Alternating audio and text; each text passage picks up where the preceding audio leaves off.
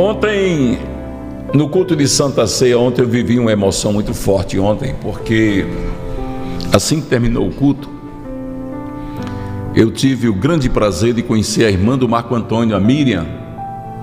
A Miriam que canta com ele a música Quem Me Vê Assim Cantando. Inclusive descobri ontem que a, ela é autora do hino, ela que compôs o hino. Uma jovem de uma voz belíssima. E estava lá a mãe do Marco Antônio que veio pedir uma oração para o pastor, porque vai ser submetido a uma cirurgia. Se Deus quiser, se ele não quiser, ele cura ela sem cirurgia. É a irmã Fátima, que é uma missionária de Deus, mora na Serra do Mel, juntamente com a Miriam, ou Miriam. E ontem comecei a conversar com a Miriam e Deus me usou tremendamente para ela e ela caiu em lágrimas. Ela estava afastada de Jesus. E ontem mesmo, naquela conversa, ela voltou para Jesus. Olha só, irmãos, como é interessante. Ela voltou para Jesus porque Deus mandou dizer para ela: As minhas promessas na tua vida estão de pé. Quando eu disse isso, ela começou a chorar. Os planos de Deus você abandonou, mas Deus não deixou nenhum deles. Ele está com eles guardado, na mão, debaixo do braço, andando atrás de você e dizendo: Eu não desisto de você. E ontem ela recebeu uma das promessas de Deus ontem renovação de promessas de Deus nas nossas vidas é algo tremendo e eu fiquei muito feliz. Eu já estava muito feliz porque o culto de Santa Ceia ontem foi uma bênção. O culto lindo, Jesus. E ontem aconteceu isso. Engraçado que durante o culto eu olhava na nave da igreja procurando Marco Antônio, porque todo culto eu acho muito bonito quando todo culto Marco Antônio canta Marcas da Dor, que na minha opinião, minha opinião, e eu sei que, na opinião de muitos, na voz dele é mais bonito do que na voz de Samuel Mariano, que é o autor do hino e quem gravou o hino. Aquele hino é tremendo. E eu procurava, olhava Marco Antônio, Deus não deixou ver ele. Mas no final do culto, Marco Antônio estava me esperando com a mãe dele e a, e a irmã dele. E eu queria dizer para você, Miriam, que você não ouviu ontem o pastor Chico Chagas. Você ouviu Deus falando com você. Deus marcou aquele encontro. E a Miriam vai vir, eu acho que é quarta-feira, né, Marco Antônio? Ela vai participar do culto no lar. Se ela pudesse vir amanhã, Marco Antônio, mas era. Que aí ela cantava no pocinho, participava do, do participava do, do programa com você, cantava esse hino ao vivo que os irmãos amam tanto. Pergunta a ela se ela pode vir, Marco Antônio. Viu? Diga ela que a igreja ajuda ela. Se for o caso, nós vamos deixar ela lá em Serra do Mel. Pelo menos eu tomo café com o seu Francisco. Tassiana Câncio, Deus abençoe. Tassiana, olha, beijo no seu coração. Você não sabe o quanto eu gosto de você, Tassiana. Eu e a pastora Jossa Nete, nós amamos você. E aí,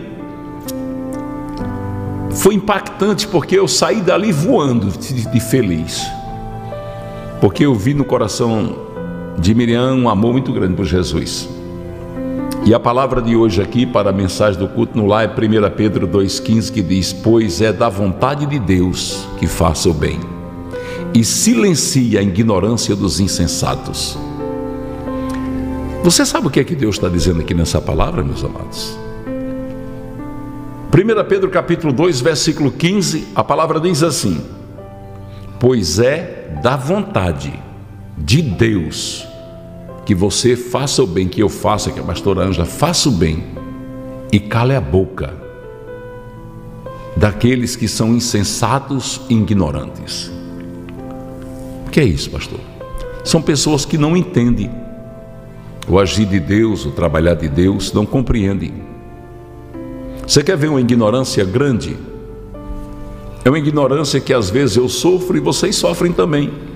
É quando você está fazendo bem e alguém acha que você está fazendo com segundos interesses, que alguém acha que você está se aproveitando daquilo, né? Eu tenho passado por isso. Tenho passado por isso, porque eu tenho, eu tenho enfrentado muitas críticas por causa do trabalho que a gente faz com os moradores de rua. Ah, meu Deus, como eu tenho enfrentado isso. Mas eu não me preocupo, isso não mexe comigo não me abala porque eu sei quem foi que me mandou fazer. Talvez você, essa mensagem é para você, para você que está me ouvindo. Talvez para a pastora Anja, Deus fale com ela através disso, que ela também tem um trabalho social através do amor em ação. Porque, pastora, às vezes a gente faz o bem, está fazendo bem, mas as pessoas não entendem que você está fazendo aquilo, não é para se amostrar, não é para nada, você está fazendo porque Deus mandou, faça. Eu escolhi você para fazer, né? Ontem, irmãos, nós fomos para para a casa do pai seis horas da manhã, chegamos lá por volta de sete horas. Eu, a pastora e as irmãs, o irmão Edivan com sua esposa, Micheliane. Micheliane. Se você visse a alegria do esposo dela em ajudar as irmãs lá, e aquela alegria que a gente viveu ali, aquele momento, e foram chegando alguns irmãos que foram lá, sabe, e chegou o pastor Raulison, e chegou sabe, o irmão Adson, e chegou o irmão Fernando, o irmão Fernando veio até sentindo dor, estava. E, e aqueles irmãos ali, eu fiquei olhando assim, eu disse, Deus, como o Senhor é tremendo. Como o Senhor é tremendo. Um dia de domingo, onde todo mundo quer descansar, um dia de domingo onde todo mundo quer ir para a praia, né? Um dia de domingo onde todo mundo quer, quer descansar da semana. E nós estamos aqui, de manhã cedo, preparando a comida para os moradores de rua. Aí tem pessoas que dizem: não, eles estão fazendo isso aí porque estão querendo se locopletar, estão fazendo isso aí porque querem se amostrar. Muito bem. A palavra de Deus diz: Pois é da vontade de Deus que você faça o bem e cale a boca dos ignorantes, dos insensatos. A palavra está dizendo: cale a boca daqueles que não têm compromisso. Cale a boca daqueles que não têm coragem de fazer e se incomodam com quem faz. Eita Jesus! É assim ou não é, irmãos? Porque existem muitas pessoas que não entendem o trabalhar de Deus, não entendem você, um homem com 62 anos, quase 63, num dia de domingo nas ruas, em Mossoró, quente, pegando fogo, Almoçar na casa do pai, pensa na comida gostosa. Glória a Deus. Menino, mas a comida ontem ficou, pense, levando comida na rua para as pessoas que estão ali na batalha. Mas eu quero dizer a você, meu amado irmão, que essa mensagem hoje é para dizer para você que está aqui: não pare de fazer o bem. Cale a boca dos insensatos. A palavra de Deus hoje para a sua vida é: cale a boca dos insensatos. Ontem Deus fez uma multiplicação na casa do pai. A pastora comprou 300 linguiças e botou duas linguiças em cada quentinha. Foram preparadas 150 quentinhas e sobrou muita linguiça. Ninguém entendeu. É Aí vai ter gente que diz: não é porque a fábrica montou errado. Você pode acreditar nisso. Eu acredito na multiplicação porque eu tenho vivido a multiplicação de Deus em nossas vidas. Eu conheço o que é que Deus tem feito, eu tenho visto a multiplicação de Deus. Eu não me preocupo, sabe, com nada, porque eu sei o que Deus tem feito. Eu compreendo, eu sei perfeitamente o que Deus tem feito nesta obra. E eu só lamento que muitas pessoas não compreendam e não, não queiram viver esse mistério de Deus, essa maravilha de Deus em nossas vidas. Você já pensou, meu irmão, o que é você dormir tranquilo, sabendo que está fazendo a vontade de Deus, que Ele está no negócio, que Ele está dirigindo o trabalho, que Ele está dando a você o direito de ser chamado por Ele, fazer a vontade dEle? A palavra de Deus hoje é: não se preocupe com a boca dos insensatos, com a boca dos ignorantes, dos brutos. Continue fazendo bem. Continue fazendo bem. Faça o bem, não tenha medo, Deus está com você, você tem direção do Senhor. Então faça o bem, não se incomode, viu? Deus está dizendo assim: não se incomode, não se preocupe, somente faça o bem. Olhe somente para aquilo que Deus colocou diante dos seus olhos. As pessoas que precisam da palavra, do alimento físico que é o feijão, o arroz, a carne, o macarrão, a farofa, do pão, as pessoas que precisam e daqueles que precisam do pão mais precioso que é a palavra santa de Deus. Faça o bem e cale a boca das falsas testemunhas, cale a boca da, dos falsos profetas, daqueles que querem usar da língua mentirosa, dos artimanhas de Satanás para te atingir, mas não vão te atingir. Essa palavra é para você que está me ouvindo aqui, porque às vezes você está fazendo bem, mas ninguém está entendendo. Às vezes você faz o bem, mas não é compreendido, e você às vezes até pensa, vou parar. Não, não, não, não pare. Quem te mandou não aceita você retroceder. Quem te mandou foi Deus. Ele é o dono da prata, ele é o dono do ouro, ele é o dono da obra, ele está no controle de todas as coisas e a ordem dele é para marchar. A ordem dele é para fazer o que ele está mandando. Se você parar, você vai estar desobedecendo a Deus. Hã? Você sabe o que é desobedecer a Deus? É dizer não para o Pai Todo-Poderoso. É dizer não para aquele que manda e você tem que obedecer, porque nós somos muito pequenos para dizer não para Deus, viu? A gente é muito pequenininho para dizer não para Deus. Quando você faz aquilo que Deus manda, fique tranquilo. Quem é o homem ou a mulher para falar alguma coisa? Engraçado é que eles falam e fazem pior do que você, porque eles falam e exploram as pessoas, ficam explorando as pessoas por trás. Mas Deus é Deus, Deus é Deus fiel e Deus sabe todas as coisas. Você sabe qual é a palavra de Deus hoje para a sua vida? Cale a boca dos ignorantes, dos insensatos, que não compreendem o chamado de Deus para a tua vida. Essa palavra serve para quem está na obra, na igreja e serve para todo crente. Porque muitas vezes as pessoas não entendem por que, que você vai à igreja, por que, que você abençoa a obra, não compreendem, eles não entendem porque eles não conseguem viver aquilo que você vive. Olha aí, nessa cena aí você vê um, um morador de rua, dois paralíticos lá na calçada. Num dia de domingo, meu irmão, o calor ontem estava lá na calçada, tá vendo? Olha lá o irmão Arthur levando a comidinha para ele. Você imagine se a gente fosse ouvir a voz dos ignorantes, dos insensatos e parasse. Esse morador de rua ia passar o dia com fome e com sede. Mas Deus não deixa. Deus não permite. Sabe por quê? Porque você sabe o chamado que tem. Continue trabalhando. Continue, porque enquanto um, dois ou três falam de você, tem centenas sendo ajudados pelo trabalho que Deus te deu para fazer. Meu amado irmão, minha querida irmã, não pare. Não pare, deixa os insensatos falar, deixa os ignorantes falar, porque Deus tratará com eles. Quanto a você, marche. Lembra de Jesus falando com Pedro: Pedro, que te importa? Faça o que eu estou mandando. Ele estava dizendo: Pedro, acabou-se, faça o que eu mando e acabou-se.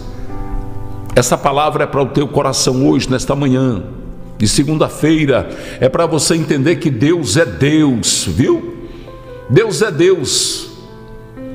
Aquilo que você faz se você está fazendo é porque Deus está tocando corações, é porque Deus está movendo corações de pessoas, é porque o Espírito Santo está tocando para ajudar a obra, para você fazer. São pessoas que não podem ir para a rua, mas você vai em nome delas, levando os dízimos delas, oferta delas em forma de comida, em forma de água, em forma de medicamento, de roupas, de mochilas, de amor, de carinho, levando a palavra, pregando a palavra, ensinando os caminhos de Deus. É a presença de Deus na vida dessas pessoas, graças a esse trabalho trabalho, graças a você que ajuda a fazer esse trabalho. Aí tem aqueles que não querem esse ministério, eles querem só dinheiro. Os falsos profetas, aqueles que às vezes querem até se juntar a nós, mas Deus tira tudinho.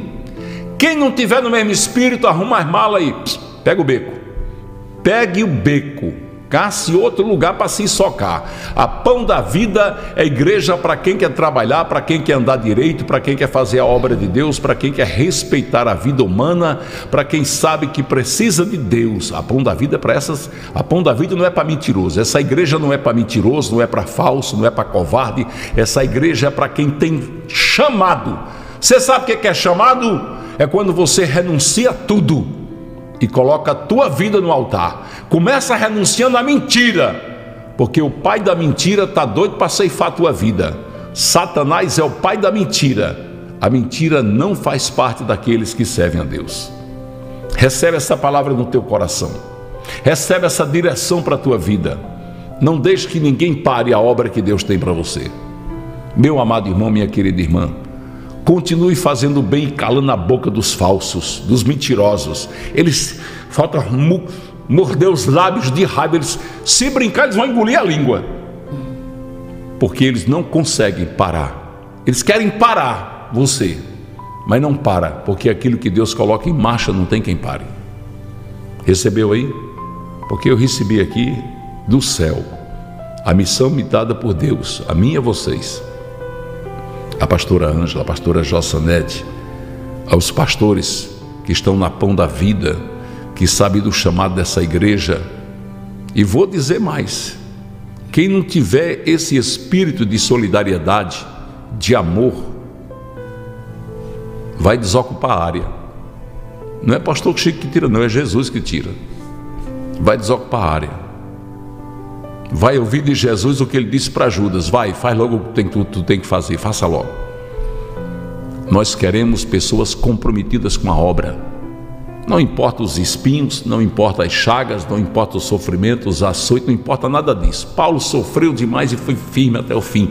E eu peço a Deus que me faça igual Paulo, firme até o fim, até o dia que ele diz: agora meu filho, vem descansar. Recebe em nome de Jesus e não pare. Eu sei que essa palavra está falando com você, porque às vezes no meio da tua família, você faz o bem e não é compreendido. No meio da tua família, você ora por quem não merece. Você intercede por quem não merece. É você orando e a pessoa te maltratando. Como é que pode isso? Mas tem que ser desse jeito mesmo. É desse jeito mesmo. A palavra diz: Pois é da vontade de Deus que faça o bem, silencia a ignorância dos insensatos. Pastor Ângela. Glória a Deus. Se você estiver preocupado com crítica, você não vai fazer a obra, não. Vai não. né, pastor? Quem se preocupa com crítica é porque está interessado em receber aplauso e não está preocupado com a aprovação de Deus. Desse O que me importa é a aprovação de Deus. Talvez você diga, mas ficam falando, mas Deus não sabe qual é a sua motivação. A gente precisa entender que Jesus ele desperta esses sentimentos opostos, né? Veja que uns queriam prendê-lo, uns o perseguiam, uns o, o matavam, mas tinha aqueles que queriam honrá-lo. É. E hoje não é diferente. Tem aqueles que buscam fazer o melhor para o Senhor, que honram o Senhor, que assim como naquela época que querem oferecer o jantar, ou seja, preparar um banquete, né, para o Senhor, mas tem aqueles que simplesmente odeiam ao Senhor. Então odeiam ou se a gente colocar odeia quem faz a obra do Senhor, então é porque também odeia o Senhor. E a gente vê, por exemplo, a Maria. Ela fez o que? Ela fez o melhor. Ela recebeu críticas porque derramou sobre a cabeça de Jesus todo aquele perfume de Foi, nardo, é né? verdade. Precioso, caríssimo. E uns, e uns ficaram criticando ela. O que Jesus falou? Por que que vocês estão molestando ela? A motivação do coração dela para fazer isso foi por amor a mim, por gratidão. Né? Jesus recebeu a- a- aquele momento como uma unção preparatória para o seu sepultamento. E algo que a gente vê aqui para a gente poder trazer para essa situação é que ela fez, apesar das críticas, ela fez para quem? Para a pessoa certa, ela fez para Jesus. Aleluia. Então, quando você estiver fazendo bem, podem estar te criticando, mas qual é a motivação? Por que, que você está fazendo bem?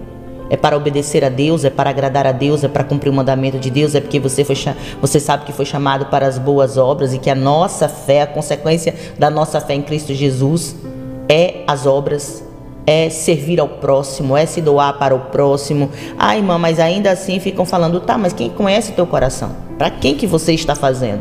E algo importante de se ver é que aqui, nesse contexto de Maria, ela fez no tempo certo, pastor. Talvez você esteja esperando demais. Já é o tempo de você estar fazendo, já é o tempo de você estar realizando. Ah, mas porque muitos vão observar. E o que é que podem dizer? Não importa o que vão dizer. O que importa é que você está preocupado na aprovação de Deus. Aleluia. Preocupe-se com o que Deus sabe de você. Algo que sempre acalenta o meu coração é saber que Deus me conhece. Quem me conhece é Ele. Então pode, falar o que falar. Quem me conhece é Ele. Quem me sonda é Ele. Quem me salvou foi Ele. Quem pagou o alto preço. Quem vai, quem vai determinar a minha eternidade é Ele. Então, aleluia, glória a Deus. E Ele quer me salvar. Ele me resgatou, Ele me chamou e me escolheu. Para ser representante dele na terra. Então fale o que falar. Você vai se preocupar com quem quer prejudicar? Ou você vai se apoiar em quem está junto com você, ó, de mãos dadas, dizendo: vamos servir ao Senhor, vamos trabalhar para Jesus. Ele está dizendo: olha aí para os seus irmãos, eu estou levantando os recursos, vão lá fazendo. É desse jeito, irmãos. Tem gente que começa a aplicar um monte de coisa para ver se, se sabe, se deixa a gente constrangido, se entristece o coração da gente. E o que eu fico pensando é: o que, que essas pessoas ganham com isso? Prejudicando a obra. Não tem temor nenhum da, do, sobre o dono da obra. Porque algo que a gente aprende na palavra é que quando você persegue aqueles que estão servindo a Cristo, que são discípulos de Cristo, que estão fazendo o que Cristo os ordena a fazer, você, tá, você, você está perseguindo a quem? A Ele. É, sim. é o dono da obra. Em vez de se alegrar e dizer, oh glória a Deus, Jesus, continua mantendo essa obra, continua alimentando esse povo, porque, irmãos, algo que a gente precisa entender é que uma obra como essa, ela tem que ter continuidade. Não é assim, pastor? E eu aprendi aqui. Desse jeito. Dentro desta obra é, que os irmãos, né, muitos vão pegar, mas é porque a palavra diz que não mostra a mão que a outra faz. Mas deixa eu te dizer uma coisa.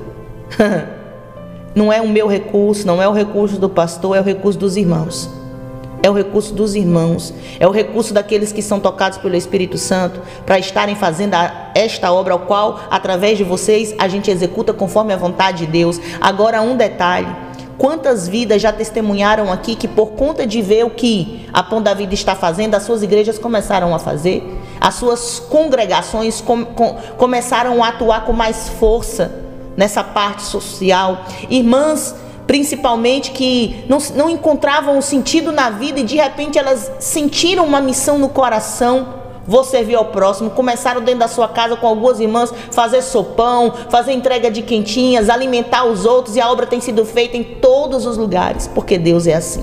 Glória então o que, que eu quero te dizer? Glória não pare, faça.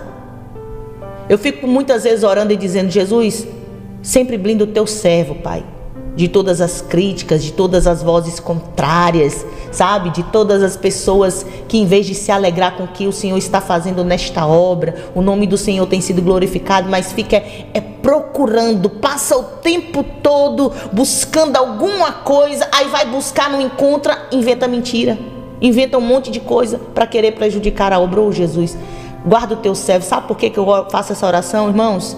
Porque a gente é humano, a gente se entristece Muitas vezes a gente recebe essas apunhaladas e a gente fica pensando, Deus, se eu estou fazendo bem, por que está acontecendo isso comigo? Quer saber? Eu não vou fazer mais, não. Não, você vai fazer. Sabe por que você vai fazer? Porque você não está fazendo para o homem, você está fazendo para Deus. Jesus, olha, blinda aqui os meus ouvidos. Aleluia. Senhor, blinda o meu coração no teu amor e na tua vontade. E algo que eu oro a Deus sempre dizendo, Senhor, que o teu amor me impulsione a fazer o que o Senhor quer que eu faça. Porque se for de nós mesmos, irmãos, a gente não consegue porque sempre há um levante, sempre tem uma dificuldade. Se não tiver, tá errado. É. Tá errado, pastor. Por que tá errado, irmã? Porque o inimigo ele se incomoda com o que está glorificando o nome do Senhor. Aí ele se levanta, mas ele se levanta para cair porque a obra de Deus não para. A obra de Deus avança e a gente vai indo, e a gente vai orando e muitas vezes nessas situações aqueles que ainda não têm um entendimento ou que não estão totalmente firmados ou que não conseguem ouvir sua voz do Senhor, faz aquela vacilada, sabe que Preste atenção nas vozes que estão ali, acaba se desviando, mas Jesus levanta outros. E a gente ora, oh, Jesus, toca aquele coração, Senhor, que esteja salvo, que pelo menos esteja agora ouvindo alguém que realmente te serve de todo o coração. Irmãos, a obra de Deus não para. Tenho aprendido nestes anos, fazendo nesse projeto que tem crescido, graças a Deus também que o pastor falou, né, o braço de ação social da Pão da Vida, o Amor em Ação. Eu aprendi isso, pastor. Eu disse, Deus, eu não pedi. Você pediu, pastor, para cuidar de morador de rua? Não. Eu não pedi para fazer obra social. Eu amo a obra social.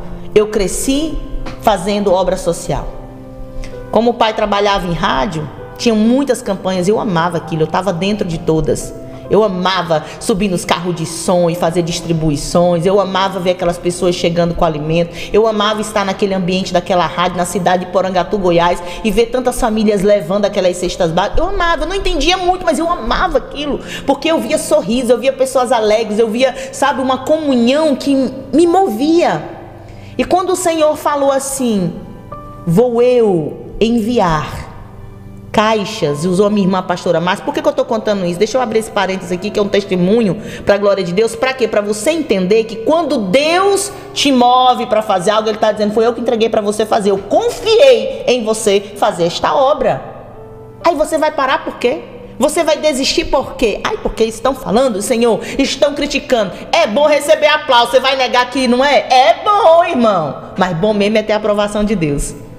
Maravilhoso é ter a aprovação de Deus. É. E aí eu entendi, Jesus, se for o Senhor quem me entregou, o Senhor moveu para acontecer, é o Senhor quem sustenta. E cada tempo e tempo o Senhor vai me mostrando, tá vendo, filho? Eu levanto uns, levanto outros. É assim que ele faz.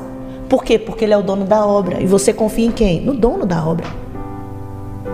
A obra não é sua, a obra é dele. Nós somos o que? Representantes, nós somos servos. E o que, que o servo faz? Obedece. Ele recebe a ordem e executa. Então só executa. Sabe por quê? Porque o servo ele presta conta com quem? Aí você está preocupado em prestar conta com quem não ordena, com quem não é o dono, com quem não pode fazer nada por você, Com quem não participa. com quem não nada. participa, não ajuda ainda atrapalha, né, pastor? Então, se preocupa na prestação de Desse conta com o jeito. dono da obra. Só Jesus. Meu coração é assim, eu digo, Jesus, tu és muito bom. Você é muito bom, você é muito bom, você é muito bom. Porque quando a gente está pensando em dar aquela paradinha na tristeza, na decepção, irmão, Jesus dá um gás a gente. Você sente assim, pastor? Hoje você está assim, tá? Mas Jesus dá um gás, É, né? é. O Espírito Santo move a gente de um jeito que você pensa assim, A opa, crítica, a crítica é energia para você. é, tá- Pastora, e aproveitando, Tá dando certo. aproveitando falar que a pastora Ângela, ela faz obra social desde que ela era Desde. pequena, dando os primeiros passos. Eu, tá aqui o povo de Mossoró, da ilha de Santa Luzia, que conheceu minha mãe. Minha mãe, ela fazia festas para as crianças. O Natal das crianças da ilha de Santa Luzia, ela saía de loja em loja pedindo ajuda e dava presente para todas aquelas crianças e eu arrumava as lancheirinhas junto com ela. Eu, menino pequeno. Ela me ajudava. E essa aqui fazia do mesmo jeito. Sabe o que é que eu fazia, irmãos? Eu pegava os carros de som, botava vários carros andando na cidade pedindo alimento não perecível. Contribua com as famílias carentes, a gente montava as cestas, a gente levava era caminhões de cesta para as favelas. Aqui em Mossoró e lá em Porangatu, o povo de Porangatu, tem vários em Porangatu que me conhecem, que acompanham o culto no lar. O povo se lembra das campanhas que eu fazia na rua. Lá em Porangatu e aqui em Mossoró, eu dentro do estúdio de rádio, quando eu terminava o programa, teve uma vez que o jornal Gazeta do Oeste veio registrar que não coube os alimentos que chegou. Dentro do estúdio. Eu não podia nem abrir a boca. Eu lia uma carta e dizia assim: tem uma família carente aqui pedindo uma TV porque os filhos estão indo assistir TV na casa do vizinho, estão sendo humilhados. Ganhava 10, 12, 15 TV. Eu pedi um fogão, 10 fogão, 15 fogões. Lojistas faziam isso. Eu estava fazendo uma campanha no ar, quando é o dono de uma loja, um patrocinador ligava para lá, Chico Chagas, estou mandando 30 cestas para ir agora. Chico Chagas, estou mandando um fogão zero, estou mandando uma TV zero. Eu fiz isso a vida toda. Eu não estou fazendo isso agora não, irmãos. Aqui em Mossoró, trabalhando com moradores de rua, eu tenho 10 anos, mais de 10 anos que eu faço isso. Lá em Porangatu, eu fui presidente do CERE, do Centro de Recuperação do Alcoólatra. Eu era locutor de rádio, fazia trabalho lá tremendo, abalava aquela cidade. O povo participava, o povo gostava de participar, porque conhecia nosso trabalho. O abrigo dos velhos, lá em, Moça, lá em, em Goiás, a gente mandava tanto alimento para aquele abrigo dos velhos, ajudava o irmão Francisco, um grande homem de Deus que tem lá. Sei nem se ele é vivo ainda, mas eu creio que é porque ele era mais jovem do que eu, que fazia um trabalho muito lindo lá. Nós sempre fizemos essa obra. Eu nasci fazendo obra social com a minha mãe. A pastora Ângela, pastora Ângela, pastora Márcia, Kátia, Jomar, Era. Chiquinho, tudo de pequenininho eles me ajudavam a montar as lancheirinhas das crianças, os presentinhos. Ainda hoje eles continuam do mesmo jeito. Quando a pastora Jossa Neto está aprontando as coisas, que elas vêm tudo ajudar ela a fazer, montar as coisas junto com as irmãs da igreja. Essa história ninguém pode apagar, porque ela foi escrita pela mão de Deus. A sua história, escuta o que eu estou te falando, a sua história, quem está escrevendo é a mão poderosa de Deus. A mão de Jeová está escrevendo tua história. Tem um hino que diz assim: Enquanto o povo julgava, Deus escrevia história. Quem escolheu Davi? Quem escolheu José, Abraão, Moisés? Quem escolheu Sara, Raquel, Débora? Quem escolheu você? Quem escolheu a minha, a pastora Ângela, a pastora Jossanete? Foi Deus que te escolheu, meu irmão. Não se preocupe, porque, como a pastora Ângela disse, as críticas, elas, as mentiras, as falsas testemunhas serão caladas porque o diabo usa essas pessoas para tentar parar a obra que você está fazendo. Mas ele não vai conseguir, porque não prevalece as portas do é inferno é contra a obra de Deus. E a gente tem que lembrar, pastor, que quem critica, ele está pensando em te prejudicar, ele não lembra de quem está necessitado daquela, Exatamente. daquela ajuda. É. Fora é que, irmãos, nem tudo que a gente faz a gente mostra, né? Eu gosto ah, se muito... eu fosse mostrar é, tudo, não ia ter gosto... nem culto lá. Se você disser, vocês gostam de prestar conta? Eu gosto, sabe por quê? Certa vez eu ouvi, pastor, e aprendi isso com o pastor, né? Certa vez, eu, eu, nem, eu nem fazia vídeos né, do Amor em Ação, eu sempre colocava mais nos grupos com as irmãs que ajudam. E aí o Senhor me moveu. Por quê? Uma, a gente sempre faz prova com Deus, né? E aí uma irmã ligou para mim de fora, acho que era da, da Itália, e ela disse: Pastora, por favor, me envia um vídeo da casa do Pai e de algumas ações que vocês fazem, porque aqui ninguém mais acredita. É desse jeito. Fazem. Uma Impressionante, irmã, né? Uma irmã, uma irmã da Suíça disse para mim, pastor, meu marido quer saber se isso aí é verdade. É. É aí, desse aí jeito. eu disse, minha amada, é muito simples. Ele acesse aí, veja quanto tempo a gente faz isso. A gente faz isso há 10 é. anos mas registrado mesmo, porque antes eu fazia com meu dinheiro, hoje eu faço com os dízimos Aí o que, que eu vi, pastor? Muita Sabe gente querendo fazer e não fazer por isso. Ele dizimista da obra, ele ajuda a obra. Aí muita gente querendo ajudar e por conta dessas desses que se levantam para prejudicar ou desses que dizem que fazem e não faz, aí a, as pessoas ficam desejosas de fazer a obra, principalmente irmãos de fora, que eles dizem assim: "Eu não tenho como fazer, mas eu gostaria de estender a mão para que seja uma mão para vocês, né, ajudar vocês a executar esse trabalho. Por exemplo, tem um, tem um caso que, nossa, isso mexe muito comigo, principalmente quando é criança, que uma, uma, uma criança muito, muito, muito assim, você via nela a tristeza. E eu perguntei para ela o que ela gostaria de ganhar, sabe, pastor? Sabe quando vem um desejo no coração assim, bom, eu não posso fazer, mas Deus pode? E eu fiz uma pergunta para ela, eu disse: se hoje Jesus dissesse para você, filhinha, qual é o presente que você gostaria de ganhar? Pastor, ela ficou em silêncio. Eu perguntei de novo. E ela fazia assim com a cabecinha, como quem dissesse. Ela não sabia nem com o que sonhar, irmãos. É, não tinha Tamanho, nem sonho. exato, pastor, sem expectativa de nada. E eu comecei a puxar e eu disse: Você queria roupa? Você queria calçado? Você queria maquiagem, né? Porque as adolescentezinhas. Comecei, você queria isso, aquilo. Você queria uma bolsa? Você queria não sei o quê? E ela, de repente ela soltou. Ela disse: Eu queria uma boneca. Nossa, pastor, aquilo ali mexeu comigo, sabe? E aí eu disse: Eu não. A palavra vou... hoje, Josineide, a palavra é, hoje bem. já foi dada, essa palavra hoje é. Faça pois é da vontade de Deus que faça o bem silencie a ignorância dos insensatos. E aí, quando eu falei isso, pastor, eu disse: Eu não. Jesus vai te dar a boneca. E eu comecei a pesquisar e pedir a Deus: um... Senhor, qual qual boneca agradaria a ela? Porque poderia ser um bebê, poderia ser um médico, poderia ser desse jeito. Aí o que eu estou querendo dizer com isso? Que quando você quer fazer a vontade de Deus, você não faz só por fazer. É. Você não faz de qualquer jeito. Faça, ah, pode, faça com excelência. Pode ser qualquer um. Não, pode ser porque é o mais barato. Não, Senhor, qual é? É. Qual é, meu Deus? Qual é o que o Senhor quer? Qual é o que o Senhor sabe? Porque o Senhor conhece. Então, tudo que a gente vai fazer, você não faz simplesmente, ah, porque eu vou mostrar. E olha que tem coisas que a gente não mostra. Glória a Deus, nem tudo a gente mostra. Mas Deus sabe. Mas por que, que eu estou falando isso?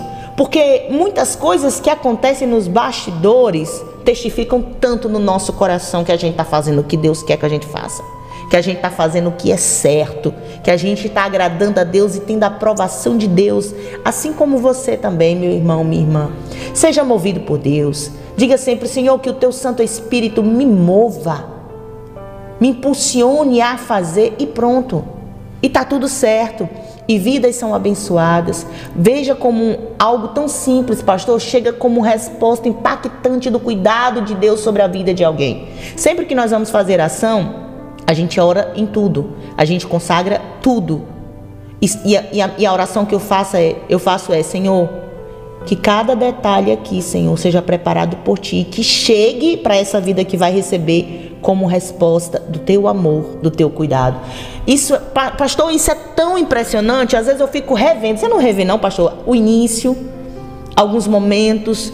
E eu comecei a rever essa semana algumas coisas que nós já fizemos nesses dois anos do Amor em Ação. E eu fiquei, meu Deus, como o Senhor é fiel, como o Senhor é grande. Eu olhei uma, uma, uma, uma foto de uma senhora que ela recebeu, pastor, ela escolheu, na verdade, uma blusa rosinha. E eu me lembrei que naquele dia eu tinha orado com a pastora Márcia sobre as roupas, né? Foi a primeira ação que eu fiz com Márcia. E a gente orou sobre aquelas roupas. E Márcia disse assim para mim, Ângela, essa aqui é a cara de fulana. E começou a dizer, porque foi na igreja dela, né? Foi o, pontapé que Deus deu pra gente começar a obra. E aí eu estou falando do amor em ação, tá, gente? Pra vocês. E aí, quando chegou lá, pastor, e graças a Deus que Deus é bom, ainda deixa o registro, né? Pra gente ter essa testificação.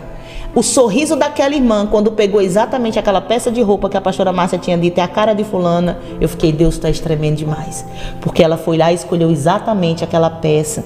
E a alegria do nosso coração é muito grande. O que, que eu quero dizer com isso? Se a gente. Os fica... irmãos vendeu coçando a orelha, irmão. A coceirinha gostosa, né? Imagina aí, irmã Guilmar, se a gente fica feliz em ver nossos irmãos sorrindo, com as bênçãos de Deus, com o cuidado de Deus, imagina Papai do céu. O que é que te agrada? Você que tem filho, fazer algo para o seu filho, não é assim? Se, como é, pastor, aquele ditado que você gosta de dizer? Ao meu filho, quem? Que a boca do meu filho beija, a minha adoça. Não é assim? É. É por isso que o Senhor fala que quando você faz para o pequenino, você está fazendo para ele. Você alegra o coração de Deus.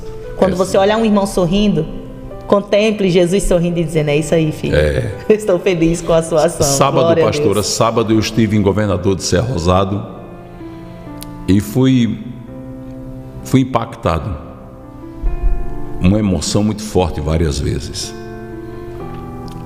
A pastora Cássia e o pastor Cristiano, inclusive nós vamos implantar isso em todas as igrejas Pão da Vida, um projeto de alfabetização. Você não faz nem ideia o que sente uma pessoa que é alfabetizada e que não sabia ler nem escrever, quando ela passa a saber ler e escrever e começa a ler a Bíblia. Eu reservei aqui o testemunho de uma irmã, porque a solenidade foi muito extensa.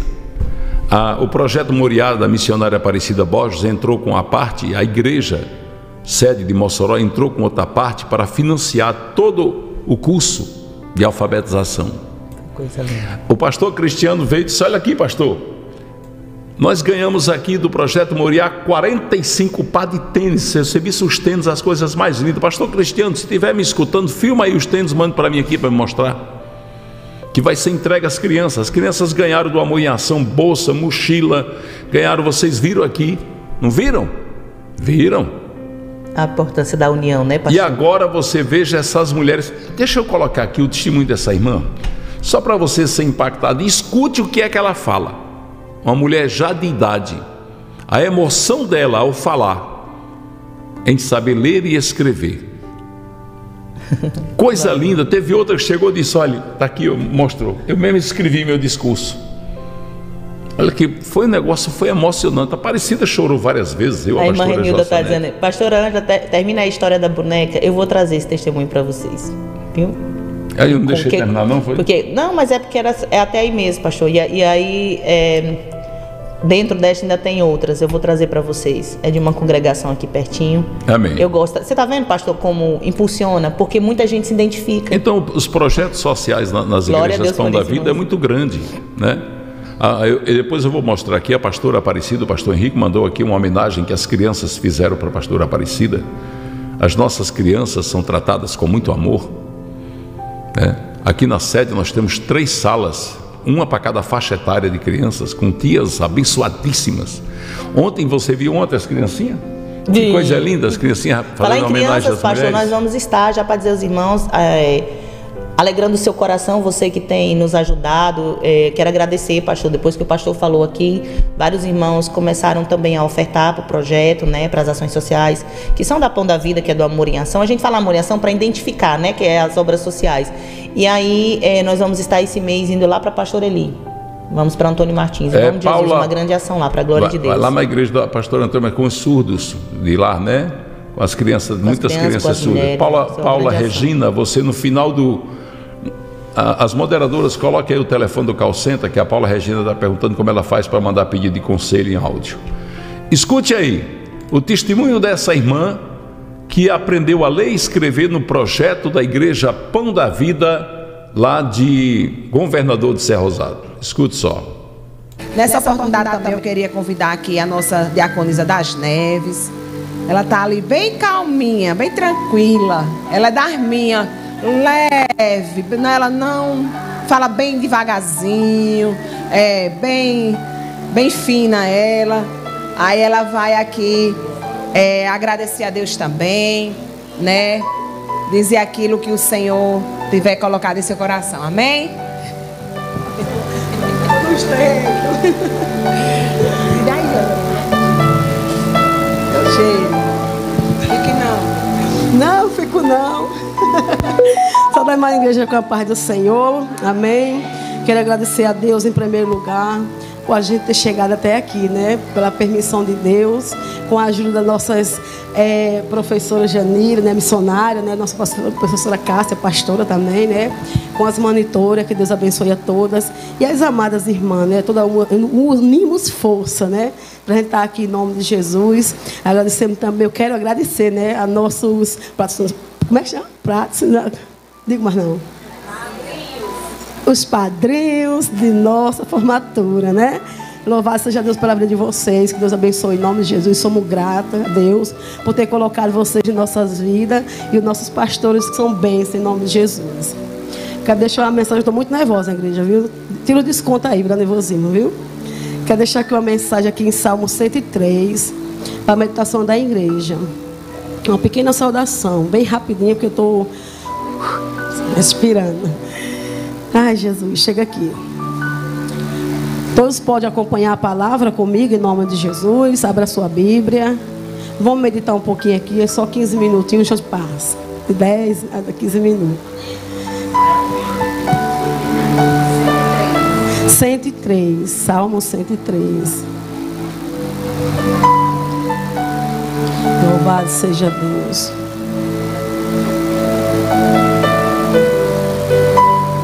Deus é lindo é maravilhoso. Eu sou muito feliz, igreja, porque eu tinha maior dificuldade de escrever. Eu aprendi a ler um pouco com a ajuda do Espírito Santo de Deus, que eu não sabia fazer nem meu nome, você ter uma ideia. Eu com muito dessa idade, né? Eu aprendi a ler pedindo a Deus, Deus me ensina a ler o que eu quero aprender.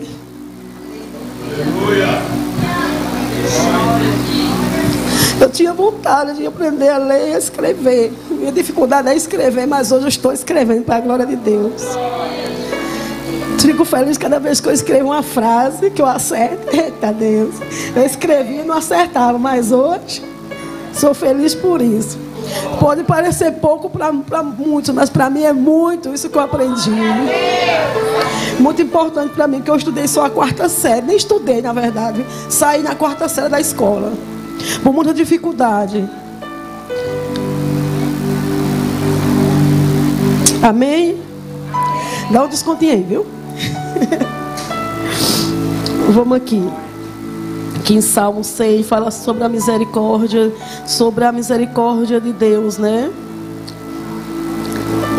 Aleluia. O salmista Davi falava por Senhor. Agradecia a Deus por tudo que Deus fazia na vida dele. Ele era grato a Deus. Cada vez quando ele dizia: Bendiga a minha alma, Senhor. E tudo o que há em mim, bendiga o teu santo nome. Bendiga minha alma, Senhor. E não esqueça de nenhum só dos teus, ben, do teus, ben, teus benefícios. Aleluia. Ele é quem perdoa todas as suas iniquidades e quem cura todas as suas feridas. Aleluia, Deus. É quem coroa e redime a sua vida.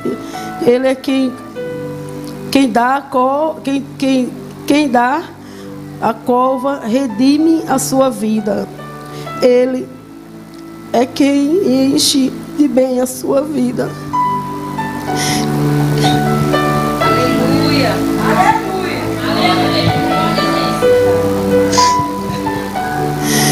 Modo que a, que a sua mocidade se renova como a águia. Conserva para conserva para sempre a sua ira, nem conserva para sempre a sua ira. Não castiga segundo nossos pecados e nem retribui conforme a nossas iniquidades, porque Ele, o céu, ce celebra acima da terra. Assim, assim é grande a sua misericórdia para com os que o temem. Aleluia.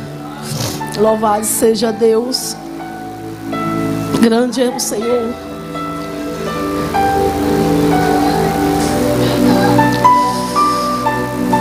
Louvado seja o nome de Deus. Vocês estão vendo, irmãos, como é importante o trabalho social de uma igreja fazendo uma maravilha dessa, né? Teve um aí, depois eu vou mostrar, eu vou, eu vou cortar e vou mostrar a vocês ela dizendo assim: Lá em casa só quem é crente sou eu. Como eu queria que meus filhos estivessem aqui para ver eu recebendo esse diploma. Aí eu chorei naquela hora, falei, meu Deus. Então muitas vezes são mulheres que serve a Deus, mesmo contra a vontade da sua própria família. O pastor Cristiano mandou aqui agora. Olha só, a entrega dos, dos tênis já, já aconteceu. Eu quero que você veja, quero que você veja. É... Pastor Cristiano, se apronta aí que eu vou já ligar para o senhor para fazer uma chamada ao vivo aqui, viu, pastor? Passa um peito na careca aí, que ele também não precisa nem pintar o cabelo, né? Quase, Amor, eu Não, ele quase não tem cabelo. Cá, dá certo. Mas irmãos, preste atenção aqui. Para você ver, deixa eu botar o som, para vocês verem a alegria dessas crianças ao receber o tênis. Crianças que ganharam mochilas que custam mais de 200 reais, 300 reais, cadernos, lápis, a Mãe Ação levou, fez uma estrutura grande e veio, e veio o projeto Moriá da missionária Aparecida, que, que cuida dessas crianças lá com alimentação, com almoço. 70, 80 crianças cuidadas. Olha a alegria dessa menininha. Vou mostrar de alguns aqui recebendo o calçado. Sinta a alegria de você fazer parte de uma igreja que verdadeiramente ama, de uma igreja que prega a palavra que liberta, mas que também exerce o amor cristão a excelência do amor cristão. Veja isso, veja isso. Ali, mãe. Peraí, calma. Cadê o sapato? O sapato caiu, cadê?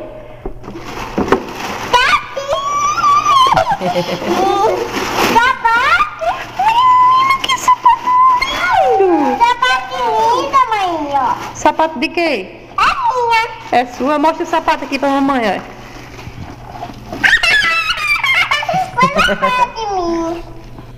De mim. Olha aí, vamos ver outro. Agora de um, de um menino. Olha, o que tem aqui? Deixa eu ver. É, deixa eu... Uau! Ai, uma caixa. É, deixa eu tirar esse saco aqui. Pronto, agora tem... Caraca, velho! Maneco! Você gostou? Pegar Tá vendo? É, desse jeito. Deixa eu ver aqui. É lindo demais, né? Aí tem, tem aqui a pastora Cássia com a missionária Aparecida, né? Esses calçados foram os calçados doados pelo projeto Moriá, que é um projeto da missionária, e a missionária também quer estender esse projeto a todas as igrejas Pão da Vida. Glória a Deus. né? Ela precisa também da ajuda dos irmãos para para estender esse projeto a, a, todas as igrejas Pão da Vida, né? Aí, olha as fotos, a alegria deles, tudo mostrando os calçadinhos, olha. Alguns já com camiseta, camisetazinha da Pão da Vida, olha. É. oh, meu Deus, muito obrigado. Olha o sapato, olha aí o tênis. E eles gostam de mostrar. Eles chegam em casa, pastor, eles ganham Olha as bênçãos e eles olha. querem mostrar. Você está vendo são pessoas que moram em lugares humildes, né? Mas que recebem a, a- olha que coisa mais fofinha, olha como é bonitinha, alegria. Tá vendo? Ah, meu Deus, isso é bom demais. Olha, olha essa daqui, olha, olha, olha. mostrando calçadinho, pastora. Olha, olha a alegria, pastora. Né? Muitas vezes, olha as crianças aqui recebendo os presentes. Olha. Tá vendo? Há poucos dias receberam o Amor em Ação lá, receberam toda essa assistência do Amor em Ação e agora recebem esses presentes da, da, do projeto Moriar, da missionária Aparecida Borges. Por aí você, você vê que a igreja, quando você começa a fazer uma obra, Deus levanta as pessoas para fazer a obra junto com você. A única coisa que o pastor tem que ter chama-se iniciativa. Agora mesmo eu estava conversando com a pastora Ângela aqui, o projeto o, o Amor em Ação vai entrar com força no Santo Antônio agora. Vamos fazer uma grande ação social lá com o pastor Magno. Vamos fazer um trabalho grande lá, de alcance, de distribuição de alimento, de roupas, de calçados para aquelas crianças. E é muito É. carente, irmão. É. muito carente mesmo. É. Então, quando você também dizima oferta, porque muitas vezes elas entram com isso e a igreja entra com ajuda complementar sempre. para completar. A igreja entra com ônibus para levar a equipe, entra com a van para levar a equipe, entra com a equipe para ajudar e faltou alguma coisa. Pronto, a igreja chega junto né, para ajudar, porque são projetos da igreja, estão agregados à igreja. São projetos abençoados e a igreja é isso. É o amor expresso em ação. Jesus disse assim: o que é que adianta a sua fé sem obra? Ele estava dizendo: o que é que adianta você dizer que crê em mim? Né? Ele chega a dizer: o seu dízimo sem amor, sem misericórdia, não é nada. Né? Você tem que fazer as coisas completas, tudo tem que ser completo. Você é dizimista, sou, é ofertante, sou, mas também expressa o seu amor. Não esqueça o mais importante da lei: a misericórdia, o amor e a fé. É isso aí. Vamos trazer um louvor aqui, porque agora nós fizemos 75 minutos de culto, você fala assim, tocar um louvor. Vamos trazer o Marco Antônio e a. Miriam. Eles vão estar conosco amanhã no culto do Lar, lançando o CD do Marcos Antônio. Eita Deus! Depois nós vamos agradecer quem está ofertando. Debaixo dos vídeos tem todas as contas para você ofertar a obra de Deus. Ah, peraí, peraí, eu falei que botar pastor Cristiano. Foi. Não, peraí, depois eu toco indo. Pastor Cristiano, desculpa aí. Coitado, passou os pentos do cabelo, tá lá esperando, tá bonito. Passou um, Tá os dedos na sobrancelha aqui. Mulher, né, arruma, mas homem faz só assim, ó. É ou não é assim? Parece. Vai embora. Eu pintei o cabelo com as próprias mãos, né? Também o cabelo não é lá esse filé todo, né? É? pastor Cristiano, estou fazendo uma chamada de, chamada de vídeo aí, meu amado pastor. Vamos falar com ele aqui. Por pouco. Irmão, tô dizendo que a internet está travando, pastor, tá? Tá não. É porque às vezes o celular da pessoa lá é que tá fraco. É, deve ser. É. Confere aí. Se tivesse, se tivesse travando aqui, tava, a nossa internet é muito boa. Eita, que pastor bonito. Vou botar você de frente pro povo, pro povo ver como você é lindo aí, ó. Eita glória, Pai do Senhor, meu pastor. Pai do Senhor, pastor Pai do Senhor, povo de Cristiano. Deus. Pai do Senhor, pastor Cristiano. Fale, fale, um Pai Senhor, pouquinho, fa- fale um pouquinho sobre os trabalhos sociais que a Pão da Vida está realizando aí em Governador. Pastor, graças a Deus, Deus tem nos ajudado, um sonho que nós sempre tivemos. Quando o Senhor nos chamou para cá, nós nos reunimos junto com a igreja e nós colocamos algumas metas. E vamos completar agora, no mês de maio, dois anos que estamos aqui. E desde que assumimos a Pão da Vida aqui em Governador, nós começamos a trabalhar nessa área social. Começamos a distribuir o almoço para as crianças todos os domingos. Eles recebem ah, o ensino bíblico e logo após almoço, arroz, feijão, carne. Tem dia que é arroz de leite, que o senhor envia o leite toda semana para cá. É. Vem 40, 50 litros de leite, né? E a gente distribui para essas crianças. A semana que a gente não faz arroz de leite, cada uma leva um litro de leite para casa. São pessoas, pastor, que a gente foi olhando a comunidade, dando uma volta, a maioria recebe auxílio. Só que também muitos os pais não são crentes, às vezes são dependentes químicos, né? E a gente sabe que as coisas também não estão baratas. O governo, ele dá, eles vão para a escola, recebem um lanche, mas aí o final de semana, a gente se preocupou com isso. E juntamente com isso, foi chegando a nós a pastora Ângela, foi vendo a gente trabalhando e disse, pastor Cristiano, a gente quer ajudar aí com amor em ação, né? E ela foi se chegando a nós, como todo início de ano, as irmãs, junto com a pastora Ângela, com amor em ação, ajuda essas crianças com material escolar. Esse ano foi é, distribuído mochilas, é, material caderno, todo o material que eles precisam. E aí nós tínhamos o sonho que a gente via as crianças indo para a escola com chinelinho de dedo. Eu digo, oh meu Deus, dá condição para a gente dar, distribuir um tênis para cada um. É um sonho alto, porque a gente sabe que não é barato. E a gente conversando com a nossa madrinha, que é a missionária Aparecida Borges, ela disse: Meu filho, se você tem esse sonho, vamos orar a Deus. Ela já ajuda a gente aqui com o projeto Morear. É ela que envia né, ajuda para a gente comprar justamente é, o material para fazer o almoço. E quando ela disse: Meu filho, vamos botar em prática.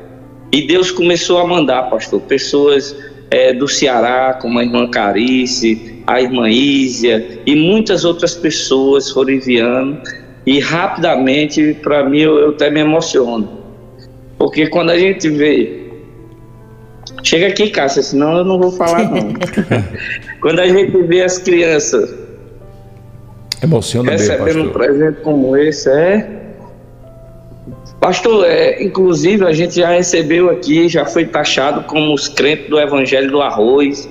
E eu digo, é, nós somos o evangelho do arroz, do feijão, do amor, do perdão, do abraço. Aleluia. A igreja Pão da Vida é uma igreja que ama. A gente entende o verdadeiro sentido do evangelho. Glória o castigo de Deus, ele pode durar até um tempo. Mas o perdão e as misericórdias do Senhor são eternos. É. Chega desse evangelho de acusação, de dizer, não, mas o pai recebe isso, só que as crianças não têm culpa se o pai não sabe administrar bem e acabam sofrendo. É. A pastora, ela, ela recebe mais do que eu aqui na porta, crianças às vezes, adolescentes que vêm, diz, pastora, eu vim aqui saber se aqui tem macarrão, se aqui tem arroz, porque lá em casa hoje não tem nada. Aleluia. Corta o coração, a gente sentar na mesa e almoçar e a lágrima desce em saber que tem crianças sofrendo. É. Então a gente começou a trazer, porque eu tenho um, um pensamento que a igreja ela tem que impactar, ela tem que trazer uma transformação para a sociedade onde ela está. E nós aprendemos isso com Jesus, nós vemos isso a igreja Pão da Vida sede, e nós estamos aqui só copiando a sede. Nós vemos seu trabalho, pastor, um trabalho muito bem feito com os moradores de rua. Aqui, graças a Deus, em governador, não tem morador de rua. Talvez aonde tem a outra pão da vida, também não tenha morador de rua, mas sempre vai ter crianças, tem idosos, né?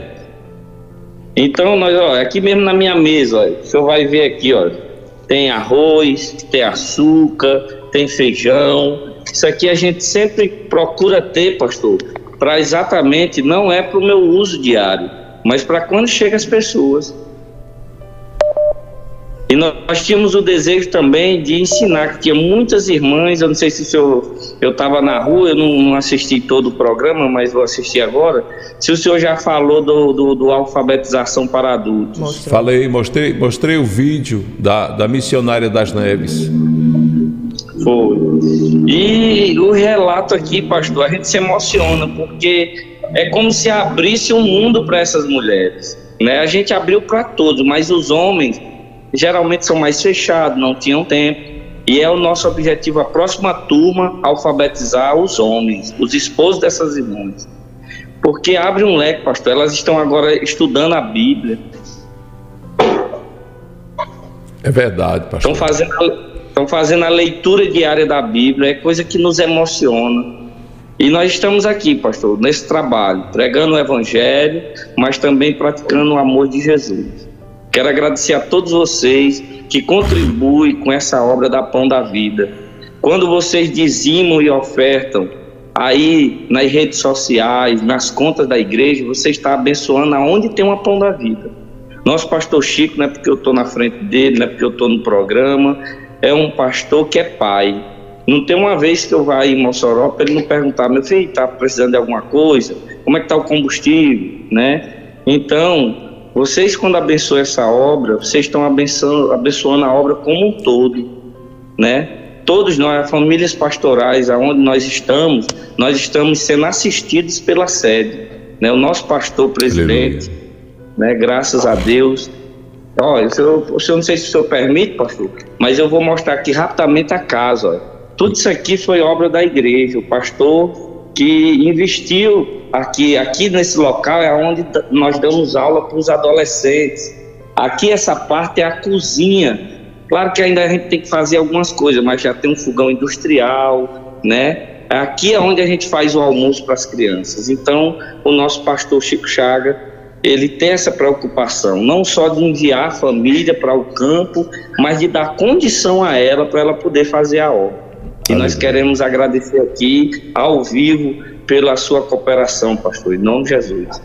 Pastora Amém. Cássia também quer dizer alguma coisa. Eita, meu pastor, a paz do Senhor, povo de Deus, um cheiro no olho, pastora Ângela. Deixa eu contar a benção, deixa eu contar a benção. Dia 11, pastor, sábado, tá bem pertinho. Vai ser a maior ação da Pão da Vida em governador, é. para estourar a boca do balão e fazer raiva pro cão. Vamos estar tá aqui, meu pastor, distribuindo roupas, vamos estar aqui distribuindo cesta básica, 70 cesta básica. Glória. Vamos estar aqui é, com atendimento psicológico, em outras áreas também, com as crianças dentro da igreja, fazendo uma ação de, de, de evangelismo com elas, com os pais, com as mães. Vai ser lindo. Vamos registrar tudo e se quiser botar no, no ao vivo aí a gente no continuar, vai ser uma benção, meu pastor. Vamos botar, vamos botar. Vamos botar gente pode combinar, pastor, para o sábado, dia 11, se eu fazer uma chamada, a gente mostra como vai estar aqui a casa pastoral. Eu creio aqui pela fé que vai ter no mínimo umas 100 pessoas trabalhando, no mínimo. Em nome de Jesus. Pastor, deixa eu só dizer para o senhor como a atitude de fé, ela move. Nós saímos ontem uma hora e meia de caminhada. Pastor, nós arrecadamos 75 quilos de feijão. Ô, oh, Glória! Ô, oh, Glória! É feijão. E quase 200 quilos de açúcar em uma hora e meia. Ô, oh, Glória! Oh, glória! Eita, Glória! Pastor Isaías, porque é, foi a, a, a, ajuda que aqui na Nave de Governador nós entramos em várias frentes, né? Entramos na frente de evangelismo é, com as crianças, entramos na, na frente de ação social e aí a gente é, tem três projetos hoje dando assistência. O senhor falou aí, o Amor em Ação, da pastora Ângela, o projeto Moriá, da missionária Aparecida Borges, e também tem o projeto da irmã Naquele, Fé em Ação, que é ela que está vindo sábado, junto com o Moriá, para comemorar um ano de projeto Moriá na Pão da Vida em Governador e o Dia da Mulher. Então, todas as irmãs da nossa igreja vão receber uma cesta básica é, em comemoração ao Dia da Mulher e vamos estar fazendo aqui toda essa ação social de médico, corte de cabelo, distribuição de roupa de cesta básica, comemorando um ano do Projeto Moriá, porque a mão do Senhor está sobre a nossa igreja, está sobre essa cidade. Toda palavra contrária é lançada sobre essa cidade, que tem isso, que tem aquilo, uma cidade é, com peso espiritual por conta de macumba, isso não prevalece é, onde tem uma igreja do Senhor. Então nós estamos aqui diariamente orando, aplicando a palavra, fazendo como o pastor Cristiano já citou, nós, o que é que tem sido nosso exemplo, o que é que tem sido nosso estímulo? A sede. Né? Nós temos que nos espelhar em quem nos agrega, em quem nos pode acrescentar em alguma coisa, e a gente tem seguido, meu pastor. Aquilo que a gente vê que o senhor faz na sede, a gente tenta trazer no formato que dê para fazer aqui, é. governador. Então, vai ser uma mega ação social, coisa linda, para a honra e para a glória do Senhor. Aleluia. Não é para engrandecimento de placa de igreja nem do homem, não, mas para Jesus, aquele que Aleluia. nos É verdade. Parabéns, viu? Parabéns pelo trabalho. Deus abençoe vocês.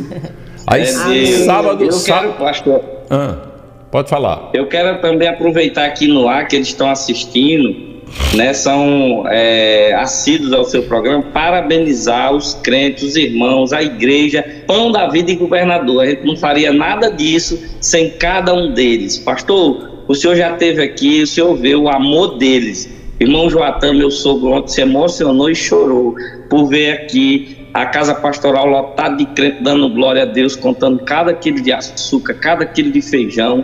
Então, essa obra só é feita graças a essa igreja que abraçou e que entende o evangelho. Isso, a gente foi, a nossa cota para completar as cestas. Foi o que a, a irmã naquela disse, pastora, tá faltando só arroz e açúcar para integrar as cestas, as 70 cestas. Foi, bora, vamos botar o povo para trabalhar. E eu deram os irmãos tudo felizes, falando com os comerciantes aqui, com o povo. Teve irmãs que saiu no bairro, a pé, com a sacola arrecadando, porque não tinha, às vezes, como tirar do próprio bolso. Mas procurou os vizinhos, procurou os parentes e chegou junto aqui com 15 quilos, 20 quilos para a glória do Senhor. Tá vendo aí como a união faz a força? Desse jeito. É, a união, e a união com Jesus faz a força e faz a obra. Aleluia. É verdade, pastor. Para- Verdade. parabéns, viu, para vocês, parabéns, Amém. glória a Deus, Deus continue abençoando. E eu- o ministério aqui em Mossoró, a sede, vai mandar uma ajudinha para essas cestas aí, viu? Eita, Ô, glória. Vamos, glória, nós amém. vamos mandar umas linguiças aí para botar no meio dessa, dessas É cestas aí. sim. Vixe, Jesus. Glória a Deus. Eu quero mandar um cheiro, pastor, para os telespectadores tudinho, os irmãos Pão da Vida à distância, pastora Cássia, pastor Cristiano, Igreja Pão da Vida em Governador, ora por vocês, É verdade. ama vocês, ama essa obra. Um cheiro no olho de vocês tudinho. Obrigado. Deus. Muito ajuda que a sede for dar, pode procurar a missionária Aparecida Borges aí, viu? Tá certo. Tá. Um abraço, pastores. Deus abençoe. Senhor também. Deus Amém. abençoe. Eita Glória a glória, isso é que é obra de Deus, rapaz. Deus é que- bom, né? Aí, meu irmão, você sabe que quem trabalha assim causa inveja, né? Alguém não quer fazer igual, existe, infelizmente eu tenho que falar porque é verdade. Existem os que não fazem e não quer deixar você fazer, só que ninguém impede o agir de Deus. Essa é a pão da vida, a igreja do amor. A igreja de Jesus Cristo. Marcos Antônio e Miriam cantando. Quem me vê assim cantando, e eles vão estar amanhã ao vivo no culto do lar. Quem me vê assim cantando Olha a voz da Miriam como é bonita. o tamanho da minha dor. Ela é irmã do Marco Antônio. Ela voltou para Jesus Quem me vê ontem. assim cantando não sabe quantos espinhos no caminho me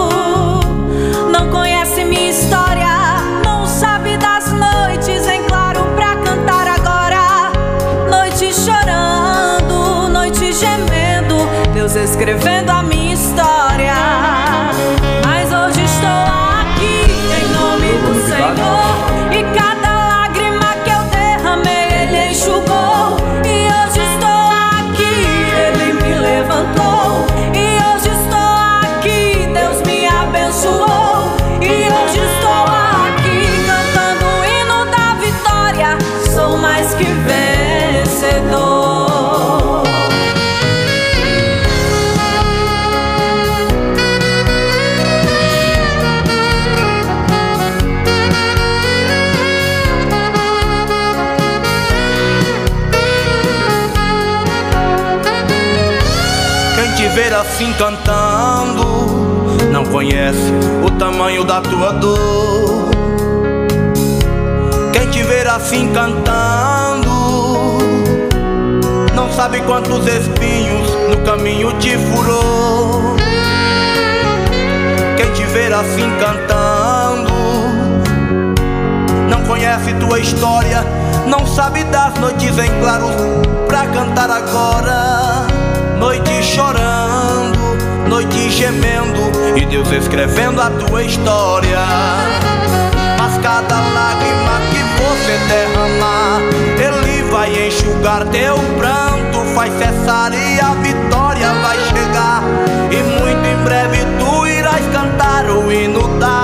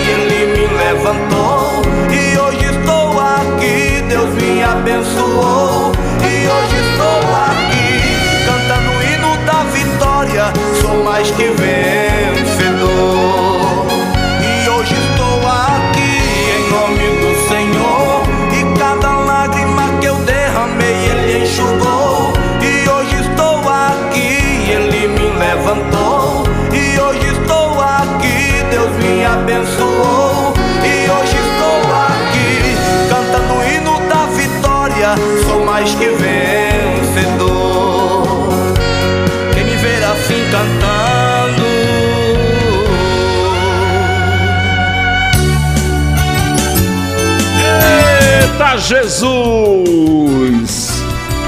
Que coisa linda, papai! Rádio Pão da Vida. 20, 24 horas com você. Rádio, rádio. Rádio Pão da Vida. Certa vez, Jesus falou que alguém tinha escolhido a melhor parte, né? Falou isso para uma mulher muito ocupada. Vocês conhecem a passagem? E hoje Jesus está falando para você aqui que você escolheu a melhor parte. Viu, Marco Antônio? Você escolheu a melhor parte. Você sabe qual é a melhor parte, meu irmão, minha irmã? A melhor parte é viver para Jesus. O apóstolo Paulo, ele, ele foi um homem assim muito usado por Deus para falar para nós. Em Gálatas 2:20 ele disse: Já não vivo eu, mas Cristo vive em mim. Certa vez, de tanto sofrer aflições, tantas perseguições, sabe o que foi que o apóstolo Paulo disse, Marco Antônio? Ele disse: Não me moleste, porque eu trago em mim as marcas do Senhor Jesus. Sabe o que, é que ele estava dizendo? Não adianta tentar me fazer sofrer, não, porque mais sofreu meu Deus, e o sofrimento dele está em mim. É forte isso, né? O apóstolo Paulo, ele sabia, meus irmãos. Ah, ele sabia. Ele dizia: por mais que eu sofra, por mais que eu padeça, ele, meu Deus, sofreu mais por mim. Já não me, já não me moleste, já não tente fazer, sabe, qualquer coisa para tentar abalar minha fé, porque vocês não vão conseguir, porque eu já não vivo mais. Cristo vive em mim. Essa palavra viva de esperança nos mantém firmes na presença do Senhor, meus irmãos. Meus irmãos, para você destruir um crente que tem chamado, meu irmão, você não consegue, não. Não consegue porque ele é sustentado pela mão poderosa daquele que sustenta o mundo. Ele é sustentado pela mão poderosa de Deus. Eu sei que estou falando aqui para pessoas que estão se sentindo cansadas, tristes, abatidas. Eu sei disso. Eu sei que talvez hoje você tenha chegado aqui dizendo assim: cheguei só aos pedaços. Cheguei hoje aqui meio à tristeza, cheguei hoje aqui meio, sabe, à falta de esperança. É ou não é? Fala a verdade, como é que você está hoje? Como é que tem sido os seus dias? Como é que tem sido? Porque tem dia que você amanhece animado e do nada bate aquela tristeza, aquela desesperança, aquela. Sabe, você pensa, meu Deus, eu, eu dormi bem, mas não acordei bem. Não se preocupe não, meu irmão. O crente ele sofre mais do que quem está no mundo. Você sabia disso? Quem está no mundo sofre por causa dos pecados. E o crente também sofre por causa dos pecados, mas não é os pecados que ele comete, não é preocupado com a família, preocupado com as pessoas, preocupado com as irmãs, com os irmãos, preocupado com a família, preocupado com quem está no caminho de Deus, com quem não está. O crente vive muito preocupado. Você sabe qual é a maior preocupação do crente? Deus, eu vou para o céu sozinho? Minha família, né? Aí Deus vai tirando as preocupações. Pronto, Deus tirou a preocupação de Marco Antônio no domingo depois do culto. Você sabe o que foi que eu senti naquele culto? Depois, quando você estiver ao vivo aqui, vamos falar sobre isso. Eu senti que você, Marco Antônio, como servo de Deus, sua mãe, uma mulher tão firme em Deus, veio com a sua irmã para o culto na esperança que ela aceitasse Jesus, que ela voltasse para Jesus. O culto terminou e você talvez tenha dito: é o quê? Não, não passei ainda não, mas vou passar. Viu? Você talvez tenha dito, é, não foi hoje. Aí termina o culto, depois terminou o culto, a menina aceitou Jesus, depois que o culto acabou. Então Deus, Marco Antônio, ele nunca chega atrasado, ele chega na hora certa. Né? Tinha que ser depois do culto, porque Deus tinha que me usar ali para renovar as promessas dele na vida dela. Ela veio pensando, fala comigo, Senhor. Para confirmar, pastor. Venha dizer aqui, venha, para o pessoal ouvir. Vem para cá, senta aqui. Daqui a pouco nós vamos lançar o CD do Marco Antônio aqui. Marco Antônio, Pai do Senhor. Pai do Senhor, meu pastor. E para confirmar, antes de sair de casa para o culto do domingo, é, eu tinha dito a ela que Deus iria falar com ela ali. Foi, ó.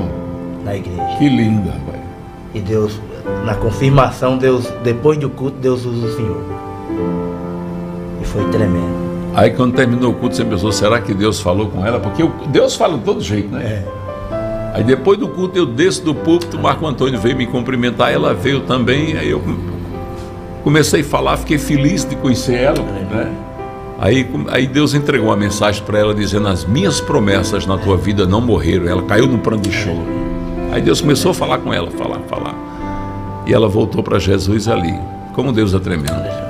E eu vou tomar um café lá em Serra do Mel, o velho Chico vai voltar com tudo. Porque a glória da segunda casa é maior que a da primeira, Marco Antônio. Marco Antônio, não adianta. Não adianta o inimigo querer destruir, porque Aleluia. Deus disse que as portas do inferno não vão prevalecer contra a igreja dele, né? É verdade. Daqui a pouco nós vamos apresentar aqui o CD do Marco Antônio, está pronto. Cadê, o, cadê os comentários? E nosso pedido é que você ajude o Marco Antônio comprando o CD do Marco Antônio. Vamos colocar o telefone dele aqui, você compra né, de qualquer lugar. Agora o CD dele, o valor é. é Irmã Terezinha assim que botou Deus é fiel, Marco Antônio. É, tá na Suíça. Você tem que entender, meus amados, que Deus, ele tem. Terezinha, eu vou botar você aqui de moderadora, viu? Não adianta fugir, não. Quem está botando aqui é Deus. olha. Você agora é moderadora, missionária da Pão da Vida, Terezinha. Não precisa se preocupar, você só modera o dia que você puder. Você não vai parar os seus afazeres, né, as suas obrigações, não. Mas no dia que você puder, você está aqui moderando, como essas irmãs amadas. Vou colocar você no grupo das moderadoras. Né? Tem várias irmãs que eu tenho, tenho que colocar a Fátima Curtis, colocar a Elis Regina, que não estão ainda. Eu acho tão bom porque elas conversam, oram juntos, né? E, e vou dizer uma coisa a você, porque Deus está mandando te dizer, dizer assim para você, olha, eu não fiz ainda 10% do que farei na tua vida. Deus está dizendo assim, eu estou só começando. Estou só te preparando, estou só te lapidando, para quando eu te exaltar perante nações, o teu coração não se ensoberbecer e não ser preciso colocar um espinho na carne. Deus está dizendo assim para você, Allah bacante, eles decante, arras. Deus está dizendo assim, filho, tenho trabalhado na tua vida e tu não tens compreendido o que às vezes acontece, mas é o meu lapidar, é o meu preparar. Deus está dizendo assim, Marco Antônio, para ti agora, neste momento.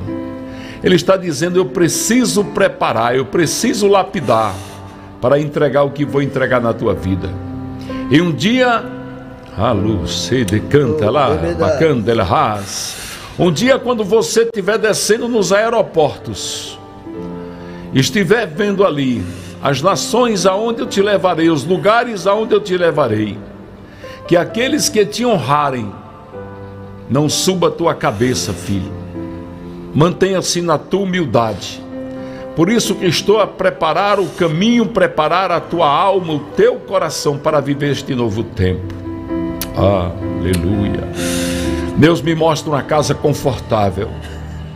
Deus me mostra teus olhos olhando e dizendo: É minha, Senhor. E Ele está dizendo: É, filho, eu estou te dando. Deus me mostra você conquistando aquilo que tu sonhas. Deus me mostra um lugar. Oh, lá, bacante lá, decante lá. Deus me mostra um lugar, Marco Antônio. Aleluia. Um lugar lindo. E há um rio correndo neste lugar. E tu olharás e dirás: Senhor, tu me deu? E ele diz: Sim, eu te dei. Um lugar para você criar aves, pássaros, animais. E cada um desses animais, dessas árvores, tudo aquilo que você vê, você tem que ver a glória de Deus na tua vida. Deus está te dando um coração de Davi. Lembra a solidão de Davi, filho? Tu conhece a minha palavra. Ah, pois a tua solidão é te preparando. Eu criei para ti uma caverna de adulão, assim diz o Senhor. Para que você na caverna de adulão não te esqueças de onde eu estou te tirando e aonde eu te colocarei. Deus está te dizendo assim: olha, lembra da mulher que eu coloquei na tua vida? Não te esqueces dela pois ela me foi preparada para ser colocada como tua auxiliadora, e é com ela que tu vais caminhar, porque ela tem pagado o preço para ficar do teu lado, ela tem compreendido a tua vida, e ela é tua auxiliadora, tua adjuntora. Lembra do teu filho, é meu presente em teus braços, é minha presença em tua vida. Prepara-te, filho, porque coisas grandes virão. E muitos terão orgulho só de dizer: Eu conheço ele.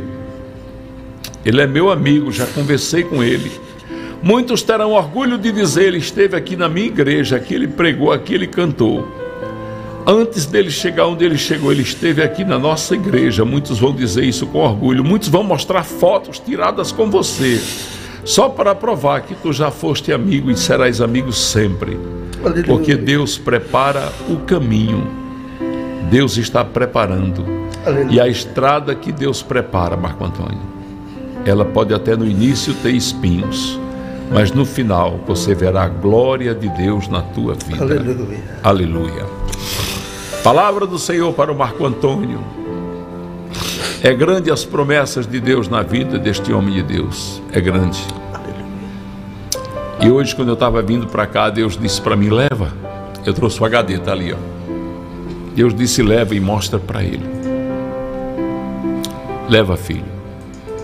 Eu falei: para que Deus? Deus disse: leva e mostra para ele. E tu vais entender. E eu disse: está certo, Senhor. E Deus me fez trazer para te mostrar aonde Ele te levou. Deus disse: mostra para Ele. E eu não sabia que era porque eu ia entregar essa palavra. E Deus ia fazer você lembrar que Ele te levou no Santo Sepulcro, de onde Ele foi sepultado e de onde Ele ressuscitou para viver e reinar para sempre. Mais um dia senti meu pecado pleno, sobre minha espada apressado fugir. Em Jesus respondi e abri o seguro Foi na cruz, foi na cruz, onde um dia ora me alegro em sua luz. Mais um dia sentiu grande vazio no seu coração. Pegaram o mestre, deitaram sobre a cruz, abriram seus braços, mas não viram sua luz. Juntaram seus pés, chamaram o carrasco e ele chegou. E ao lado do mestre se agachou. O martelo subiu, subiu, subiu. Sobre os pregos desceu, desceu, desceu. E bateu, bateu, bateu, bateu, bateu. Ergueram a cruz, lá estava pregado, do mundo à luz. Nenhum gemido, ele não abriu a sua boca, ele sequer soltou. Todos viram em seu rosto a marca da dor, o sangue de Jesus jorrando, batendo no chão. Ele olhou e viu em todos os homens, a homens, a ingratidão. Aleluia. Mas ele não se irou, ele pediu ao Pai perdão, e o Pai perdoou. Ele rendeu o seu espírito e está consumado. Aleluia. e chorou. Sua cabeça tombou, tombou, tombou. Sobre o peito caiu, caiu, caiu. E morreu, morreu, morreu, morreu, morreu. Tudo em silêncio. Aleluia. A Bíblia diz que nem as aves cantavam, nenhum som se ouvia. Quando tudo parecia estar errado, Maria olhou. Aleluia. A tumba estava vazia. Ela não se lembrou que era o terceiro dia. A tampa do túmulo estava caída. Meu mestre já tinha voltado à vida. Onde está o meu mestre? Gritava Maria, quem o escondeu.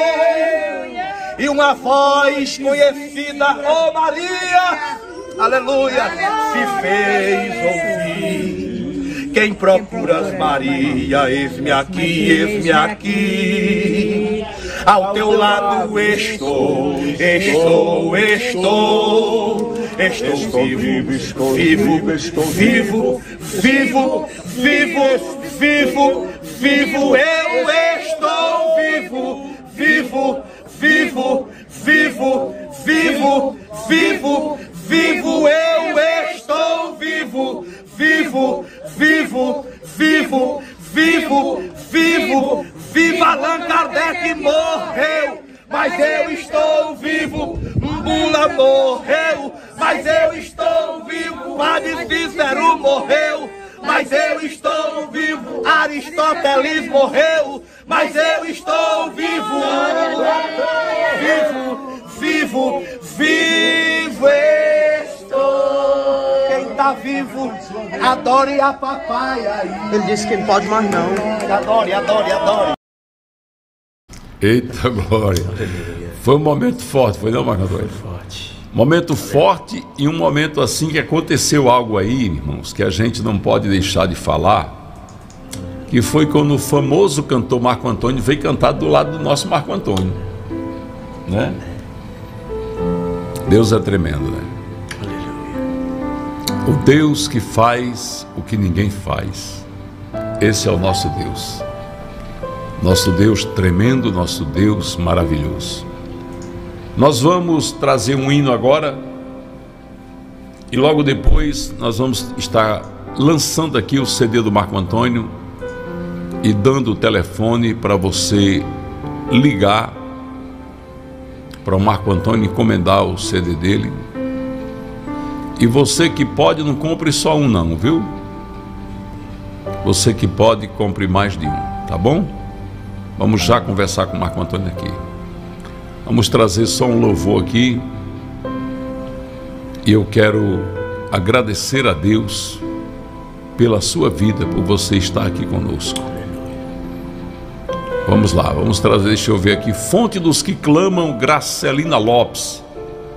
Vamos trazer Gracelina para cantar para a gente, a gente volta logo depois.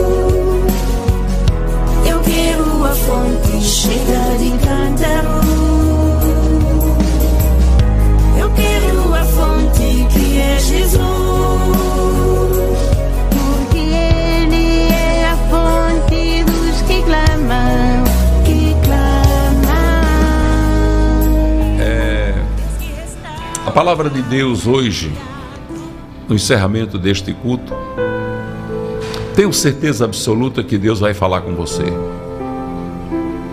Tenho certeza que Deus vai falar ao seu coração. Essa palavra veio no meu celular como versículo do dia, uma palavra muito forte, muito, muito forte. A palavra de hoje está em Filipenses capítulo 1. Filipenses capítulo 1, versículos 28, 29 e 30. Filipenses capítulo 1, versículos 28, 29 e 30. Olha o que diz a Santa Palavra. E que em nada estáis atemorizados pelos adversários, o que para eles é indício de perdição, mas para vós de salvação. E isto é da parte de Deus.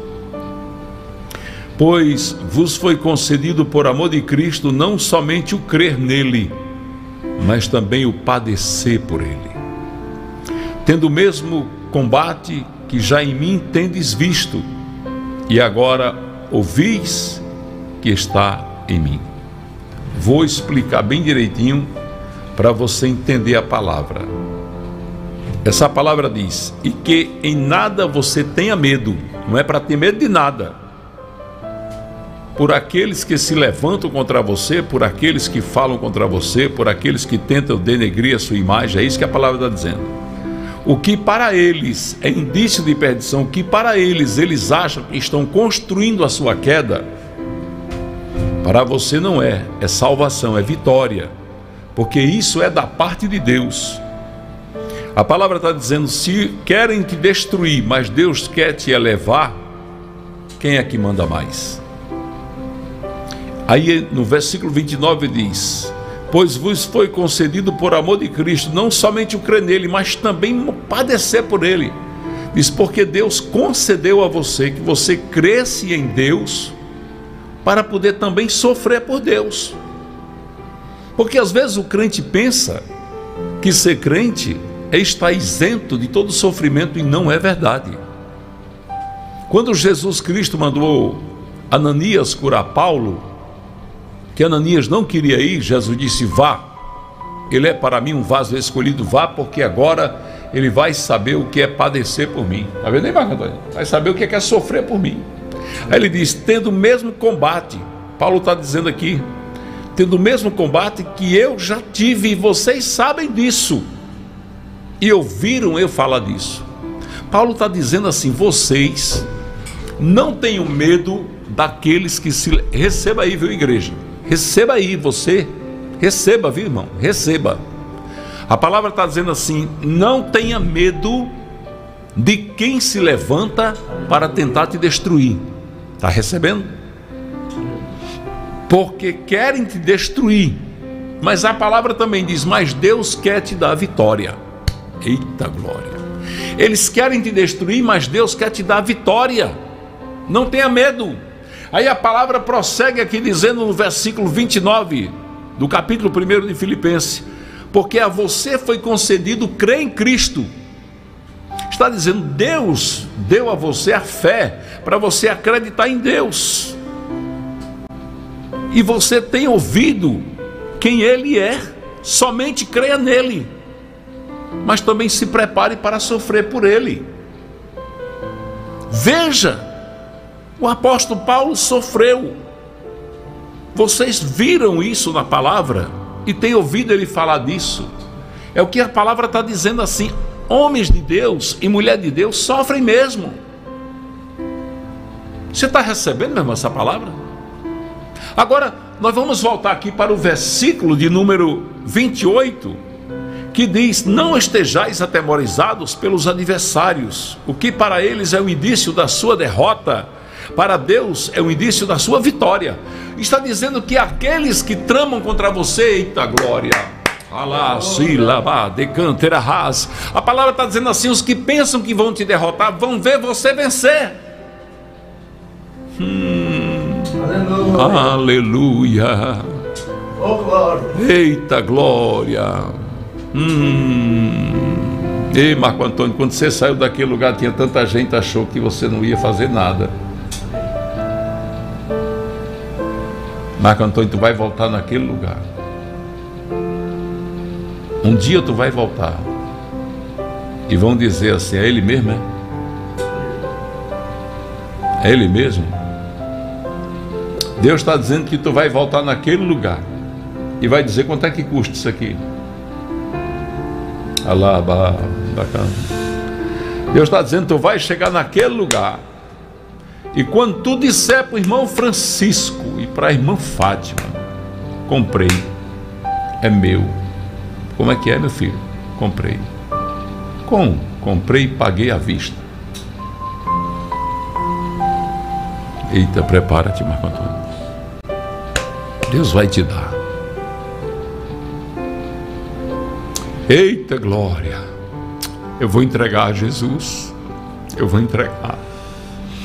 Deus está dizendo assim: filho, onde tu trabalhou alugado, sabendo que suava tanto e ganhava tão pouco, eu te porei com os pés sobre esta terra, mas a tua boca vai abrir e vai dizer: é minha, Deus me deu. Está entendendo, tá entendendo o mistério de Deus? Deus está dizendo para você aqui, olha. Deus falou assim para Natanael: Eu te vi debaixo do pé da figueira, e Deus está dizendo: Eu te vi debaixo do cajueiro, e te colocarei ali, naquele lugar, e aquela cidade vai saber que eu sou teu Deus, aquela cidade vai saber quem eu sou na tua vida. O Senhor está dizendo: Eu vi as lágrimas debaixo do cajueiro, eu vi a tristeza debaixo do cajueiro. Eu vi angústia no coração debaixo do cajueiro. Eu vi teu coração clamando e dizendo: Quando sairei desta terra? O Senhor diz assim: tu, tu dizias a minha felicidade não está neste lugar. Mas o Senhor diz: Eu te levo de volta. Alá, labá, labá, decantera ras. O Senhor diz: Eu te levo de volta e te coloco lá. Eu te coloco lá para ser honrado, para que vejam que eu sou Deus, para que vejam que tu não perdeste um minuto sequer. Um minuto sequer da tua adoração foi perdida. Está tudo aqui no meu trono de glória. E tu vais voltar ali. E para que tu saibas que é Deus, não demorará, não tardará. Eita glória! E Deus está dizendo assim: olha, tu vias passar. Eita! Tu vias passar aquelas caminhonetes e tu olhavas e achavas tão linda, pois eu te darei melhor. Eu te darei melhor. Tu vais ter para abençoar toda a tua casa, toda a tua família. Filho, receba, porque eu nunca me esqueci de ti, eu sempre estive. Aleluia. Deus me mostra uma terra linda. Deus me mostra dentro dessa terra máquinas trabalhando. Deus me mostra teus olhos cheios de lágrimas, dizendo: Deus, como tu és grande. Deus me mostra teus filhos correndo naquela terra, banhando no meio daquela água. Eita Deus, eu estou vendo, papai. Eu estou vendo, papai, confirmo, Deus, a visão. E pelos olhos da fé, eu quero estar lá para contemplar o que o Senhor fará na vida do teu servo e da tua serva Lucinha, para a glória do teu nome. A humilhação Deus transforma em exaltação. A vergonha Deus transforma em dupla honra. Todos aqueles que desejaram que você caísse, receba. Todos aqueles que desejaram o teu fracasso, vai recebendo, vai guardando aí no peito. Deus está dizendo: Eis que eu te exaltarei e te porei num lugar de destaque onde todos têm que ver. Todos têm que ver, porque desejaram ver as tuas lágrimas, porque se alegraram, se alegraram no teu pranto. Ah, mas também vão se alegrar, sabendo que eu sou Deus na tua vida. Deus está dizendo: não tomarás emprestado, mas terás para doar. Deus está dizendo: vai transbordar os teus lagares o Senhor fala esta tarde ao teu coração, ao teu coração, ao coração do Marco Antônio, vai transbordar, vai correr assim pelas bordas, olha. Eu estou vendo assim derramando, olha. Você sabe aquela fonte que não para de jorrar? Eita glória! Tá lembrando do azeite na casa da viúva que quanto mais vasilha enchia, mais sobrava azeite, tá lembrando? Ela dizendo: "Traga mais, mamãe, as vasilhas acabou" já está tudo cheio, porque tudo de Deus é recalcado, é sacudido, é transbordante. Olá, suilá, balecante, larras. Tudo que Deus faz é assim, é grande, é grande, é grande o que Deus vai fazer na tua vida. O Senhor te chama hoje para viver um novo tempo, um novo tempo de bonança um novo tempo de coração aberto, coração generoso, coração caridoso, coração piedoso, coração perdoador. Deus está dizendo: arrancarei do teu peito toda mágoa, toda dor, arrancarei da tua alma aquilo que ainda te leva às lágrimas, as lembranças que ainda te faz chorar. Vou arrancar tudo. Eita glória! Deus está dizendo: estou entrando para limpar tudo. O Senhor está dizendo assim: vou limpar tudo, não vai ficar nada. E tu não vai sentir falta, não, porque no lugar das lembranças amargas terá, eita glória, louvores de glórias a Deus pelo que Ele vai fazer e continuará fazendo e continuará derramando, porque incessantes serão as bênçãos de Deus na tua vida. Eita Jesus!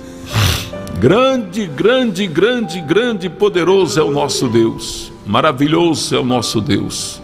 Ele está dizendo assim: prepara-te porque vem coisa grande aí, vem renovo aí, Vem novidade aí, novidade de vida. Prepara-te, porque vão te ligar. Eita, tu vai escutar dizer assim: "Ei, me diga uma coisa, é verdade isso que eu estou escutando?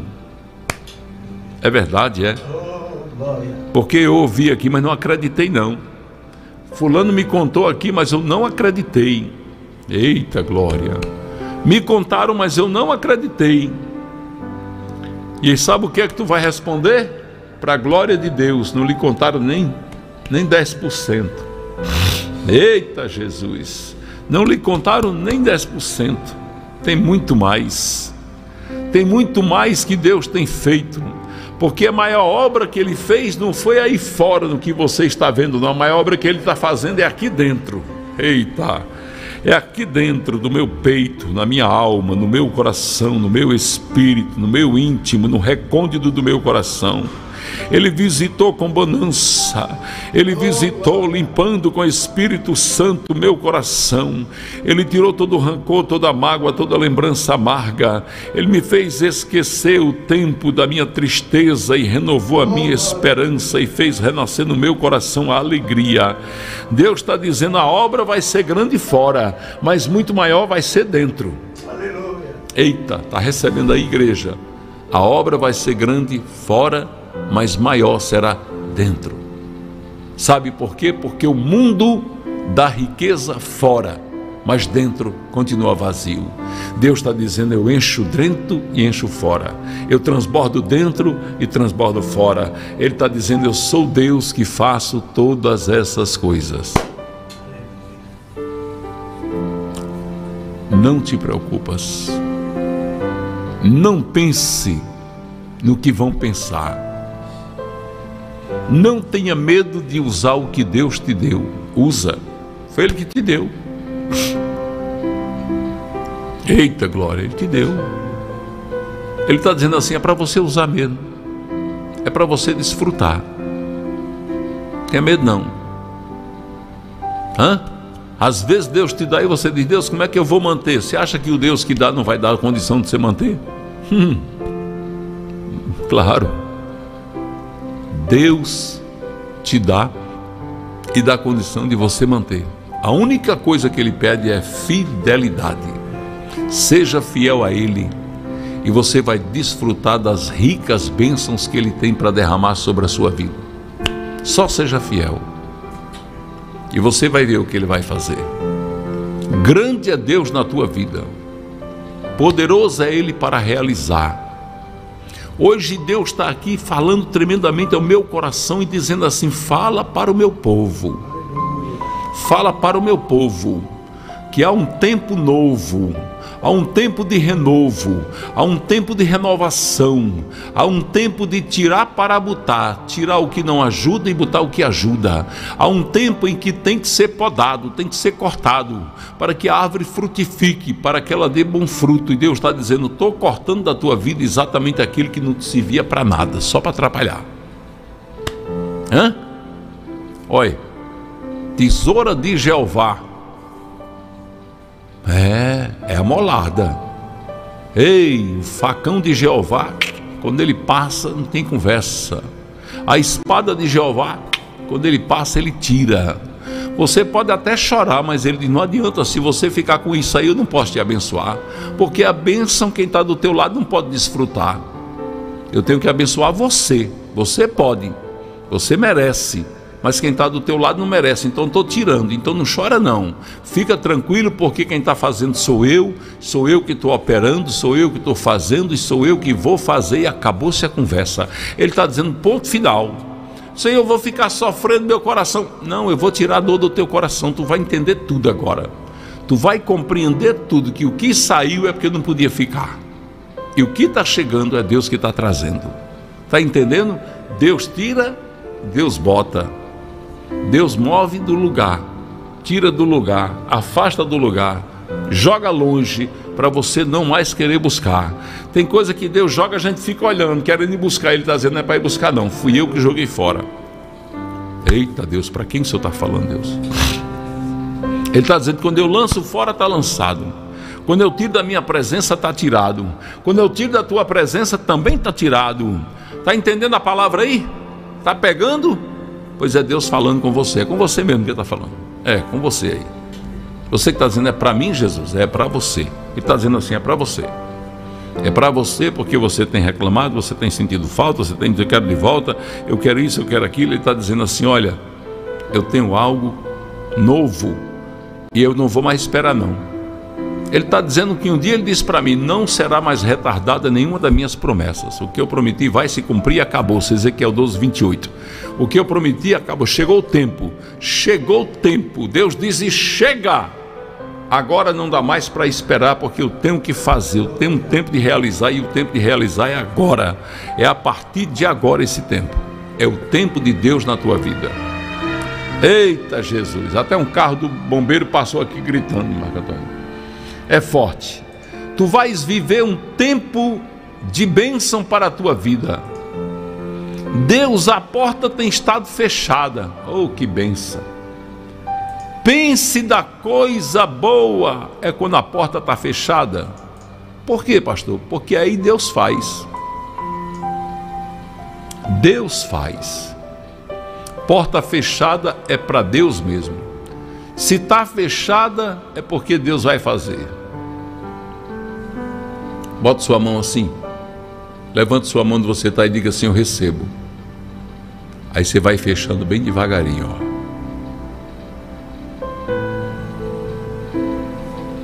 Eu seguro essa bênção, Deus, ela é minha. Essa palavra é para mim.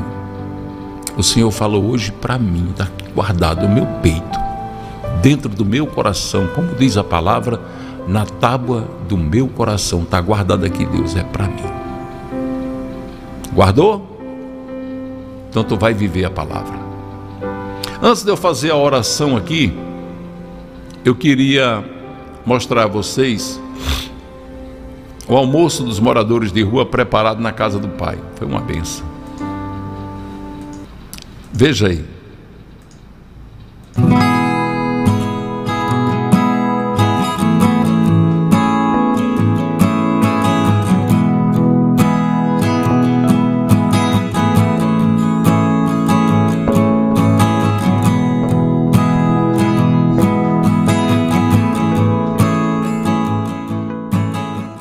Muito bem, amados queridos, nós estamos aqui no refeitório da Casa do Pai. Para você que não conhece a Casa do Pai, é um centro terapêutico, uma clínica de reabilitação da Igreja Pão da Vida.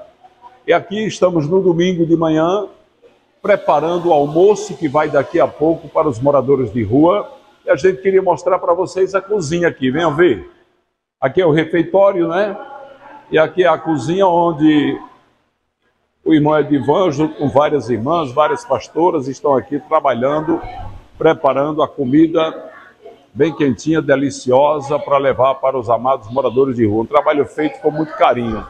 Esse trabalho aqui é um trabalho, a Casa do Pai não está em funcionamento, mas está nos ajustes finais para receber 60 moradores de rua. Em nome de Jesus, nós vamos levá-los de volta à sociedade, sabendo quem é Deus, porque vão fazer um curso de teologia com oito profissões nesse é um ano, internamente é um ano, onde eles vão estar sendo preparados para ser ressocializados e reintegrados à sociedade. Se Deus quiser, em nome de Jesus. Essa obra é mantida com os dízimos e ofertas de pessoas que amam esse ministério, da nossa igreja e de outras igrejas, pessoas que nos abençoam dividindo o seu dízimo, mandando a sua oferta, sendo patrocinador desta obra. E esta obra é mostrada para o mundo inteiro através da rádio e TV Pão da Vida, que é da, é, da nossa igreja. Deixo aqui o meu abraço, o meu carinho a você e o meu muito obrigado a você que é semeador desta obra. Deus abençoe em nome de Jesus.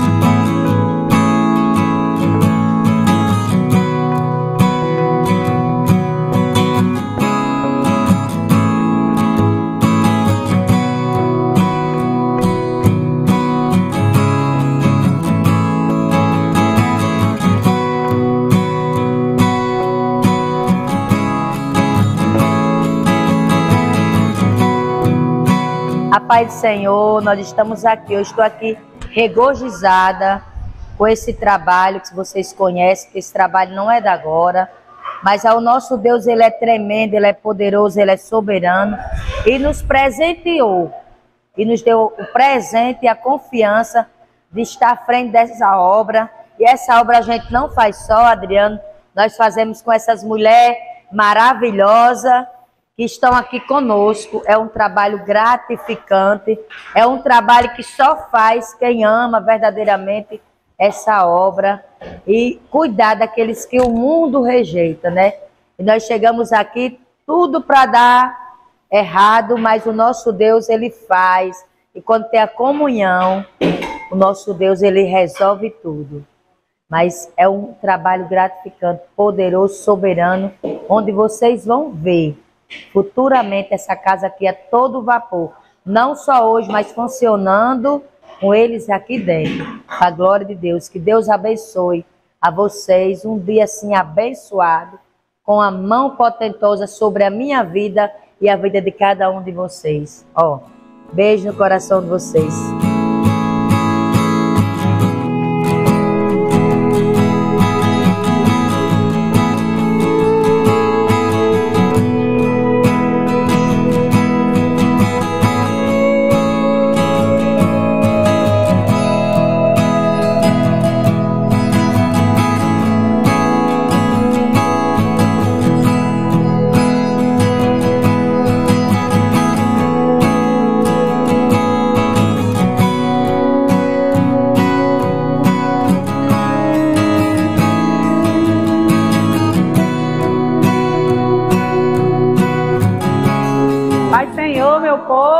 Também estou aqui com essa equipe maravilhosa, né? Aqui, ó, na casa do Pai.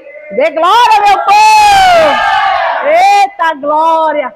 Fazendo o almoço, meu irmão, tá uma delícia, um cheiro hum, imenso, né? Graças a Deus, eu sou grata ao Senhor por essa oportunidade que Ele está me dando, me dando, eu creio que todas as irmãs aqui felizes a gente está fazendo a obra do, do, Senhor, né, irmãos? Isso é muito importante.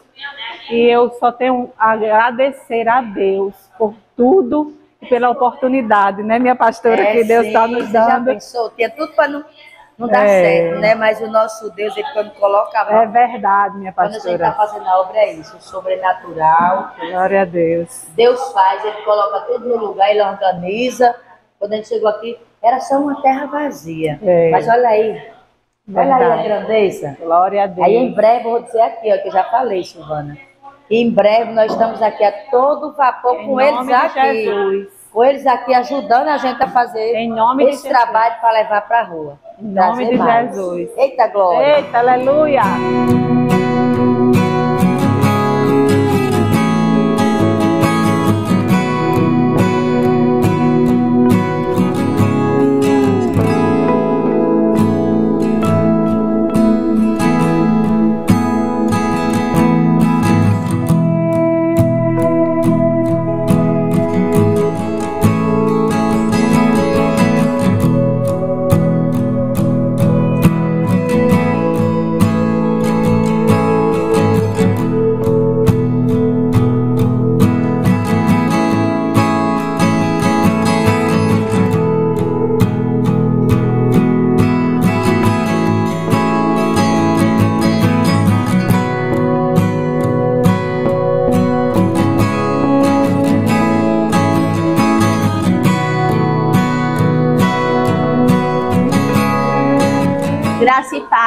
De manhã nós estamos aqui com muita alegria, preparando o almoço dos moradores de rua. É com muita gratidão que nós estamos aqui presente nesse dia de hoje, que o Senhor preparou para essa obra, que ela só tenha a crescer. Nós estamos muito felizes de estarmos aqui contribuindo para a obra do Senhor. A gente só tem que expressar só gratidão e agradecer a todos vocês que contribuem, que está conosco de forma contribuindo, porque quando vocês contribuem, vocês estão fazendo um trabalho como nós estamos aqui, manual, mas a gente precisa de vocês. Então que vocês ajudem a gente manter essa obra em nome de Jesus.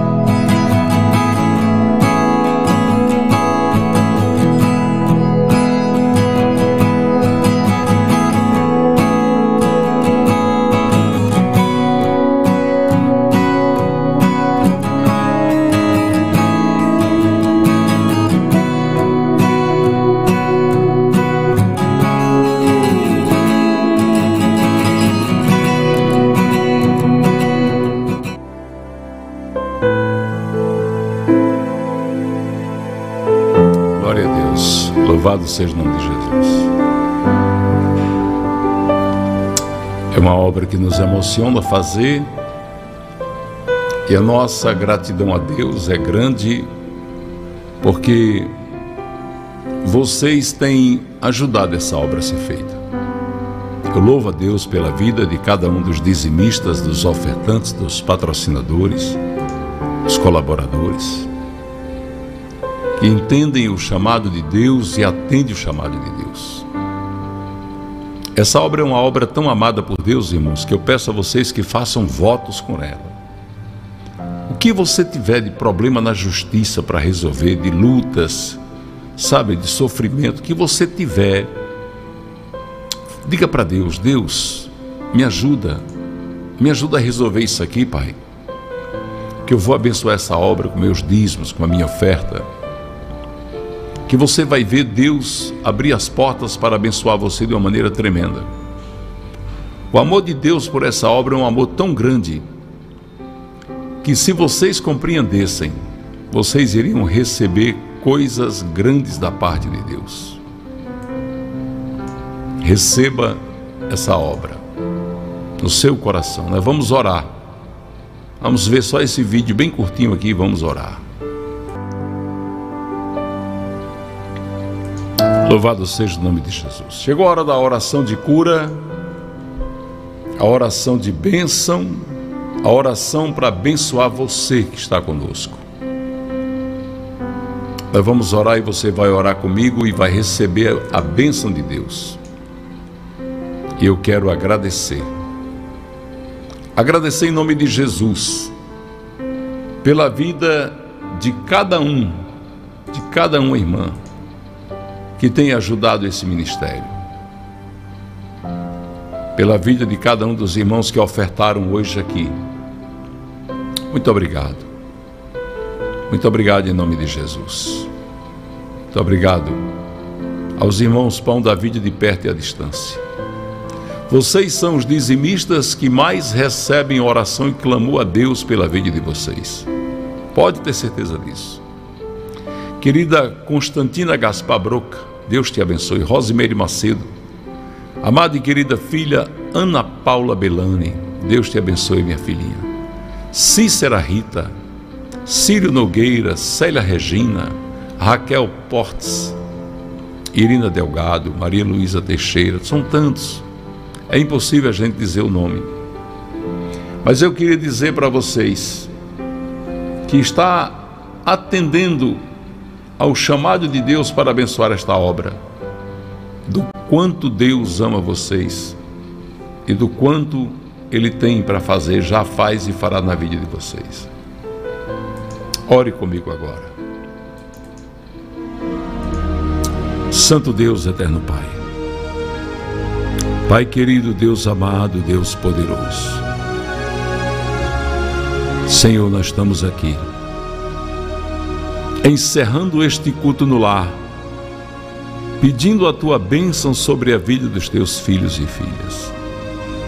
Senhor, hoje eu quero pedir a multiplicação pedir a cura, pedir a repreensão, a repreensão de todo mal contra o teu povo, pedir que os seus guardas os proteja de todo perigo, de toda maldade, de toda enfermidade. Pedir que o Senhor abençoe todos que são pão da vida à distância, à distância ou de perto. Que o Senhor abençoe cada vovozinho, cada vovozinha, cada irmãzinha, cada irmãzinho que tem aqui nos ajudado, tem orado, Amo esse ministério porque vê, Senhor, teu coração nele. Abençoa, Deus. Multiplica, Deus. Multiplica na vida dos teus filhos e filhas as bênçãos sem medidas para a glória do teu santo nome.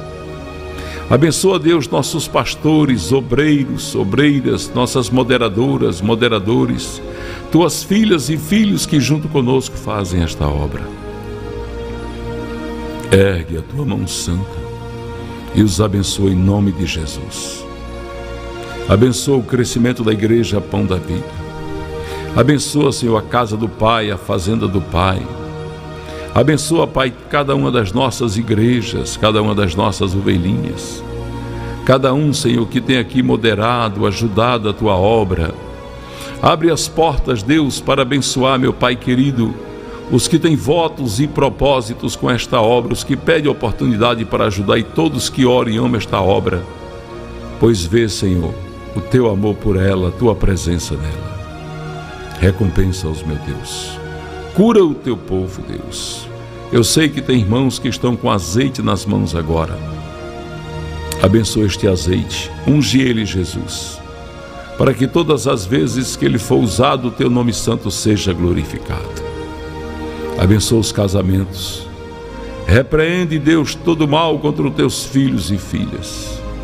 Dá a todos o amor que é teu, a salvação que é tua, a vida que é tua.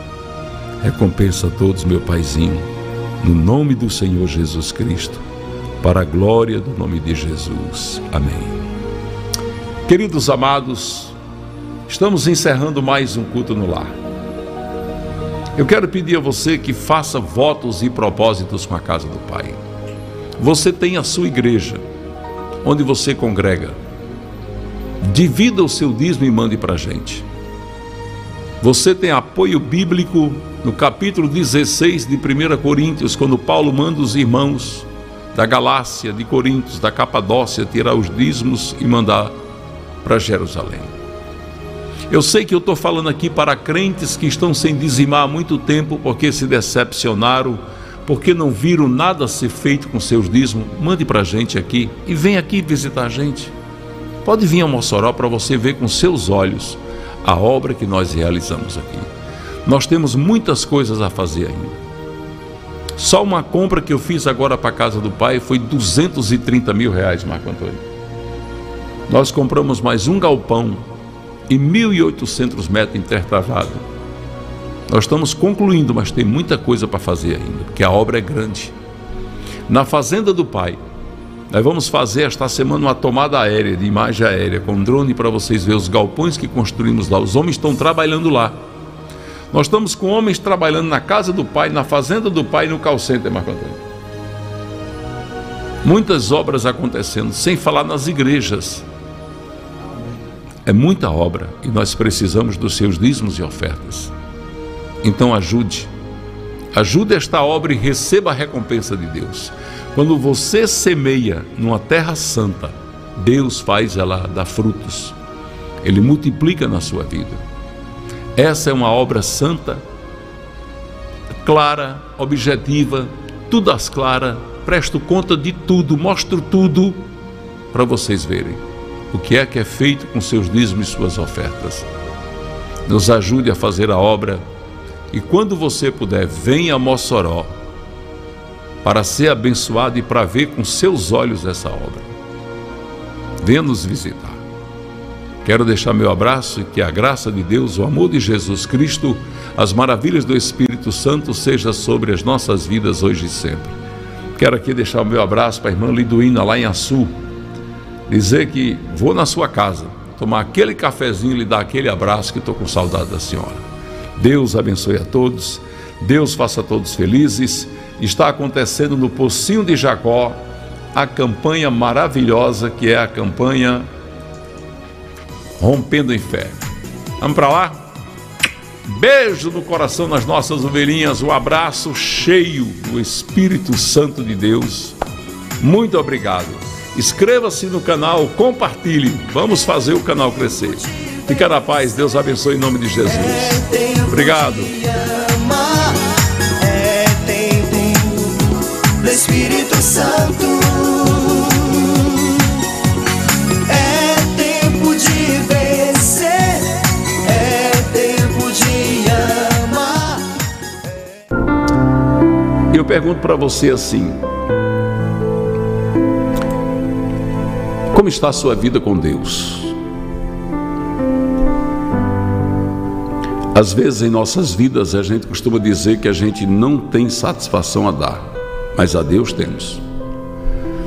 Temos satisfação a dar a Deus porque não vivemos sem Ele, né, Maria Luísa Teixeira Santos? Não vivemos sem Deus, não tem como. Nós precisamos entender que o Deus que nós servimos, Ele é o nosso Pai, é o nosso melhor amigo, e Ele é que tem todo o poder para mandar no céu, na terra, embaixo da terra, em toda parte. A palavra de hoje está em Mateus capítulo 25, versículo 23, falando sobre o princípio da, da semeadura, que é uma lei de Deus. Eu vou ler aqui direto na Bíblia, diz: Disse-lhes o seu Senhor, muito bem, servo bom e fiel. Sobre o pouco foste fiel, sobre o muito te colocarei. Entra no gozo do teu Senhor. Aqui estava falando sobre a parábola dos talentos, falando sobre o Deus que é galardoador, que é recompensador, o Deus que abençoa, o Deus que recompensa, o Deus que não deixa passar nada em branco. Ninguém faz para Deus para ficar sem receber a recompensa. Ninguém. Nós vivemos num mundo, meus irmãos, que as pessoas precisam muito de Deus. E os canais usados por Deus para atingir o coração dessas pessoas somos nós, todos nós aqui. Analise aqui este culto no lar. Às vezes você assiste, ah, é mais um canal, é mais uma live, mas é muito mais do que isso.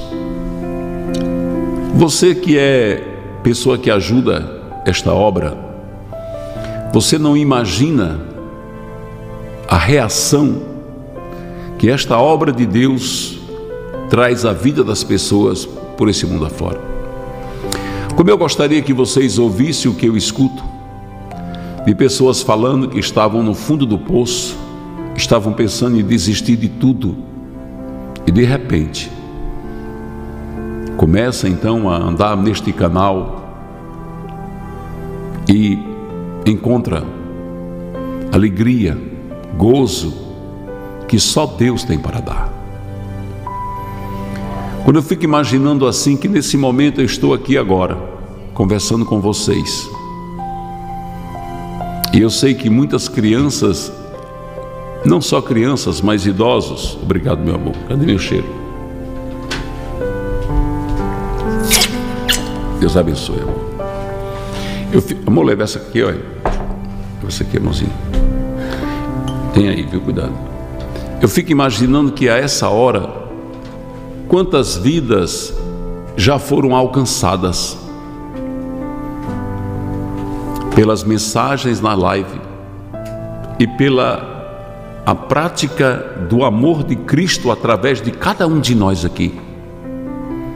Você sabia que a essa hora já teve pessoas que tomou café, tomou leite, pessoas que já ouviram a palavra, se alimentaram espiritualmente, fisicamente, porque você é dizimista dessa obra, é ofertante dessa obra, é patrocinador desta obra.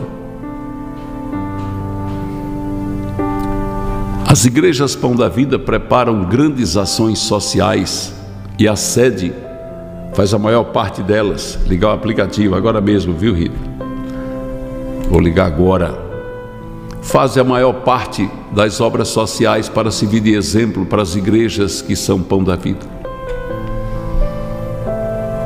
Aí essa obra ela se estende abrindo igrejas, pregando a palavra, socorrendo moradores de rua, moradores que chegam descalços com solado dos pés tudo queimado do asfalto quente, da calçada quente, recebem calçados novos, recebe alimentação, recebe roupas, recebe produtos de higiene pessoal, recebe medicamentos e a casa do Pai ficando pronta.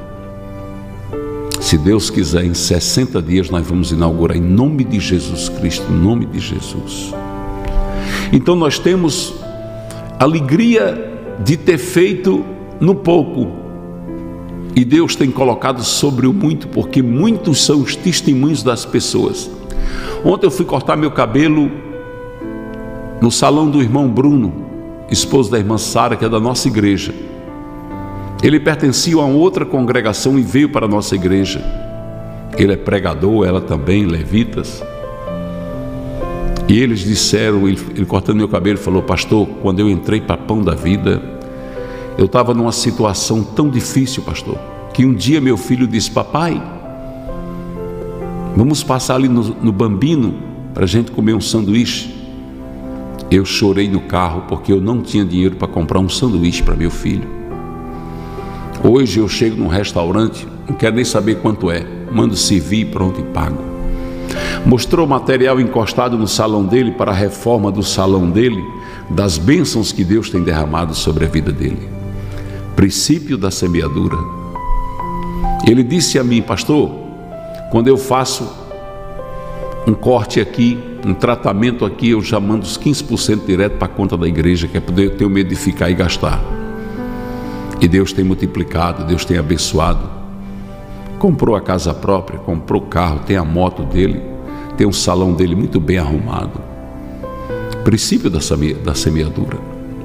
Hoje eu quero falar sobre fidelidade com Deus, para que você receba a fidelidade dele. O Senhor diz: Buscar-me-eis e me achareis quando me buscares de todo o teu coração. Eu não posso exigir aquilo que eu não tenho.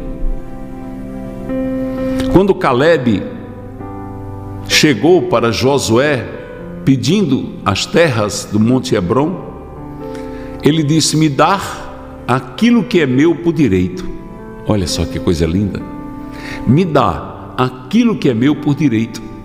Ele disse: Eu tenho direito nessa bênção, porque eu lutei para isso. A minha espada não descansou na bainha há 40 anos, então me dá o que me é de direito. E Josué entregou aquelas terras para ele. E ele foi batalhar e construiu e formou ali a sua família. É muito simples você chegar para Deus e dizer assim: Deus, eu tenho sido fiel com o Senhor. Eu quero que o Senhor me recompense. O Senhor sabe o que eu estou passando. Lembra de Ezequias? Cercado por Senaqueribe e seu exército, quando ele disse: Senhor, eu tenho sido fiel, Senhor. Esse homem está ameaçando a nós. Ele destruiu outros reinos, mas não eram reinos que tinham um Deus verdadeiro como o Senhor. E o que foi que Deus disse? Fique tranquilo. Ele não mexeu com você, ele mexeu comigo. Deus estava dizendo assim: Você é fiel. Quem mexe com os meus fiéis, mexe comigo. E Deus mandou um anjo que, numa única noite, matou 185 mil soldados assírios. E pegou aquele homem que era o rei mais poderoso da terra, fez ele voltar para sua terra e lá morrer assassinado por seus próprios filhos na presença da imagem do Deus falso que ele adorava. Nós podemos ver a fidelidade de José no mercado escravo egípcio, na casa de Potifar, na prisão, mas era fiel e Deus o colocou sobre o muito, ele foi o governador do Egito. Quando você é fiel a Deus, Deus é fiel a você. Eu não posso exigir aquilo que não é meu por direito. Mas quando a palavra de Deus diz: Foste fiel no pouco, eu te colocarei sobre o muito. Há uma promessa aqui. Há uma promessa de Deus, uma promessa de um Deus fiel que não falha. Aqui nessa palavra, Deus está dizendo assim: se você for fiel, mesmo no pouco, eu te darei em abundância. Você receberá muito para poder também crescer e ser abençoado. Princípio da semeadura, princípio de obediência à palavra, princípio de ser fiel para receber fidelidade. Amados irmãos, não entenda esta mensagem como sendo uma mensagem de um pastor querendo mais dinheiro para a igreja, não. Entenda essa mensagem como sendo a palavra de Deus, a palavra de Deus dizendo: Foste fiel no pouco, e eu te colocarei sobre o muito. A palavra de um Deus que não falha, a palavra de um Deus que tem compromisso, que nos quer campeão, nos quer fazer vencedores. Mas você só pode colocar a coroa ou entregar o troféu do vencedor quando ele chegar próximo ao pódio. Então você recebe o prêmio e fica no pódio o lugar dos vencedores. Muitas pessoas fazem votos com Deus e não cumprem. E Deus disse assim: Eu destruo as obras da sua mão. É muito simples seguir a palavra de Deus como está escrita. Porque se você estiver aqui no foco de Jesus Cristo, olhando para Ele, e começar a ouvir as vozes que vêm de fora, e você der atenção às vozes que vêm de fora, você perde a comunhão, a aproximação, a intimidade com Deus. O casal que estava no Éden, Eva e Adão, saíram do Éden, expulsos por Deus, por quê? Porque ouviram a voz do diabo que chegou para iludi-los. Existem muitas pessoas iludindo o povo de Deus, e muitos dão ouvido a eles. Agora mesmo, há poucos dias, eu conversei com um irmão, um irmão que é um pequeno empresário, hoje ele voltou a ser muito pequeno, mas ele chegou na Pão da Vida, começou a abençoar a Pão da Vida e cresceu. Deus abençoou ele tremendamente, ele chegou arrasado, porque pessoas que tinham trabalhado com ele tinham montado atividades no mesmo ramo e ele chegou desesperado, irmão, não se preocupe não. Não se preocupe, porque o nosso Deus é Deus que sustenta no deserto. Nosso Deus é Deus que cuida nos montes, nos vales, nos desertos, Ele é Deus de toda a terra. E ele começou a marchar com a igreja e muito prestativo, muito trabalhador, ajudando a igreja, e foi crescendo, e foi crescendo, e foi multiplicando, e foi multiplicando. De repente, esse homem esfria na fé, se distancia, para de ajudar a obra deixa de ser dizimista, ofertante, se ausenta mais dos cultos, foi se afastando, foi esfriando, e você sabe que tição fora da fogueira se apaga. Encontro com ele agora semana passada e ele disse para mim: É, a coisa não está fácil. Eu acho que fui eu que errei, pastor. Pastor, se eu voltar, Deus volta a ser o que ele era comigo? Eu disse: Com certeza. O nosso Deus é misericordioso e a misericórdia dele dura para sempre. Volte a ser o crente que você era antes. Porque se Deus está te abençoando, quando você se afasta, quando você deixa de cumprir os propósitos, os preceitos dele, é claro que ele vai tirar a bênção. Você já pensou se Deus continuasse lhe abençoando, você indo caminhando agora, saiu de Deus, está caminhando para o diabo e Deus te abençoando, você ia achar que estava tudo certo. Então ele tira a bênção dele para que você sofra e saiba que viver sem ele é muito difícil. E esse irmão disse a verdade, pastor. E ele voltou. Está com a gente. E ele me disse ontem que já tinha pego um grande contrato. Pastor, como Deus é fiel, digo é. Onde há um arrependimento, onde há um retorno, foi que o pai fez com o filho pródigo? Ali, aquele pai representa Deus e o filho pródigo representa aqueles que se afastaram de Deus. O filho voltou para a casa do pai e chegou dizendo: Me deixe pelo menos ser teu empregado, porque aonde eu estava eu me alimentava da comida dos porcos, porque lá tratava os empregados muito mal, maltratado. Ele estava falando do diabo, simboliza o diabo que trata aqueles que vão para o lado dele muito mal. No princípio, oferece ali uma gracinha depois. E o pai disse: Não, filho amado. Colocou um anel no dedo dele, colocou sandálias reais, mandou matar o novilho mais cevado e deu uma festa o anel simbolizando a autoridade de Deus sobre a vida dele, as sandálias dizendo você está apoiado no verdadeiro amor, as novas vestimentas agora você está revestido do poder de Deus. Viva o retorno. Você estava perdido e foi achado. Receba essa palavra no seu coração e seja fiel a esse Deus que não falha. Não escute as vozes do mundo.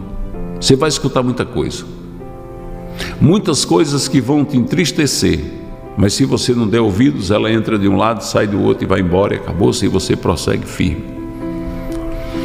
Me diga uma coisa: adianta alguém dizer que eu não sou filho? Ah, você não é filho de Deus? Não adianta.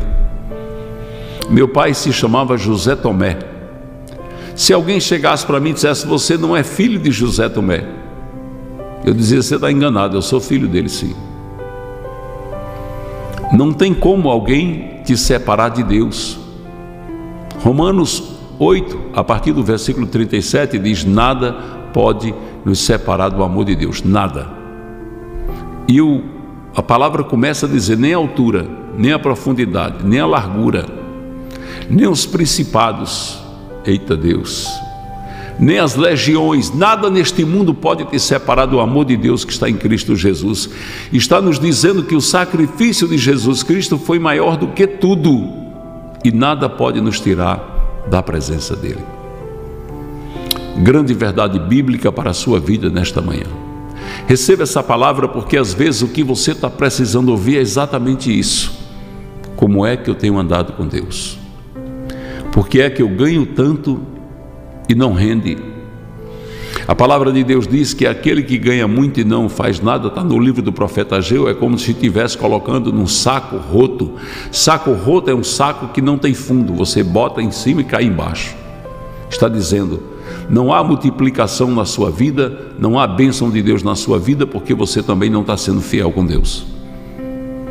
Isso aqui é um princípio da semeadura.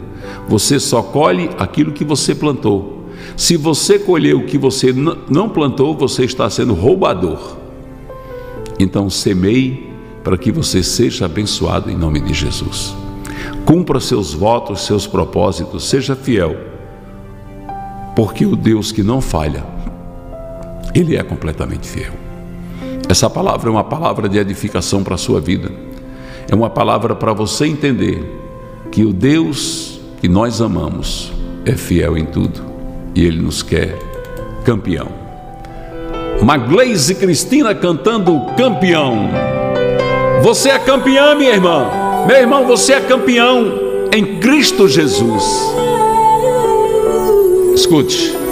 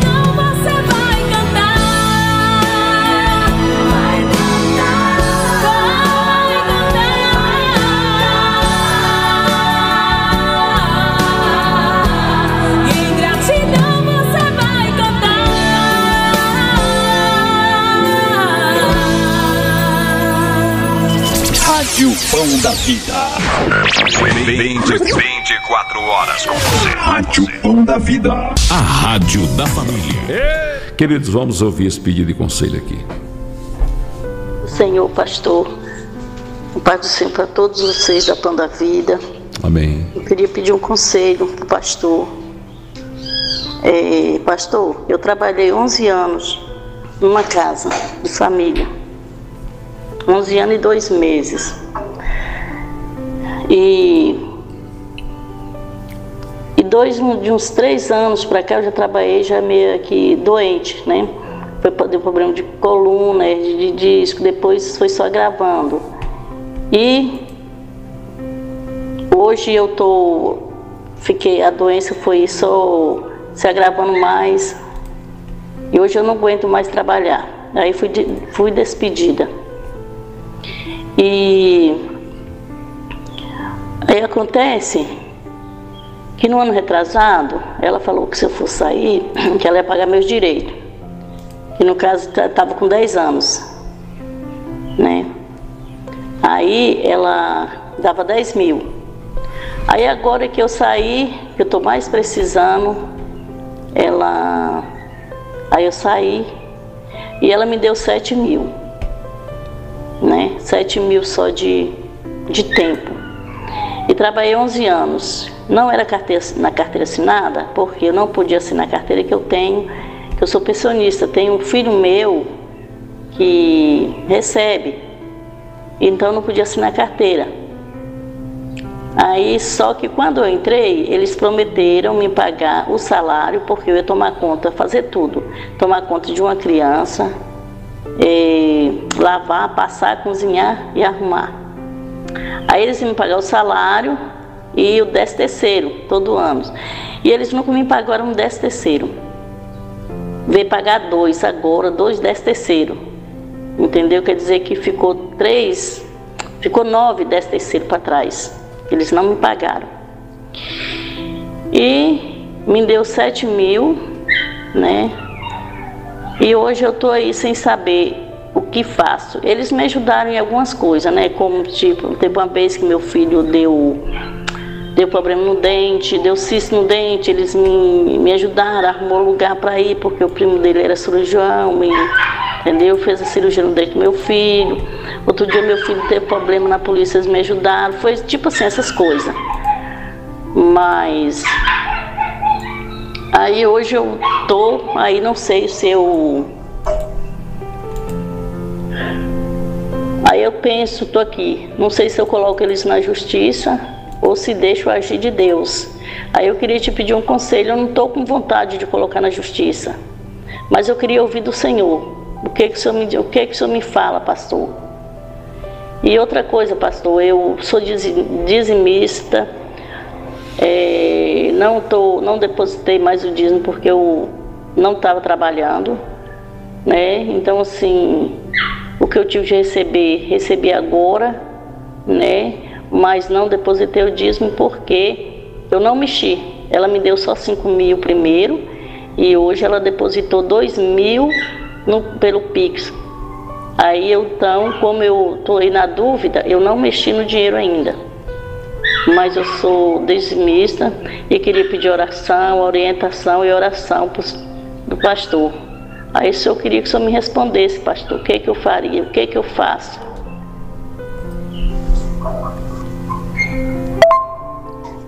Aí, pastor, quando eu entrei, foi em 2011, entendeu? Foi é, 18 de setembro de 2011.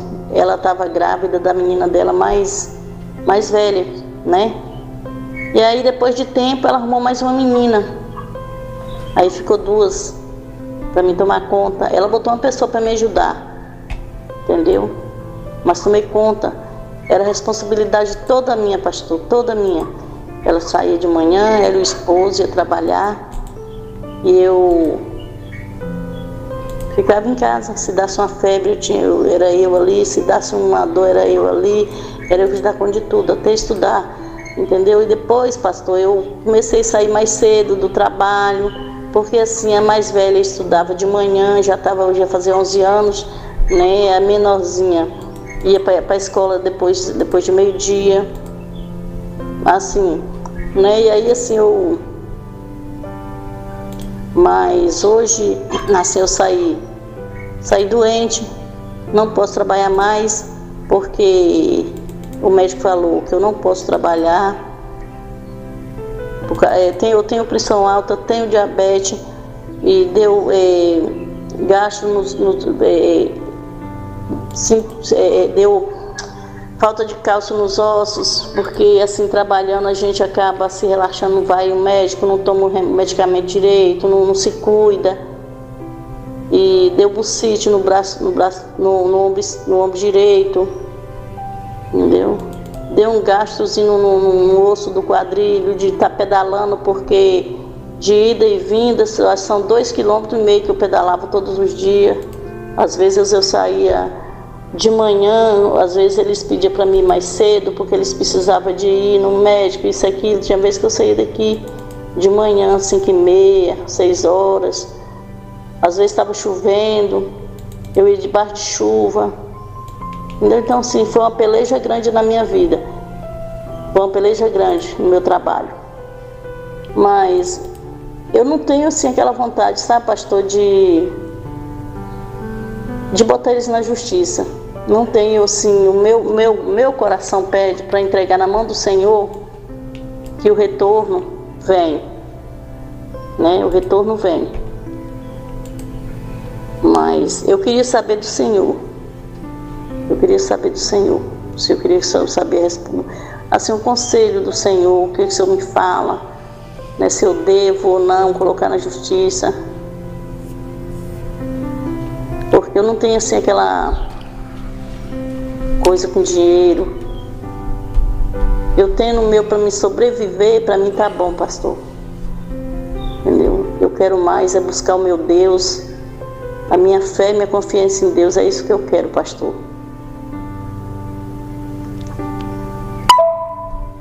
Muito bem, minha amada irmã. Eu vou contar um exemplo aqui eu não aconselho você colocar na justiça. Eu aconselho você ter uma conversa franca com essas pessoas. Eles sabem, eles sabem que essa quantidade que deram a você é pouca. Eles sabem. Se você colocar na justiça, isso aí vai passar dos 50 mil reais. Que eles vão pagar FGTS, né? Décimo terceiro, férias, os direitos que todo trabalhador tem. Mas como você foi uma pessoa muito próxima, que cuidou dos filhos, que né, eu sendo você sentava e dizia: sejam justos comigo, me ajudem. Porque agora mesmo aconteceu algo com a mãe de Adriana Carina. A mãe dela não é crente ainda. A mãe de Adriana Carina precisou fazer uma cirurgia. E a igreja ia ajudar. A igreja ajudou, mas ajudou muito pouco. A igreja ia ajudar na cirurgia dela. Sabe o que aconteceu? Os patrões dela, de anos atrás, de anos atrás, pagaram a cirurgia para ela. Pagaram a cirurgia para ela. Ou seja, quando você bota alguém na justiça, você rompe completamente os laços. Estão rompidos. A pessoa, quando ela passa por um processo desse, dificilmente ela vai lhe socorrer se você precisar. Você tem o direito, não deixa de ter, o direito você tem. Mas se você sentasse com essas pessoas e dissesse: Olha, veja a minha situação, eu só tenho esse, esse benefício, né? Me ajude. Ou até combinar com eles e dizer: fique me dando tanto por mês durante um tempo aí, um, sei lá, uns cinco anos, seis anos, me ajudando, mas é melhor do que fazer isso, porque os laços de amizade entre vocês são muito fortes. E uma vez você colocando na justiça, você rompe esses laços para sempre. E ela reconhece, né, pastor? Você tem o direito. Eu quero deixar bem claro, você tem o direito. Mas nem tudo que a gente tem direito a gente deve fazer. Você vê que ela reconhece, né, pastor, que eles não tinham, por exemplo, obrigação de ajudar em momentos que ela precisou, a respeito do filho, né? Então ela reconhece o quê? que não- nesse relacionamento não era só pra, patrão e empregado. Existia uma amizade, claro, né? Porque da mesma forma que você diz, todo, todo funcionário tem os seus direitos, ok, ele está recebendo pelo que ele está trabalhando, aí você olha o outro lado também. Então o patrão só precisa pagar o que ele deve ao seu funcionário e nada mais disso. Então ela reconhece que havia um além, né? Um fora parte daquele comprometimento de pagar o serviço, né, que ela oferecia. E a verdade é que quando você tem alguém que está na sua casa, cuidando não só da sua casa, mas especialmente que você entrega os seus filhos, gera um, um laço afetivo muito grande. Você passa é, a confiança, né? Que, que você tem naquela pessoa e você se sente feliz por poder contar com essa pessoa. Veja que você falou que é, a partir do momento que você foi cuidar da outra criança, ela colocou outra pessoa para te ajudar. Mas era você quem permanecia ali, né, em quem ela confiava. Então tem muito esse lado também. E eu, eu, eu o pastor falando, e eu já havia pensado nisso, que o meu sentimento era: chega para eles e conversa com eles, né? Me ajude. Não é nem no sentido de me ajude você se humilhando, porque você tem o direito, mas é no sentido de compreenda o meu lado, né? Porque Eu- eu- existe, esse, existe realmente essa, esse sentimento que você tem para com eles e eles vão sentir isso, não tem Eu como. sempre aconselhei meus filhos, e hoje aconselho minhas ovelhinhas, que eu tenho como filhos também, a não destruir as pontes por onde passa. Por onde você passar, deixe as pontes construídas, porque você pode precisar voltar. Ontem, um morador de rua foi lá na, na- veio aqui na porta da rádio, né? E ele chegou para pedir comida e eu eu ia saindo, voltei para falar com ele. E ele olhou para mim com o rosto tão cansado. O rosto dele estava muito cansado, assim. Aquela pessoa que você vê que está em pé porque precisa estar em pé. Olhou para mim e disse: Pastor, que Deus continue abençoando o Senhor. O Senhor não sabe o quanto é importante essa comida aqui. Pastor, muitas vezes eu venho no domingo aqui. Só Deus sabe quais não tenho força para chegar até aqui. Sabe quantos anos ele tem? 32 anos. Jovem, moreno. E eu fiquei olhando para ele e disse: Meu irmão, que Deus abençoe os irmãos que são dizimistas e ofertantes desta obra. Porque esse trabalho só é realizado porque Deus tem movido corações. Eu não disse a ele porque não precisa dizer, mas para vocês terem ideia, nós fizemos agora, domingo passado, o almoço na casa do pai.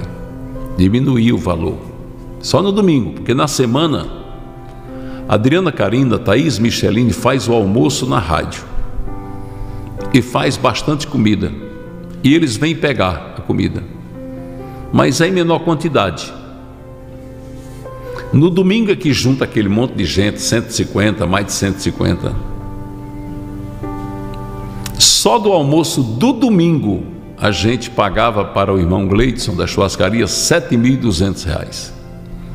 Porque são cento, e isso quando não pedia mais, porque são 150 quentinhas a 12 reais. Quer ver? Olha, 150 vezes. Então dá, dá 600 quentinhas, 600 ao mês, são 150 por semana, vezes 12. São 150 com 150, 300, na quinzena 600. 600 vezes 12. 7.200. Aí, às vezes ligava, passa mais 20, passa mais 30, não deu. Então, ia para mais. Ah, o que é que acontece? Pastor, e essa quentinha? Não, a quentinha estava no preço ótimo. A pastora Jossa Neto fez as compras para fazer as quentinhas domingo passado. E ela disse: amor, a diferença é muito pouca. Porque vocês sabem, vocês são mãe de família, pai de família, vocês sabem que comida está caro. Está caro. E ele faz a 12 reais a quentinha que lá ele vende a 20. Porque ele faz a quentinha daquela garrafinha de água. Sabe quanto está uma garrafinha de água daquela mineral? A pastora comprou agora de 85 centavos. Uma. Então ele fazia quentinha por 11 reais. Que dava garrafa de água gelada. É. E nós estamos fazendo na casa do Pai e estamos felizes porque de qualquer maneira economiza e sempre sobra de um almoço para o almoço seguinte. Pastor, por que, que o senhor está falando isso? Eu estou falando isso para você saber a importância que tem você dar de comer a esses homens essas mulheres. Meus irmãos, não é fácil. Eu venho aqui para o culto no lar. Hoje eu tomei café da manhã, era mais ou menos sete e meia, oito horas. Comi dois ovos fritos, botei um pãozinho com café. Antes eu tinha comido uns pedacinhos de mamão, porque eu sempre gosto de comer uma frutinha primeiro, seja qual for. Mas já estou aqui com a barriga roncando de fome. São onze e meia. Aí você bota aqui, vamos botar oito horas. Nove, dez, onze. Em três horas e meia eu já estou com fome aqui. Aí você imagina esses moradores de rua, eles ficam do sábado para o domingo. Sábado, meio-dia, o comércio de Mossoró fecha. Aí eles ficam a tarde do sábado, domingo, até 11 horas, 11 e pouco, quando a gente chega com a comida. Nós estamos pensando em oferecer a eles também um café da manhã. Você imagina como fica a barriga desse povo? Água para beber é a água da praça. A torneira pegando fogo a água. Aqui em Mossoró, a água que vem da companhia de água é água termal. Mossoró é terra de água termal. O poço é poço profundo, a água vem fervendo que dá para você fazer café. Então eles pegam a água, botam ali num, numa garrafa e deixam esfriando. Eles já sempre uma garrafa esfriando para eles poderem tomar. Além disso, essa água de Mossoró é uma água que tem muito calcário. Se você botar ela numa garrafa, com dois, três dias você vê aquele, parece assim uns pedaços de gesso, de cal dentro da garrafa. Aquilo tudo vai para os rins. Muitas pessoas em Mossoró fizeram transplante de rins, faz muita hemodiálise porque bebem água da caerne. Porque um garrafão de água da boa aqui, um garrafão de água de 20 litros está custando 8 reais. E a gente dá água mineral gelada de primeira qualidade. Eu estou falando isso aqui para que você não pare de ajudar esta obra. Só para esclarecer aqui, pastor, que o irmão Renato colocou aqui é 20 reais. Aqui também é, irmão Renato, é porque o irmão Gleitz aqui faz a 12 Ele é da reais. nossa igreja, então ele fazia a 12 reais. É uma forma dele ele- ajudar também. Ele fazia 10, depois ele disse, pastor, aumenta mais dois que não está dando. Porque você bota carne, bota linguiça, bota o feijão, bota o arroz, bota o macarrão, bota a verdura, bota o cuscuz. Realmente fica barato por esse valor. E a irmã colocou aqui é dois reais a água. Aqui também, né? Porque quando a gente compra em fardo nesses atacadão, né? Aí sai nesse preço, como se fosse de É, revenda. porque a gente compra no, no atacadão, né? Aí eu queria só mostrar para você, não é para te sensibilizar, é para você ver quem são as pessoas que você ajuda com seus dízimos e ofertas. Escute isso aqui. Esse rapaz, ele me chamou muita atenção. Aqui foi uma entrega de panetone no final da tarde. A gente deu o almoço e foi dar panetone à tarde da irmã Gessiane e do irmão Márcio, lá da GIM Doces e Salgados. Quero mandar um grande abraço para ela, para a equipe dela que nos acompanha lá. Deus abençoe este casal maravilhoso, meu Deus. Olha aqui, presta atenção. Organiza aí. Aí tá. Eu sou Chico Chagas, né? É, Chagas de. Tem, vai ter comer agora. Como é seu nome? Deógenes. Como? Deógenes. Quantos anos você tem? 25. Seu Chico Chagas, eu tô passando mal de fome. Vai comer agora. Me Você está vendo ele dizendo: Eu estou passando mal de fome. Né? Ele disse: Eu estou passando mal de fome. E é uma verdade. É uma verdade que é como eu estou dizendo a vocês. A dor da fome ela é insuportável. Então você que participa desta obra, você tem ajudado essas pessoas que a igreja atende a qualquer hora, qualquer dia que a igreja se marca presente na vida delas. Pessoas que estão jogadas nas ruas, não tem um quarto como você tem, não tem uma cama como você tem, não tem um chuveiro como você tem, elas estão jogadas nas ruas. Nós construímos, fizemos um, um trailer para eles tomarem banho. Nós estamos agora pensando em mandar reformar esse trailer todinho, trocar as laterais, de, de, botar de ACM. É onde eles tomam banho, tem um salão de beleza onde eles cortam cabelo.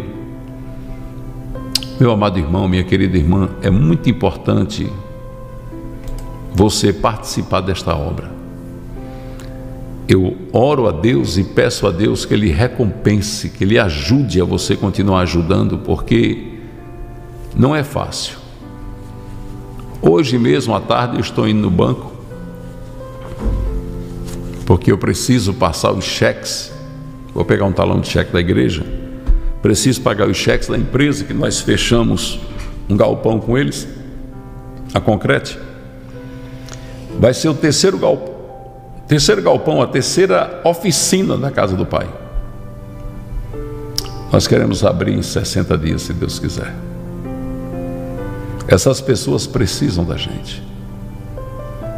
Eu fico com dó, você não fica não? Eu fico. Eu fico com dó.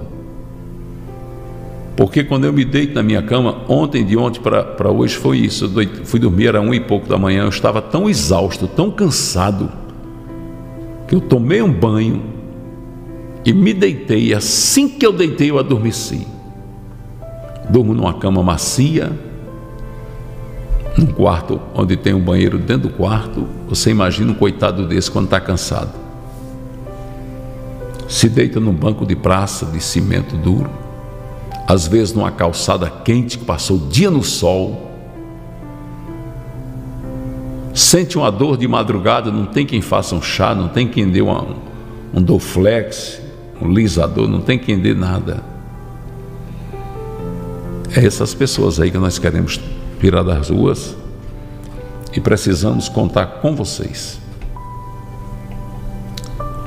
Você está numa obra, uma obra santa, uma obra abençoada por Deus, uma obra que tem. Eu estou mostrando a vocês quem está na rua, mas tem vários que a gente já tirou da rua, vários que a igreja montou oficina, ajudou, montou negócio, estão tocando a vida. Tem vários. Né?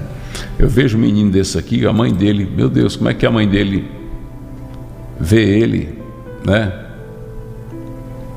Tantos bichinhos aí, tão novinho, tão assim, tão desprezado, a cabecinha cheia de fiapo de, de, de capim, tá vendo? Olha?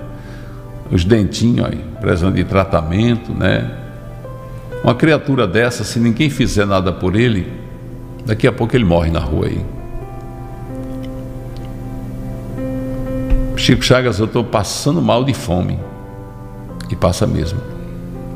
Passa mal de fome. Se a dor do seu irmão não te sensibiliza, peça a Deus sensibilidade do Espírito Santo. Está precisando, porque nós temos que ter dó dessas pessoas. O mundo está muito cruel, o povo está muito malvado, o povo está muito esquisito, o povo está muito desumano, o povo está, sabe? Eu estou dizendo a vocês que nós fazemos isso, mas eu já vi morador de rua chegar lá em casa todo machucado, chega aqui na rádio todo machucado. Chegou um dia desse com os dedinhos aqui, ó, descascado assim, arrancou a pele o cara pisou com a bota, ele estava com a mãozinha assim no batente da caixa econômica, com a outra mãozinha estendida, o cara pisou com a bota e rodou a bota em cima do. Escapelou os pés dele, que arrancou a pele dos dedos.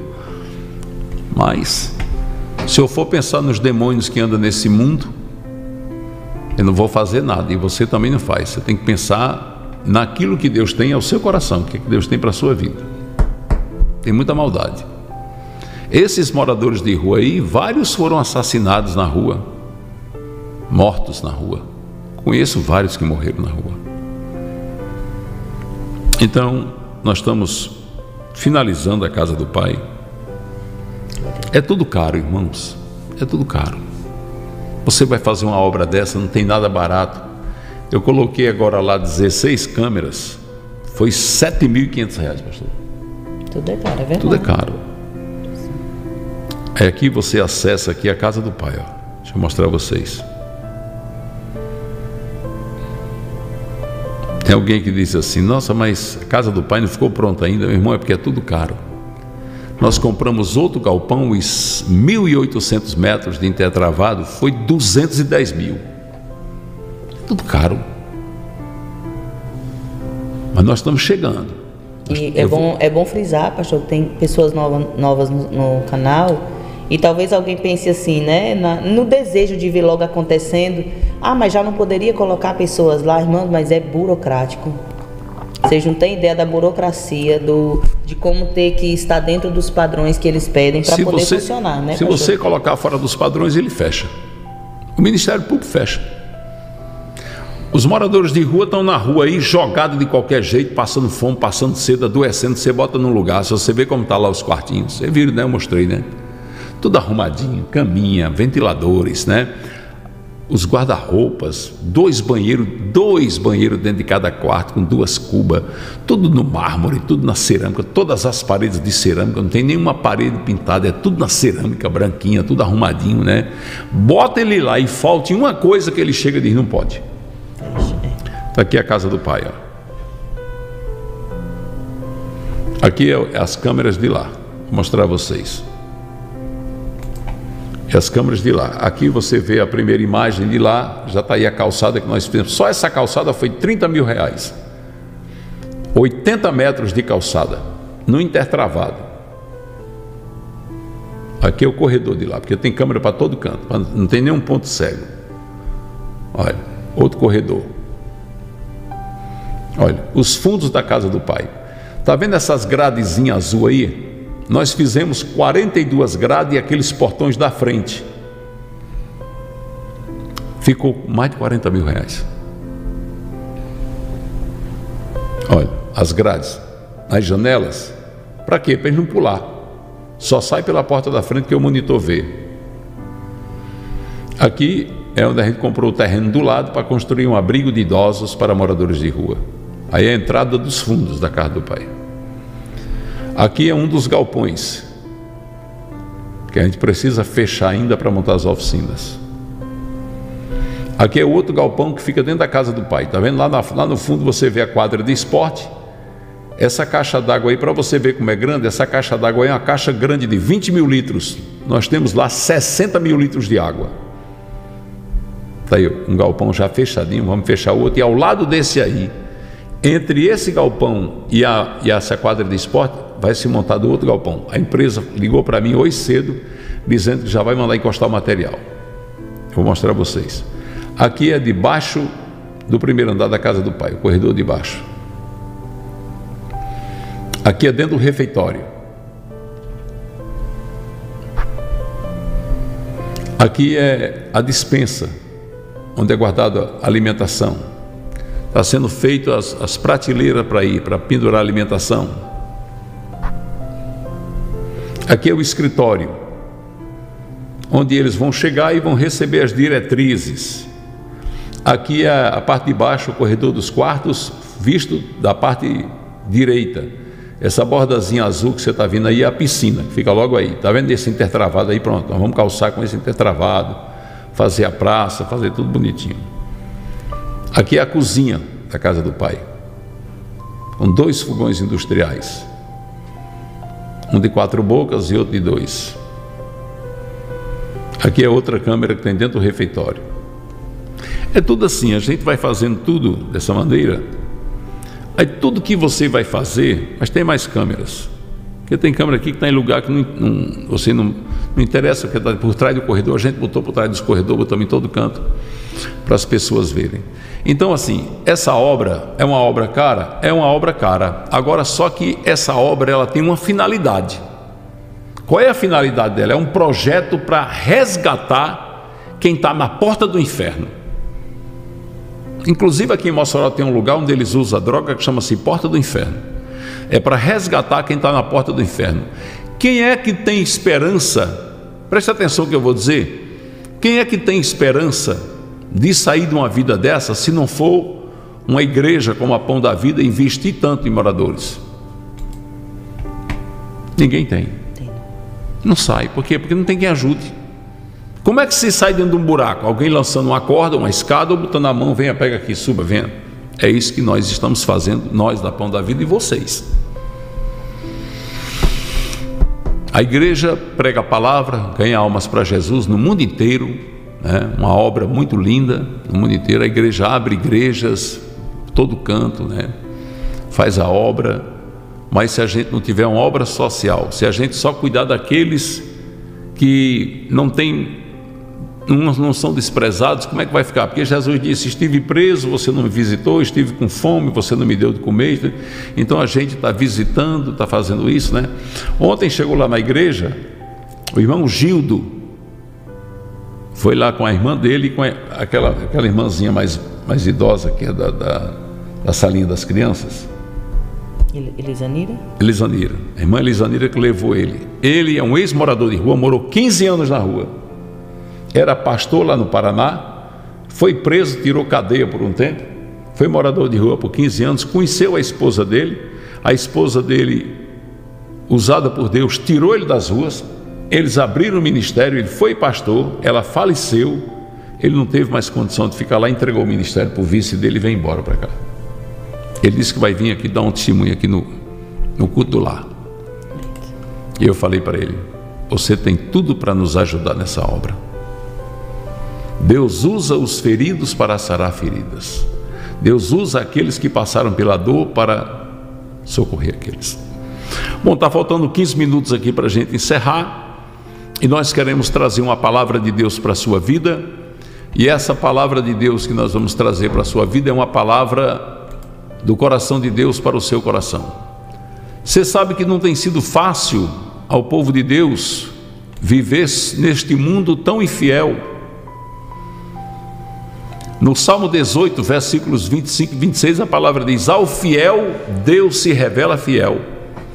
Ao irrepreensível, ele se revela irrepreensível. Ao puro, ele se revela puro. Mas com o perverso, Deus reage à altura. Salmo 18, versículos 26 e 27. Essa palavra está dizendo que Deus, Ele é correspondente daquilo que você é. A palavra que Deus deu hoje é: se você é fiel no pouco, eu te colocarei sobre o muito. Se você é fiel a mim, eu estou aqui para ser fiel a você. A palavra de Deus é: se você me ama, eu te abençoarei. Porque o princípio da sabedoria é o temor ao Senhor. Receba essa palavra do seu coração em gratidão a Deus, agradecendo por tudo que Deus tem realizado na sua vida. As lutas são muitas, as batalhas são várias, mas as vitórias são totais. O Senhor quer te dar vitória, Ele quer te abençoar. Mas Deus quer que você saiba disso, da vontade dEle de te abençoar. A palavra de Deus diz que Deus nos fez a sua imagem e semelhança, nos fez parecido com Ele. O inimigo vem e deturpa essa imagem e semelhança. Mas Deus, assim como eu, como a pastora Ângela, como Marquinhos, o esposo dela, nós temos orgulho quando alguém diz que os nossos filhos parecem conosco. Ah, quando alguém diz, é, a pastora Ângela, muito parecida com o senhor. A mãe da pastora Ângela era moreninha, assim que nem a pastora Jossanete. E realmente as características da pastora Ângela são minhas características. Então, quando alguém diz, rapaz, é a cara do pai. Eu tenho um filho chamado Jomar, meu filho mais velho, que as pessoas dizem, nossa, a voz de Jomar, pastor, é a mesma coisa da sua voz. Eu, eu, eu me sinto orgulhoso. Então, quando alguém diz, você é filho de Deus, você é um homem de Deus, uma mulher de Deus, todas as vezes que alguém diz isso, coloca um sorriso nos lábios de Deus. Ah, você é uma pessoa cheia de Deus. Deus fica feliz, porque Deus nos fez a sua imagem e semelhança e Ele quer que a gente pareça com Ele em todas as áreas e aspectos da nossa vida. Há um desejo, pastor, no coração de Deus para a gente ser parecido com Ele. Deus ama quando a gente é parecido com Ele. Então, viva esse amor que Deus colocou na sua vida. Viva essa imagem e semelhança que você é, que eu sou, que a pastora Ângela é, fazendo aquilo que agrada a Deus. Como é que vão descobrir que você é filho de Deus? É você fazendo bem ou fazendo mal? Fazendo bem. Porque a própria palavra de Deus vai dizer: se você diz que ama Deus e não ama seu irmão, o amor de Deus não está em você. Ou seja, para mim parecer com Deus, eu tenho que amar meu irmão. Eu tenho que socorrer o necessitado, eu tenho que ter um coração bondoso, um coração perdoador. Eu tenho que ter esse coração. E na contramão disso, pastora, vem o mundo. O mundo com as suas aflições, o mundo com seus problemas, o mundo mandando você revidar, o mundo que curte mais um assaltante morrendo numa tentativa de assalto do que um assaltante sendo evangelizado na prisão e se tornando um servo de Deus. Qual é a notícia que se espalha mais? É a notícia de alguém que faz uma obra porque é filho de Deus ou a notícia de alguém que fez o mal porque é filho do diabo? A notícia ruim corre mais rápido.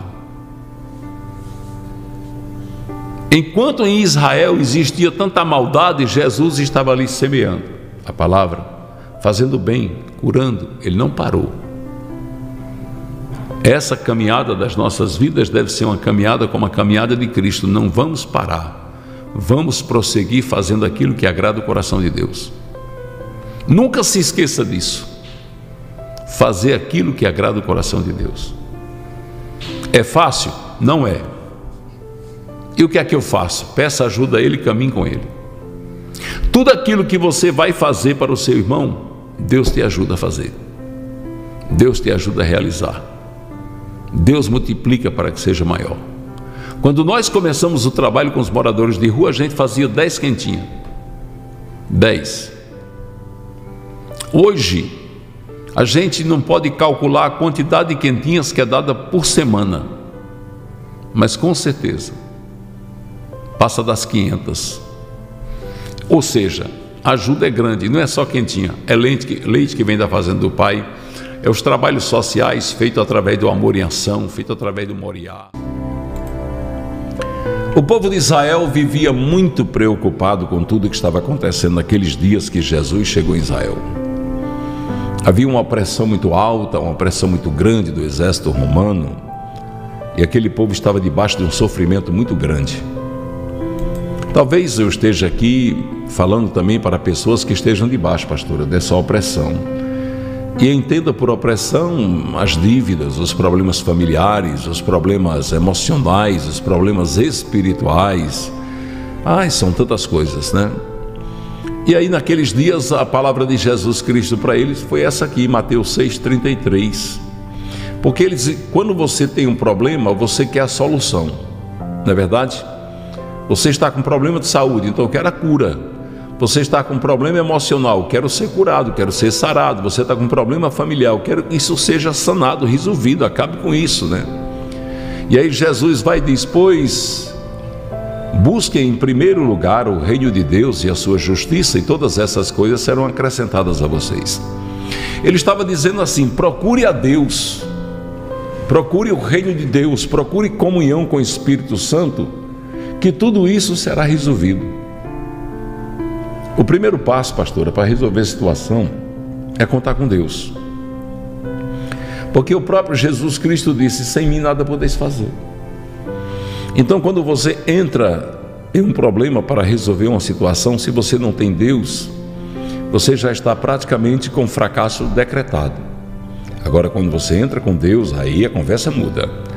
Aí a conversa é diferente, porque quando Deus está na história, quem está? O Todo-Poderoso, aquele que tem todo o poder, toda a honra e toda a glória, aquele que resolve tudo. Então, marche com Deus na dificuldade da sua vida.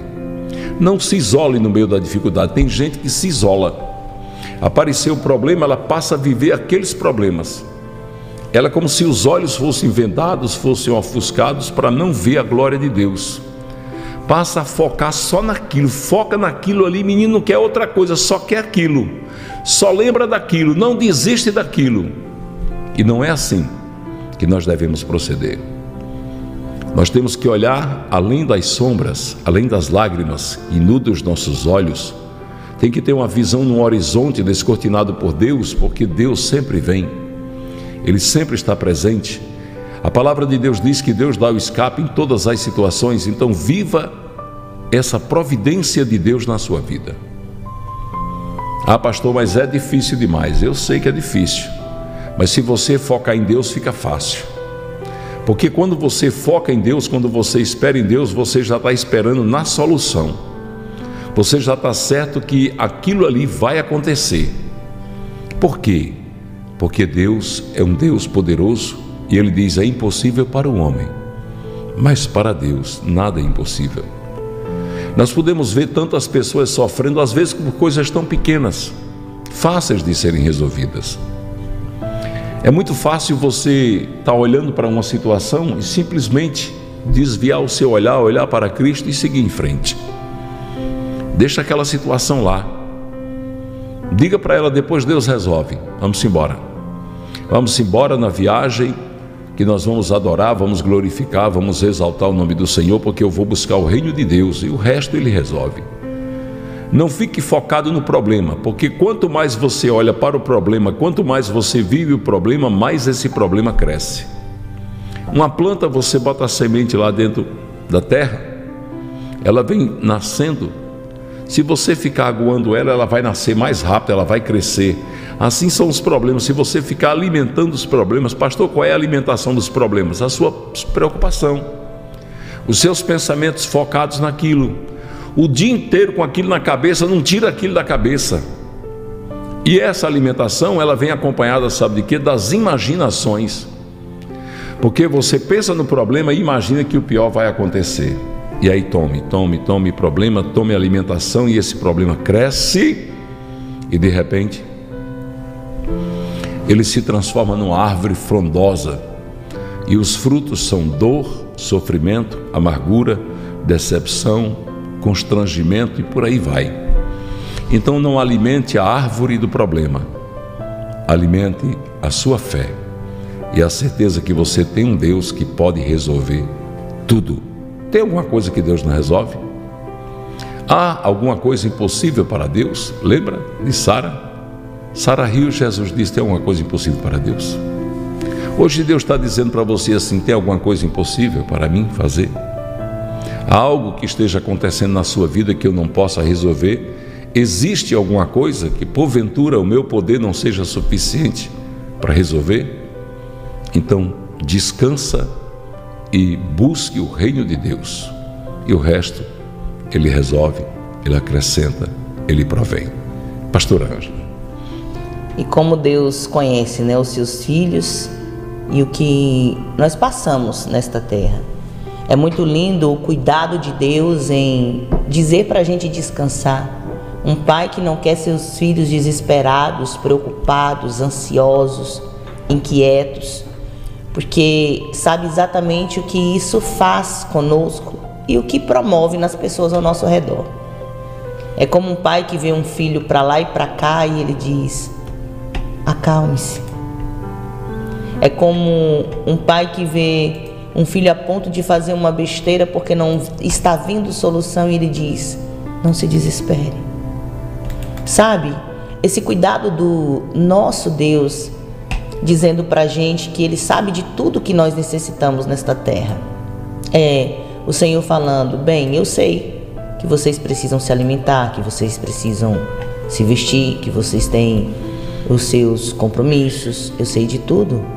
Mas eu não quero que vocês andem preocupados, olhem para mim, foquem em mim. E o que o Senhor fala a respeito, né, das aves, para dizer para a gente descansar, Ele está dizendo: olha aí, as aves dos céus.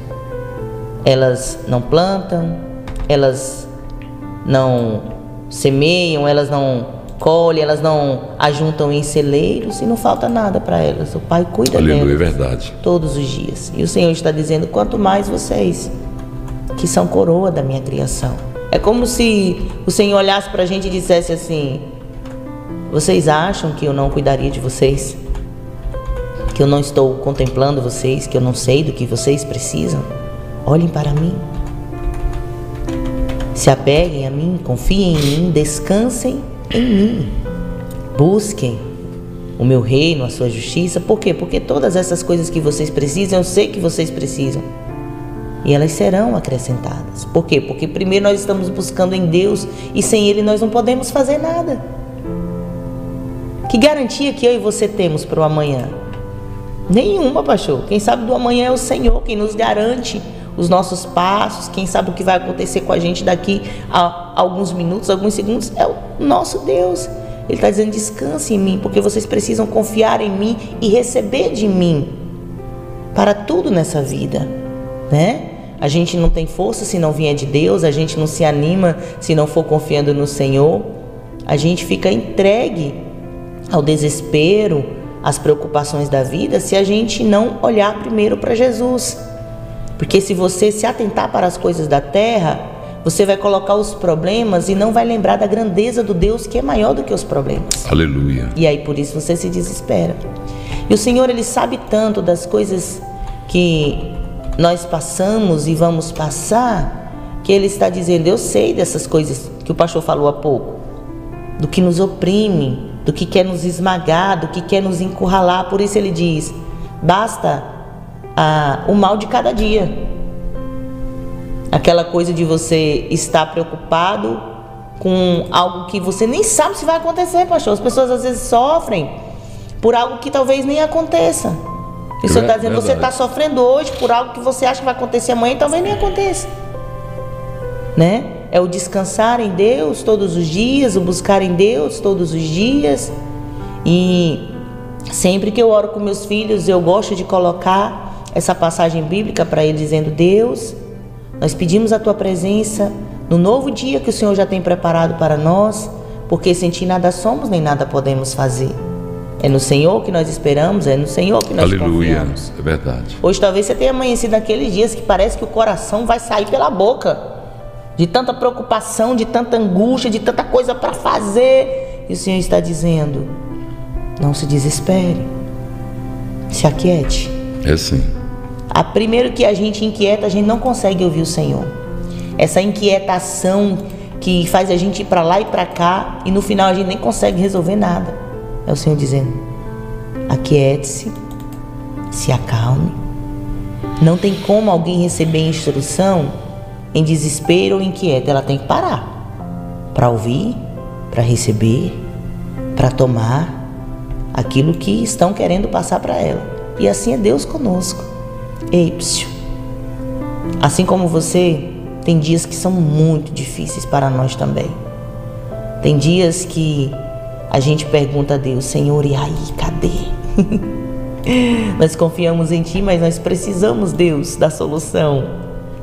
Mas para nós o Senhor diz e para você também, nós somos filhos de Deus e Ele está dizendo: se acalme, se aquete, não se desespere. Eita. Senhor, eu estou aflita. Tem filhos aqui que estão dizendo: Senhor, hoje eu estou aflita. O Senhor está dizendo: a sua aflição não vai te dar a solução. O que é, irmã, então, que me traz solução? Ouvir a Deus, para, ouvindo a voz dele, receber a calma que vem dele. O que a palavra diz que é a paz que excede todo entendimento. Então, se excede todo entendimento, é porque em meio às guerras, confusão, a gente tem paz, só crente tem isso. Glória a Deus, é verdade. É você ouvir Deus para você entender que aquela, aquela situação não vai deixar você perecer e que apesar de você ver que está tudo bagunçado e muitas vezes está mesmo, Deus sabe que está, Ele está dizendo, mas eu estou com você. Eu não vou deixar essa, essa situação te matar. Filho, eu estou vendo. Sabe, algo que a gente precisa muito, pastor irmãos, se atentar é quando nós estamos assim, a gente entender que eu e você perdemos o controle. Eu e você, sim, muitas vezes não temos condições de resolver, está fora da nossa possibilidade. Da, e a gente é limitado, mas eu preciso lembrar que Deus nunca perde o controle de nada. É como você dizer assim, Senhor, eu estou muito, muito ansiosa, Deus, mas acalma o meu coração, porque eu sei que o Senhor não está desesperado. Do teu trono de glória, o Senhor me contempla e o Senhor sabe o que eu estou vivendo e o Senhor não está correndo para lá e para cá pensando como é que eu vou ajudar os meus filhos. Basta uma palavra. E aí a gente pode trazer a, a, a tão conhecida passagem dos discípulos no barquinho com Jesus e tempestade, ondas batendo no barco. Será que os discípulos estavam sentindo aquelas ondas fortes? Claro que estavam, por isso eles temeram. É como a gente, pastor, quando a situação vem, parece que vai acabar com a gente. Quando vem aquelas pancadas de problema que você diz, eu não vou suportar, é aqui que eu vou perecer. E aí eles lembram que quem está no barquinho é Jesus. Mas apesar disso, eles vão acordar Jesus dizendo: senhor não se importa com a gente, não? Olha aí o que está acontecendo. Não é assim que eu e você fazemos às vezes? Deus, o senhor não pode estar vendo isso, porque se, se o senhor está vendo, por que, que o senhor não toma uma atitude? Se o senhor está vendo e o senhor tem poder, por que, que o senhor não faz alguma coisa? Nas nossas fragilidades e nos nossos medos, a gente questiona Deus como se Deus não estivesse vendo, como se Deus não se importasse e como se Ele não fosse se levantar para trazer calmaria. A bonança que a palavra diz, depois da tempestade vem a bonança. E o que Jesus está fazendo ali não é dizendo, olha, eu estou dormindo, estou nem aí para vocês. Jesus está dizendo, assim como eu estou descansando, porque eu sei que nada pode me atingir, porque eu controlo tudo que eu criei. Ei, psiu, descansem também, porque eu estou com vocês. Era como se o que Jesus estava dizendo é: cadê a fé de vocês? Essa tempestade vem, vocês acham que eu estando aqui vocês vão perecer? Jesus estava lá. Talvez esse descanso do Senhor no barquinho para você hoje seja o silêncio do Senhor na tempestade que você está vivendo e o Senhor está dizendo: Mas você lembra que sou eu que estou com você? Mas você pode aí confiar, sabendo que eu sou fiel e eu disse que eu nunca deixarei vocês. Que eu prometi para vocês que eu estaria com vocês todos os dias, até a consumação dos séculos. Ei, psiu, então nesse dia de tempestade, nesse dia em que você está angustiado, nesse dia que você está sofrendo, nesse dia que a má notícia chegou, nesse dia em que bateram na tua porta dizendo: "Olha, é hoje, é hoje ou então não dá mais", o Senhor também está com você. E por que que você não vai perecer? Justamente porque ele está com você. Aleluia. Glória a Deus. Receba em nome de Jesus nesta manhã Recebe. A paz que vem do nosso Senhor. Diga para ele, Senhor, eu quero que a paz do Senhor reine em meu coração. O teu espírito habita em mim, Senhor, então eu não quero sentir outra coisa que não seja o que vem de ti, Pai. Eu não quero ser tomada pelas aflições da terra, ser consumida pela ansiedade, andar tão preocupada ao ponto de esquecer que a minha vida está debaixo dos teus decretos. Senhor, eu quero lembrar todos os dias e em momentos como esse em que eu estou muito aflita, que não é para mim me desesperar, porque o Senhor está me vendo. O Senhor está comigo e o Senhor está cuidando de mim. E não há nada impossível para o Senhor. O Senhor pode mover e chegar nessa situação. E enquanto a tua provisão chega, Deus, porque o Senhor chega no tempo que o Senhor quiser, para cumprir os seus propósitos e seu nome ser glorificado, eu quero te pedir, acalma Sim, o meu Deus. coração. É Jesus. Receba em nome de Jesus o refrigério nesta hora. Receba em Amém, nome de Jesus, Jesus. esse tirar o fardo. É, Sinta papai. essa leveza que só vem de Deus. Não é porque a gente está falando, é porque é o Senhor falando com você, é Ele ministrando na tua vida, é Ele tirando e dizendo: então pronto, filha, você está dizendo que confia, que você quer, que você lembra, estou eu levando esses fardos. Os fardos que você não pode carregar. Deus não deixa sobre nós algo que a gente não possa carregar. Receba em nome de Jesus o que você precisa neste dia, diante dessa situação. E não esqueça, Ele está com você.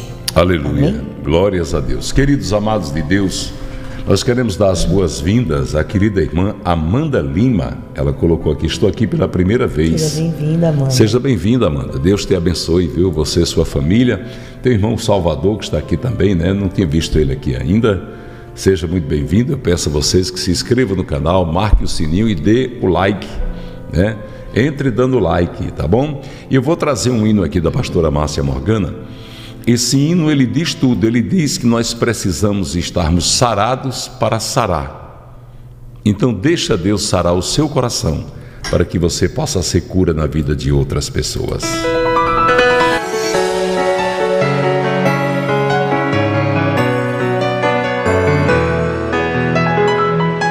Fui sarada para sarar a outras ao te tocar.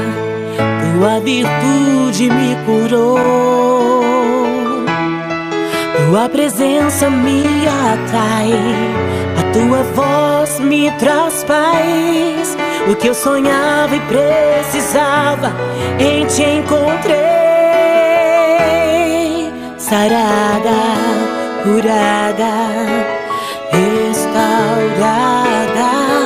Sarada, curada, restaurada. A palavra de Deus em Êxodo 15, 26 diz: Eu sou o Senhor que te sara. Pela unção de Deus e no poder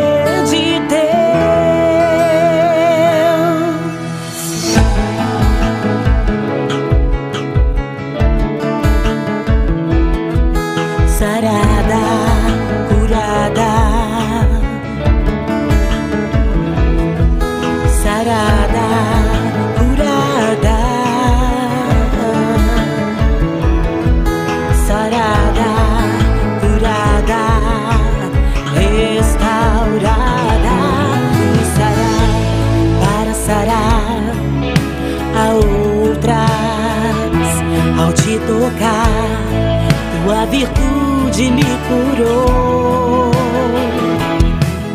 Tua presença me atrai, a tua voz me traz paz. O que eu sonhava e precisava, em te encontrei.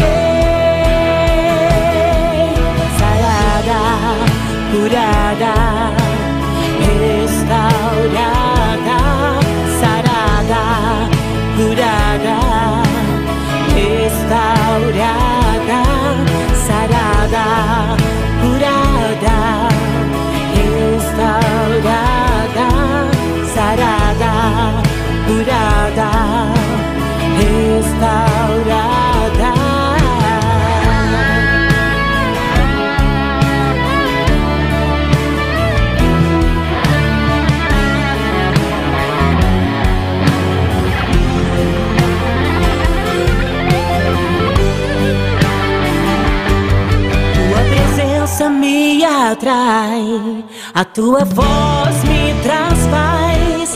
O que eu sonhava e precisava, em te encontrei.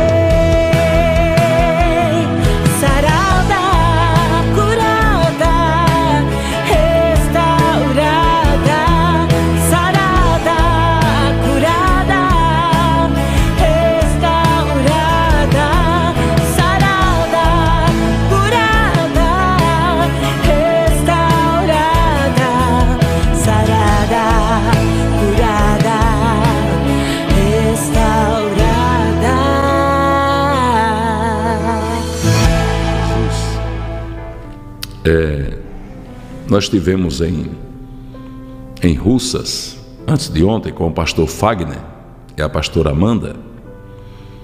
E lá em Russas nós compramos, vocês lembram que nós falamos que compramos um galpão já com uma estrutura metálica de 10 metros por 46, né? Para a gente construir uma igreja lá. Mas alugamos um prédio, esse prédio era muito estreitinho, a igreja começou a crescer, começou a encher. O prédio, o teto estava assim, era um teto de um teto de laje e caiu uns pedaços da laje e o pastor ficou preocupado, entregou o prédio, levou a igreja para a casa dele e, e há uns meses atrás alugou um outro prédio e montou a igreja lá. E aí o dono do prédio tinha esse prédio para vender. E apareceu um comprador para comprar o prédio. E nós fizemos uma, uma proposta para o dono do prédio e ele aceitou. E esse prédio hoje é o prédio que pertence também à nossa igreja. Para a glória de Deus, louvor do nome santo de Jesus, nós agradecemos a Deus, porque antes de comprar esse prédio, eu fiz um propósito com Deus e Deus respondeu duas vezes. Eu disse a Deus que Deus, eu só vou comprar esse prédio se o Senhor disser que é para comprar. Se o Senhor disser que não, não vou comprar. Então esse prédio vai ser uma congregação e aonde está esse galpão que nós compramos vai ser a sede da igreja Pão da Vida na cidade de Russas, que é um, é um prédio no centro da cidade. Agora é bom que a gente já tem esse prédio, que cabe aí 80 irmãos, 100 irmãos. A gente vai com calma construindo a outra igreja lá.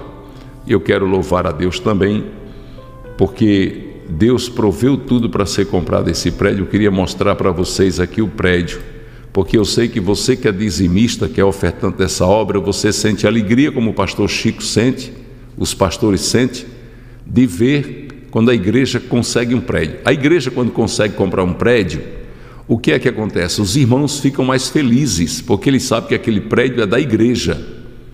E o dinheiro que seria para pagar o aluguel já serve para obras sociais, para outros serviços da igreja. Esse prédio ele tem a toda a parte de cima para ser construída, porque ele foi feito toda uma estrutura para primeiro andar, e lá atrás tem um espaço que nós vamos construir agora rapidamente. Já na próxima semana vamos começar a construção da salinha das crianças. Veja o prédio aí para você glorificar a Deus, em nome de Jesus. Muito bem, amados, queridos de Deus, a paz do Senhor Jesus, mostrando a vocês aqui presente que Deus nos deu, esse prédio aqui na cidade de Russas, né? Nós já temos um galpão muito grande aqui. Esse prédio aqui é a Igreja Pão da Vida aqui na cidade de Russas. Eu quero mostrar para vocês, para vocês conhecer. A igreja está funcionando aqui e nós fechamos o negócio, adquirimos esse prédio. Jesus deu esse prédio para Pão da Vida. Venha ver comigo, vou mostrar vocês por dentro, para vocês verem. Glória a Deus, o pastor Fagner já está aqui com a pastora Amanda Oliveira, dirigindo o trabalho aqui. Olha aqui como é que é o prédio. Vou mostrar a vocês aqui. A igreja de Russas. Vou até dizer, pastor, que é a primeira igreja de Russas, né? Pastora Jossa Neto, a primeira igreja de Russas. Né? Primeira. É, nós já tivemos uma igreja aqui, mas o prédio era bem pequenininho, bem estreitinho, né? Glória a Deus. Né? A pastora Jossa Neto está aí animada, vai chegar. Dizer para vocês que essa, esse púlpito, essas coisas aqui, é o próprio pastor Fagner que faz, viu? Essa estruturazinha ele que monta, a igreja está aqui montada. Nós vamos botar o painel aqui, né? O painel com a mão da vida. Olha o nosso pastor aí, ó. Ô Glória! É o- é- ele, é conhecido como, ele é conhecido como Neguinho de Jesus, viu? É, compositor, cantor, alpinista, faz, faz é, rapel, que negócio que desce de cabeça para baixo nas montanhas. Mostrar para vocês as montanhas, né? Eita glória! Olha aqui a igreja, a igreja bem arrumadinha, banheiro, banheiro de homem, é que bonitinho, todo arrumadinho, tá vendo? Banheiro todo, todo organizadinho, com chuveiro, com tudo, né? Glória a Deus. Tem o banheiro feminino também, banheiro das irmãs, todo arrumadinho também, com chuveiro, com tudo, tudo arrumadinho, né? Para a glória de Deus. Olha aqui, nós temos um corredor, um espaçozinho de corredor aqui. E aqui nós temos o corredor, já esse prédio já está todo preparado para receber o primeiro andar, né? E aqui eu estava falando para o pastor que a gente vai construir aqui nesse espaço a salinha das crianças, começar imediatamente a construção tá nesse espaço aqui, né? São um espaço de em torno de 4 metros e meio por 5 metros, fazer uma salinha bem bonita para as crianças aqui. E a igreja vai ficar maravilhosa, né? A gente está em torno aí dos 40, 50 crentes aqui, muito em breve vai estar muito maior, né? Glória a Deus, irmãos estão felizes com a pão da vida aqui. Nós estamos mostrando para vocês, para vocês conhecer a igreja Pão da Vida da cidade de Russas, estado do Ceará. Glória a Deus. Uma benção. Né? Que maravilha de Deus. Glória ao nome de Jesus, né? É. Benção, glória a Deus. Glória a Deus. Pronto. Louvado seja Jesus Cristo. Mais uma casa de oração da Pão da Vida. É. Mas muito bonitinho o prédio, viu? Uma maravilha, uma bênção de Deus. Isso aqui é um presente que Jesus está dando para Pão da Vida de Russas. A coisa melhor do mundo é você ter uma igreja num prédio próprio. Os irmãos saber que pertence à igreja, que não vai ter que mudar, que é fixo, né? A rua aqui não está asfaltada ainda, mas é muito próximo do centro. Muito em breve. E vou dizer, viu, pastor Fábio, quando a gente compra um prédio, asfalta logo. É. Lá no Belo Horizonte a gente comprou, foi ligeiro, passou o asfalto, viu? Aqui vai passar já já, para a glória de Deus, né? Olha aqui a rua. Uma rua muito movimentada, cheia de casa de família. Uma benção. Glória a Deus por isso.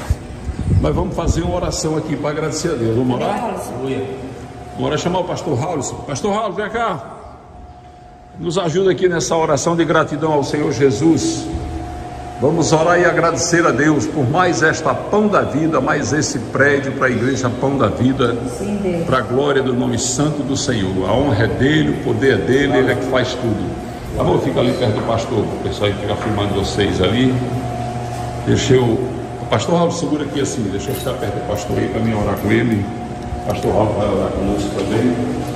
Nós vamos agradecer a Deus, dizendo, Pai Santo, Deus amado, nós te agradecemos, Jesus, porque nós sabemos que essa conquista é tua, Deus. Agradecemos pela vida do teu servo, pastor Fagner, pastor Amanda, pela vida de cada irmão que congrega aqui neste lugar. Pai, esta casa já é conhecida como casa de oração e de adoração. E o nosso pedido, Deus, é que ao consagrarmos este prédio ao Senhor, todos que entrarem por essas portas, sintam a tua presença. Todos que ouvirem a voz do teu filho e da tua filha, sinta a revelação do teu Santo Espírito. Abençoa, Paizinho, esta igreja, que ela cresça, que ela alcance almas, vidas para o teu reino. É isso que nós pedimos e nós agradecemos, Pai. Que o Senhor diga para nós, confirme em nossos corações, aquilo que o Senhor disse para Salomão: O meu coração ficará neste lugar para sempre. Abençoa este lugar, santifica o meu Deus. Nós agradecemos no nome de Jesus Cristo. Amém. E agradecemos por cada dizimista, cada ofertante, cada patrocinador, cada colaborador, que com seu amor possibilita a tua igreja crescer, se expandir para ganharmos almas para o teu reino. Abençoa o pastor Raul, a pastora Nayara, abençoa a sua família, a missionária Andréa, o missionário Roberto, abençoa os pastores desta congregação todos os obreiros aqui que ajudam o pastor, todos os irmãos que estão congregados aqui. É o que pedimos no nome santo de Jesus. Amém. Amém, pastor. Glória a Deus. Abençoe. Glória a Deus.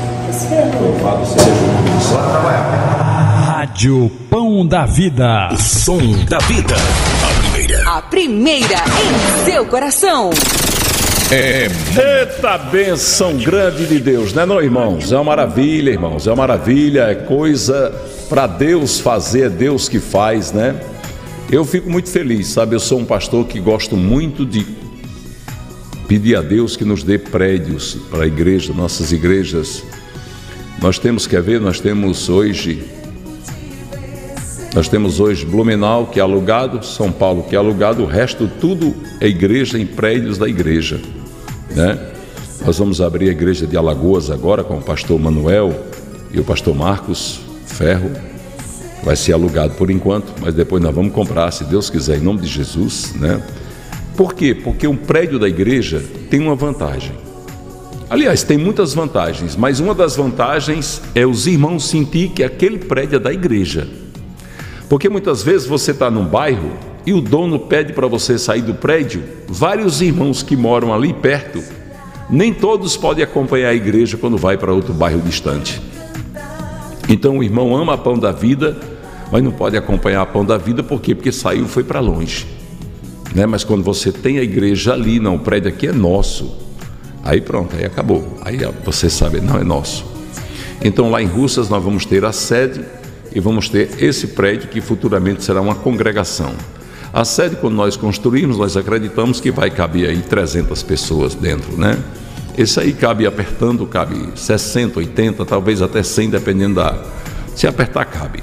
Mas do jeito que a igreja está crescendo em Russas, daqui a pouco não cabe mais gente aí, aí o pessoal tem que ir para sede, né? Esse prédio fica num bairro assim, é perto do centro, mas fica num bairro, agora o outro é no centro da cidade mesmo. Glória a Deus. Louvado seja o nome de Jesus por isso, né? E nós queremos, vai, vai ter em Salvador também, viu? Vamos abrir em Salvador. Em Salvador nós vamos abrir alugado, porque um prédio em Salvador é muito caro. Mas nós acreditamos que Deus também vai nos dar um prédio aí. Em nome de Jesus, né? Esse prédio aí que foi adquirido agora é porque é um prédio com uma prestação pequena, barata, o dono parcelou, aí a gente vai pagando, a própria igreja vai quase que pagar o prédio, então vai dar certo, em nome de Jesus, né? Deus é maravilhoso, Deus é santo, Deus é poderosíssimo. Glória a Jesus, né? Mostrar aqui para vocês fotos que a gente tem muita saudade. Irmã Nubinha, que está lá na Suíça, cantora, levita de Deus. Oh Deus, saudade do povo, né? Mostrar para vocês agora as fotos aqui, deixa eu mostrar. Cadê, pastor? Mostra as fotos, pastor. Já já tem a palavra de Deus para o seu coração, para a sua vida. Deus vai falar com você através desta palavra, viu? Pode ter certeza. Cadê Jesus? Cadê, cadê, cadê Jesus? Cadê Jesus? Cadê Jesus? Cadê Jesus?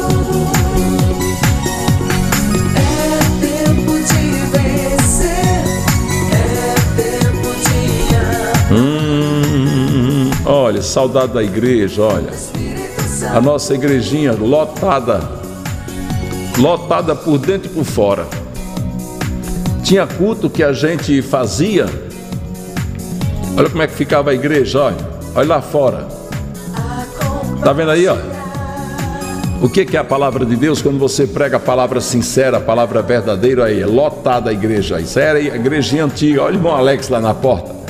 Olha o irmão Alex aí, irmão Alex, que maravilha, irmão Alex. Vou mostrar a Juliana aqui, Juliana, a mãe de João Batista. Olha, a irmã Monique, coisa mais fofa. Filha de Deus abençoada, irmã Monique, Deus abençoe, querida, você, sua família, né? É assim, olha, a igrejinha, era, a igrejinha ficava cheinha, ó. Os irmãos vinham tudo um calor, lá dentro era um calor, Jesus, mas os irmãos queriam ouvir a palavra, né? Queriam ouvir a palavra, eles queriam sentir a presença do grande rei. E sentiam a presença do grande rei de uma forma tremenda. Olha aqui, olhe quem é que está aqui. Irmã Elisângela. Eita, filha de Sião valorosa. Irmã Elisângela, que está passando por um processo de câncer, está sendo curada em nome de Jesus Cristo, porque Deus é poderoso para fazer muito mais do que o que pedimos ou imaginamos, né? Olha aqui a irmã Nubinha, está na Suíça hoje, está trabalhando na Suíça, irmã Nubinha, Deus abençoe, saudade, irmã Nubinha, Deus abençoe você, saudade da sua voz. Olha aqui a igrejinha do lado de fora, ao tanto de gente do lado de fora. Assembleia de Deus, Pão da Vida, Igreja do Amor. Isso aqui era o predinho antigamente, fica de frente à nossa sede hoje, que é linda a nossa sede, né? Depois eu vou mostrar para vocês a pintura que eu mandei fazer nos muros lá, ficou linda. A sede ficou maravilhosa, né? Pois é, mulheres de Deus, deixa eu ver mais aqui, quem é que eu vou mostrar? Eita Deus, irmãs, eu vou mostrando vocês tudo, viu? Não diga assim, pastor, e eu? Tenha calma. Vou mostrar todo mundo aqui, vai ser uma bênção de Deus, né? Deixa eu ver quem é que está nessa foto aqui, nessa foto, quem é que está? Eita Deus, que saudade desse povo, meu Pai. Saudade grande desse povo, olha aí.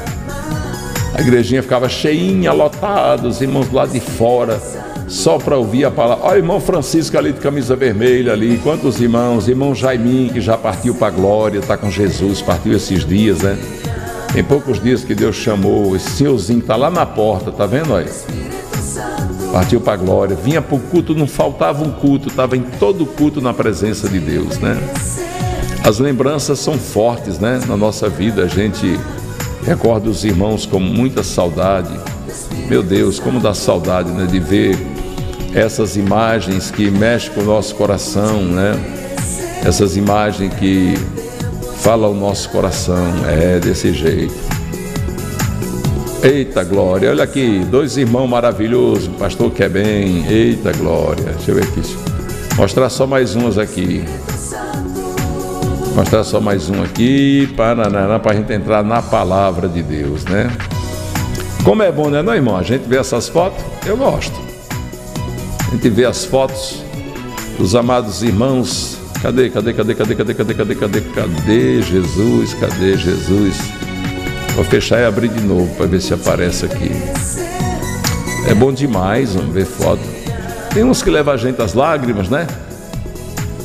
Tem umas que a gente fica triste, mas fazer o quê?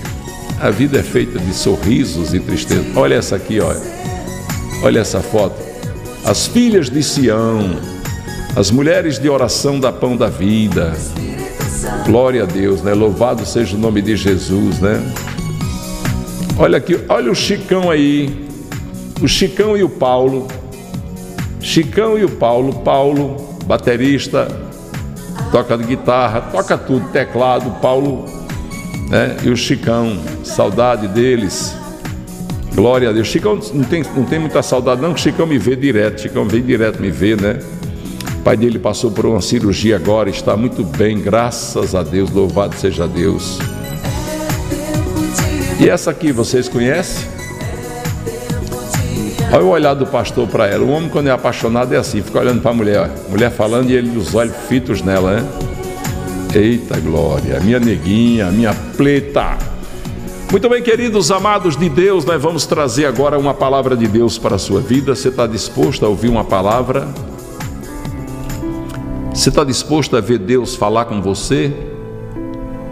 Mas não esqueça que quando Deus fala, Ele diz aquilo que nós precisamos ouvir.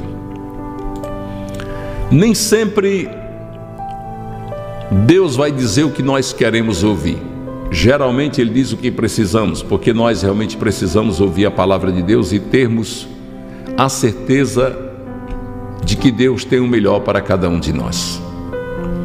E eu quero nessa palavra que eu vou direcionar o seu coração falar de, de uma coisa muito importante. Uma coisa muito importante que é solidão. Falar da solidão e usar aqui versículos para superar a solidão. No Salmo 23, no versículo 4, a palavra de Deus diz: Mesmo quando eu andar por um vale de trevas e de morte, não temerei perigo algum, pois tu estás comigo. A tua vara e o teu cajado me protegem.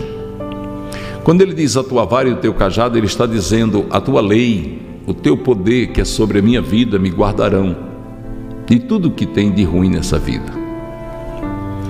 O crente vive dias, às vezes, em que ele se acha tão frágil, tão fraco. É normal você sentir isso, eu senti também. Mas nós não podemos esquecer do Deus que nós servimos. Às vezes nos sentimos só, rodeado de pessoas. Você já se sentiu assim? Quem já se sentiu assim, coloca assim: Eu já me senti assim, pastor. Estou com a família, estou com meus filhos, estou com meus amigos, mas estou me sentindo só. Tem aquele dia que você vai para a igreja e você senta na igreja, a igreja tem 300, 400, 500 pessoas dentro da igreja. Mas no meio daquele povo todo, mesmo assim você se sente só. Parabéns, Maria, hoje é seu aniversário, Maria. Parabéns para você e para todos os aniversariantes do dia. Não é assim, não? É. Mas você sabia que o sentimento de solidão nos faz bem? Porque quando nós ficamos sós, nós imaginamos que Deus está conosco e Ele está. Nós imaginamos que Jesus Cristo está na direção das nossas vidas e Ele está. Olha aqui quantas irmãs dizendo: Eu já, eu já me senti assim, pastor. Às vezes você está na sua casa, né? E está todo mundo rindo, todo mundo conversando, todo mundo contando história, todo mundo sorrindo das brincadeiras e você só olhando. Porque dentro de você há algo que não deixa você se alegrar. As preocupações, as decepções, as incompreensões. Às vezes que você não foi compreendido, as pessoas não entenderam que você estava apenas fazendo algo que Deus lhe mandou fazer. A Sandra Helena botou: Eu me sinto assim, pastor. É. A Fátima Brito botou: É, pastor, é assim mesmo.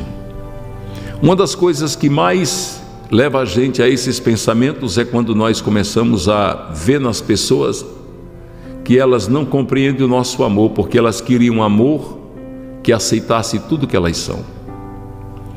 A maioria das pessoas, elas querem ser amadas colocando para nós o dever, como se fosse dever eu amar elas do jeito que elas são. Mesmo sendo você um servo de Deus, uma serva de Deus, vendo que está errado, mas as pessoas querem que você aceite o erro. É como se a condição para você receber a correspondência do seu amor fosse aceitar todas as falhas, todos os erros que aquelas pessoas cometem. E você que é amigo, que é verdadeiro, que é irmão, vai direcionar um conselho para o bem, não aceitam. Querem permanecer no erro. Insistem, arranjam desculpas para justificar um erro que Deus não aprova. E você não se sente bem porque você não pode dobrar seus sentimentos. Você não pode fazer com que aquela pessoa se sinta bem quando você está se sentindo mal. Quantos de nós não estamos assim, passando por essa fase de se sentir mal com o que está fazendo o outro? Você quer salvar aquela pessoa, quer abrir os olhos dela, quer dizer para ela que ela está errada, mas ela não admite, ela não aceita. E você se sente mal e sozinho no meio do seu pensamento. Aquela pessoa sabe que você é crente, sabe que você vai seguir os preceitos bíblicos, sabe que você vai seguir o que Deus determinou ao seu coração, mas ela não aceita aquilo que você quer explicar a ela. Você vai se machucar. Desse jeito você vai se machucar. Parece um bebezinho, uma criancinha que aprendeu a andar e quer andar por todo canto e quer fazer tudo que é errado, e você está dizendo não faça, você vai se machucar, e ela insiste em permanecer no erro até realmente se machucar. É assim ou não é? Pois é. E no meio de tudo isso, a palavra de Deus vem nos dizer que o nosso Deus é o Deus que prepara. A palavra diz que ele prepara uma mesa perante nós na presença dos nossos inimigos. Davi pediu isso no Salmo 23: prepara uma mesa perante mim na presença dos meus inimigos. Ele estava dizendo: Deus é aquele que prepara a mesa, a mesa representa a bênção, representa a prosperidade, representa os cuidados de Deus. Ele estava dizendo: Deus cuida de mim na presença dos meus inimigos para que eles entendam que Deus tem negócio comigo e também quer ter com eles, mas só se eles aceitarem. O recado de Deus hoje para o seu coração é dizendo assim: Não temas, eu sou contigo, eu te seguro pela minha destra vitoriosa e você não será abalado. Envergonhados, confundidos serão todos que se levantarem contra você. Porque na caminhada da vida vai existir muitas pessoas, minha amada Juliana Brandão, minha filhinha querida, vai existir muitas pessoas que vão desejar o desejo do coração delas é ver você deitado no pó. Elas podiam até ver você deitado no pó, de madrugada no seu quarto, com o rosto na terra, orando e clamando a Deus. Mas Deus não permitirá que elas vejam você derrotado. Não, não, não. Quem se prostra diante de Deus está de pé diante dos homens. Porque o Deus que o sustenta não permite que um filho seu, que ama Ele e a Sua palavra, ou uma filha sua seja derrotada dessa maneira. Siga em frente, porque Deus vai continuar preparando a mesa no deserto. Deus vai continuar preparando. Eu sei que você hoje talvez esteja passando por aquele processo de espera, por aquele processo de eu estou esperando acontecer. Aquele processo que você diz para Deus: Meus olhos estão postos em ti, Deus. Você está dizendo assim: Deus, eu olho para o Senhor meus olhos estão no Senhor. A minha fé está no Senhor. A certeza, a convicção do meu coração é que o Senhor fará aquilo que me prometeu, porque sabe que é o melhor para mim. Aleluia. Deus hoje está falando ao seu coração, dizendo: creia no Deus que é fiel, no Deus que não falha. Mesmo no meio da sua solidão, mesmo no meio, às vezes, de você dizer como eu queria estar acompanhado agora, por fulano ou por cicrano, como eu queria ter do meu lado agora essa pessoa que eu tanto desejo, mas ela não está aqui. Ela não está aí, mas Deus está lá no coração trabalhando, está no seu coração trabalhando, está no coração dos seus trabalhando. Deus trabalha o tempo todo. Jesus Cristo disse: Nós não paramos de trabalhar, eu e meu Pai trabalhamos. A palavra de Deus diz que Deus nem sequer toscaneja. Toscanejar é só piscar, nem isso ele faz. Ele está trabalhando. Às vezes você olha para uma pessoa que está lá, que te feriu, que te magoou, e você acha que aquela pessoa está muito bem, pode ter certeza, Deus está trabalhando. Nós temos que contar com a longanimidade de Deus. O que é longanimidade? Longanimidade. O tempo de Deus, que às vezes é um tempo longo, que às vezes nós, nessa pressa do mundo moderno, queríamos que fosse agora, como eu queria, acabar a oração e já chegar a notícia: chegou! Chegou o que? O seu milagre? Já? Calma, calma, porque o milagre tem preparação. A palavra aqui não diz prepara uma mesa. Salmo 23: prepara uma mesa perante mim, na presença dos meus inimigos. Alguém prepara a mesa, vem com a toalha, joga em cima, tch, já está prato, colher, garfo, faca, tudo no lugar, fruta, eita, verdura, tudo no lugar? Não. A mesa, como é que você prepara? Você é mulher, não é? Você prepara, você bota a toalhinha na mesa, bota o copo, vai botando as coisas. É ou não é? Você prepara, eita, tem gente recebendo aí, você prepara tudo. Pega o copinho do café, aqui na mesinha, pega aqui, copinho da água, hã? o leite, arruma tudo aqui na mesa. Você arruma tudo na mesa, tudo arrumadinho aqui na mesa. Deixa eu tirar aqui para você ver aqui arrumadinho, olha. Tá aqui, ó, tudo arrumadinho, ó, tá aqui. Deus vai arrumando, aí Deus vai arrumando, traz a garrafa d'água, bota aqui. Deus traz até o azeite, que é o Espírito Santo, o sangue, bota aqui. Ele vai arrumando tudo. E aí? E aí, depois que está tudo arrumadinho, vem o convite dele. Está aqui, ó, tudo arrumadinho, tudo no seu devido. Depois que ele bota tudo no seu devido lugar, aí vem aquela voz. Eita, quem foi que já ouviu essa voz? Venha, filho. Venha, filha. A Jane Silva diz para Hanna: Hanna, café já está na mesa. Eita, Jesus. Hã? As irmãs que estão aqui dizem: Ei, venha, venha tomar café.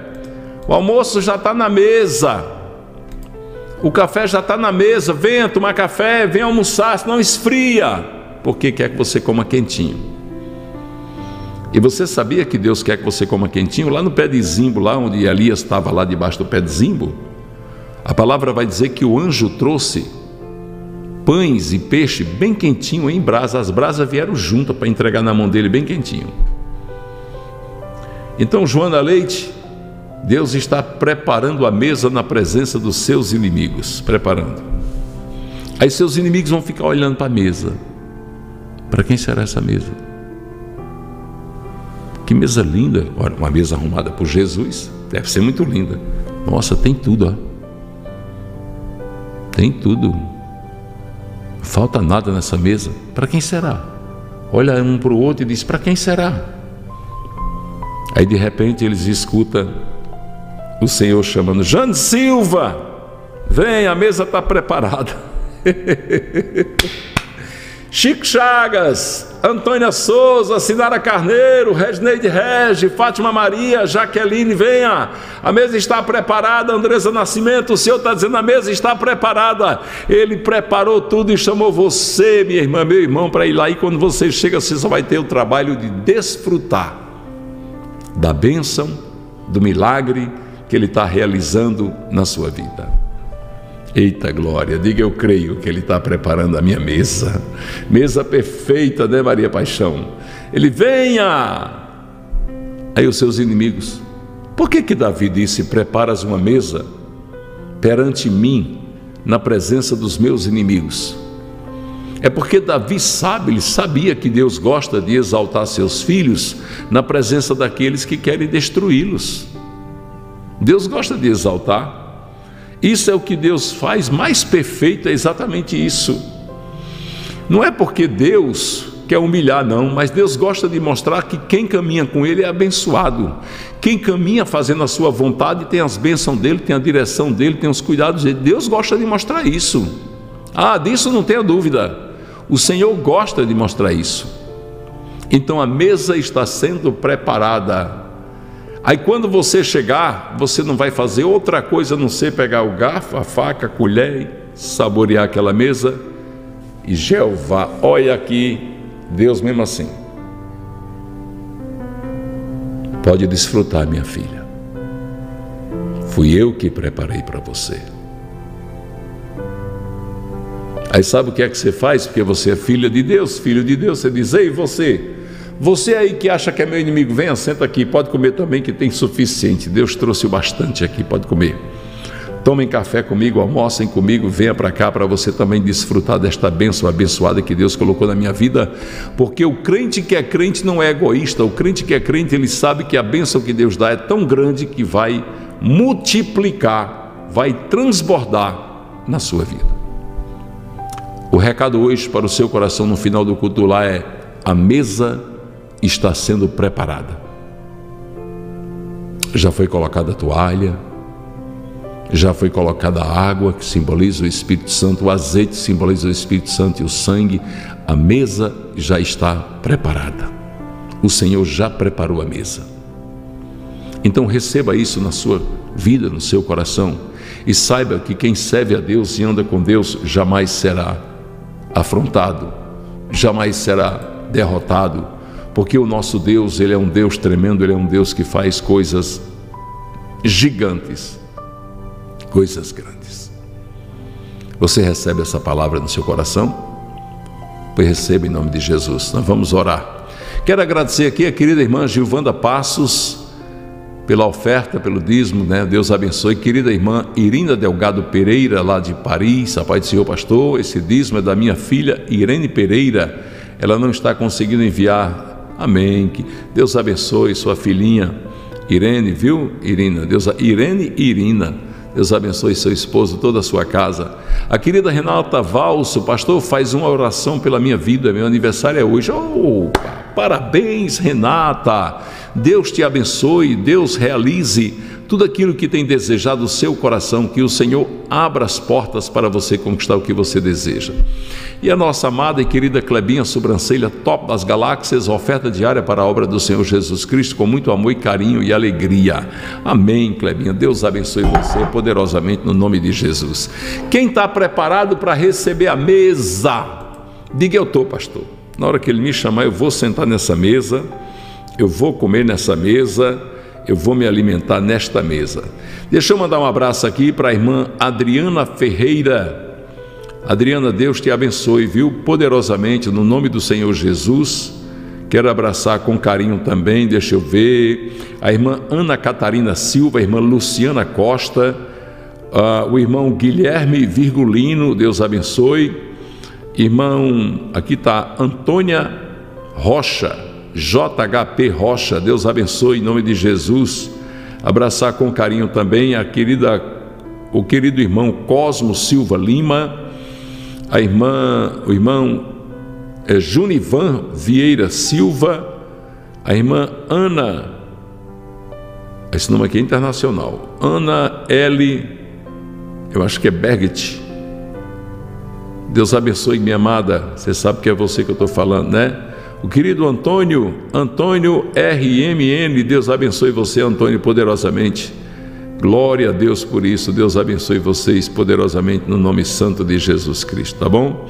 Você já se inscreveu no canal, já deu like, porque eu vou orar agora pelas pessoas que dão like, pelas pessoas que são inscritas no canal, na oração de cura agora para Deus fazer maravilhas na sua vida. Pega o seu azeite. Você que está visitando o canal, esse azeite, irmãos, ele representa o sangue de Jesus Cristo representa o Espírito Santo. Você não compra azeite comigo, não, não um azeite para vender.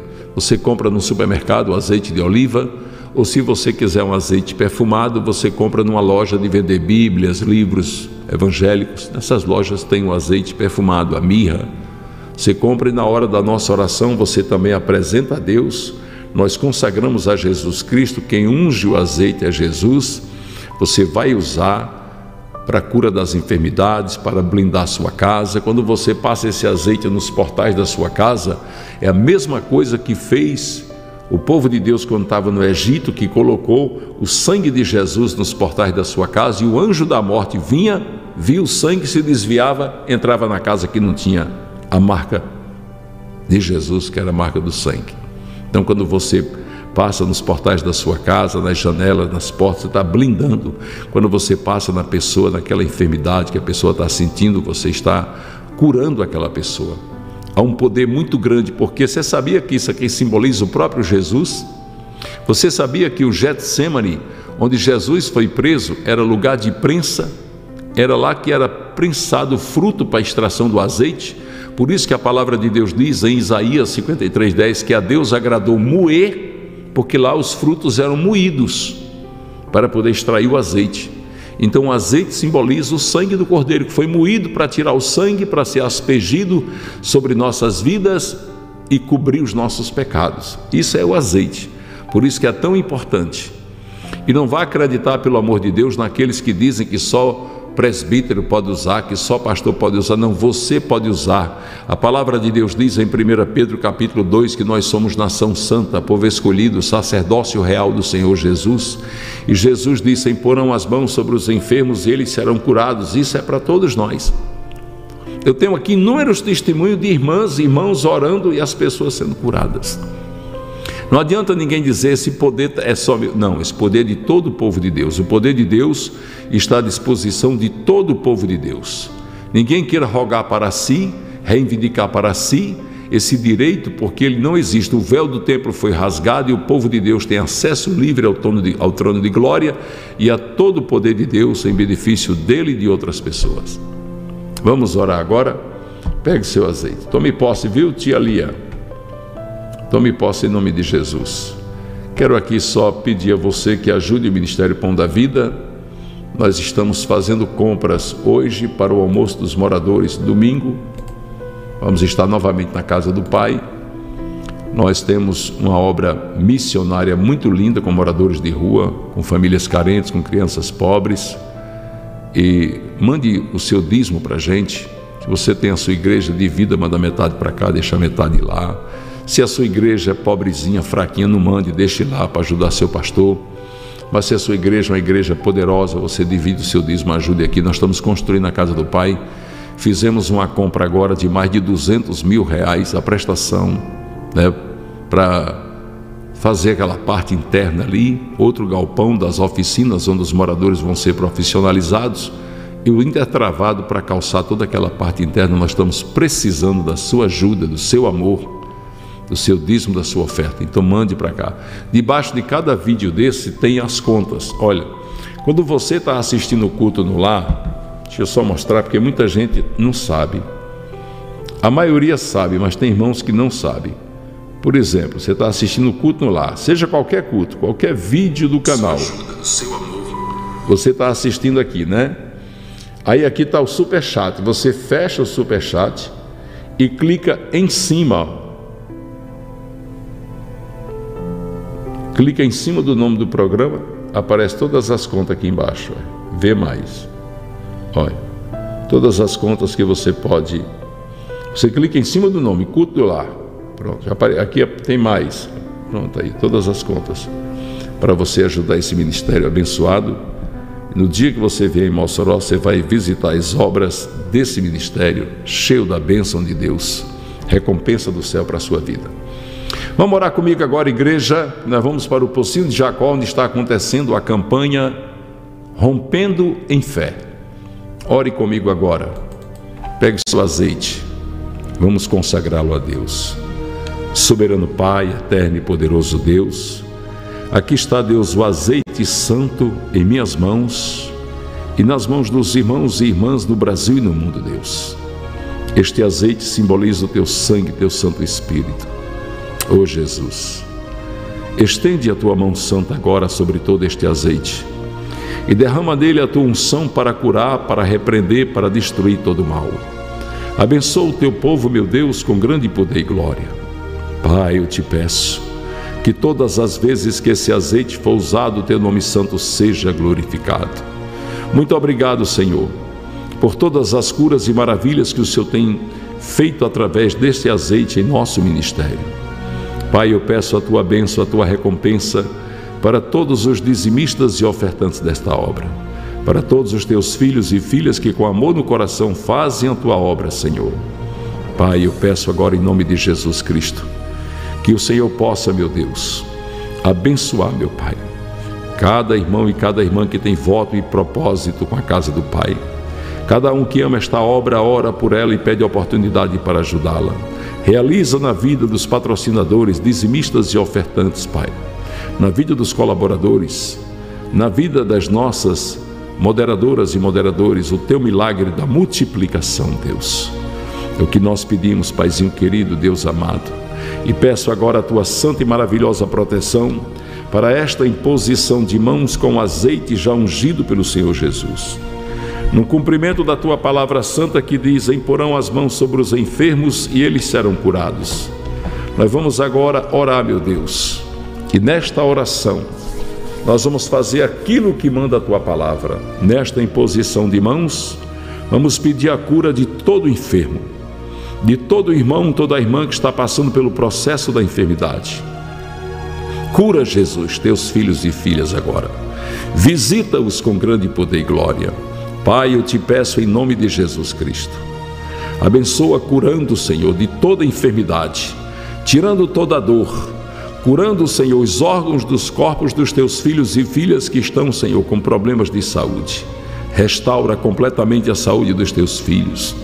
Restaura também aqueles que estão na depressão, na ansiedade, no mal do pânico. Deus visita agora com poder e glória os casais que estão querendo se separar. Une os casais, meu Deus, faz com que um olhe para o outro e veja a tua imagem, a tua semelhança. Que ama os seus filhos e se unam em família para viver a plenitude do teu Santo Espírito. Abre as portas e abençoa a vida financeira, a prosperidade dos teus filhos e filhas. Abençoa aqueles que têm indústria, comércio, aqueles que vendem produtos. Abençoa os que têm pequenos, grandes e médios comércios. Multiplica, Senhor, na vida da família, abrindo as portas de emprego, das oportunidades. Pai querido, honra cada voto, cada propósito feito com a pão da vida, com a casa do Pai. Torne realidade o pedido dos teus filhos para que saibam que esta obra é uma obra santa nascida no teu coração. É o que nós pedimos, Deus, em nome de Jesus. Pedimos a tua santa proteção para todos os irmãos e irmãs que dão like, que dizem que gostam, Deus, da, da tua palavra, que gostam do culto no lar, pois fala do teu amor e da tua misericórdia.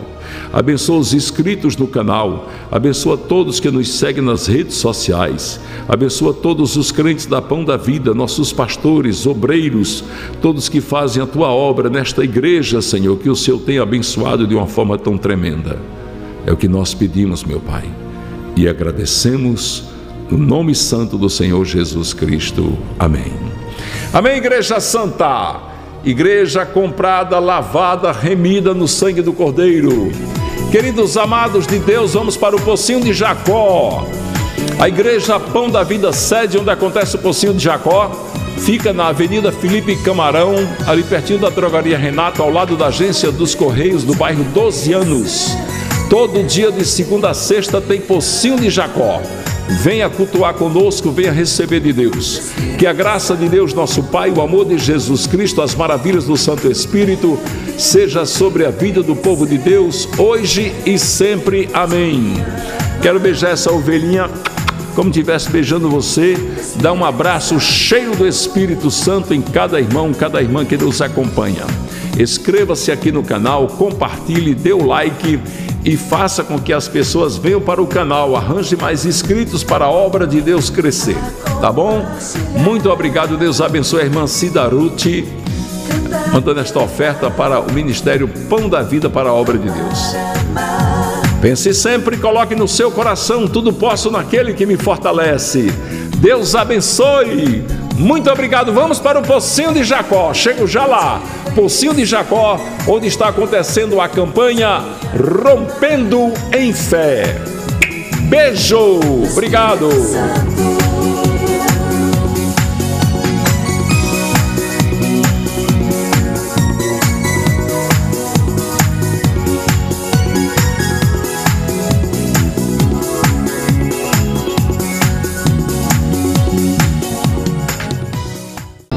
Pai falou em segredo, a mulher fica tudo olhando para a gente. Mas eu tive um sonho com uma missionária nossa, uma moderadora aqui. Ela não é casada, ela é solteira. Eu tive um sonho eu casando ela, pensou? Eita. Eu casando ela e, e no sonho eu estava casando ela na igreja sede aqui. E eu olhava no rosto dela e no meu coração dizia assim: ela mesmo. Porque ela estava com a expressão de tanta felicidade que ela parecia bem mais jovem, né? A felicidade renova, não é verdade? É um renovo, né? Eu vou deixar o pessoal curioso aí. Eu vi a missionária, Deus. Vai ter gente, ter disse, gente, Deus, vai ter gente orando. Senhor, me revela, sou eu. Senhor. Deus, Deus, faz, faz real este sonho, Pai. Eita, trem. E era um casamento lindo, muito bom. A igreja e tinha um coral cantando, Osana a Deus nas alturas. Glória. Eita glória! E aí o coral cantava e dizia: Osana a Deus nas alturas, bendito que vem em nome do Senhor. E eu entendia que, naquele sonho, eu entendia que quem vinha em nome do Senhor era o noivo. Eu disse: Deus, eu creio. Eu creio que tu és Deus que faz. Eita glória! É, é sério. Mas vamos para a mensagem, né? Chegou meu pastor Raul. Vem cá, pastor Raul, vem cá, porque você tem que levar um beijo meu hoje. E é meu filhinho querido. Deus abençoe, meu filho. Vamos trazer uma mensagem hoje. Você sabe qual é a mensagem de Deus hoje? Deus está dizendo assim para você: olha, para você que está aí, Deus está dizendo assim: eu quero um particular contigo. É. A palavra que Deus colocou no meu coração hoje de manhã foi Mateus 6,6. Entra no teu quarto, fechando a porta, ora teu pai que está em secreto. E teu pai que vem em secreto te recompensará. Você sabe o que, é que essa palavra quer dizer? Essa palavra está Deus chamando você para ter uma conversa com Ele, para Ele resolver a questão. Porque às vezes as buscas têm sido tão grandes, pastor. A pessoa tem batido em tantas portas, tem esperado tanto, tem compartilhado tanto os seus sonhos com tudo que é gente. É assim, não é?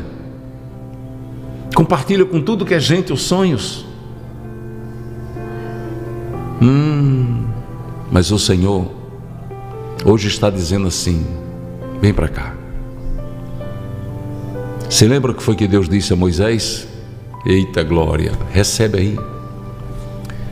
Foram se queixar a Deus, né? Arão, irmão de Moisés, olha a irmã, Miriam, foram se queixar a Deus da Detan, Corã, Abirão, Coré, Abirão, queriam ter a intimidade com Deus que Moisés tinha. Não era verdade, não? E aí o que foi que Deus disse? Deus respondeu assim: Com vocês eu falo pelos profetas, com vocês eu falo na palavra, mas com Moisés eu falo cara a cara. Eita Jesus! E hoje Deus está dizendo para você: Eu quero conversar com você cara a cara. Eu quero te chamar para um particular. Sabe por que Deus quer chamar para um particular? Não é só para entregar a bênção, não. Não é. Ele vai entregar, mas Ele quer te chamar para um particular para te dizer as razões de tudo que está acontecendo. Porque tudo que está acontecendo está no controle dele. Está tudo no controle dele. Ele é que manda, ele é que faz, ele é que sabe fazer, ele é que desmancha. A palavra de Deus diz lá no capítulo 2 de 1 Samuel que ele faz descer a cova e faz subir da cova. A palavra diz que ele empobrece e ele enriquece. Eita glória! Deus está dizendo hoje assim: Eu quero um particular com você.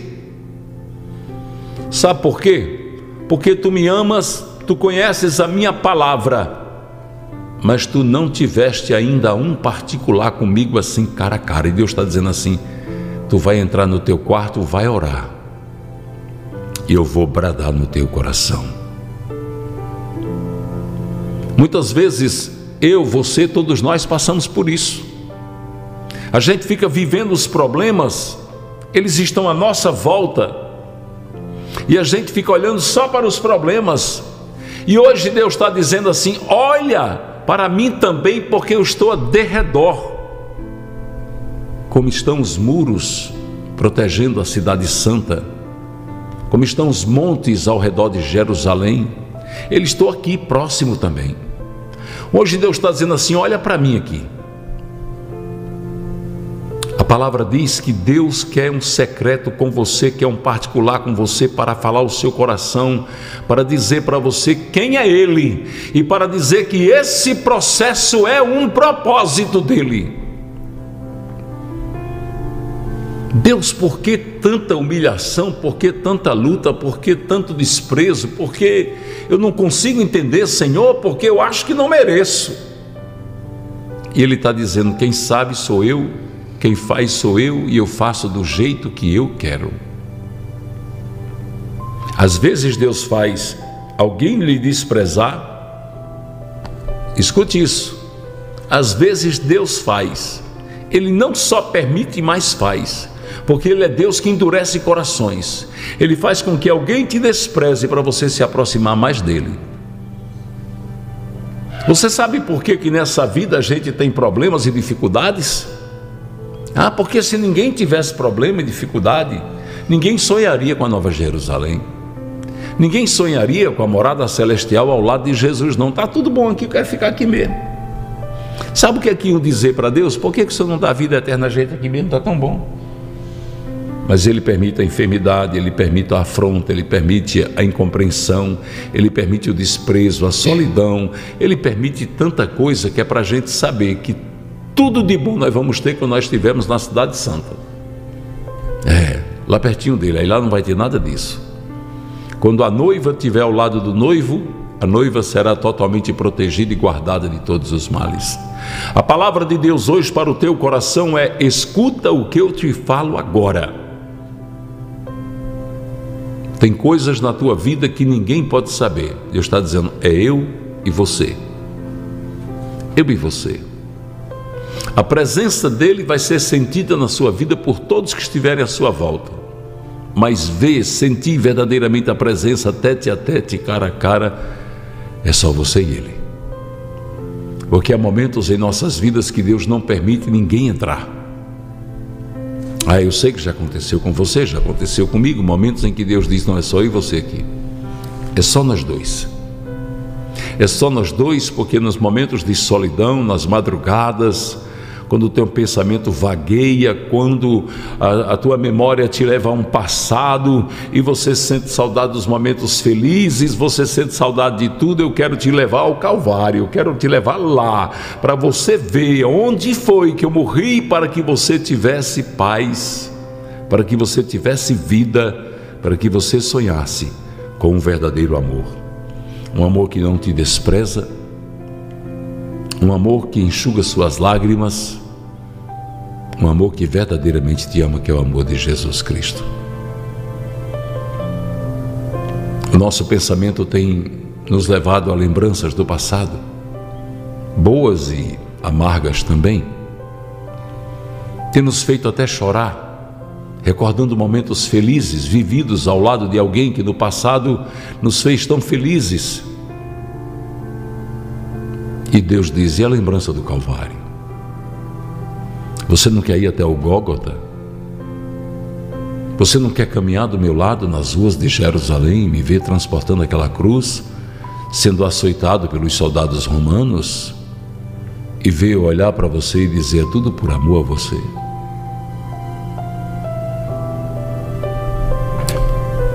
Jesus caminhou três dias para chegar até a mulher samaritana. Três dias foi a caminhada dele. Saindo de Jerusalém, ele foi até lá para encontrar aquela mulher. Quantos passos ele deu, quanta sede ele sentiu, quanta fome ele passou naquele caminho. Mas a cada passo, ele dizia: Eu preciso libertar aquela mulher. Hoje Deus está dizendo assim: Eu preciso ter um particular contigo para te libertar para te libertar desse passado, dessa masmorra, desses traumas, desse medo, dessa angústia, desse sentimento de solidão, de às vezes se sentir tão só. Deus está dizendo assim: Eu quero um particular contigo.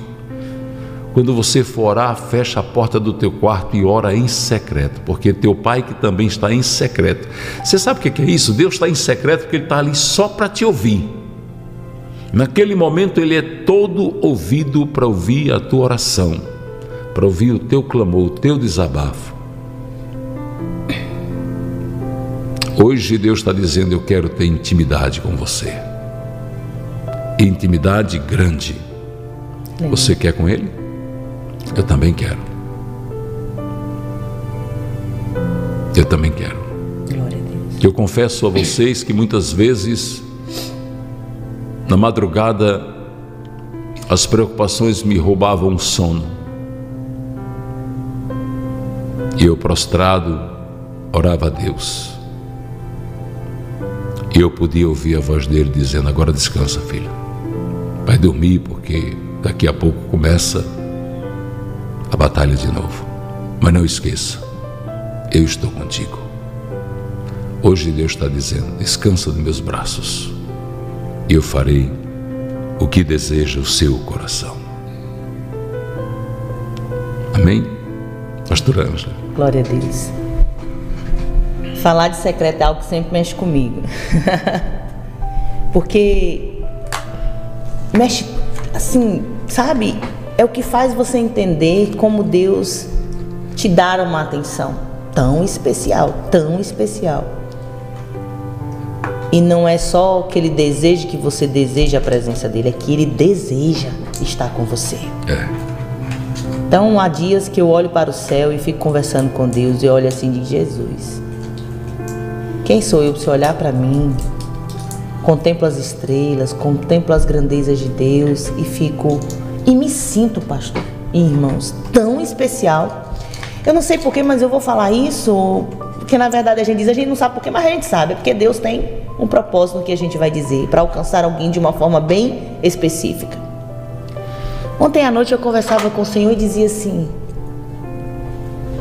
Deus é tão interessante que quando nós entregamos a nossa vida para o Senhor, a gente se sente tão especial, tão especial, tão especial para Deus, ao ponto de você achar que Deus só olha para você. E eu começava a lembrar de quando o Senhor falou as primeiras promessas para mim, fez as, as primeiras promessas. E eu ri comigo mesma, porque eu digo, Jesus, é muito bom, porque o que, que Deus falava? Deus dizia: Tenho eu grandes coisas com você, vou eu fazer grandes coisas na sua vida. E eu, claro, eu, aquilo enchia o meu peito, enchia o meu coração e eu sabia que tinha algo muito grande de Deus para ser realizado na minha vida. Mas quando eu ouvia Deus falar para alguém, pastor, assim, tenho eu grandes coisas contigo, aí eu olhava assim e dizia, como assim? Não estou entendendo. Não era comigo que só tinha umas grandes coisas? Só que aí é algo que a gente entende assim que nós aceitamos a Cristo. É que nós não vamos ser egoístas. Não faz parte de quem caminha com Deus. É. Você vai entender que Deus tem grandes coisas com você, tem grandes coisas com o seu irmão, com grandes projetos e propósitos na vida do outro, mas isso não tira de você esse sentimento de que você se sente tão especial que é como que você olhasse para o céu e visse Deus olhando só para você o tempo todo. Por quê? Porque é assim que ele fica. Olhando para todos nós, mas em cada um focado em todo o tempo. Eu disse: Deus, que coisa maravilhosa é essa? Você entende que quando você entrega a sua vida para o Senhor, você compreende o valor que você tem? O grande, o poderoso, o fiel, quem nos criou, quem nos formou, está olhando para nós o tempo todo. Por isso você se, se sente tão especial ao ponto de achar que Deus só trabalha na sua vida. Porque Ele faz você se sentir como? Preenchido. O tempo todo sendo contemplado, envolvido nesses muros de amor, de proteção de Deus, cuidado por Ele. Irmãos, isso é tão maravilhoso. Deus nos chamar para uma intimidade. Ontem no, no programa Jesus Ainda eu falei sobre o versículo do Salmo é, 25, versículo 14, quando diz que os segredos do Senhor aqui ele revela são para aqueles que o temem. Aí ele revela a sua aliança. Imagina, não é meu pai, meus irmãos chegar para mim e dizer, Anjo, eu quero te contar um segredo. É Deus dizendo, filho, eu quero contar um segredo para você. Oh, glória! Fala, Senhor. Me conta, Deus.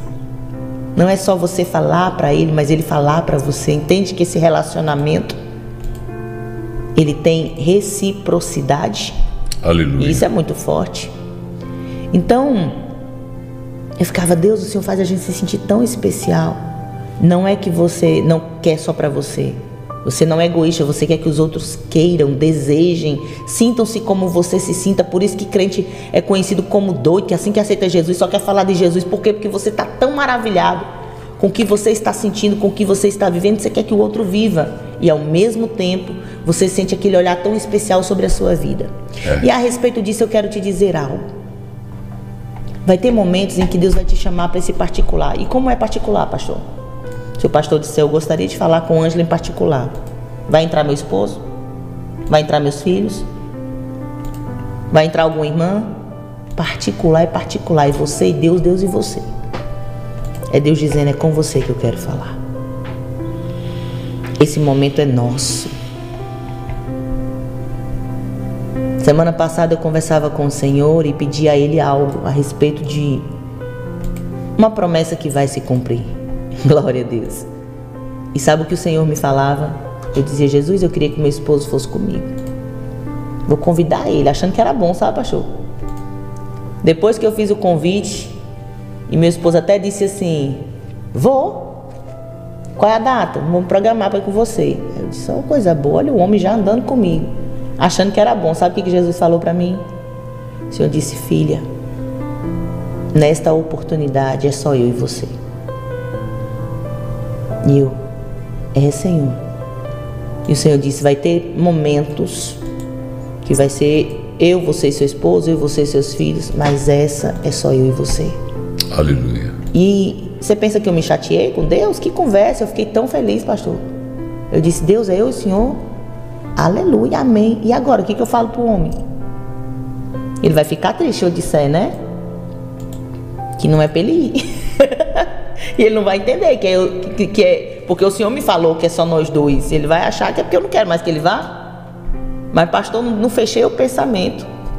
O homem chegou e disse: Tem que ir de ônibus também? Eu disse: Tem.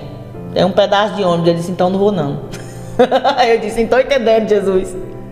O que, que eu quero falar? É que vai ter momentos em que o Senhor está dizendo: Filho, filha, porque essa dor que você está sentindo é sua, não é do outro. Os questionamentos é seu, não é do outro. E Deus quer falar com quem? Com você. Deus quer tratar com você. Nós temos os nossos segredos com Deus. E segredo é segredo. É você e ele, ele e você. Fecha essa porta aí. Você tem seu cantinho de oração? Seu quartinho de guerra? Seu quartinho de guerra. Lá em casa, o quartinho de guerra é tão interessante, pastor, o quartinho de guerra lá em casa. E aí os meninos se apossaram, sabe, do meu quartinho de guerra? Eles inventaram agora que agora é onde eles vão dormir. Eu disse, tá bom, Jesus, estou entendendo. É porque tem Mas- presença É, então eles vão ficar lá. E aí os dois dormem na caminha do lado.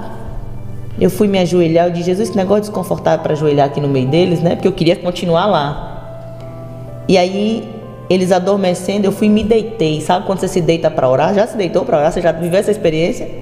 Se deitar, é, é- é o que os irmãos costumam dizer, a cara no pó. Aí eu tô lá, deitada no chão. Graciano dá uma virada. O meu mais velho diz assim: Mãe, por que é que a senhora tá deitada no chão? Aí eu só respondi bem rapidinho assim: Tô orando. Aí ele, ah, então tá. Ou seja, não questionou. Que já entende que a gente ora do jeito que a gente, né, desejar. Então, ele, ele nunca me viu deitada no chão orando. Mas naquela hora, pastor, ele entendeu. Tipo assim, com Deus, os mistérios de Deus ninguém questiona, né? Mas não teve jeito, irmãos. O Senhor me inquietou, diz: vai para um quarto fica só. Não é que você não possa orar com os outros, mas o Senhor está dizendo: tem aqueles momentos que é eu e você, filho. Nada vai te distrair. Não é para nada te distrair. Você quer ouvir a voz de Deus, mas você fica em ambientes que muitas vezes vão tirar a sua atenção. Ao lado de pessoas que podem tirar a sua atenção. Tem que estar lá no cantinho, sozinho, entregue, dedicado, totalmente ouvidos para falar e para ouvir Deus falar com você. É nesse secreto que a gente chora, que a gente se derrama, que a lágrima desce, que a angústia vai embora. É neste secreto que os fardos são lançados, né? Ao Senhor, é nesse secreto que a gente desabafa, que a gente diz: é Deus, não era para mim estar questionando, mas eu estou questionando e eu posso falar porque eu sei que o Senhor é meu Pai e o Senhor me entende. O Senhor sabe que não é porque eu estou desafiando o Senhor, nem te afrontando. O Senhor conhece os meus questionamentos. É nesse secreto, é nessa hora que está só você e Deus, que você fala do que você está sentindo e você sabe que Deus não vai olhar para você e vai te lançar fora e vai te julgar e vai te condenar e que Ele vai te ouvir porque Ele quer. É que você seja livre, que você seja liberto, que você seja curado, que você se levante, que você seja fortalecido. É nesse secreto que você abre o teu coração. É nesse secreto que vo- você diz para Ele o que você não teria coragem de dizer para ninguém, mas você diz para Ele, porque você sabe que Ele conhece tudo sobre você, que dele não esconde nada e que você não precisa ter medo de falar com o seu Pai.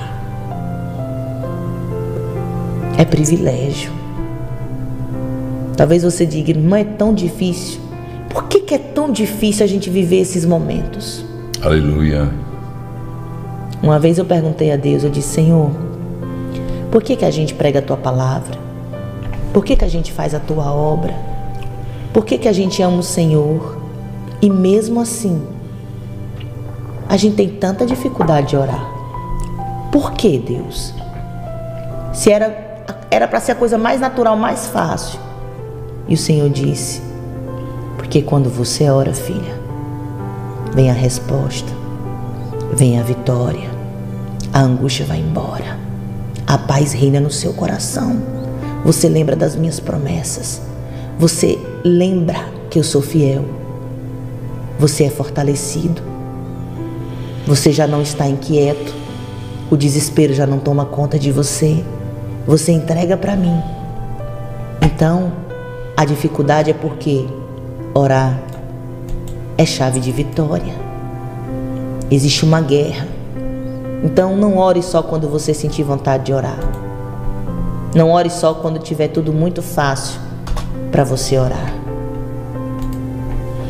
Quando as coisas se levantarem, aí é que você desce para orar. Ora. Não é porque eu estou tão cansada. Eu faço uma oração e Deus atende, viu? Porque é da vontade dele. Eu digo assim: eu fiz oração, essa oração de madrugada. Essa madrugada eu disse: Deus, eu te peço, me acorda. Espírito Santo, se eu dormir de cansada, me acorda. Não deixa eu dormir, não, sem ter meu secreto. Me acorda como tu me acordava antes. Me acorda. Aí tá lá, 3h30. Oxe, que houve? Orar. Entende? Talvez você esteja, irmã, vocês falam tanto em orar de madrugada, deixa eu te dizer. Não é que você pode só falar com Deus de madrugada. Mas só hora de madrugada quem tem muita sede, pastor. Quem Verdade. está muito disposto. Quem abre mão de um sono para poder o descanso físico para descansar no espírito. É quem reconhece demais, Senhor, eu preciso. Irmã, Deus está falando para pessoas aqui que estão vivendo guerras terríveis. E Deus está dizendo: Eu vou dar vitória na oração. Então levanta e ora. Jesus está difícil. Começa orando deitada, começa orando sentada, começa orando, caminhando, mas ora. Ora. Você vai começar a sentir o mover de Deus e você vai sempre se voltar mais para Ele. Aleluia. Sempre vai ouvir mais a Ele. Não existe intimidade sem relacionamento. Não existe intimidade sem disposição. Não existe intimidade sem dedicação de tempo. Não existe. Como é que eu vou conhecer mais de Deus se eu não paro para ouvir a Deus? Se eu não paro para Ele se revelar para mim na Sua palavra? Se eu não tenho desejo de conversar com Ele? Então Deus me desperta. Deus me levanta. Me põe, Senhor, à disposição porque eu quero. E mais do que querer, eu preciso. Eu desejo muito isso, Senhor. Um relacionamento íntimo, constante e firme com o Senhor. Volta aí pro seu secreto. Deus está falando aqui, viu? Tem secreto aí que está empoeirado. Tem secreto que está abandonado. Tem secreto que faz dias que você só passa, olha e continua. Eu me lembro de uma vez ir orar na casa de uma irmã e ela disse: Ora em todos os cômodos da minha casa, bora. E quando passou por um quartinho, eu disse: Deus está dizendo, por que, que você abandonou o cantinho secreto? Pastor, quando ela abriu a porta, estava todo cheio de telha de aranha. Era Deus dizendo aqui, ó, a gente se encontrava, só nós dois. Nós tínhamos momentos lindos. Eu não sei se o seu secreto é na cozinha, se é na sala, se é no ambiente fora da sua casa. Se o seu secreto às vezes pode ser dentro do carro quando você está de saída, mas é o tempo que você tem de ficar lá. Eu não sei se o seu secreto é naquela hora que todo mundo dorme e você escolhe um momento ali para ficar com Deus, mas Deus está dizendo: volta para o secreto. Deus vai te dar estratégia no secreto. Deus vai te falar de coisas que estão por vir te preparando. Deus vai te animar, Deus vai te levantar e mais do que isso, Deus vai te revelar. Ei, querido, querido, Deus vai trazer à luz o que está escondido. Deus está dizendo: vai para o secreto, porque vou eu te revelar o que está acontecendo. Deus está vendo, você não está vendo, e Deus está dizendo: vai para o secreto que eu vou mostrar. Vai para o secreto, porque Deus vai te dizer por que, que não está dando certo e você não está entendendo. Não é porque você não está se esforçando, é Deus dizendo: estou eu impedindo de você chegar e você não entendeu, filho. Por que, que você não entendeu? Porque você não está ouvindo a Deus, Deus dizendo os sinais que eu estou dando para não que não está dando certo, porque é para te dar livramento e você não está entendendo. Ah, Deus, eu preciso me esforçar mais. Sim, você precisa esforçar para ir para o secreto, para você entender que é você correndo, correndo e Deus dizendo não vai porque eu estou te livrando. Não está dando certo. Tem porta fechada. Aleluia. Porque é Deus dando livramento e você não está entendendo. Mas quando você descer na presença de Deus, você orar, você ir para o secreto, Ele vai te revelar o que que estava preparado para você e por isso Ele não está deixando dar certo. Ontem eu meditei sobre algo a respeito de um jovem que está tentando tanto algo. Eu disse, Jesus, por que, que não dá certo? A gente ora e não dá certo, ele pede e não dá certo. E o Senhor disse, sabe por quê, filha? Porque eu não estou deixando, estou endurecendo o coração porque eu estou chamando ele para intimidade. Eita glória. Eu disse, então pronto, Jesus, não coloco mais a mão. Não vou mais mexer com o que o Senhor está dizendo que não é para fazer. É Vai pro secreto. Ei, querida, você mulher, com teu esposo, com os teus filhos, vai pro secreto que Jesus está dizendo, vou eu te dar estratégia. Deus vai dar estratégia no falar. Deus vai te dar estratégia e vai te mostrar por que, que o negócio está todo bagunçado. Deus vai te dar estratégia e vai dizer por que, por que, que essa confusão se levantou na tua casa por uma coisa tão pequena que você não viu, mas Deus viu. E Deus vai dizer: você vai fazer isso aqui, coisas pequenas, mas na estratégia do Senhor tem vitória. Aleluia. Aleluia. Aleluia. Glória a Deus. Oh, Jesus bom. Deus vai dar estratégia para crente, sabe por quê, pastor? Tem crente abrindo a porta e Deus está dizendo: fecha a porta. Fecha a porta. Irmão, não estou entendendo. Você vai entender. Deus está dizendo você vai fechar a porta para gente que não é nem para pisar na sua calçada. Por quê? Porque Deus conhece. Eu e você não sabemos, mas Deus conhece as preparações, as ciladas e onde o inimigo quer entrar, com a brecha que está aí aberta. Mas é tão pequenininho, irmã, é tão pequenininha. Pois é. Nesse pequenininho, filho, o vento forte bate. E aí você sabe, né? Jesus está dizendo: vai para o secreto, filho, filha. Vou eu te dar estratégia, vou eu te dar livramento, vou eu te fortalecer, vou eu te conduzir, vou eu te dar paciência para esperar no tempo certo, vou eu te falar como é para fazer, vou eu te dizer como é para você falar. Você quer? Sim, Senhor, eu quero. Então, se você quer para ouvir a Ele, tem que parar para ouvir a Ele. E Ele vai te dar vitória. Eita Deus, vai ter crente testemunhando assim: Pastores, eu vivi um mistério tão grande que só acredita quem sabe que Deus é Deus e fala na terra Eita Deus, e faz eu creio. coisas tremendas. Eu creio, irmão. Se eu não creio, você não estava aqui. Eu creio tanto, tanto, tanto. Eu creio tanto, tanto, tanto. Eu creio tanto, tanto, tanto. Que eu sei que ainda semana que vem vai ter crente testemunhando do mistério do quarto secreto. Da vitória de Deus. Na estratégia, no falar, porque você foi pro seu secreto. Com Aleluia. o Senhor. Receba aí, seja abençoado por Deus em Cristo Jesus. Glória a Deus. Antes de trazer a. vamos ler aqui os comentários de alguns irmãos para a gente interagir com os que estão na live. Oi, Maria José. Maria José Reis disse o quê? Eu acordei sem expectativa de vida, pedi uma palavra a Deus, Deus mandou vocês. Amém, Maria José. Deus abençoe. De. A Edejane Barros, de São dos Santos. Senhor Jesus, me liberte dessa depressão, da ansiedade, síndrome do pânico. É, Jesus, liberta a tua filhinha, meu Pai.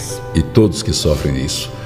Querido irmão Danilo Oliveira. Que diz, eu já me senti assim, Deus é tão maravilhoso e zeloso com a minha vida, que eu acho que sou mais especial que o normal para ele. É desse jeito, Danilo. Porque pensa desse jeito, ele tá dizendo, Senhor, por que comigo eu não faço por onde merecer tanto, tá vendo? É assim mesmo que a gente se sente. Valeu, Danilo. A gente se Marcilene, sente o filho mais queridinho de Jesus, né? é, Marcilene Gonçalves Noronha Ele Barbosa. diz, é verdade, Deus fiel, eu creio, Deus é fiel, eu recebo esta palavra abençoada no meu coração e tomo posse em nome de Jesus Cristo. E a Sandra Nóbrega. que diz o pastor, o que é esse monte de ovelhinha aí, pastor? Essas ovelhinhas são presentes que as irmãs e os irmãos dão ao pastor e representa cada uma de vocês, né? Querida Joselita Nunes. Hoje eu peço a Deus que faça na vida dos irmãos o que Ele tem feito na minha. É maravilhoso sentir a presença de Deus, ter paz, ter certeza que Deus é presente na minha vida. Amém, Joselita. Deus abençoe. Marta Carvalho. Que diz, obrigado Senhor, essa palavra é para mim porque moro sozinho e preciso fazer isso. Amém. Deus abençoe, querida Marta. E a nossa missionária Ilma de Cascais, em Portugal. Que diz, é verdade, vem um vazio na alma que não temos vontade de orar. Eita, glória. Aí é que tem que orar, né, Ilma? Mas a palavra de Deus diz o que? Senhor, o teu espírito me revela. Pastora Márcia Morgana cantando agora.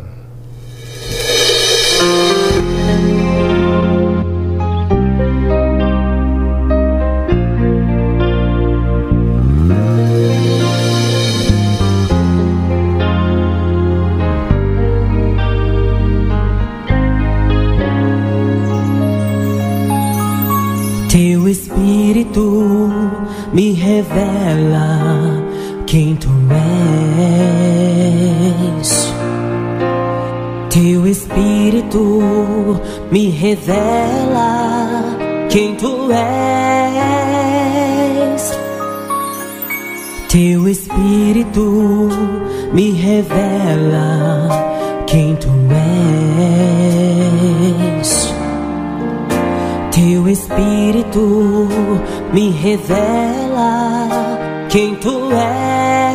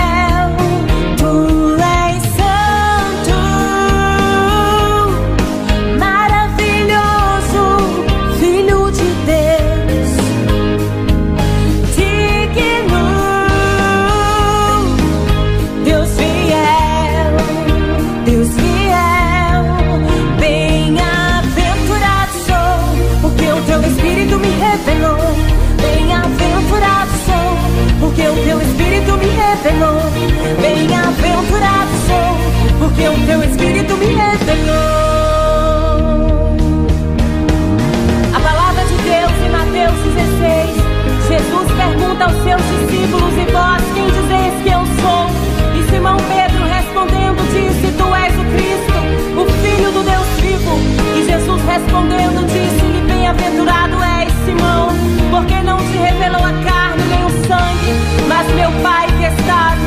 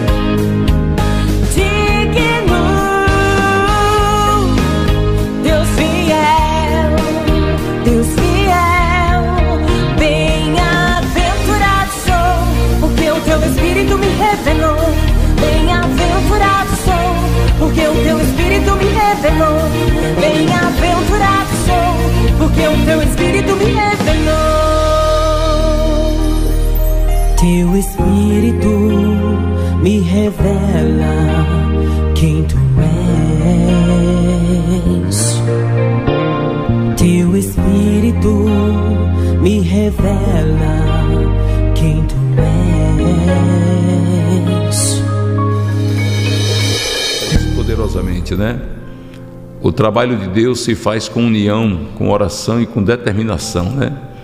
E eu fico muito feliz porque a nossa igreja é uma igreja que atua muito, não para de, de trabalhar. A igreja não é igreja para preguiçosos, não, irmão. É uma igreja para quem tem vontade de trabalhar, é uma igreja para quem tem vontade de fazer a obra. Glorificado e exaltado seja o nome do Senhor nosso Deus que faz essa obra maravilhosa conosco, né? O que é que eu ia falar aqui? Eu tinha um negócio para contar e esqueci. Lembre-se, pastor. Queria lembrar mesmo, sabia? Eu vou já, vamos já para governador, vamos visitar lá, vamos passar, fazer parte da obra lá à tarde. Eu tinha um negócio para falar que esqueci, era um negócio da, da igreja, esqueci. Sim, amanhã, mais um dia de almoço feito na casa do Pai. As irmãs e os irmãos vão estar lá cozinhando para os moradores de rua, fazendo a quantidade de comida maior, comida mais gostosa, né? E nós vamos estar lá. Vamos fazer live de lá. Amanhã também tem a amanhã tem a reprise das mensagens do culto no lar. Amanhã à tarde. Porque pela manhã eu vou deixar livre para a gente poder entrar, fazer uns flashes lá da casa do Pai. Uma obra maravilhosa.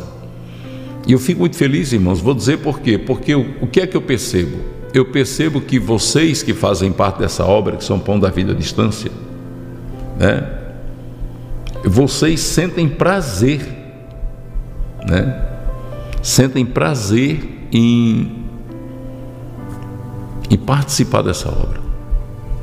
É, vocês vê todas essas ações que estão acontecendo aí, é a mão de Deus através de vocês, é Deus tocando o coração de vocês para abençoar essa obra. Vocês vão ver na próxima semana encostando lá os caminhões, são caminhões de material, caminhões que vão levar o galpão, porque o galpão é pré-moldado, né? O galpão ele é montado por etapas, que é outro galpão, não tem dois galpões. Deixa eu mostrar a vocês. Eu gosto de mostrar porque pense do pastor que gosta de prestar contas. Eu amo prestar contas, mostrar a vocês aonde está seus dízimos e ofertas, para você sentir prazer em dizer não, pastor, realmente é uma bênção mesmo. Olha, aqui não, cadê Jesus? Aqui.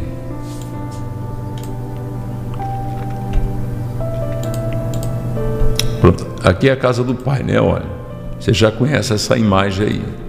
Aí tem esse, viu um galpão, dois galpões, está aí, ó. Aí, vizinho a esse outro galpão que já está fechado, vai ser construído outro do mesmo tamanho. Ele é 12 metros por 15.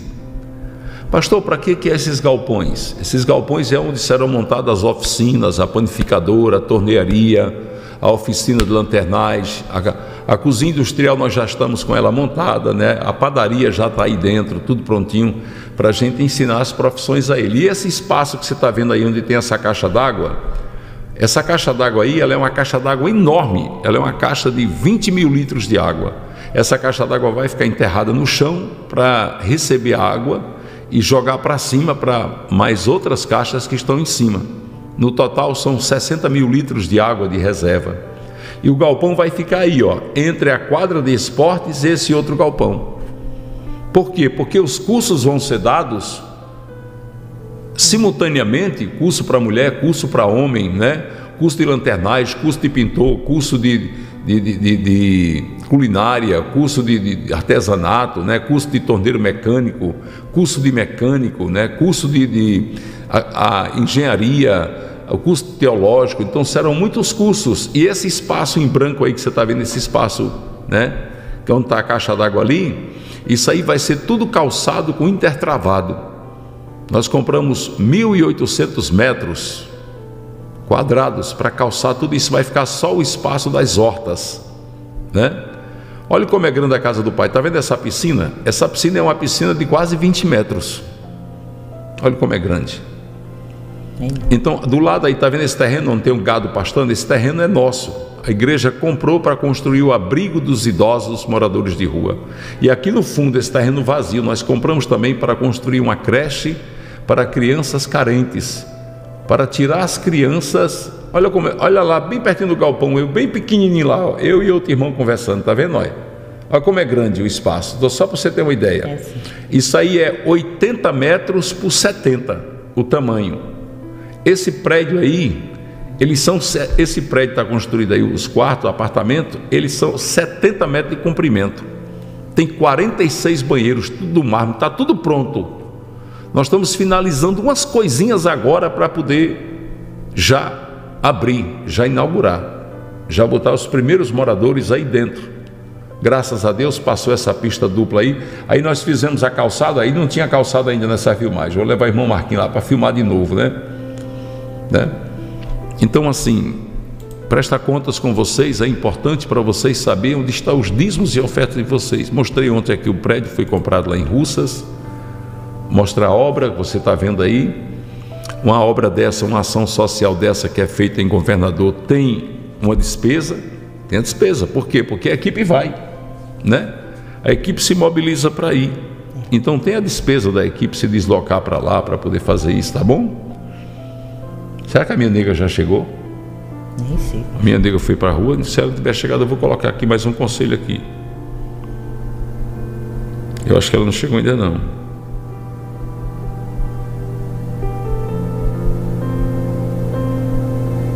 Ela vai responder que ela tá onde. Hein? Sim, você perguntou ela. Então vamos só rodar esse pedido de conselho aqui. Olha que coisa mais fofa. A filha da Daiane. É. Olha. Essa aqui é a menina que o pastor orou no ventre da mãe dela. Olha, mas é muito linda, né? Jesus do céu. Meu pai do céu, que coisa mais fofa. Olha. Ela queria ter uma filha mulher. Lindinha, né? Oh Jesus. Ela queria ter uma filha mulher. E o médico disse que não ia dar. Era muito complicado para ela. E lá na fazenda do pai, quando ela veio aqui, eu coloquei a mão na barriga dela, mas a pastora Jossanete, profetizamos a filha. Olha aí que coisa mais fofa. E Jesus esse Jesus não é gente, não. Ele ainda manda e manda bonito desse irmã jeito. Lídia, irmã Lídia, avó, né? Diz. Jesus, Pastora, mostra aí que eu tô Jesus, bestinha. Quem é que não fica? né? Olha, você acha muito bonitinha essa menina, meu Deus. Que coisa. Abençoa, meu pai. Abençoa, meu pai. Eita Deus. Quem é aqui que é menina aí? Pastor vai fazer uma oração agora, mas a pastora aqui vai ser mulher buchuda para tudo quanto é canto. Quem quer? Quem é que tem alguém? Só coloque eu quem tem alguém na família que quer ter filho e não pode ter filho, eu já vi aqui uma irmã dizendo que queria. Coloque assim, eu.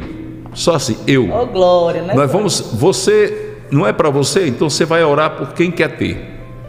Eita Deus, você vai passar a benção. Eu vou orar agora.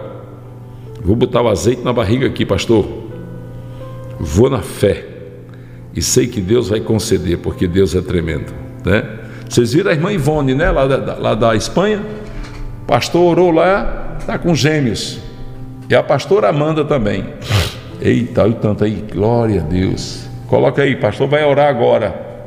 Jesus já está assim, ó. A palavra de Deus diz: os ouvidos do Senhor estão inclinados para ouvir a nossa oração. Tem uma amiga, Marta Cavalho. Pronto, Marta, você vai orar por ela e nós também. A irmã está dizendo, eu tenho, pastor, vou orar, vou, vou orar crendo para as irmãs da igreja. A irmã Cléia colocou, eu quero uma menina também. Eita glória. E Deus vai dar do jeito que você quer. Aí a Adriana Karina, corre, pastora Ângela, nem pode, nem pega a benção. Corre tu. Tá pensando o quê? Tá pensando que Alex não quer um menino? Não, é. E tem uma coisa, com essa. Com e- Adriana, Adriana, você mandou as pedras aí que Alex colocou Já para fora? perguntar como é que Alex está. Mandou, Adriana, para mim? Ela mandou umas pedras que Alex botou para fora. Deixa eu ver se ela mandou. É um milagre de Deus também. Eita Deus.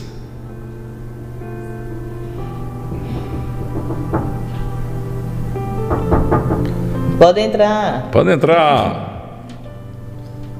Ah, chega para cá, benção. Pronto, na hora do milagre, pastor. na hora do mistério. Deixa eu, deixa eu ajeitar aqui para vocês virem. Irmãos, vou só dar aqui o lugar para os vasos aqui, né? Pastor, acho que tem outra cadeira ali, pegar pega ali. A Chega gente não aqui. pode deixar passar em branco, A não. senhora senta aqui, irmã Zélia, venha. Irmã Jocilene, você está aqui para você cantar aquele hino que eu chorei ali de manhã no café? Então, eu vou pegar Pronto, olha aqui. Olha as pedras que estavam nos rins. Olha o tamanho do dedo para você ver o tamanho da pedra. As pedras que estavam nos rins do pastor, pastor Alex. Receba, Alex. Pastor Alex. Tá vendo aí, ó? Olha, pelo tamanho da cabeça do dedo dá para você imaginar o tamanho da pedra, não dá? Ele botou isso aqui pelo canal da urina. Deus faz ou não faz? Olha o tamanho dessa pedra. Olha essas pedras pontudas. Deus tirou Aleluia. pedra nos rins. Vamos orar também pela cura da pedra nos rins. Bom, aqui é mãe e filha, né? Glória a Deus. Bota o fone de ouvido aí para você, pra você ver como é que fica bonito sua voz aí. Eita Deus do céu. Eita glória. Essa aí é- do Senhor, povo de é Deus. Jusilene. Jusilene lá de Goiânia, Pernambuco. Ela é, na verdade, você é baiana, né? Sou. A mamãe dela também é baiana. A mãe dela é de Itabora. Taberaba, Taberaba, Bahia. Taberaba? Bahia. Taberaba. Não tem uma cadeira maior, não, Anjo? Não, tá. A senhora vai ficar muito baixinha. ali. eu vou pegar. Eu sou pequenininha. Deixa a, a pastora vai pegar, a pastora vai pegar uma cadeira lá. Mas essas mulheres, irmãos, elas têm tanto milagre, tanta coisa para contar. A irmã Jusilene aqui, ela orou com azeite e profetizou filho em três mulheres, não foi? Foi.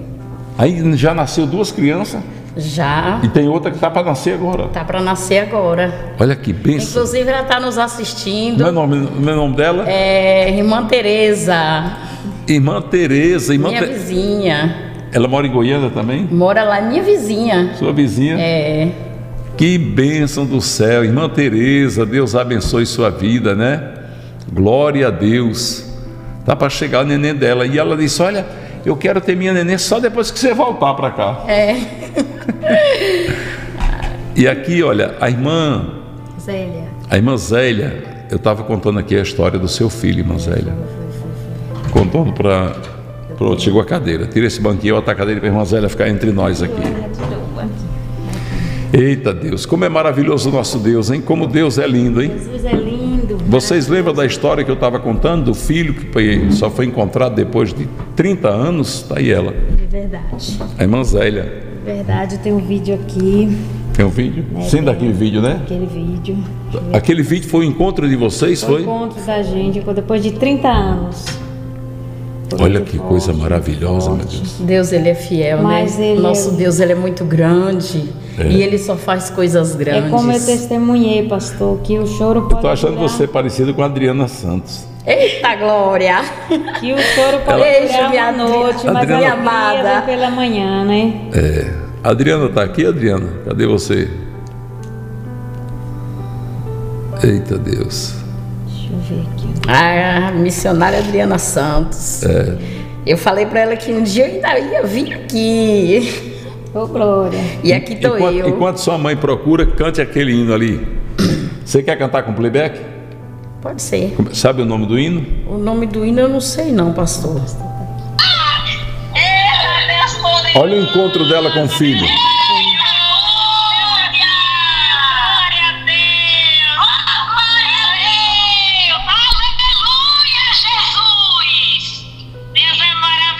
É muito emocionante. Aí o filho dela falando com ela depois de 30 anos. Aí tá a irmã Zélia, a irmã Jusilene, ele e a mulher que fez, a- fez o encontro, né?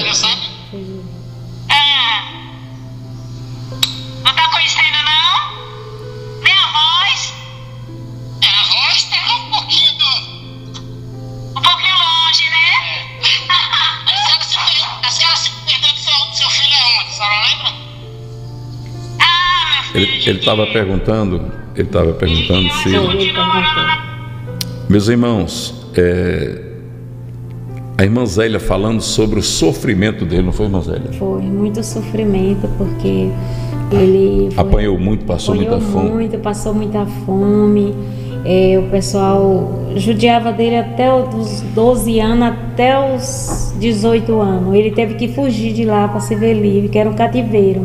Era um cativeiro total, mas Deus então com a providência ele fugiu de lá, só que ele não sabia encontrar mais os parentes onde estavam, porque quando ele saiu da Bahia para São Paulo, ele só tinha dois anos, né? E aí depois a gente foi para essa cidade que raptaram ele, ele estava com 12 anos, ele não sabia, ele só sabia o meu nome, mas realmente não sabia o nome mais dos parentes, entendeu? E o local, e aí foi muito difícil, muito sofrimento, mas Deus entrou com a providência e ele procurou uma ONG para procurar a família, porque a pessoa que tinha raptado ele falou que a mãe dele já era falecida. Mostrou uma foto de um acidente e falou: sua mãe morreu nesse acidente. não? Ele não tinha mais esperança de encontrar a mãe, sabe? Tinha esperança de encontrar os irmãos e tal, a família que ele não conhecia. E Deus deu essa vitória para a glória e honra do Senhor Jesus. Esse encontro foi lindo, maravilhoso. Né? Eu só agradeço ao Senhor por essa rica oportunidade, porque esse Deus é lindo, maravilhoso. né? Aleluia, Quando Ele Jesus. promete, Tu és cumpre. grande. Pode durar, o choro dura uma noite, mas a alegria vem pela manhã. Aleluia. Hoje eu estou feliz, né? Porque minha família está completa, meus filhos, todos, né? Porque a gente, quando tem um filho que não está na presença da gente, não sabe onde está, pastor, dói, dói, como eu dei o testemunho aí. dói. É muita dor que você não sabe, você nunca tem sossego, você não dorme direito, né? É. E fica pensando, não sabe onde que tá, não sabe se tá com fome, não sabe. Porque na, na, na mente da gente só vem que tá passando necessidade. E como ele estava, porque, né? Ele estava muito humilhado, né? Muito mesmo. O, o pessoal que criou ele judiou muito dele, ele tinha medo de montar em animal, ele tinha medo de, de vaca, boi, ele esforçava ele montar no animal a pulso. É, não foi fácil, não foi fácil. Ele me contou tudo depois, porque como é que eu sabia? Eu não sabia nada dele, onde é que ele estava, né? Quando a gente se encontrou, foi que ele passou tudo, contou tudo, o que aconteceu, quem foi, quem não foi, e é que eu vim ficar sabendo todos os detalhes. Glória a Deus. Essa aqui, irmã Zélia, é a mãe da irmã Jusilene e são duas servas de Deus que têm vivido os milagres de Deus. Glória Ela contando os testemunhos de Deus, da compra do carro dela, né? O carro dela e do esposo, né? Que o esposo não acreditava, do carro que ela chegou na concessionária e disse: Olha, é esse aqui o carro que Deus vai nos dar. E o marido disse: Não, esse aí é caro. né? Foi. E ela disse: É esse mesmo, Deus disse que é esse aqui. Foi. E hoje eles estão de posse desse carro, né? De Vitória. A irmã Zélia, que Deus usou uma contemplação no consórcio para mostrar para o marido dela que Deus é na vida dela, né?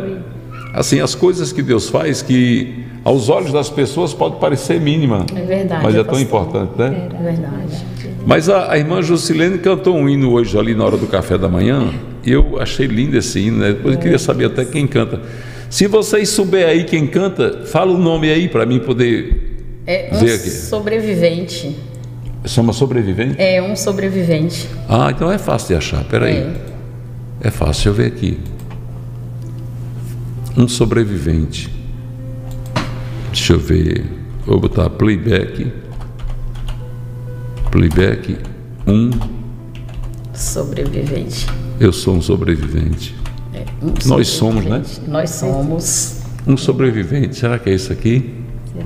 Eu acho que é, De esse aqui. Eunice Diniz? é o de baixo. Esse? É, eu acho que é esse. Vamos ver se é. Se for, você canta, certo? Uhum.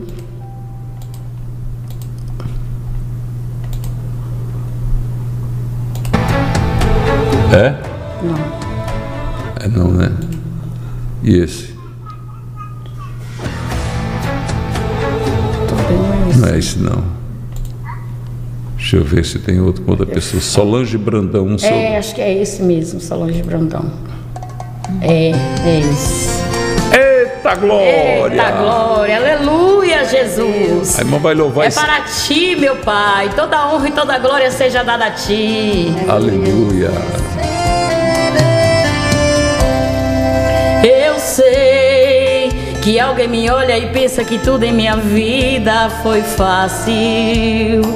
Que eu tive um berço de ouro, um sangue real, nasci num palácio. Não sabe que já fui traído e até humilhado pelos meus irmãos. Não viu quando eu chorei no poço sozinho, que decepção. Mas havia um plano de Deus, e quando Deus planeja dar certo, não importa se vão te humilhar, te vender como escravo, mas Deus está perto, cuidando de cada detalhe do teu amanhã, do teu amanhã. Aprendi que pra tudo há um tempo, para tudo debaixo do céu. Deus permite a dor e a perca, mas não abandona um servo fiel. O que você viveu foi lição, mas você aprendeu. Para futuramente cantar que sobreviveu. Eu já fui vendido, mas sobrevivi. Já fui humilhado, mas sobrevivi. Passei no deserto, enfrentei perigos, mas Deus estava comigo e eu não desisti. Já fui perseguido, mas sobrevivi.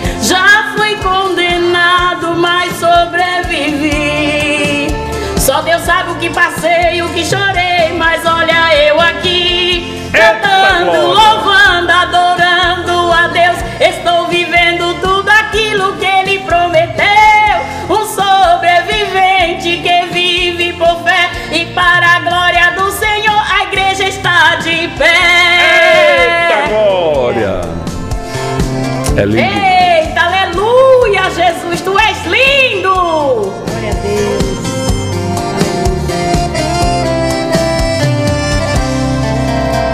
Mas havia um plano de Deus, e quando Deus planeja dar certo, não importa se vão te humilhar, te vender como escravo, mas Deus está perto, cuidando de cada detalhe do teu amanhã, do teu amanhã. Aprendi que pra tudo há um tempo, para tudo debaixo do céu. Deus permite a dor e a perca, mas não abandona um servo fiel. O que você viveu foi lição, mas você aprendeu. Para futuramente cantar que sobreviveu. Eu já fui vendido, mas sobrevivi. Já fui humilhado, mas sobrevivi. Passei no deserto, enfrentei perigos, mas Deus estava comigo e eu não desisti. Já fui perseguido, mas sobrevivi. Já fui condenado, mas sobrevivi. Só Deus sabe o que passei, o que chorei, mas olha eu aqui, lutando, louvando, adorando a Deus. Estou vivendo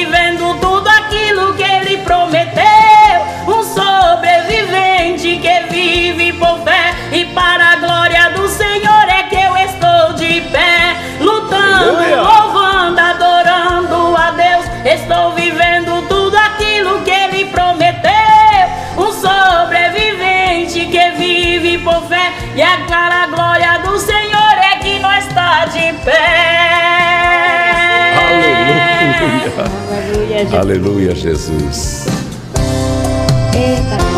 Vânia Belasquem está chorando ali, lá no Rio Grande do Sul, nossa missionária lá.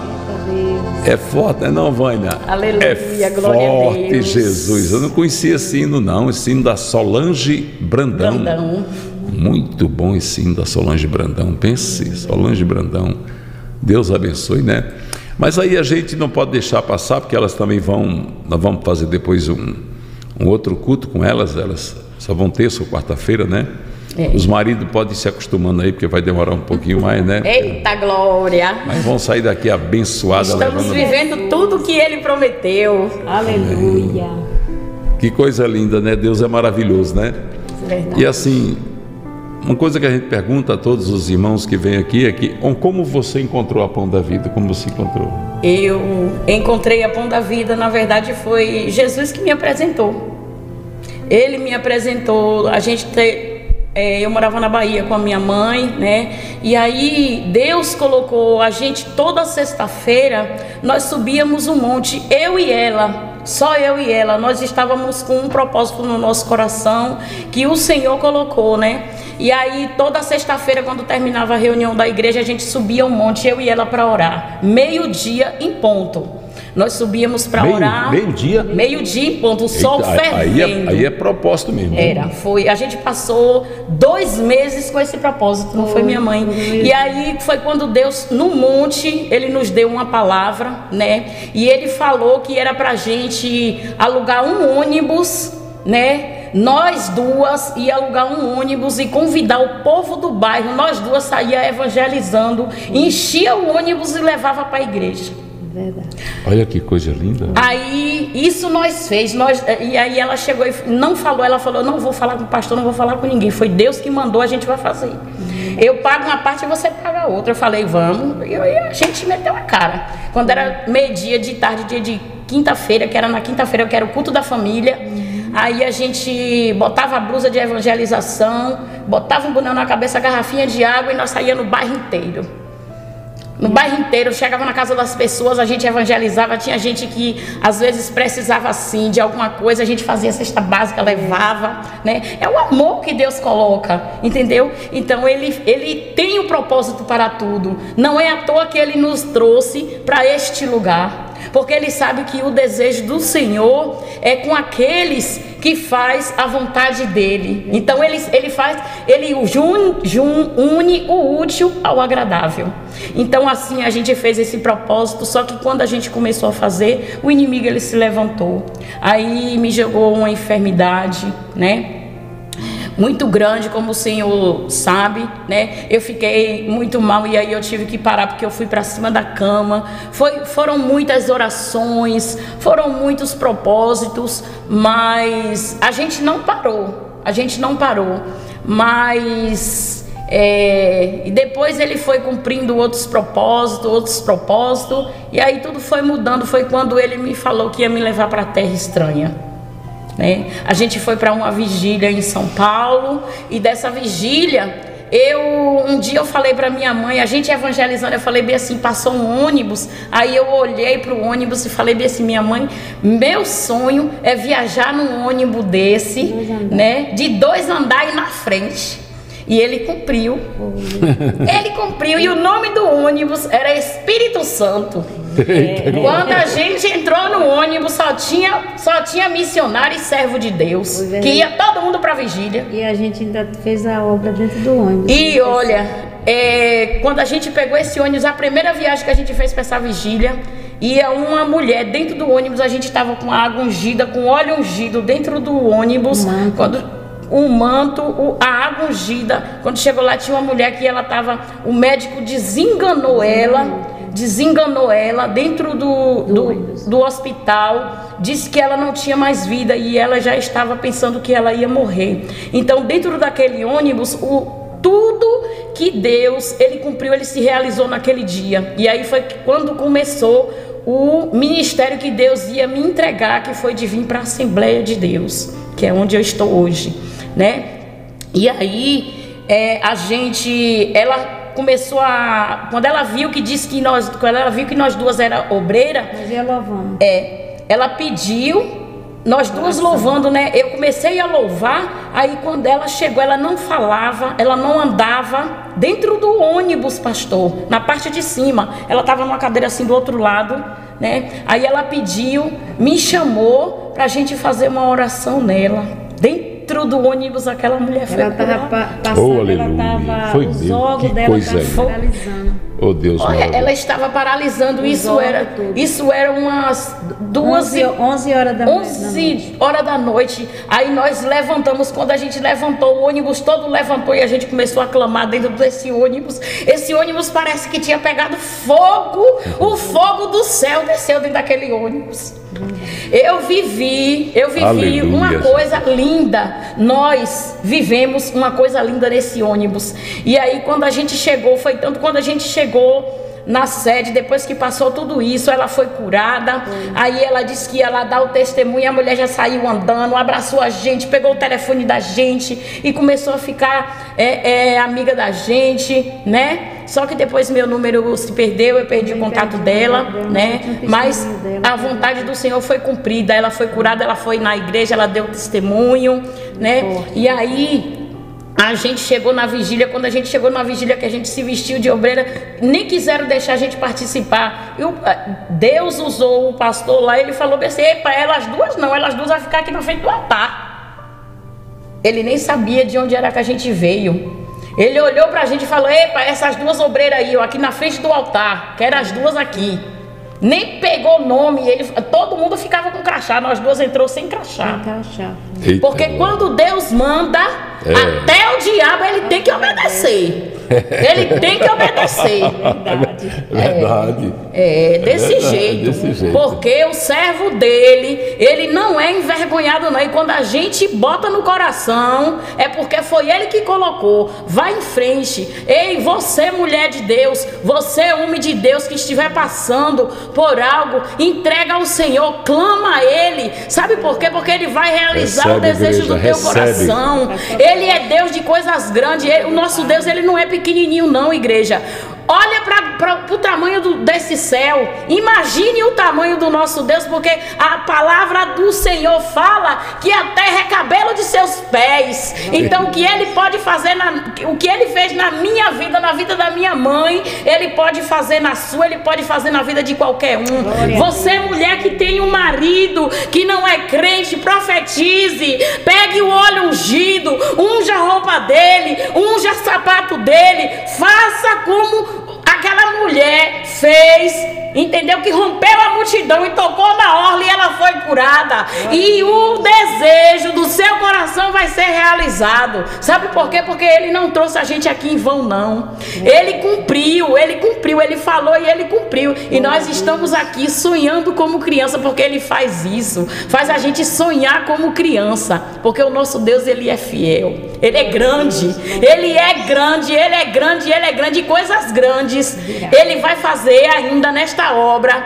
Eu ainda vou voltar aqui. Eu vou voltar. Em nome de Jesus. Porque ele já falou que eu ia voltar e eu vou voltar para eu testemunhar o que ele vai fazer. Para a glória de Jesus. Eita glória. Abra a Bíblia e entrega uma palavra. Essa aqui é do fogo. Eita glória. É, Deus, ele é grande. ele é grande, ele é fiel. As irmãs estavam dizendo ali, nossa, a mãe dela parece irmã dela. É, Tá parece, vendo? né? Tô ali achando novinha, viu? E eu, Amém. 67, vou fazer. 67 ela vai fazer, 67. Nem parece, né?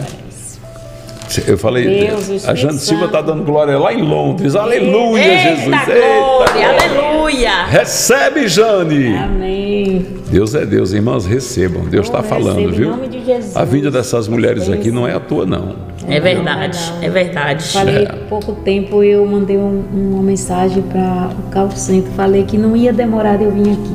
E não demorou nem um mês que eu mandei a mensagem. Sabe o que foi que ela fez? Ela saiu de Itaberaba, Bahia, foi para Goiânia, lá perto de Recife, pegou a filha dela e veio para cá. Foi, foi o propósito que Deus Ela cancelou uma festa de aniversário, falou: não vou não. Não foi, não, Não vou não, porque eu vou para esse propósito, eu vou cumprir um propósito, um propósito que ela fez com a pão da vida. Eu vou lá cumprir meu propósito e ninguém me tira desse Ninguém me propósito. tirava, porque quando eu cheguei as festas já estava toda preparada. Meu genro falou, a senhora vai bater o pão? Eu falei, não. Pode eu não vou. Meu propósito é com Deus, eu não vim comemorar nada. eu vou cumprir o que Deus colocou no meu coração. E aí, se alguém ficou zangado, não sei, mas só eles e Deus, e eu tô aqui, eu não fui nem eu e nem ela. É, e a- e a- o marido da irmã Jusilene, dessa aqui, mandou um áudio, eu achei bonito, ele dizendo, "Ô, como eu queria estar aí com vocês. Ele mandou outro áudio pro senhor. Ele vai É. ele vai vir. Ele vai vir. Ele vai vir porque eu profetizei. Eu já profetizei. Eu falei que ele, nós dois ainda ia virmos aqui e o Senhor vai consagrar o nosso casamento. Porque o meu casamento quem me deu foi Deus. Aleluia, Jesus. Quem me deu foi Deus. E inimigo nenhum toca naquilo que Deus dá. É verdade. Inimigo nenhum, nenhum. Eita Jesus. Deus é maravilhoso. Ele é grande, ele é fiel, ele é lindo. Ele é lindo. Só basta a gente crer, ter fé e fazer as coisas que ele mandar você fazer, você faça. Não temas, não temas, porque ele, quando ele manda, ele garante. Ele garante. Ele garante. Ele é, ele é aquele que, que faz coisas grandes e impossível. Aos olhos do homem pode até parecer impossível, mas para ele não existe nada impossível, porque ele traz à existência aquilo que não existe. Eita glória! Aquilo que não ele existe. surpreende, né? Surpreende. né? E eu quero deixar aqui uma palavra, né, neste dia, né, para agradecer. Primeiro eu quero agradecer ao Senhor, né, ao meu Deus, por ele ter nos trazido aqui, né?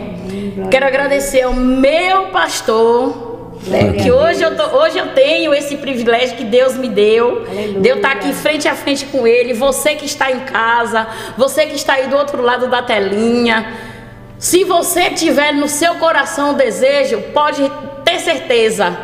Sossega, porque ele vai te trazer até aqui. Assim como ele nos trouxe, eu não tenho, eu não trabalho. Primeiro lugar, eu não trabalho. A única coisa que eu faço é só a obra. Só quem trabalha é meu esposo, mas ele me deu condições. Em nome de Jesus. Ele falou que era para eu arrumar as malas, que ele que eu ia viajar. Agora eu não sabia para onde. Quando eu penso que não, minha mãe me liga. Olha, aqui, olha a surpresa. E, e na igreja não foi o irmão disse, arruma as malas que Deus vai te Foi. levar lá. Ei, você aí levanta. Pode arrumar as malas, viu? Que você tá viajando. Aí eu, eu recebo, eu tomo posse. Eu tomo posse dessa vitória. Mas quando eu olhei para um lado e para o outro, cadê o dinheiro? Aí eu olhei para cima e falei, mas ele é o dono do ouro e da prata. Eita glória! Eu sou assim, eu sou mulher de fé. Se hoje eu não tiver, amanhã eu sei que eu vou ter. Entendeu? Então, para você, Lucas 1,37, porque para Deus nada é impossível. Nada, nada, nada, nada, nada, nada para Ele é impossível. Ele faz aquilo que você menos espera acontecer. Só basta você sossegar. Só basta você aquietar, porque às vezes Ele está com a vitória na nossa frente. Só que a gente quer, quer, quer, quer, quer, e às vezes Ele quer né? Ele guarda, ele fala: não, não é a hora agora, porque para Deus nada é impossível. Então, o hoje para ele pode ser o amanhã. A gente quer agora, mas ele pode nos dar amanhã, porque ele sabe que o amanhã ele conhece o, o nosso presente, o nosso futuro, o nosso hoje, o nosso amanhã. Ele conhece tudo. Então, espera com paciência nele que ele vai fazer, ele vai cumprir, ele vai realizar, ele faz coisas grandes. Glória a Deus. E eu tenho algo para lhe dizer, meu pastor. Tenho algo para lhe dizer, da parte do meu Senhor, do nosso Senhor. Aleluia. O desejo do seu coração, ele falou que vai realizar. A cidade, a cidade vai ser a cidade. Aleluia. Vai ser a cidade pão da vida que todos vão contemplar. O mundo inteiro, o mundo inteiro vai visitar a cidade aqui de Mossoró, pão da vida. Aleluia, Jesus. Porque quem falou é fiel para cumprir. Aleluia. Eu recebo Jesus. E hoje de manhã eu estava pensando nisso. Ô, glória. É um sonho do meu coração. Então é Aleluia, resposta. É Jesus. resposta porque ele falou aqui comigo agora. Pode falar que foi eu que, tô, que mandei. É assim, glória. vai ser a cidade, a cidade, a cidade pão da vida, que muitos vai chegar e vai contar testemunho, vai ser testemunho de impactar o mundo. Eita O Deus. mundo, o mundo. Pode ter certeza que eu também vou contemplar. Eu vou contemplar, eu vou estar aqui de Os pé. irmãos lembram do sonho que o pastor tem que botar uma placa lá na entrada da casa do pai? Eita, botar glória. Cidade de Pão da Vida, um pedacinho do céu na terra. Ô, Glória. Eita glória, eu recebo. Vai realizar, vai E se Deus, realizar. e Deus é tão bom que o proprietário do maior terreno essa semana ligou e falou: Vamos sentar para a gente conversar, eu quero lhe vender lá. Aleluias. Dá para fazer centenas de casas lá. Já está assinado. Eita O Jesus. papel já foi, foi assinado e já foi carimbado. já Já foi assinado e carimbado. Assinado e carimbado com o sangue do Cordeiro. Aleluia, Eita Deus. Deus é fiel. E sabe o que foi que Deus colocou no meu coração agora aqui? Deus disse: O grupo nem existe, viu? Da Arábia. E ele disse: Coloca elas no grupo pelotão de oração. Redebia Ai Nakamantui. Aleluia. O Senhor Eu sou falou: fiel. Coloca elas no grupo pelotão de oração, que tudo que vocês pedirem, eu vou dar. Ô, Glória. Aleluia. sou. Eu recebo em nome de Jesus. Tu és grande, tu és grande, tu és grande, gente. Que presença é essa? Aleluia, Jesus. Que presença. Muito forte. Glória a Deus. É Vai ser forte, desse jeito, Brasil. viu? É forte, Brasil.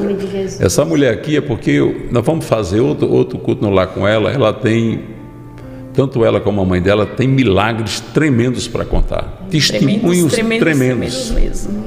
Ela contou uma história aqui, a irmã, Zélia. a irmã Zélia contou a história. Conta aí, irmã Zélia, a história do homem do dente inflamado que não foi trabalhar. Ah, é assim. Eu, meu esposo tava, chamou um vizinho para trabalhar com ele. Aí o vizinho falou que não podia ir porque estava com o dente inflamado, o dente inchado, o rosto estava todo deformado. Você disse que o olho dele chega tava Já fechado, estava fechado. Daí o meu esposo chegou e falou: Ah, ele não vai. Eu não tinha visto ele, né? Mas aí meu esposo falou: Ele não vai, que ele tá com o dente inflamado, tá com o dente inchado. Eu falei: Ah, só Deus, né? E daí ele veio comprar umas coisas, que eu tenho uma merceariazinha, ele veio comprar umas coisas na mercearia, aquele rosto todo deformado, o olho fechado. Eu falei: Irmão, o que é isso? Ele falou assim: Ah, eu tô com dente inflamado, que eu não aguento fazer nada. Eu falei: Eu tenho um remédio para te dar. Fui lá, peguei o azeite, eu falei: Eu deixa eu passar no senhor, dá licença. Aí passei o azeite, né? E deu outro ele para levar e ele tomar. Daí quando foi no outro dia, ele chegou lá em casa, são, são, sem inchaço nenhum. Ele falou, olha como. Aleluias. Minha irmã, eu fui curado com o azeite que a senhora me deu. Que azeite é Glórias. aquele? Eu digo, movido pelo Espírito Santo do Senhor. E o meu azeite eu trouxe para consagrar. Eita glória. Eita Jesus. E eu vou levar. Que E, a- tem... e ela veio dizendo: Olha, amanhã eu quero estar lá na casa do pai cozinhando para os moradores Ah, vou sim. Vou botar a mão na massa e ainda vou sair para ajudar a distribuir, porque é o meu sonho. É o meu sonho. Glória a Deus. Eita Deus, amanhã vai ser benção, viu? Glória a Jesus. Já Abençoe, está começando a benção de hoje. Conta aí, conta aí o testemunho do carro. Ah, o carro foi assim, eu quando eu vim para o Pernambuco, né, meu esposo, ele E o pessoal dizia que ele não passava de uma bicicleta. não passava de uma bicicleta, né? E aí eu escutava aquelas coisas aí eu levei o meu neto junto comigo, né, pra ficar comigo, né, o Guilherme.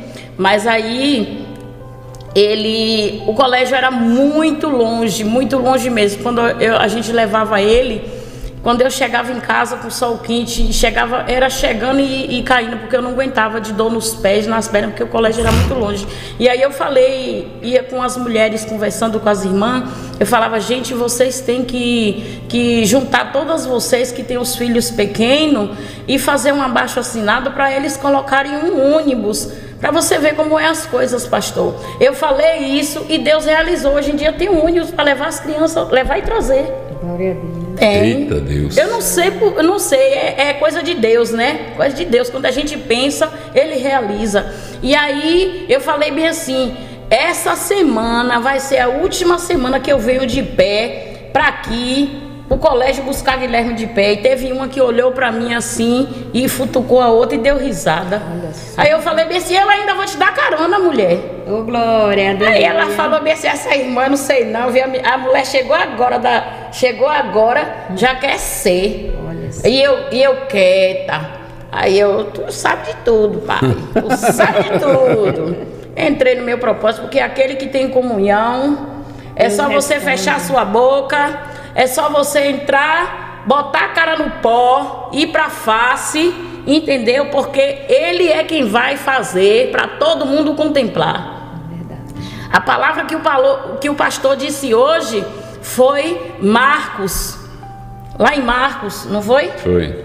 Então, fecha a porta do teu quarto. Mateus capítulo 6, versículo Mateus, 6. é, Mateus 6, 6. Fecha a porta do teu quarto, porque o que tu falar com teu pai em secreto, ele vai te honrar publicamente.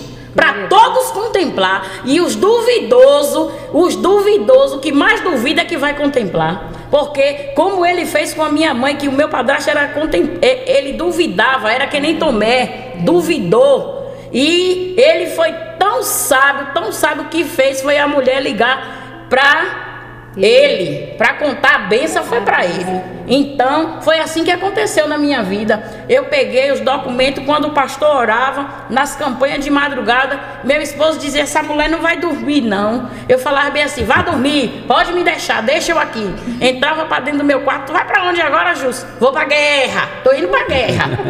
Era assim que eu falava com ele. Se ele estiver em casa escutando, ele vai ver. Aí eu falava para ele: "Tô indo para guerra. Não me chame". Aí ele, tá bom, tá bom, tá bom. Aí eu entrava para dentro do quarto e começava a orar e pegava os meus documentos, meu cartão, apresentava, botava, melava de azeite e botava para cima e botava no meu joelho quando eu ia orar. Oxe, e o milagre aconteceu. Quando eu levei meus documentos para lá, no dia que eu fui, falei com ele, fiz uma noite de consagração, pedi uma confirmação, ele me deu, como eu falei para o senhor hoje. Ele mandou, porque Deus, ele, todas as vezes que eu peço uma confirmação, ele me confirma com chuva. Eita Deus. Aí quando foi de manhã, um calor, menino, aí ele falou: Vou eu te dar agora o meu sinal, que eu tenho contigo, tu já sabe qual é. Quando eu penso que não, tem aquela chuva. Aí choveu, mais uma chuva de repente.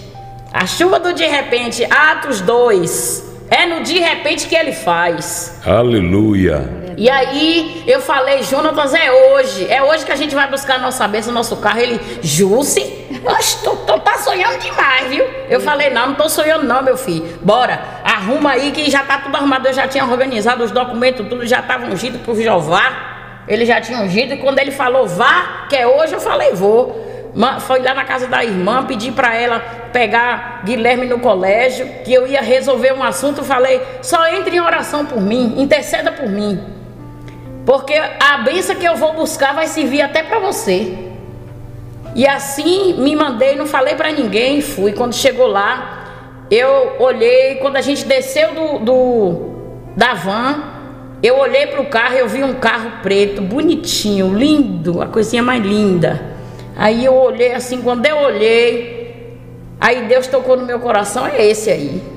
Esse aí que você vai levar. Aí eu falei, é nada. Aí peguei, toquei no carro assim, eu só fiz assim, ó.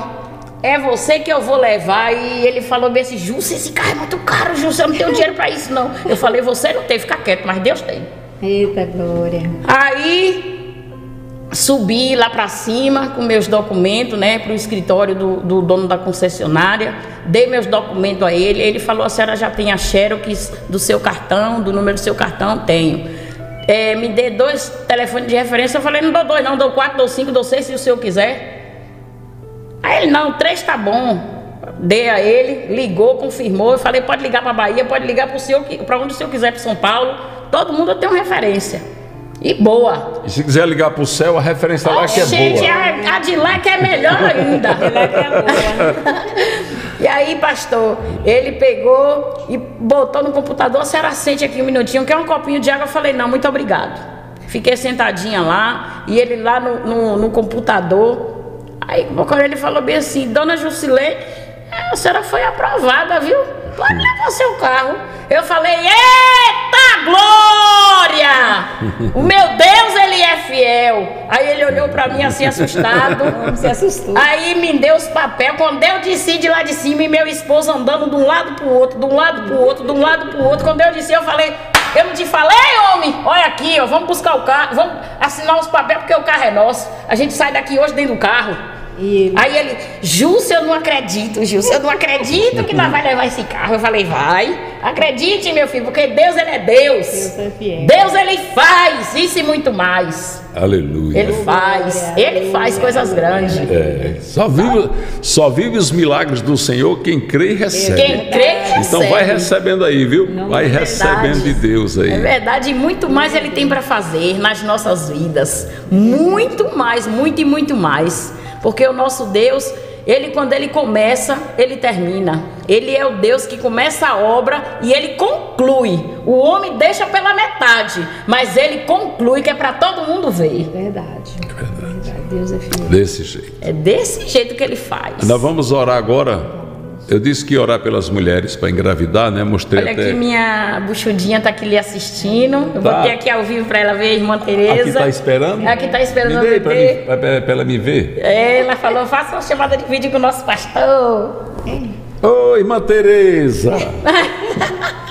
Oi. Que maravilha! A senhora está ao vivo aqui na Rádio TV Pão da Vida. Tá bestinha ela. Deixa eu botar aqui para você ver ela aqui, Ju. Deixa eu botar aqui que você vê ela aqui. ó. Irmã Tereza, Deixa eu aumentar ela aí. co- conta essa benção aí do- da, da criança. Tá, tá esperando chegar a criança, é? Chega a hora do psiquiatra pra ir pro hospital. Eita glória! É menino ou menina? Menina. Já colocou o nome? Já. E Deus que me deu o nome Eita, para dar ela. Missionária Sofia. Glória Eita a Deus. glória. Feliz por ver o senhor aí, né? A minha amiga tá aí, que era a que ela mais queria, era o desejo do coração dela está aí. É uma benção, viu, Tereza? Você depois vem aqui, viu? Venha, venha trazer a Sofia para nós orar por ela no altar do Senhor E o aqui, é Senhor vai consagrar batizar ela. Apresentar. É, em nome de Jesus. Que maravilha. Aí, aí você tinha vontade de ter criança, a missionária aqui foi lá e pá, tome o azeite aí, receba em nome de Jesus. Foi mesmo, viu? Foi mesmo. Eu, eu, assim, né? Eu não tinha nenhum bebezinho. Aí eu orava, orava ao Senhor, né? Primeiro veio um profeta, o nome dele é Arthur. Foi. Né, que ele me deu, Arthur. E agora usou essa profeta aí, né? E ela profetizou que eu ia ter uma menina. Glória a Deus. Aleluia, Jesus. Que glória. É para a honra e glória dele. Que maravilha, glória a Deus. né? Que Deus abençoe a Sofia, que Sofia seja bênção na sua vida, na vida da sua família, né? Que bom. Como Deus é lindo, maravilhoso, né? É, eu tinha dito, eu tinha dito a Júlia Luciane, depois vamos fazer uma chamada de vídeo, mas não sabia que ia ser assim ao vivo, não. né? Eita glória. Ele é Deus de surpresa. É verdade. Aleluia. Oh, Jesus, tá sonhando ainda. É, mas é verdade, ela está aqui, vai ficar. Ela disse que vai ficar aqui até terça-feira, eu estou achando que eles vão passar uns 30 dias por aqui. O marido vai ficar. Glória. Ela, ela já está balançando a cabeça aqui, não. Você tem que ir para poder ver a menina. É. É. Diga assim, não, pastor, ela tem que ver Sofia. É.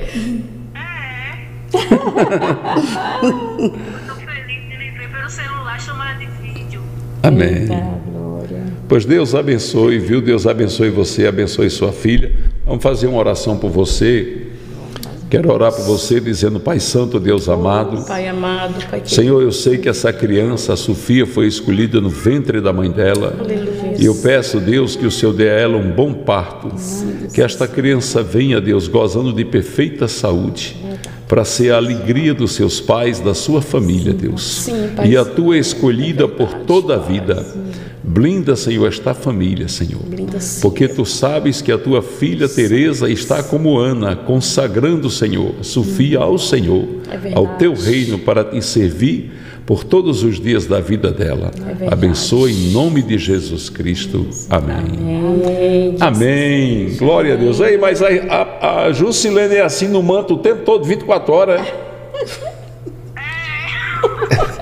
Não, desce, não, não tira o manto hora nenhuma. Que a Jusilene é ligada nos 380, né? É. Aí eu moro perto dela, moro um pouco distante da granja dela. Aí quando é de manhã eu já escuto ela dando glória. Glória! Ah, é, eu dou, Ela mora longe de você, Mora escuta, escuta lá de onde ela mora, você dando glória. eu dou cada glória, menino, que chega a bala os pés de árvore.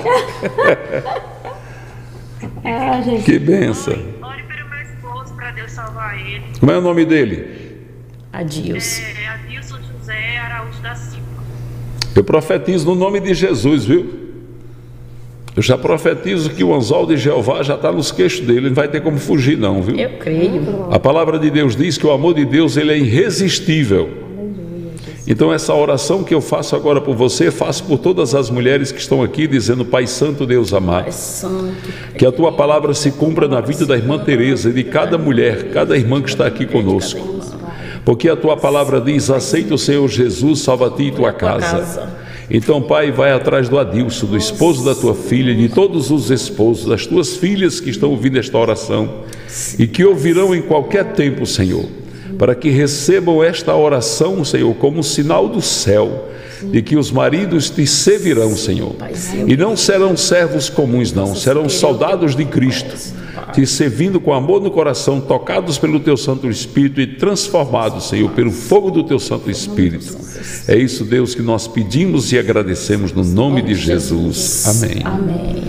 Aí você, aí você fala para ele assim: Deus, deixa eu te falar um negócio. Um homem lá de Mossoró, chamado Chico Chagas, é um profeta, orou e profetizou que tu vai ser mais crente do que eu. Eita glória, eu creio. Viu? Aí se ele disser assim, não, você diga não, aí pois prepare para dizer sim. Ô glória. Aleluia. Tá bom, Tereza? Deus te abençoe, Tereza. É. Tereza, a Sofia vai nascer linda. Linda mesmo. É, pois tá. Venha abençoar sua casa, sua família, o templo, né? Que o Senhor venha suprir todas as necessidades. Amém. Eu estou feliz. Glória a Deus. Estou falando com o Senhor, né? Que estou feliz por a estar aí, né? Ela sempre falou para mim que ainda ia aí se batizar, Deus. né? E eu não acreditava, mas o milagre aconteceu. É. É verdade. Estou feliz, muito feliz. Ontem ela mandou as fotos para mim. Quando eu vi a sua foto, assim, eu não acredito que ela foi. Porque eu pra casa dela. Aí assim, meu Deus, Júlio pra casa do pastor. Oh, Jesus. Tá aqui na minha casa, tá aqui mais eu aqui. Café da manhã hoje já foi um mistério total aqui. Eita, foi manto. Estando perto dessa profeta aqui, o manto desce toda hora. Viu? Glória a Deus. Olha que coisa linda. É o Arthurzinho. O Arthurzinho. É, esse é o Arthur. Aí agora chega a Sofia. É. Ela- Deus abençoe, Arthur. Tô vendo, Arthur. Deus abençoe, viu? Pastor, Pai do Senhor. Pai do Senhor, Arthur. Pai do Senhor. Oh. Arthur é crente, Arthur é, crente. É crente. Da glória. Louvado seja Deus.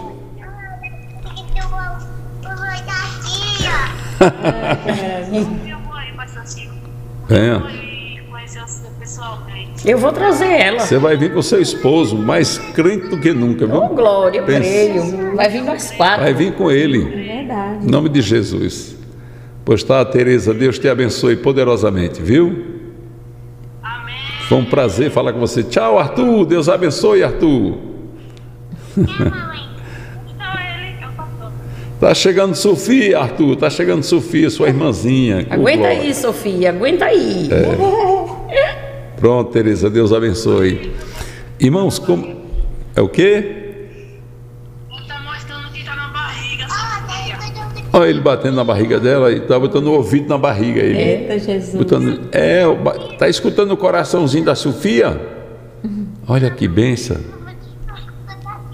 É, o coração da Sofia, da sua Sofia tá irmãzinha. É. É os ciúmes que ele tem. Olha. Oh, Jesus. Toma aí. Deus é grande, irmãos. Nós vamos orar agora pelas mulheres que querem ter filhos. Vamos né? orar. Ei, Vamos orar pelas mulheres que querem seus maridos nas igrejas. aleluias. Louvado seja o nome de Jesus. Amém, Jesus. Nós sabemos que tem muitas irmãs aqui que servem a Deus, mulheres que querem o marido de volta. Eita glória! Eita, aleluias. Deus vai fazer uma geral agora, Vai né? fazer mesmo. A vassoura de Jeová vai passar agora. Eu já criei o grupo, já o grupo pilotão de oração. Já coloquei a missionária e a mãe dela dentro. Aleluia. Já coloquei a pastora Jossanete, a pastora Ângela. Esse grupo ele pode ter 256 pessoas. Agora vou pedir uma coisa. Não, não peça para entrar no grupo se você for aquela pessoa que não ora. É verdade. Só entre no grupo se você for gente que ora. Oração. De oração. Porque vai ter dia que a gente vai orar e vai dizer assim: tá na UTI, tá morrendo, vamos clamar e a gente clama. E quem está na UTI, como a irmã Taninha, vai, nas, vai sair andando com os pés dela, que é para Em todo mundo ver que de Deus é Jesus. Deus. Deus vai, Deus vai fechar a sepultura, Deus vai Em curar. nome de Jesus. Deus vai trazer de volta, porque Deus escuta a oração da sua igreja. É verdade. Amém? Então vamos orar agora, vamos passar o azeite em nossas mãos aqui para nós orarmos. Glória a Deus, vamos consagrar o azeite a Deus. Primeiro vamos consagrar. Eita, Arthurzinho está aí, festejando. Tereza tá chorando. Glória a Deus. A nossa oração vai ser por você, mulher, por você, pelo seu esposo, pela sua família. Vai ser uma oração para restauração de casamento, uma oração para repreender a macumba, a feitiçaria, a magia negra, uma oração para repreender as setas, as lanças lançadas dos infernos contra a sua família, contra a sua casa. Vai ser uma oração também pelas mulheres que estão pedindo marido a Deus. Eita glória! A missionária ficou tudo doida aqui, missionária. Eu falei que tinha sonhado uma missionária casando na igreja, pronto, tem um bocado de solteira aí, tudo dizendo, foi eu, pastor, foi eu, foi eu. Eita, meu pai. Eita glória! Vai ser uma oração forte, uma oração cheia do poder de Deus para Deus fazer o mover agora. A nossa oração vai ser dizendo, Pai, Tu és santo, Tu és santo. Tu és poderoso. Senhor, apresentamos ao Senhor este azeite santo. Ele é símbolo do teu sangue e do teu Santo Espírito. Ó Deus, quantos milagres, quantas maravilhas o Senhor tem operado no meio do teu povo.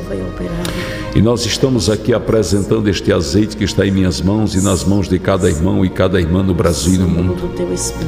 Oferecendo este azeite, Senhor, como prova da nossa fé, do nosso amor.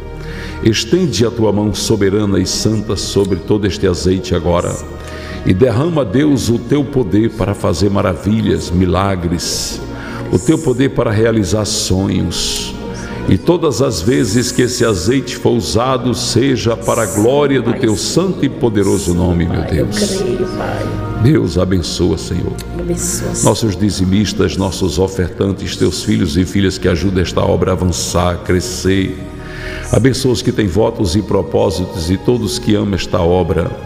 Abençoa agora esta oração que eu vou fazer com tuas filhas, meu Deus.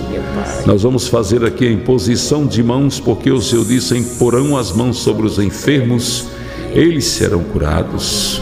Vamos clamar pelo teu nome, porque o Senhor disse: todo aquele que clamar pelo meu nome será salvo. Tudo que pedires em meu nome eu te darei, para que o Pai seja glorificado no Filho. A tua palavra nos garanta esta vitória, meu Deus. É por isso que agora nós vamos ungir nossas mãos neste azeite santo que já está ungido pela tua mão poderosa, pelo teu coração cheio de misericórdia. E nesta oração, meu Pai, nós vamos vamos impor as mãos assim, irmãs. Recebe agora esta oração. Pai Santo, Deus amado. Aqui está nossas mãos. E nesta imposição de mãos, nós temos pedidos a fazer nesta oração. Nós começamos, Deus, pedindo, Deus, que seja quebrado o arco, corta a lança e queima os carros do fogo. Destrói, Senhor, todo levante contra teus filhos e filhas. Nós queremos pedir, Deus, que seja desmanchado, jogado por terra, todo o trabalho de bruxaria, de macumbaria, de magia negra, toda oração contrária, toda seta, toda lança lançada dos infernos cai por terra no poder do nome de Jesus. Cristo. Queremos clamar a Deus pelas mulheres que desejam ser mãe. Deus, o Senhor abriu a madre de Sara, de Raquel, de Isabel, de Ana, de Maria e de tantas outras milhares e milhares de mulheres.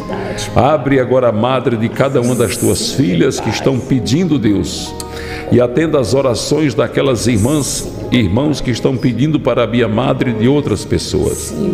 Senhor, realiza a tua obra no ventre das tuas filhas. desejo. Senhor, não importa qual seja o impedimento para que a criança não venha, mas tu és o Deus que coloca no ventre das tuas filhas o filho e a filha tão desejado. Nós queremos também aqui, Deus, pedir, Pai, que o Senhor traga de volta os maridos que abandonaram as tuas filhas. Que o Senhor desmanche todo engodo, toda mentira, todo laço. Que o Senhor desmanche, Senhor, a arapuca. Liberta teus filhos, porque a tua palavra diz que se o Senhor libertar verdadeiramente será livre. Então liberta, Deus. Liberta do engano, do adultério, da mentira, do pecado. Liberta, Deus, das dívidas. Liberta, Deus, da escassez, da maldição.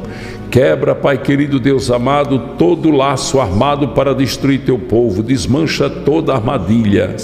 Que os teus anjos, como está prometido em tua palavra, se acampem ao redor dos teus filhos e filhas, para que o teu nome santo seja glorificado hoje e eternamente. É o nosso pedido. Em nome de Jesus. Amém. Amém. Eita glória! Aleluia. Você vai cantar aquele hino de novo. Eita glória. Eu fiquei, eu fiquei apaixonado nesse hino. Que que hino lindo. Esse hino fala tudo sobre mim.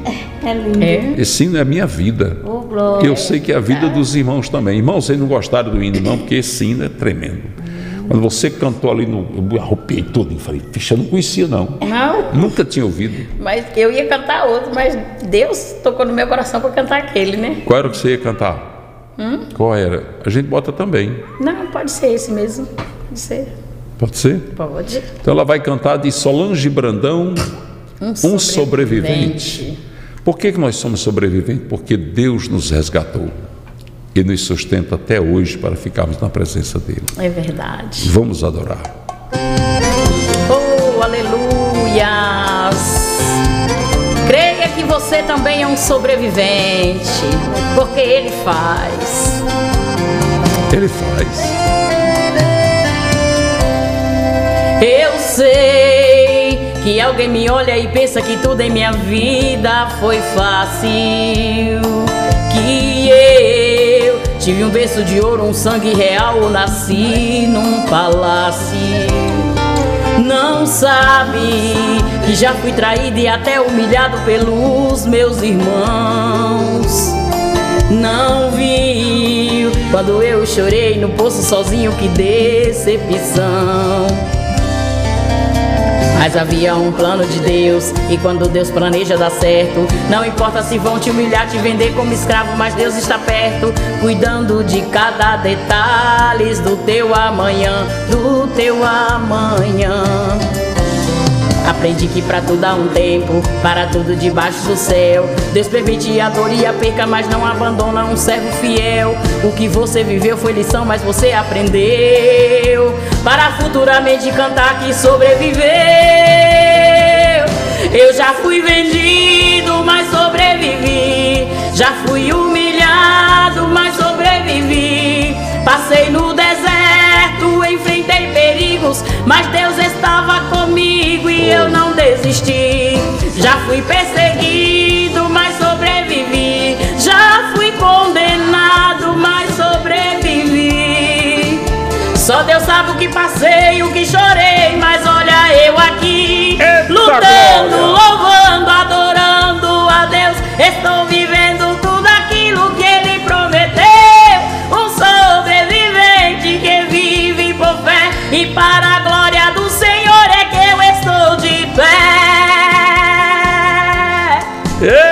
Jesus poderoso! Tu és grande, Deus! Eita Deus!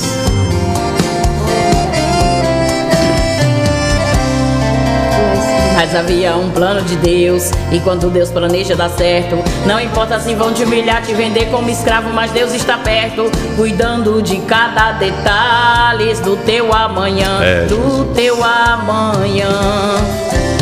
Aprendi que pra tudo há um tempo, para tudo debaixo do céu. Deus permite a dor e a perca, mas não abandona um servo fiel. O que você viveu foi lição, mas você aprendeu. Para futuramente cantar que sobreviveu. Eu já fui vendido, mas sobrevivi. Já fui humilhado, mas sobrevivi. Passei no deserto, enfrentei mas Deus estava comigo e eu não desisti. Já fui perseguido, mas sobrevivi. Já fui condenado, mas sobrevivi. Só Deus sabe o que passei, o que chorei, mas olha eu aqui, lutando, louvando, adorando a Deus. Estou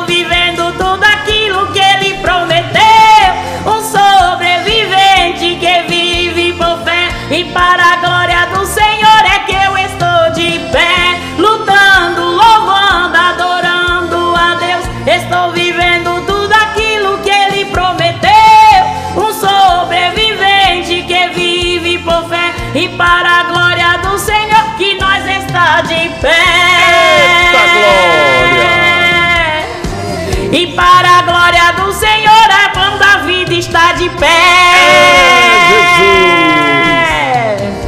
Aleluia! Glórias! Meu Deus. Aí deixa eu falar uma coisa para vocês. Na segunda-feira a irmã vai participar novamente. E aí eu vou passar o telefone dela para vocês. Não vou passar agora, não vou explicar por quê, porque vocês não vão deixar ela em paz. A irmã veio aqui naquele dia, vocês lembram da irmã Filomena? Lembro, lembro. Passei o telefone dela aqui, menino, pronto, acabou. Essa mulher passou o tempo todo atendendo telefone. Ei. E assim, ela tem uma agenda aqui para cumprir com a gente. A gente vai agora para governador, depois casa do pai. né? Não estou dizendo que vocês não devam ligar, pode ligar, ela é uma serva de Deus, vocês podem ligar, conversar com ela, pedir oração, tudo mais, não tem problema. Mas se eu der o telefone dela aqui agora, pronto, aí ninguém deixa ela em paz, porque ela vai, ela, ela vai passar esse final de semana conosco aqui, mas na segunda-feira eu dou o telefone dela aqui, que aí ela vai embora para casa e lá, no- lá no sítio onde ela mora, ela pode atender telefone dia e noite, sem parar. Amém. E o pessoal, não, Glória os pessoal não para de ligar, não. É. Pastora Fabiana veio aqui, a psicóloga. Eu vi. eu Ela assisti. disse, pastor do céu, que audiência é essa? Não paro mais de atender telefone. Eu digo, é. Graças a Deus, né? Deus é Porque fiel. O nosso, o nossos, as nossas ovelhinhas aqui são fiéis. É. É um povo que está com a gente aqui direto. Você vê que nós estamos com mais de três horas de culto aqui, está todo mundo aí. Ó. Uhum. É É um verdade, fiel, pastor. né? Pode ser a hora que for, de madrugada. E aí o que é que eu quero que você faça? Você vai dizer depois para mim, né? Me coloca no grupo pilotão de oração. Quem for de oração. Quem não for, não peça não. Ou então quem está resolvido a ser. O que é você ser de oração? É você orar todo dia. É. É todo dia. Todos os dias. E quando você estiver nas suas orações, não esquecer de orar por aqueles que estão recebendo a oração deste grupo. Isso tem um valor muito grande para Deus. É verdade. É? Mas orar todo dia. E a pessoa que tem o ministério da intercessão, que é o ministério da oração, ela fala muito pouco dela para Deus, pedindo para ela, ela pede sempre aos É outros. verdade. E recebe a recompensa de Deus por estar sempre lembrando das outras pessoas. É verdade, Não é pastor. verdade? Mas eu queria encerrar, sabe como? Queria encerrar com você fazendo oração, só a sua voz, não vamos ficar calados nós dois, viu? Vamos deixar ela orar sozinha.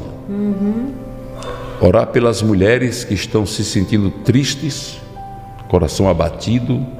A sua oração vai ser uma, uma intercessão a Deus para renovar o coração dessas mulheres. Tá bom? Então vou colocar aqui o fundo musical de oração para você orar por essas mulheres. Pode orar. Oramos. Maravilhoso Pai e eterno Deus, neste momento, Pai, já aqui te agradecendo por esta oportunidade que tu tem me concedido, Pai. Pai, eu quero te apresentar, Pai, a cada uma dessas mulheres que esteja aí do outro lado, no nosso Brasil, no nosso mundo, no nosso país. Seja qual for que estiver precisando, Pai, vai neste momento, estende as tuas mãos, porque tu és o Deus grande, o Deus fiel, o Deus poderoso, o Deus que faz hoje, faz amanhã, faz a depois, não importa o dia, não importa a hora, não importa aonde esteja, tu és aquele que alcança. Pai, vai realizando o desejo do coração daquela mãe que quer ser mãe, que nunca teve, Pai. Tu és aquele que faz acontecer. O que o homem não pode fazer, tu és aquele que pode fazer. Paizinho querido, veja aquela que tem os filhos, Pai, que são que estão são dependente químico, Pai. Pai, vai tirando, Pai, da depressão, vai tirando da dependência química. Pai, neste momento, Pai, eu te apresento, Pai, cada alcoólatra, eu te apresento cada fumante, cada jogante, aqueles mulheres, aqueles homens que estão na prostituição, aqueles homens que estão atraindo as suas esposas, aquelas mulheres que estão com desejo de separar dos seus maridos. Eu agora eu profetizo no nome de Jesus que seja repreendido toda a fúria do mal, toda oração ao contrária, toda magia negra, toda hora de macumbaria, toda obra de feitiçaria, toda oração que é feita ao contrário, às ocultas, tu és o Deus que revela, tu és o Deus que faz. Então vai fazendo no coração de cada mãe, de cada pai, de cada filho, daqueles que necessitam, dos necessitados. Cuida dos teus filhinhos, dos moradores de rua. Também profetizo, Pai, na vida do teu filho amado, Chico Chagas, da sua família. Veja toda a sua família, veja a grande obra que tu colocou na mão do teu filho, Pai. Faça crescer, faça multiplicar. Que a oração, Pai, do teu servo venha chegar nos corações, venha crescer mais e mais. E que este grupo, Pai, que venha ser, meu Pai, para a tua honra e para a tua glória, para que o teu nome venha ser glorificado no mundo inteiro, no país inteiro. Aonde esta oração chegar, meu Pai, que o milagre venha acontecer, que grandes bênçãos vai ser contada através dessa pequena oração, porque nada aqui eu sou, mas tu és aquele que tudo é. E é no teu nome, Pai, que nós já profetizamos e já agradecemos. Amém. E que assim seja. Amém. Glória a Deus. Louvado seja o nome de Jesus.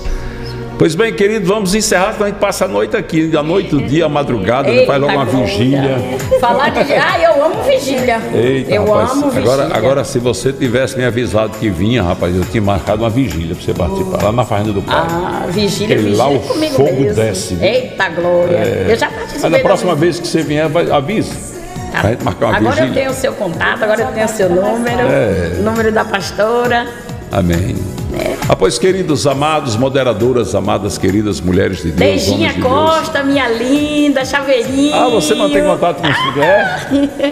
Adriana Santos, Eita, todas glória. as moderadoras da Pão da Vida, Fátima Paulo Almeida, né? Amo todos vocês. Um beijo no coração de todas vocês e pode ter certeza que assim como ele realizou o meu desejo, ele vai realizar o seu também, porque ele é Deus que realiza. Eita Deus poderoso. Queridos, que a graça de Deus nosso Pai, o amor do Senhor Jesus Cristo, as maravilhas do Santo Espírito, seus frutos, dons e consolações, seja sobre as nossas vidas, hoje e sempre. A igreja diz amém. Amém. Obrigado, a Deus abençoe. Deixa eu só mandar aqui um abraço carinhoso para você que ajudou o Ministério Pão da Vida, querida Maria Zuleide de Moraes. Deus abençoe você, minha amada. Querida Mônica Daniele Cavalcante, Deus te abençoe. Glória a Deus pela, pela estar cumprindo este propósito com a casa do Pai. Deus multiplique, querida irmã Grace Santos. Deus abençoe vocês. Pastor, sou pão da vida. Glória a Deus. Ela está dizendo que quer contar um testemunho. O gato dela tinha estomatite. Ficou fazendo tratamento por meses até eu passar o óleo ungido nele. Deus curou ele, pastor. Estou grato a Deus. Aleluia. Peço oração pela minha casa. Ah, depois eu não posso encerrar esse culto sem a irmã contar a história da cabra. Tem que contar. O Felipe Ferreira, Deus abençoe Felipe Ferreira, Deus abençoe Felipe Ferreira.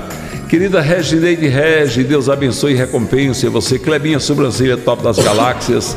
Amada e querida irmã Marilene dos Santos, lá dos Estados Unidos. Um beijo na mamãe Aparecida, na irmã Ednei, do irmão Givanildo, Alessandra Diade, Deus abençoe você, Maria Roberto, Deus te abençoe poderosamente, viu? O esposo, Deus abençoe seu esposo, diga ele que eu agradeço por estar ajudando a obra. Querida irmã Analice, vou ligar para você, Analice, nós vamos conversar, tá bom, minha amada? João Carlos Froze, Danilo Oliveira, Deus abençoe vocês. Olha, fica aí só um pouquinho, não sai agora não, só para você escutar isso aqui. Só para você escutar, depois a gente encerra. É mais para cá, para perto, vem, vem, irmão. É da cabra, foi você? Foi. Sim, o negócio da cabra foi com você. É com ela, da Ah, pois conta aí a história da cabra, homem. Então, foi assim, né? É, eu tinha uma cabra, ela aqui. Olha a cabrinha, deixa eu mostrar ela para vocês. Essa aqui é a famosa cabra curada. É, Olha. ela. O nome dela era é, Beth, né? Eu Beth? botei o nome de Beth. Cuidado, pastor Anjabete. ela vivia sempre presa, né? Mas só que aí meu esposo soltou ela, eu, eu ficava com dó de deixar a bichinha presa, né?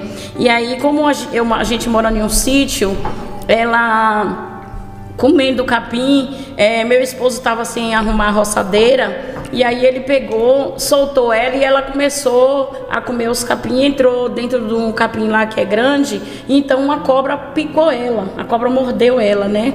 E aí quando foi no outro dia, é, a gente foi prender ela, ela tava, eu fui dar comida a ela, ela tava só de cabeça abaixo, babando e revirando o olho, né? Aí eu falei bem assim, minha mãe, e quando eu olhei para perna dela, assim, o braço traseiro dela da frente, tava bem inchadão, né? E aí eu olhei e eu vi o furo, os dois furinhos assim. Eu falei, Jonathan, foi a cobra que mordeu. E Jonathan falou bem assim, ô Jussi, não adianta não que ela vai morrer, porque a cobra mordeu, ninguém sabe que dia foi.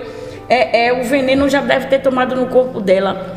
E aí quando eu cheguei de junto dela, a lágrima caiu do meu rosto. Aí eu olhei para cima, quando eu olhei, o Espírito Santo falou comigo assim: "Tu já esqueceu do remédio que tu tem em casa?" Aí eu lembrei do azeite, aí eu corri, saí correndo. O que- aí, aí meu esposo falou: "O que é, Jussi, que tu saiu correndo assim?" Eu falei: "Pera ainda que eu tenho um remédio aqui agora que ela vai ser curada." Aí eu fui Glória lá, peguei o azeite, peguei a seringa dentro da gaveta da- das colheres, que eu tenho sempre uma seringazinha lá, que eu dou remédio para meus bichos. E aí eu peguei, botei o azeite, abri a boca dela, botei o azeite, ela sem querer beber, e ela só babando. Minha mãe nessa época tinha vindo me visitar, não foi? A gente tinha vindo de viagem. E aí peguei, botei o azeite na boca dela, e aí ela tomou aquele azeite, eu peguei, passei o azeite no lugar que a cobra mordeu, e aí eu fiz uma oração, profetizei, botei o azeite na água. Quando foi de manhã, a cabra tava pulando mais do que outra coisa, não tinha inchaço, não tinha pulação. Eu falei: Você tá vendo aí, Jonatas? O que, é que o azeite faz? Jonatas é o marido dela. É, e outra, pastor, tem outro testemunho também do azeite. É muitos testemunhos desse azeite. Ele foi cortar um, um pé de espinho lá, o espinho entrou no pé dele aqui em cima, aqui, ó. E aí ele ficou sem aguentar calçar sapato até para ir para a igreja, né? Porque ele, ele é quem abre o culto, né? E aí ele falou: e agora, Justo, como é que eu vou para a igreja? Com o pé inchadão e o espinho entrou para dentro, né? Que espinho de sabiazeira. Aí eu cheguei, fui para dentro do quarto, comecei a orar. E aí o Espírito Santo falou comigo: pega o azeite e derrama no pé dele.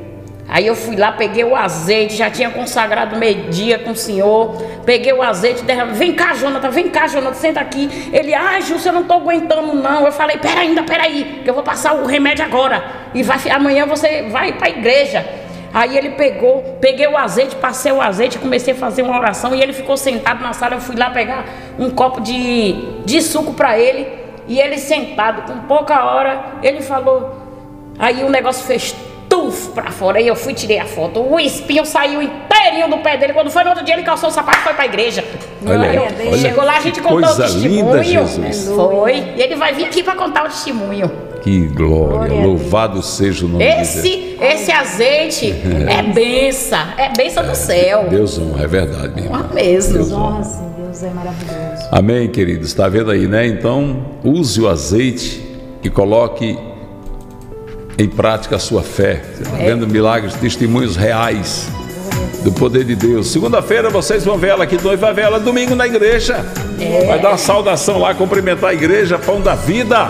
Glória. Eita, ela vai participar do Pocinho de Jacó. Vou. Vai pregar na segunda-feira no Pocinho, né? Eita glória. É, vamos. Aqui quando as, as irmãs chegam aqui, a gente. Agora vai, a gente rapa o tacho. Deus abençoe. Fique na Amém. paz. Fique na Obrigado. paz. Obrigada. Eita bênção, meu Pai do céu. Não acredito que isso é real. Espírito Santo.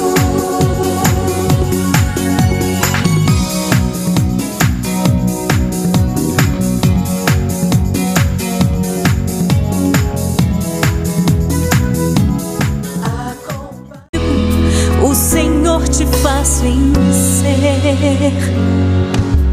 Se estás diante do gigante e não sabes mais o que fazer, pegue uma pedrinha e uma funda, jogue em nome do Senhor. O gigante vai cair, o gigante vai ter que cair, o inimigo vai ter que fugir, ele não vai resistir. Sua força vem do braço do Senhor. Pra essa guerra já te colocou. Então você é mais que vencedor.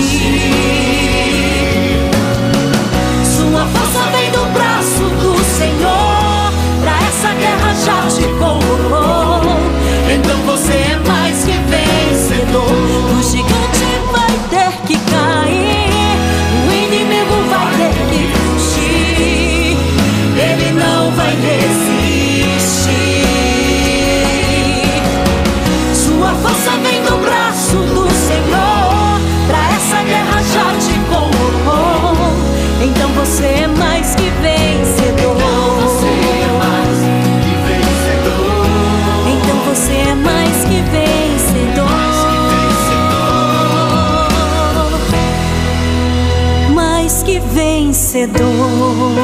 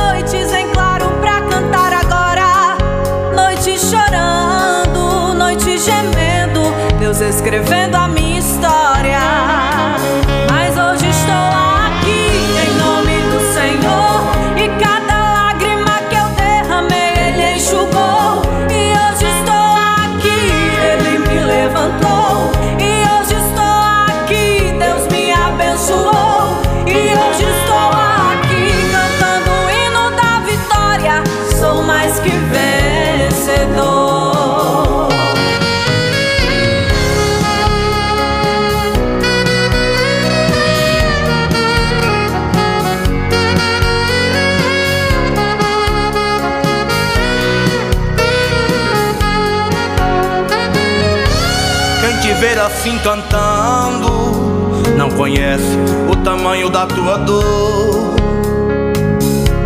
Quem te ver assim cantando sabe quantos espinhos no caminho te furou. Quem te ver assim cantando, não conhece tua história, não sabe das noites em claro pra cantar agora. Noite chorando, noite gemendo, e Deus escrevendo a tua história. Mas cada lágrima que você derramar, Ele vai enxugar teu pranto, faz cessar e a vitória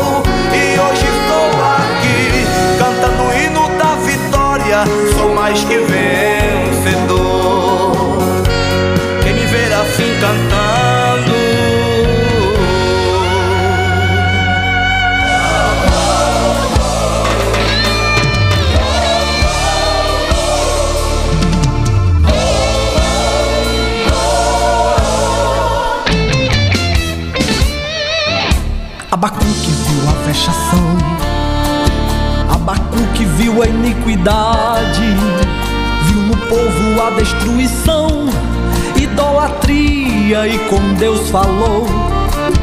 Até quando, Senhor, clamarei e tu não me escutarás?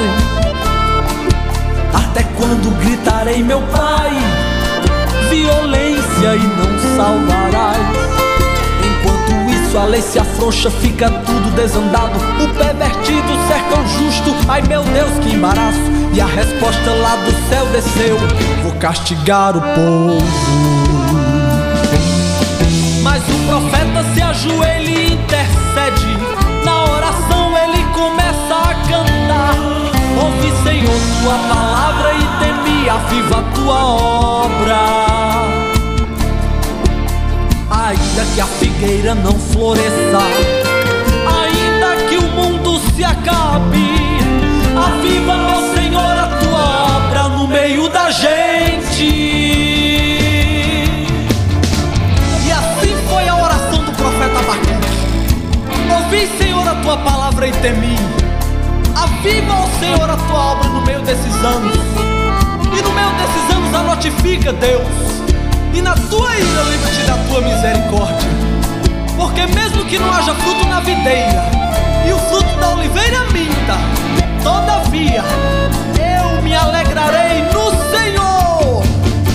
E foi no meio de uma fornalha que com três jovens ele mesmo caminhou. E foi no meio de uma sarça, pegando fogo que a sua voz bradou.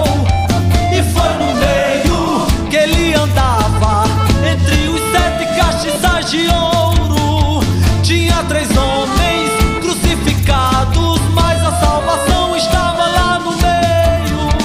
E é no meio da igreja, no meio da tua casa, no meio do trabalho que ele está andando, no meio das irmãs, no meio dos irmãos, no meio das crianças, dos jovens e anciãos que ele está andando.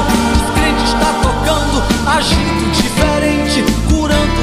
gente, sarando as feridas que estavam escondidas, que parecem tão pequenas e quase não dá pra ver. Mas Deus está passando o óleo e agindo, tirando a sujeira que estava escondida. Então te alegra e dá glória, pois eu mesmo que estou presente.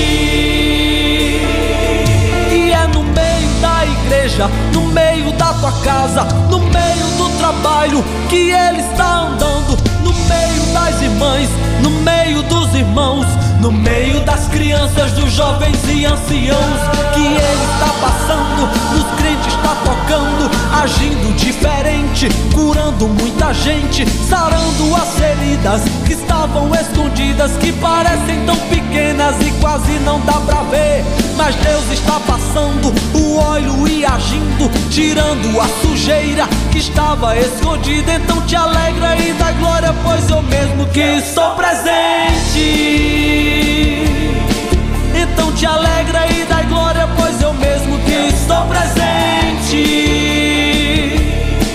Então te alegra e dá glória, pois eu mesmo que estou presente.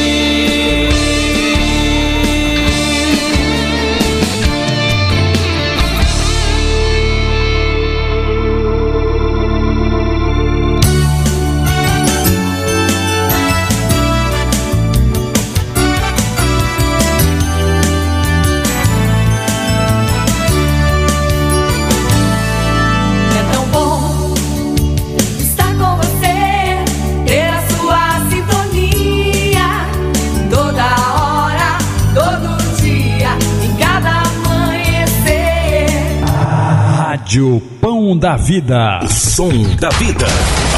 Vem, vem sempre comigo nas ondas do rádio, descobrir como é bom ter sempre um amigo. Rádio Pão da Vida. Jesus em primeiro lugar. Renovando a energia,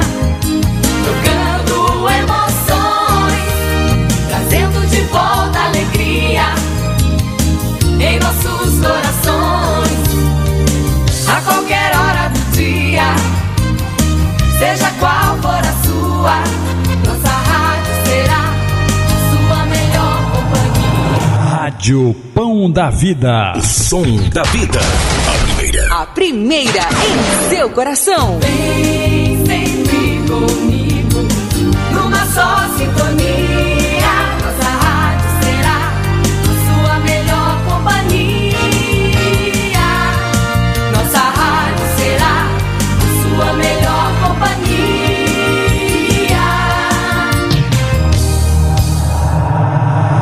Rádio Pão da Vida. O som da vida. A primeira em seu coração. Renovando a energia, trocando emoções,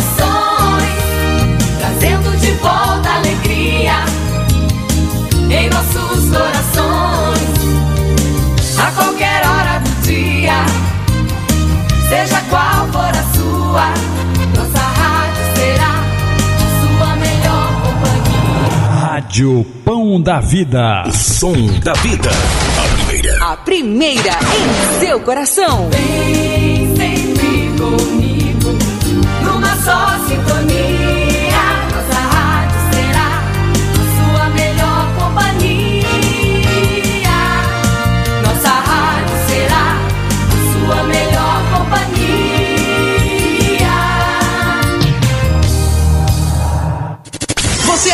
estava procurando uma rádio para louvar a Deus? Então você está na rádio certa. Rádio Pão da Vida. Jesus em primeiro lugar. Eita glória! Cadê o pastor? Tá aqui, o pastor tá aqui. Povo lindo, povo amado, povo abençoado de Jesus Cristo. A paz do Senhor, povo de Deus. Queridos e amados, hoje é sábado. Dia 11 de março estamos ao vivo para falar o seu coração, para levar a mensagem do nosso Deus para a sua vida. Glória a Deus! Vamos glorificar, vamos adorar, vamos bendizer o nome daquele que vive e reina para sempre. Ele é Jesus Cristo!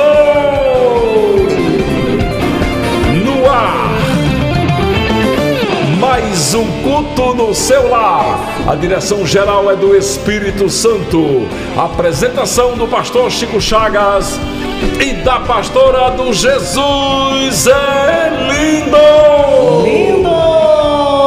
Lindo, lindo, lindo, lindo, lindo, lindo. lindo, lindão. Bom dia, gente. A paz do Senhor. Paz do Senhor, Bom dia, de pastor. A paz do. Senhor. Vamos dar glória, né, povo de Deus? É sim. Neste sábado, Deus abençoe a sua vida. A sua casa, você que está no trabalho, você que está no faxinão, oh, coragem no Senhor, muita disposição, Deus abençoe. Mas é, pastor, tem dia que as mulheres amanhecem assim, tô animada para fazer a faxina, é quando olha, eu sou oh, Jesus, chega aqui, me dá força, me dá coragem, me dá disposição. E aí a gente começa a louvar, né, irmãs? Adorar a Deus quando pensa que não tá quase tudo pronto já e conclui, porque Jesus é bom. Deus te abençoe em tudo que você tiver que fazer. Você está na sua casa, seja o Espírito Santo sempre aí harmonizando né, o ambiente. Deus abençoe a sua vida com todos os seus. Estamos felizes com o Senhor, alegres nesta oportunidade, gratos a Deus por estarmos em comunhão com você, adorando o Rei da Glória. Estamos ao vivo e você é canal de bênção, então envie esse link e abençoa mais vidas. Inscreva-se aqui no canal, dê o seu like e compartilhe mande para as pessoas que você ama, né? Nós estamos aqui em nossa casa com uma mãe e uma filha. Nós estamos muito felizes, duas mulheres de Deus, né? A irmã Zélia e a sua filha Jusilene. A irmã Zélia mora em Itaberaba, no estado da Bahia. E a Jusilene também é baiana, mas mora em Goiânia, em Pernambuco. E as duas vieram aqui, meu Deus, quanto testemunho, quanta maravilha, né? E a irmã Jusilene foi quem apresentou a Pão da Vida para a mãe dela. Então apresente a Pão da Vida hoje, um Jesus maravilhoso dessa igreja. Leve ele a outras pessoas apresentando através do seu compartilhamento. Elas vão participar. Olha, tem testemunhos. As irmãs têm intimidade com Deus, viu? Tem muita Eu cheguei aqui, o pastor, eu Espírito Santo. escutei, né? Lá de fora deu pra escutar os glória, a irmã Lé contando testemunho de Jesus. Acho que eu Deixa tô eu igual aquele povo assim, ó. Tô escutando barulho de crente, então eu quero parar aí, eu quero ficar aí, glória a Deus. É, deixa eu mostrar aqui, antes da oração, nós já tomamos café, já oramos, foi uma bênção, né? Deixa eu mostrar aqui a- as irmãs. Essas duas irmãs aqui, irmã Zélia, irmã Zélia que está do meu lado, e a irmã Júcia, ela que está levantando o celular aí, né? Está do lado da pastora Joassanete. Mistério de Deus, e nós queremos orar agora e pedir direção. Papaizinho querido, Deus amado, estamos aqui, Senhor, em tua presença, pedindo, Pai, a tua direção, as revelações do teu Santo Espírito, a direção deste culto no lar. Ah, Pai, como é maravilhoso encontrar tuas filhas, teus filhos e ver, Senhor, o que o Senhor faz na vida de cada um de nós. Obrigado, Paizinho querido, Deus amado, muito obrigado. Obrigado pela tua mão potentosa, obrigado, Senhor, pelos teus cuidados. Obrigado pela vida de cada uma das nossas ovelhinhas, cordeirinhos que são teus e nós apenas tomamos conta, Deus. Obrigado, Deus, pela vida de cada uma das nossas moderadoras, moderadores, pela vida dos dizimistas, ofertantes, patrocinadores, colaboradores desta obra. Que mantém Deus esta obra avançando, Pai, ganhando almas para o teu reino nos quatro cantos da terra, fazendo as obras sociais da tua igreja. Obrigado, Paizinho. O nosso pedido, Deus, é que haja um derramado o teu Santo Espírito neste culto no lar. Que os teus filhos e filhas possam sentir aqui a tua grande e maravilhosa presença.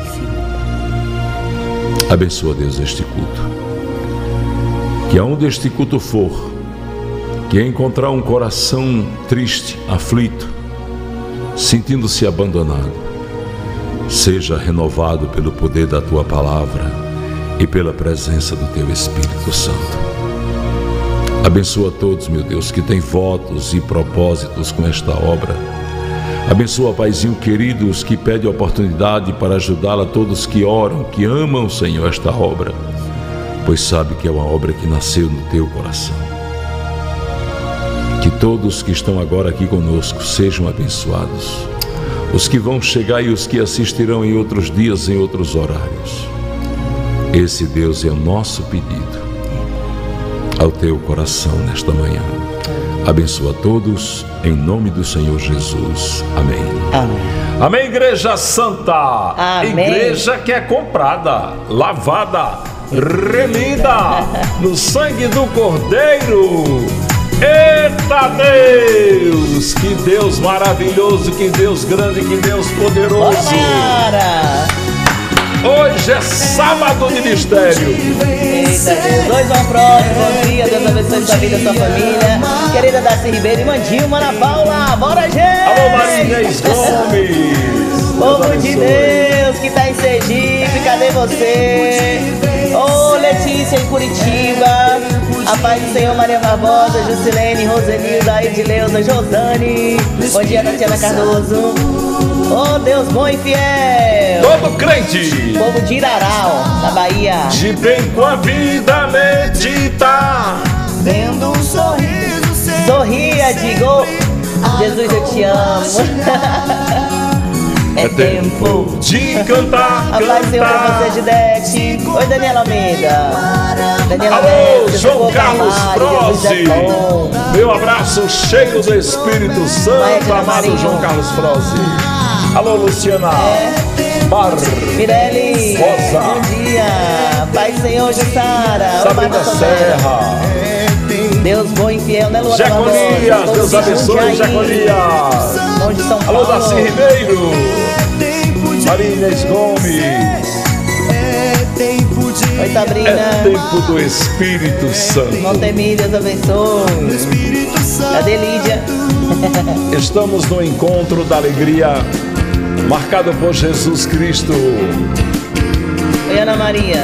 Ana Maria Sampaio, tá aí ela. É de Vânia Santos. Virgínia, povo de Alô. Temi, alô, Lídia. Hoje, Um abraço no coração desta família abençoada. Temi, Lídia, Daiane. José Nilson, Cezinha, a Princesinha. Alô, Igreja Pão da Vida de São Paulo, capital. Pastor Henrique. Jorge. Alô, Rayon, Rayon e Morena Costa. Está conosco. Hoje é aniversário do Rayon. É do Rayon que. Aniversário do Rayon. Lá de Cruz das Almas. Parabéns, Rayon. Deus abençoe a sua vida. Rayon, o amor da morena. Eita glória, abençoa teu filho, Deus. Faz prosperar mais e mais os seus caminhos. Alô, Sonali. Fala, Regina. Aniversário da Sonali hoje, Sonali. Do, do nosso maestro Everton, mamãe da Estezinha. É. Parabéns, Sonali. Deus abençoe. Deus abençoe esse casal maravilhoso da Pão da Vida sede. Ele pra você. É uma mocinha. Eita glória! Alô, povo baiano! Não importa. Eita, povo Importa abençoado tá esse povo baiano, pastora! Eita Jesus! Oi, Cláudia. Alô, Miriam. Andrade de Andradina, estado de São Paulo, Sônia Gomes, Angela Timba. Deus abençoe, Angela. Vamos falar das moderadoras da moderação É, hoje. sim. Jaqueline Kubinski, direto dos Estados Unidos da América. Da China, Marília Lima. Da Alemanha, Fátima Kurtz. Da Suíça, Gracelina Lopes e Ana Paula Belani. Na Suécia, moderando Maria Otosson. Da França, Lígia Nóbrega e Irina Delgado. Em Portugal, Paulo Almeida, Carla Santos, Honória Félix, Zima de Cascais e Virginia Stuckman. Em Londres, Francisca Simons, a Chiquinha de Jesus, Jane Silva e as filhas da Mamãe Maria, que eu mando aqui um beijo ó, na cabeça e na bochecha da Mamãe Maria, lá na Ilha da Madeira, em Portugal. É a Fátima Ramos e Holanda Morgado, as boas portuguesas. Alô, Rui, alô, Dudu. Um abraço a Joana Cardoso, nossa moderadora do país de Gales. Em Montreal, no Canadá, Simone Santos. Em Goiânia, Vander Lúcia. Em Brasília, Adriana Santos. No Paraná, Érica Borges e Gigliola Lourenço. No Rio Grande, Vânia Belasquem, o amor do Vilmar e Marie Hoffman, o amor do Jair. E eles, o casal Paixão do Brasil. André Moura e Maria Paixão. Rio de? Janeiro, Cida de? Macaé, o amor do Wagner, José de Santos de Macaé. Em São Paulo, Sônia Inácio, Edileide Medeiros e o amor do Osmar. Elis Regina, Andréa Tucci, o amor do Chuchu, Deigia Costa, Ana Paula Saberinho, o amor do carequinha mais charmoso do Brasil, Valderi. Do Ceará, Marli Carvalho, Viviane Shoa. E em Mossoró, pastor, em Mossoró tem Adriana Carina, Thaís Micheline, Clenilda Maia, Deise Ruse, Patrícia Silva, Arthur Jefferson, Marla Maíra, Meise Karenini, Marco Antônio, Ellison, Kelinha e outros mais. Não importa! Eita Deus! Envolva-se!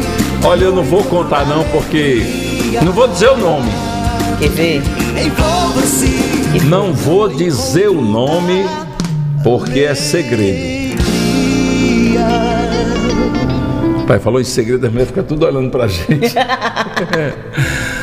Mas eu tive um sonho com uma missionária nossa, uma moderadora aqui.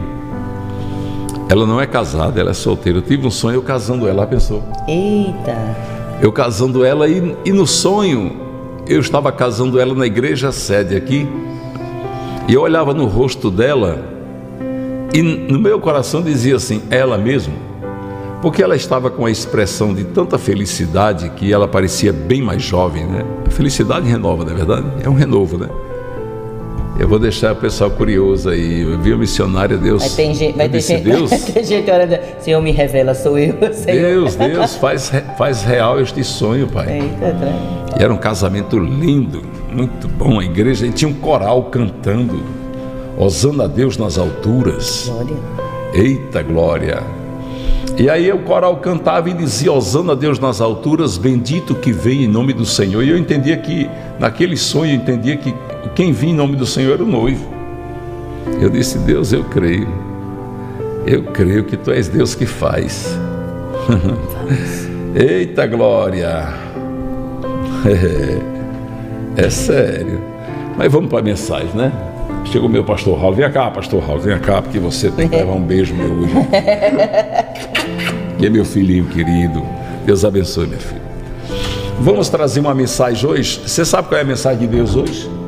Deus está dizendo assim para você: olha, para você que está aí. Deus está dizendo assim: eu quero um particular contigo. É. A palavra que Deus colocou no meu coração hoje de manhã foi Mateus 6,6. Entra no teu quarto, fechando a porta, ora teu pai que está em secreto. E teu pai que vem em secreto te recompensará. Você sabe o que, é que essa palavra quer dizer? Essa palavra está Deus chamando você para ter uma conversa com Ele, para Ele resolver a questão. Porque às vezes as buscas têm sido tão grandes, pastor. A pessoa tem batido em tantas portas, tem esperado tanto, tem compartilhado tanto os seus sonhos com tudo que é gente. É assim, não é? Compartilha com tudo que é gente os sonhos. Hum, mas o Senhor hoje está dizendo assim: vem para cá. Você lembra o que foi que Deus disse a Moisés? Eita glória, recebe aí. Foram se queixar a Deus, né? Arão, irmão de Moisés, olha irmão, Miriam, foram se queixar a Deus da Detan, Corã, Abirão, Coré, Abirão, queriam ter a intimidade com Deus que Moisés tinha. Não era verdade, não? E aí o que foi que Deus disse? Deus respondeu assim: Com vocês eu falo pelos profetas, com vocês eu falo na palavra, mas com Moisés eu falo cara a cara. Eita Jesus! E hoje Deus está dizendo para você: Eu quero conversar com você cara a cara. Eu quero te chamar para um particular. Sabe por que Deus quer chamar para um particular? Não é só para entregar a bênção, não. Não é. Ele vai entregar, mas Ele quer te chamar para um particular para te dizer as razões de tudo que está acontecendo. Porque tudo que está acontecendo está no controle dele. Está tudo no controle dele. Ele é que manda, ele é que faz, ele é que sabe fazer, ele é que desmancha. A palavra de Deus diz lá no capítulo 2 de 1 Samuel que ele faz descer a cova e faz subir da cova. A palavra diz que ele empobrece e ele enriquece. Eita glória!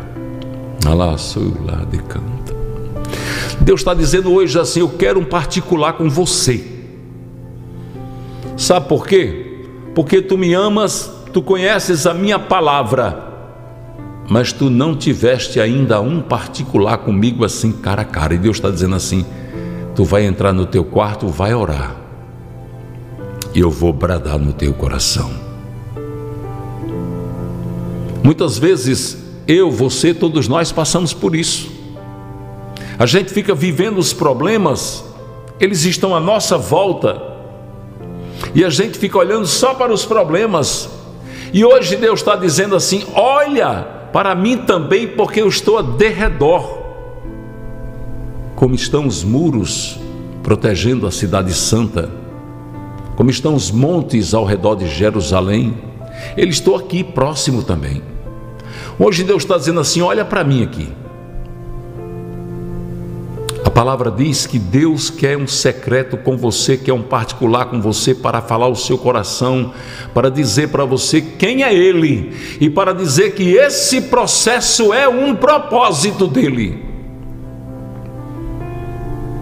Deus, por que tanta humilhação? Por que tanta luta? Por que tanto desprezo? Porque eu não consigo entender, Senhor, porque eu acho que não mereço.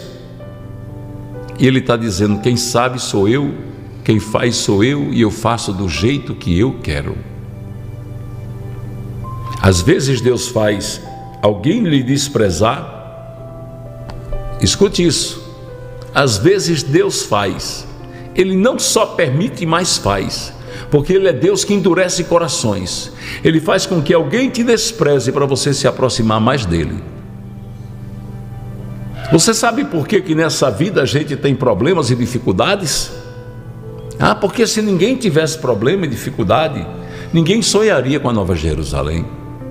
Ninguém sonharia com a morada celestial ao lado de Jesus, não. Está tudo bom aqui, eu quero ficar aqui mesmo. Sabe o que é que iam dizer para Deus? Por que, que o Senhor não dá vida eterna a gente aqui mesmo? Está tão bom mas ele permite a enfermidade, ele permite a afronta, ele permite a incompreensão, ele permite o desprezo, a solidão, ele permite tanta coisa que é para a gente saber que tudo de bom nós vamos ter quando nós estivermos na Cidade Santa. É, lá pertinho dele, aí lá não vai ter nada disso. Quando a noiva estiver ao lado do noivo, a noiva será totalmente protegida e guardada de todos os males. A palavra de Deus hoje para o teu coração é: escuta o que eu te falo agora. Tem coisas na tua vida que ninguém pode saber. Deus está dizendo: é eu e você. Eu e você. A presença dele vai ser sentida na sua vida por todos que estiverem à sua volta. Mas ver, sentir verdadeiramente a presença tete a tete, cara a cara, é só você e ele. Porque há momentos em nossas vidas que Deus não permite ninguém entrar. Ah, eu sei que já aconteceu com você, já aconteceu comigo, momentos em que Deus diz: não é só eu e você aqui, é só nós dois. É só nós dois, porque nos momentos de solidão, nas madrugadas, quando o teu pensamento vagueia, quando a, a, tua memória te leva a um passado e você sente saudade dos momentos felizes, você sente saudade de tudo, eu quero te levar ao Calvário, eu quero te levar lá, para você ver onde foi que eu morri para que você tivesse paz, para que você tivesse vida, para que você sonhasse com um verdadeiro amor. Um amor que não te despreza, um amor que enxuga suas lágrimas, um amor que verdadeiramente te ama, que é o amor de Jesus Cristo. O nosso pensamento tem nos levado a lembranças do passado, boas e amargas também. Tem nos feito até chorar, recordando momentos felizes vividos ao lado de alguém que no passado nos fez tão felizes e Deus diz: e a lembrança do Calvário? Você não quer ir até o Gólgota? Você não quer caminhar do meu lado nas ruas de Jerusalém e me ver transportando aquela cruz, sendo açoitado pelos soldados romanos? E ver eu olhar para você e dizer: tudo por amor a você.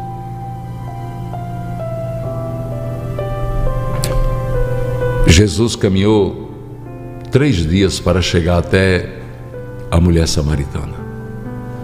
Três dias foi a caminhada dele. Saindo de Jerusalém, ele foi até lá para encontrar aquela mulher. Quantos passos ele deu, quanta sede ele sentiu, quanta fome ele passou naquele caminho. Mas a cada passo, ele dizia: Eu preciso libertar aquela mulher. Hoje Deus está dizendo assim: Eu preciso ter um particular contigo para te libertar. Para te libertar desse passado, dessa masmorra, desses traumas, desse medo, dessa angústia, desse sentimento de solidão, de às vezes se sentir tão só. Deus está dizendo assim: Eu quero um particular contigo.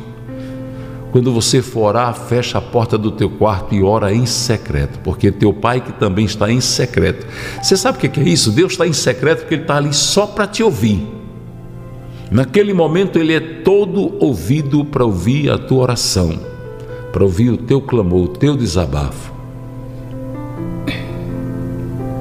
Hoje Deus está dizendo: Eu quero ter intimidade com você. Intimidade grande. Você quer com Ele? Eu também quero. Eu também quero. Eu confesso a vocês que muitas vezes, na madrugada, as preocupações me roubavam o sono. E eu, prostrado, orava a Deus. E eu podia ouvir a voz dele dizendo: Agora descansa, filho. Vai dormir, porque daqui a pouco começa a batalha de novo. Mas não esqueça, eu estou contigo. Hoje Deus está dizendo: descansa nos meus braços, e eu farei o que deseja o seu coração. Amém? Pastor Ângela. Glória a Deus. Falar de secreto é algo que sempre mexe comigo. Porque mexe assim, sabe? É o que faz você entender como Deus te dá uma atenção tão especial, tão especial. E não é só que ele deseja que você deseje a presença dele, é que ele deseja estar com você. É. Então há dias que eu olho para o céu e fico conversando com Deus e olho assim de Jesus. Quem sou eu para você olhar para mim? Contemplo as estrelas, contemplo as grandezas de Deus e fico e me sinto, pastor e irmãos, tão especial. Eu não sei porquê, mas eu vou falar isso porque na verdade a gente diz, a gente não sabe porquê, mas a gente sabe, porque Deus tem um propósito no que a gente vai dizer, para alcançar alguém de uma forma bem específica. Ontem à noite eu conversava com o Senhor e dizia assim: Deus é tão interessante que quando nós entregamos a nossa vida para o Senhor, a gente se sente tão especial, tão especial, tão especial para Deus, ao ponto de você achar que Deus só olha para você. E eu começava a lembrar de quando o Senhor falou as primeiras promessas para mim, fez as, prime as primeiras promessas. E eu ri comigo mesma, porque eu digo, Jesus é muito bom, porque o que, que Deus falava? Deus dizia: Tenho eu grandes coisas com você, vou eu fazer grandes coisas na sua vida. Eu, claro, eu, aquilo enchia o meu peito, enchia o meu coração e eu sabia que tinha algo muito grande de Deus para ser realizado na minha vida. Mas quando eu ouvia Deus falar para alguém, pastor, assim, tenho eu grandes coisas contigo, aí eu olhava assim e dizia, como assim? Não estou entendendo.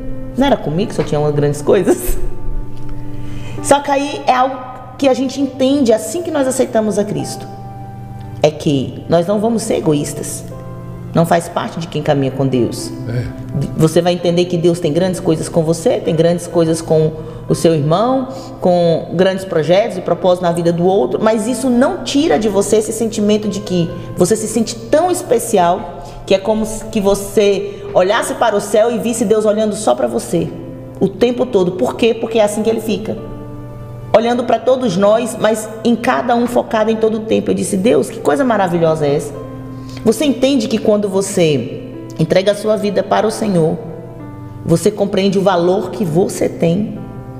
O grande, o poderoso, o fiel, quem nos criou, quem nos formou, está olhando para nós o tempo todo. Por isso você se, se sente tão especial ao ponto de achar que Deus só trabalha na sua vida. Porque ele faz você se sentir como? Preenchido. O tempo todo sendo contemplado, envolvido nesses muros de amor, de proteção de Deus, cuidado por ele. Irmãos, isso é tão maravilhoso. Deus nos chamar para uma intimidade. Ontem no, no programa Jesus Ainda eu falei sobre o versículo do Salmo é, 25, versículo 14, quando diz que os segredos do Senhor aqui ele revela são para aqueles que o temem. Aí ele revela a sua aliança. Imagina, não é meu pai, meus irmãos chegar para mim e dizer, Anjo, eu quero te contar um segredo. É Deus dizendo, filho, eu quero contar um segredo para você. Oh, glória! Fala, Senhor. Me conta, Deus. Não é só você falar para ele, mas ele falar para você. Entende que esse relacionamento ele tem reciprocidade? Aleluia. E isso é muito forte. Então, eu ficava, Deus, o Senhor faz a gente se sentir tão especial. Não é que você não quer só para você. Você não é egoísta, você quer que os outros queiram, desejem, sintam-se como você se sinta. Por isso que crente é conhecido como doido, que assim que aceita Jesus só quer falar de Jesus. Por quê? Porque você está tão maravilhado com o que você está sentindo, com o que você está vivendo, você quer que o outro viva. E ao mesmo tempo, você sente aquele olhar tão especial sobre a sua vida. É. E a respeito disso, eu quero te dizer algo. Vai ter momentos em que Deus vai te chamar para esse particular. E como é particular, pastor? Se o pastor disser, eu gostaria de falar com Ângela em particular. Vai entrar meu esposo? Vai entrar meus filhos? Vai entrar alguma irmã? Particular é particular. É você e Deus, Deus e você. É Deus dizendo, é com você que eu quero falar. Esse momento é nosso. Semana passada eu conversava com o Senhor e pedi a Ele algo a respeito de uma promessa que vai se cumprir. Glória a Deus. E sabe o que o Senhor me falava? Eu dizia, Jesus, eu queria que meu esposo fosse comigo. Vou convidar ele, achando que era bom, sabe, pastor? Depois que eu fiz o convite, e meu esposo até disse assim: Vou. Qual é a data? Vamos programar para ir com você. Eu disse: Oh, coisa boa, olha o homem já andando comigo, achando que era bom. Sabe o que Jesus falou para mim? O Senhor disse: Filha, nesta oportunidade é só eu e você. E eu, é Senhor. E o Senhor disse: vai ter momentos que vai ser eu, você e seu esposo, eu, você e seus filhos, mas essa é só eu e você. Aleluia. E você pensa que eu me chateei com Deus? Que conversa, eu fiquei tão feliz, pastor. Eu disse: Deus, é eu e o Senhor. Aleluia, amém. E agora, o que, que eu falo pro homem? Ele vai ficar triste eu disser, né? Que não é pra ele ir. e ele não vai entender que é, eu- que, que é. Porque o Senhor me falou que é só nós dois. Ele vai achar que é porque eu não quero mais que ele vá. Mas, pastor, não, fechei o pensamento. O homem chegou e disse: Tem que ir de ônibus também? Eu disse: Tem. Tem um pedaço de ônibus. Ele disse: Então não vou, não. eu disse: Então entendendo, Jesus. O que, que eu quero falar? É que vai ter momentos em que o Senhor está dizendo: Filho, filha, porque essa dor que você está sentindo é sua, não é do outro. Os questionamentos é seu, não é do outro. E Deus quer falar com quem? Com você. Deus quer tratar com você. Nós temos os nossos segredos com Deus. E segredo é segredo. É você e ele, ele e você. Fecha essa porta aí. Você tem seu cantinho de oração? Seu quartinho de guerra? Seu quartinho de guerra. Lá em casa, o quartinho de guerra é tão interessante, pastor, o quartinho de guerra lá em casa. E aí os meninos se apossaram, sabe, do meu quartinho de guerra? Eles inventaram agora que agora é onde eles vão dormir. Eu disse, tá bom, Jesus, estou entendendo. É porque tem Mas- presença de É, então eles vão ficar lá. E aí os dois dormem na caminha do lado. Eu fui me ajoelhar, eu disse, Jesus, esse negócio desconfortável para ajoelhar aqui no meio deles, né? Porque eu queria continuar lá. E aí eles adormecendo, eu fui e me deitei. Sabe quando você se deita para orar? Já se deitou para orar? Você já viveu essa experiência? Se deitar, é, é- é o que os irmãos costumam dizer, a cara no pó. Aí eu tô lá, deitada no chão. Graciano dá uma virada. O meu mais velho diz assim: Mãe, por que é que a senhora tá deitada no chão?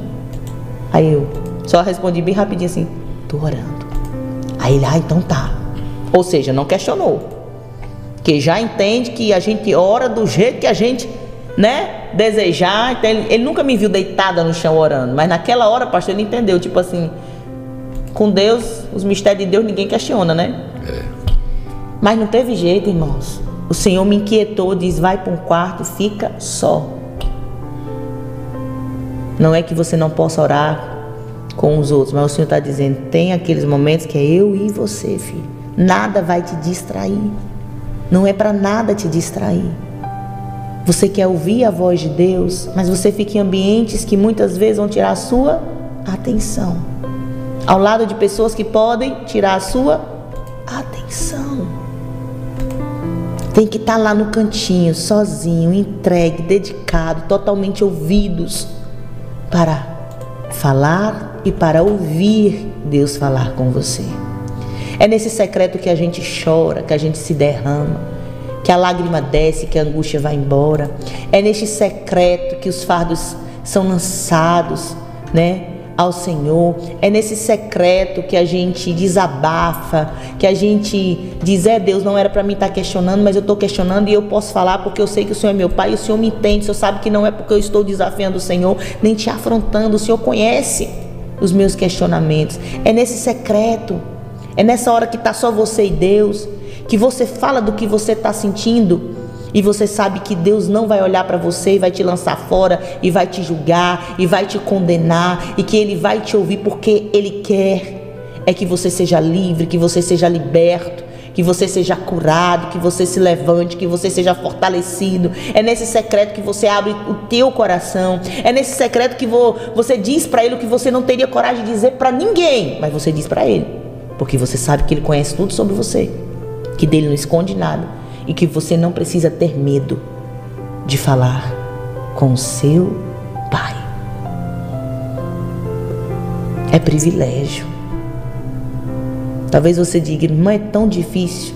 Por que, que é tão difícil a gente viver esses momentos? Aleluia. Uma vez eu perguntei a Deus, eu disse, Senhor, por que, que a gente prega a tua palavra? Por que, que a gente faz a tua obra? Por que, que a gente ama o Senhor?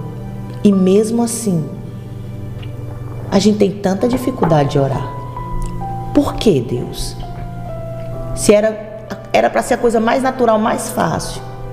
E o Senhor disse: Porque quando você ora, filha, vem a resposta, vem a vitória, a angústia vai embora, a paz reina no seu coração. Você lembra das minhas promessas, você lembra que eu sou fiel, você é fortalecido, você já não está inquieto, o desespero já não toma conta de você, você entrega para mim. Então, a dificuldade é porque orar é chave de vitória. Existe uma guerra. Então não ore só quando você sentir vontade de orar. Não ore só quando tiver tudo muito fácil para você orar. Quando as coisas se levantarem, aí é que você desce para orar. Ora. Não é porque eu estou tão cansada. Eu faço uma oração e Deus atende, viu? Porque é da vontade dele. Eu digo assim, eu fiz oração, essa oração de madrugada. Essa madrugada eu disse, Deus, eu te peço, me acorda. Espírito Santo, se eu dormir de cansada, me acorda. Não deixa eu dormir não, sem ter meu secreto. Me acorda como tu me acordava antes. Me acorda. Aí tá lá, 3h30. Oxe, que houve? Orar. Entende? Talvez você esteja, irmã, vocês falam tanto em orar de madrugada, deixa eu te dizer.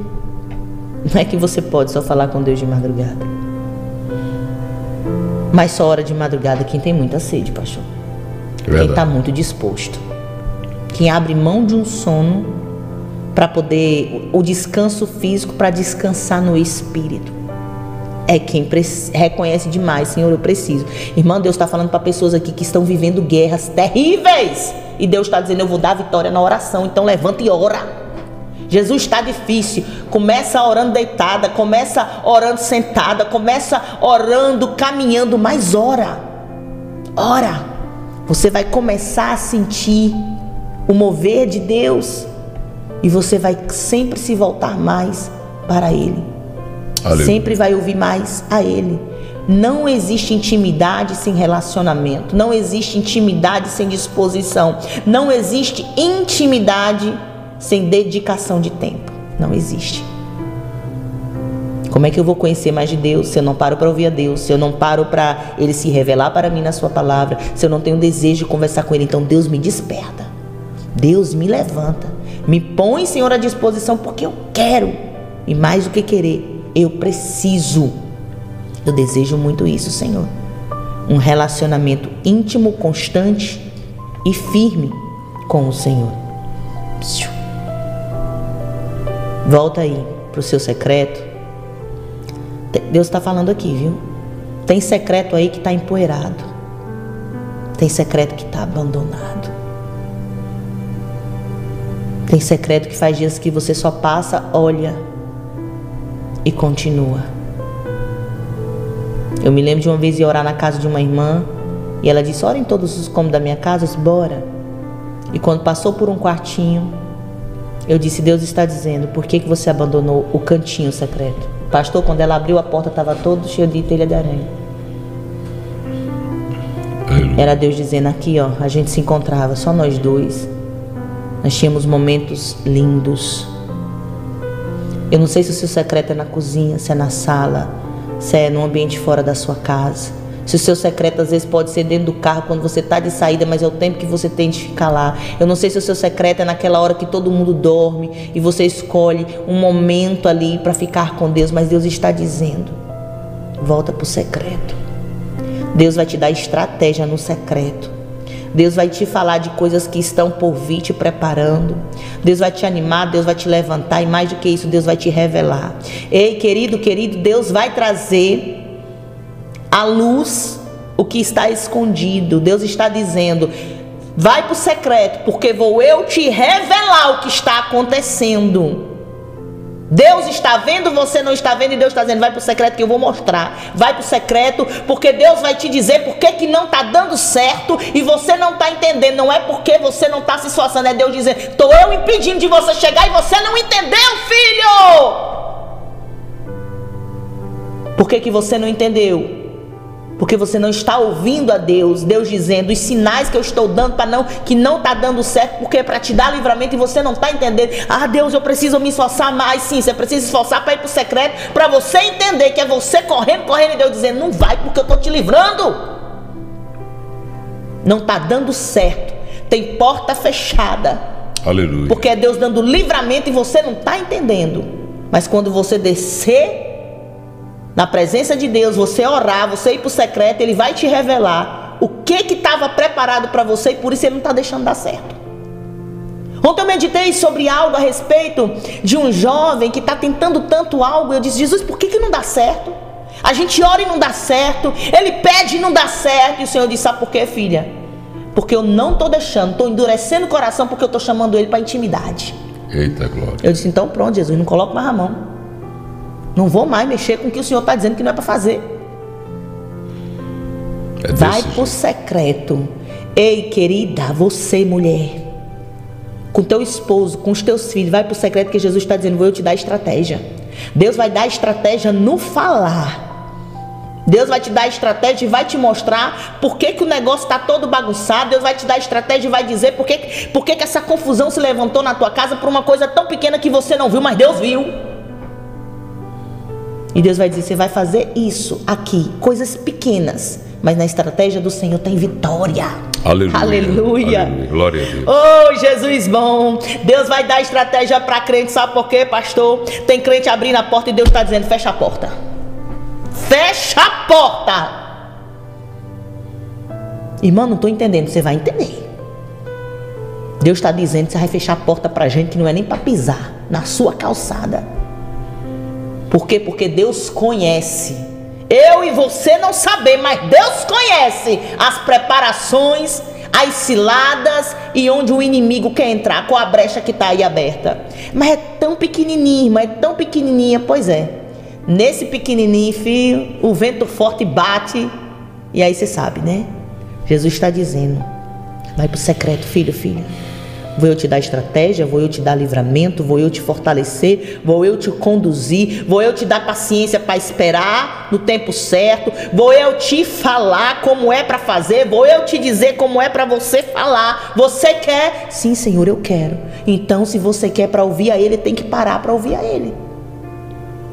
E ele vai te dar vitória. Eita Deus, vai ter crente testemunhando assim: Pastores, eu vivi um mistério tão grande que só acredita quem sabe que Deus é Deus e fala na terra Eita e Deus, faz eu creio. coisas tremendas. Eu creio, irmão. Se eu não creio, você não estava aqui.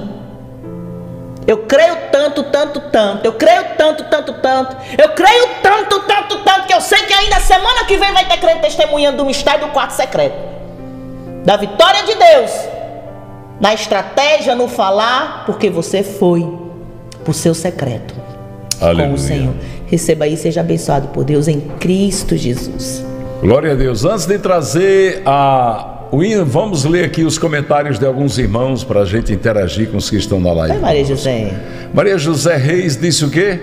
Eu acordei sem expectativa de vida, pedi uma palavra a Deus, Deus mandou vocês. Amém, Maria José. Deus abençoe. A Edjane Barros, de São dos Santos. Senhor Jesus, me liberte dessa depressão, da ansiedade, síndrome do pânico. É, Jesus, liberta a tua filhinha, meu Pai. E todos que sofrem disso. Querido irmão Danilo Oliveira. Que diz, eu já me senti assim, Deus é tão maravilhoso e zeloso com a minha vida, que eu acho que sou mais especial que o normal para ele. É desse jeito, Danilo. Porque pensa desse jeito, ele tá dizendo, Senhor, por que comigo eu não faço por onde merecer tanto, tá vendo? É assim mesmo que a gente se sente. Valeu, Danilo. A gente se Marcilene, sente o filho mais queridinho de Jesus, né? é, Marcilene Gonçalves Noronha Barbosa. Ele diz, é verdade, Deus fiel, eu creio, Deus é fiel, eu recebo esta palavra abençoada no meu coração e tomo posse em nome de Jesus Cristo. E a Sandra Nóbrega. que diz o O, pastor, o que é esse monte de ovelhinha aí, pastor? Essas ovelhinhas são presentes que as irmãs e os irmãos dão ao pastor e representa cada uma de vocês, né? Querida Joselita Nunes. Hoje eu peço a Deus que faça na vida dos irmãos o que Ele tem feito na minha. É maravilhoso sentir a presença de Deus, ter paz, ter certeza que Deus é presente na minha vida. Amém, Joselita. Deus abençoe. Marta Carvalho. Que diz, obrigado Senhor, essa palavra é para mim porque moro sozinho e preciso fazer isso.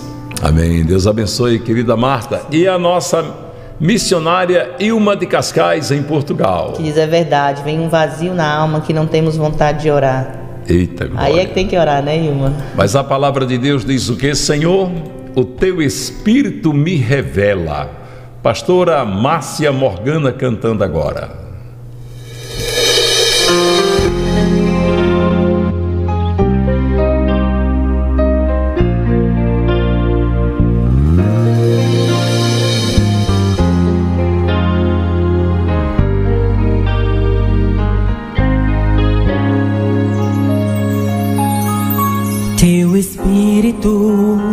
Me revela quem tu és. Teu espírito me revela quem tu és. Teu espírito me revela quem tu és. Teu espírito me revela quem tu és.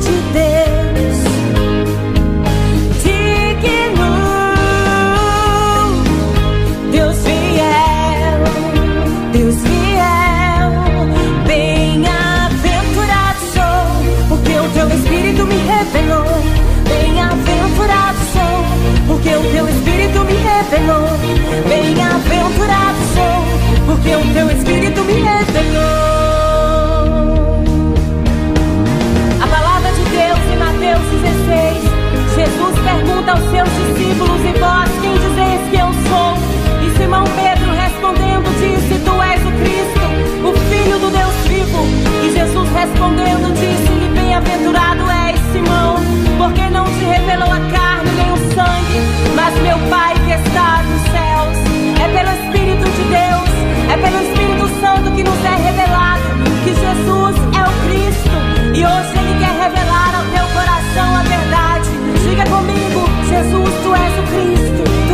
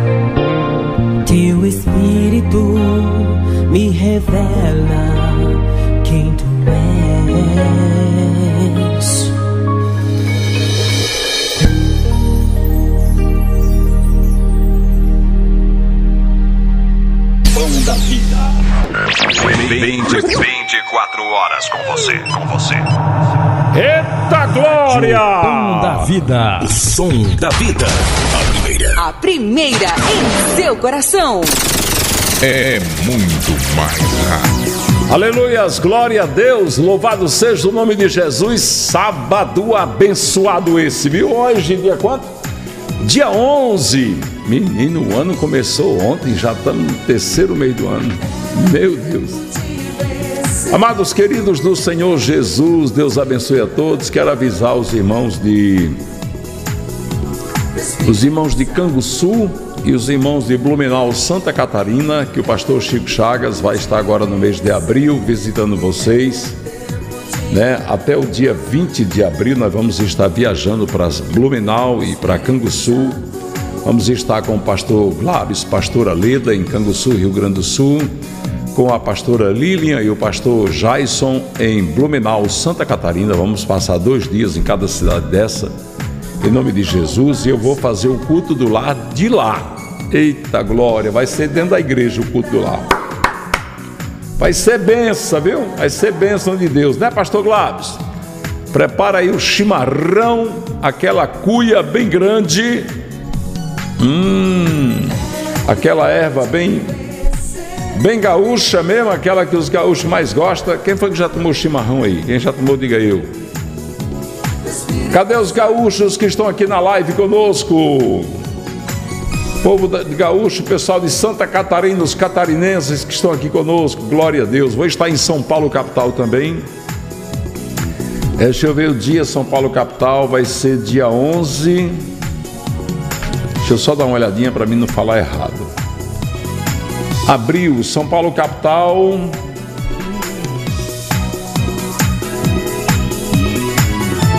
São Paulo capital eu vou estar dia 9, é dia 9, dia 10 e volta a Mossoró dia 11. Porque nós vamos para o encontro dia 6.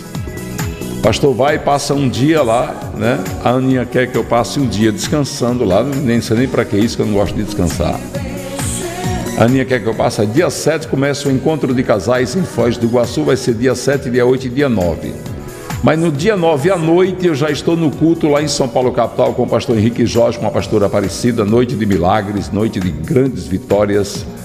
Você já está convidado a estar comigo no culto, não no culto da manhã. Eu não vou estar no culto da manhã, porque eu estarei voando ainda, mas vou estar no culto da noite em São Paulo, capital.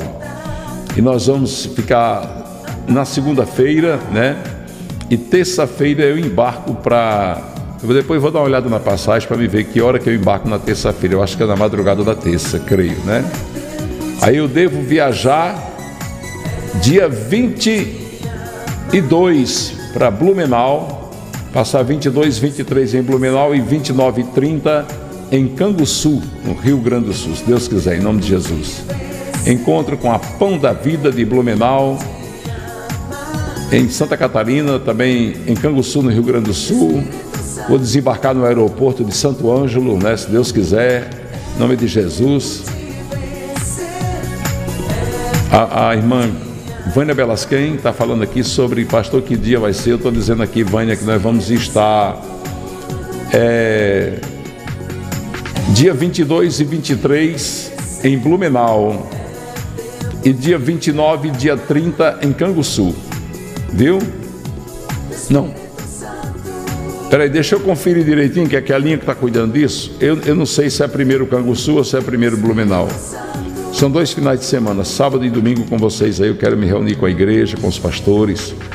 Momento de oração, momento de pedirmos a Deus milagres, curas, maravilhas, né?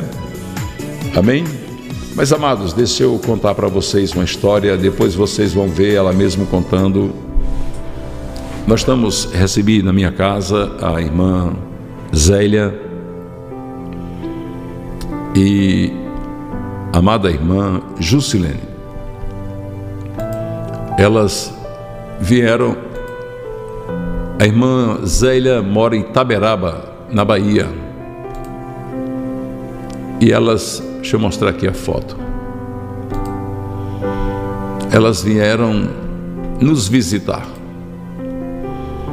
Só vou embora na terça-feira, talvez até mais passar mais alguns dias mais a, a gente aqui, né?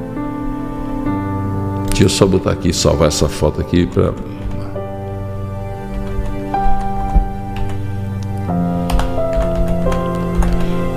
A irmã Zélia estava me contando, irmãos, uma história. Pense da história. Ela estava me contando uma história dela. O filho dela, quando tinha 12 anos, depois ela vai contar esse testemunho aqui. O filho dela tinha 12 anos. Uma mulher que morava de frente à casa dela pegou o filho dela. Isso é bom para a gente prestar atenção, sabe? Para a gente cuidar, porque você sabe que não é fácil. Isso aqui é para alertar a igreja, né? Essa mulher pegou o filho dela, a mulher também tinha um filho pegou o filho da irmã Zélia carregou o menino, sequestrou o menino, levou para dentro da roça, onde tinha um trabalho de macumba lá, feitiçaria.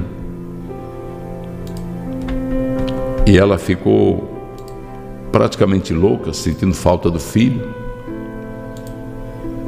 E depois que encontrou o filho, sabe quanto tempo depois? 30 anos depois, o filho dela está com 42 anos hoje. 30 anos depois ela encontra o filho. Essa aqui é irmã Zélia. Está com a pastora Ângela aí. Irmã Zélia e a filha dela. Aqui elas duas estão comigo e a pastora Jossanete. Irmã Zélia, essa que está do meu lado aí. Ela me contando esse testemunho hoje, eu fiquei, meu Deus do céu, como é que pode? Essa mulher passou 30 anos, ela sofreu demais procurando o filho dela. Mas Deus dizia que o filho dela estava vivo. E o filho dela contando para ela que apanhou muito, que passou muita fome, passou oito dias de fome e sede, trancado dentro do quarto, sendo consagrado a demônios. E depois de 30 anos, Deus usou uma filha de, uma filha de Deus para fazer o encontro dela com, com o filho. Se você vê ela descrevendo o sofrimento, eu vou pedir ela para contar depois, sabe por quê, irmãos? Para servir de alerta. Para servir de alerta, porque nós estamos vivendo num mundo onde nós temos que ter muito cuidado. Temos que ter muito cuidado, porque às vezes a, a pessoa que está morando perto da nossa casa é uma pessoa cheia de demônios. Essa imagem aí foi ontem lá na igreja Pão da Vida do bairro Belo Horizonte. Pastora Silvana aí, né, com a irmã Vera Lúcia, pastora Jossanete e a irmã Jusilene. Mas eu estou aqui para dizer para você, para você tomar cuidado com quem você deixa seus filhos. Essa mãe sofreu demais, demais, demais, demais, demais, demais, demais, demais. Meu Deus, foi muito sofrimento, foram muitas lágrimas, foi, foi muita angústia, foi, sabe, foi, foi uma coisa de louco. E você tem que ter cuidado, porque às vezes você, quando você for, se você precisa sair para resolver alguma coisa e vai deixar é, seu filho com alguém, sua filha, cuidado, pelo amor de Deus, cuidado. Porque os nossos filhos, especialmente quando são pequenos, eles são indefesos. Eles não têm defesa. Eles não sabem se defender. Então, a gente corre o risco de colocar nossos filhos nas mãos de alguém malvado. Não é verdade? Então, vamos ter muito cuidado. Ela contando o sofrimento que o filho dela passou, ele apanhou muito, ele foi obrigado a montar em animal brabo. A sorte é que ele não morreu porque Deus preservou a vida dele. 30 anos. Ela ficou 30 anos chorando e Deus falando para ela que o filho dela estava vivo. E Deus usou uma filha dele para dizer que estava trazendo o filho dela de volta. E essa mulher que morava de frente à casa dela era uma pessoa de confiança dela. E ela chorava para essa mulher sobre o filho. A mulher viu todo o sofrimento dela, acompanhou boa parte do sofrimento dela, mas nunca sentiu misericórdia dela, nem vendo o sofrimento dela. E o filho trancado lá dentro da roça. Sabe o que fizeram? Pegaram um acidente de carro, onde havia morrido uma mulher, e mostraram para o filho dela: olha, sua mãe morreu nesse acidente. Olha. Porque ele vivia pedindo para voltar para a mãe. Tipo, sua mãe morreu, sua mãe, você vai ficar com a gente agora, sua mãe morreu. Isso lá na Bahia. Lá na Bahia.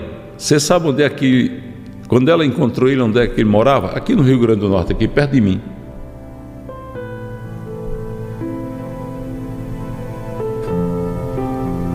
Você vê muitas crianças desaparecerem. Eu me lembro da pequena Elisete. Quem se lembra disso aqui no Rio Grande do Norte? Pequena Elisete, aqui no Rio Grande do Norte, aqui na cidade de Açu, onde nós temos duas igrejas. Elisete era uma criança cheia de vida,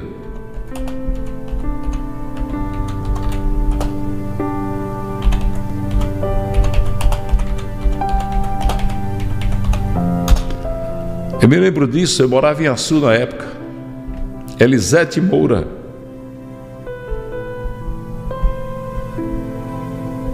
Ela foi sacrificada num ritual de magia negra.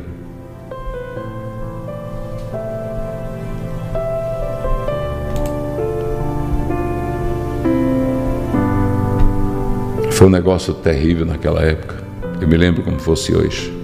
Está aqui, eu botei na imprensa aqui, apareceu tudo que é notícia sobre ela. A internet mostra tudo, né?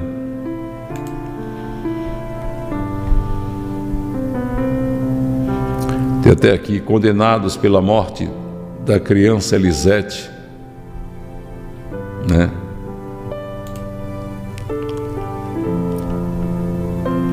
O Tribunal do Júri da comarca de Ipanguaçu, que é uma cidade próxima a Sul, condenou ontem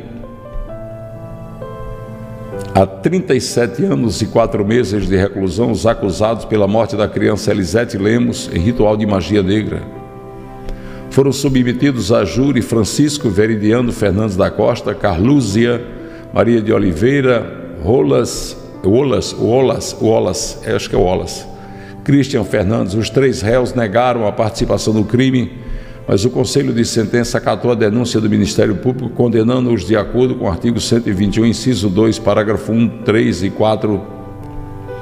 A morte de Elisete Moura Lemos em ritual de magia negra em 10 de novembro de 1996 causou revolta e grandes mobilizações populares e repercussão nacional. O crime ocorreu por volta das 19 horas na localidade denominada Sítio Arapuá, em Panguaçu, no Rio Grande do Norte.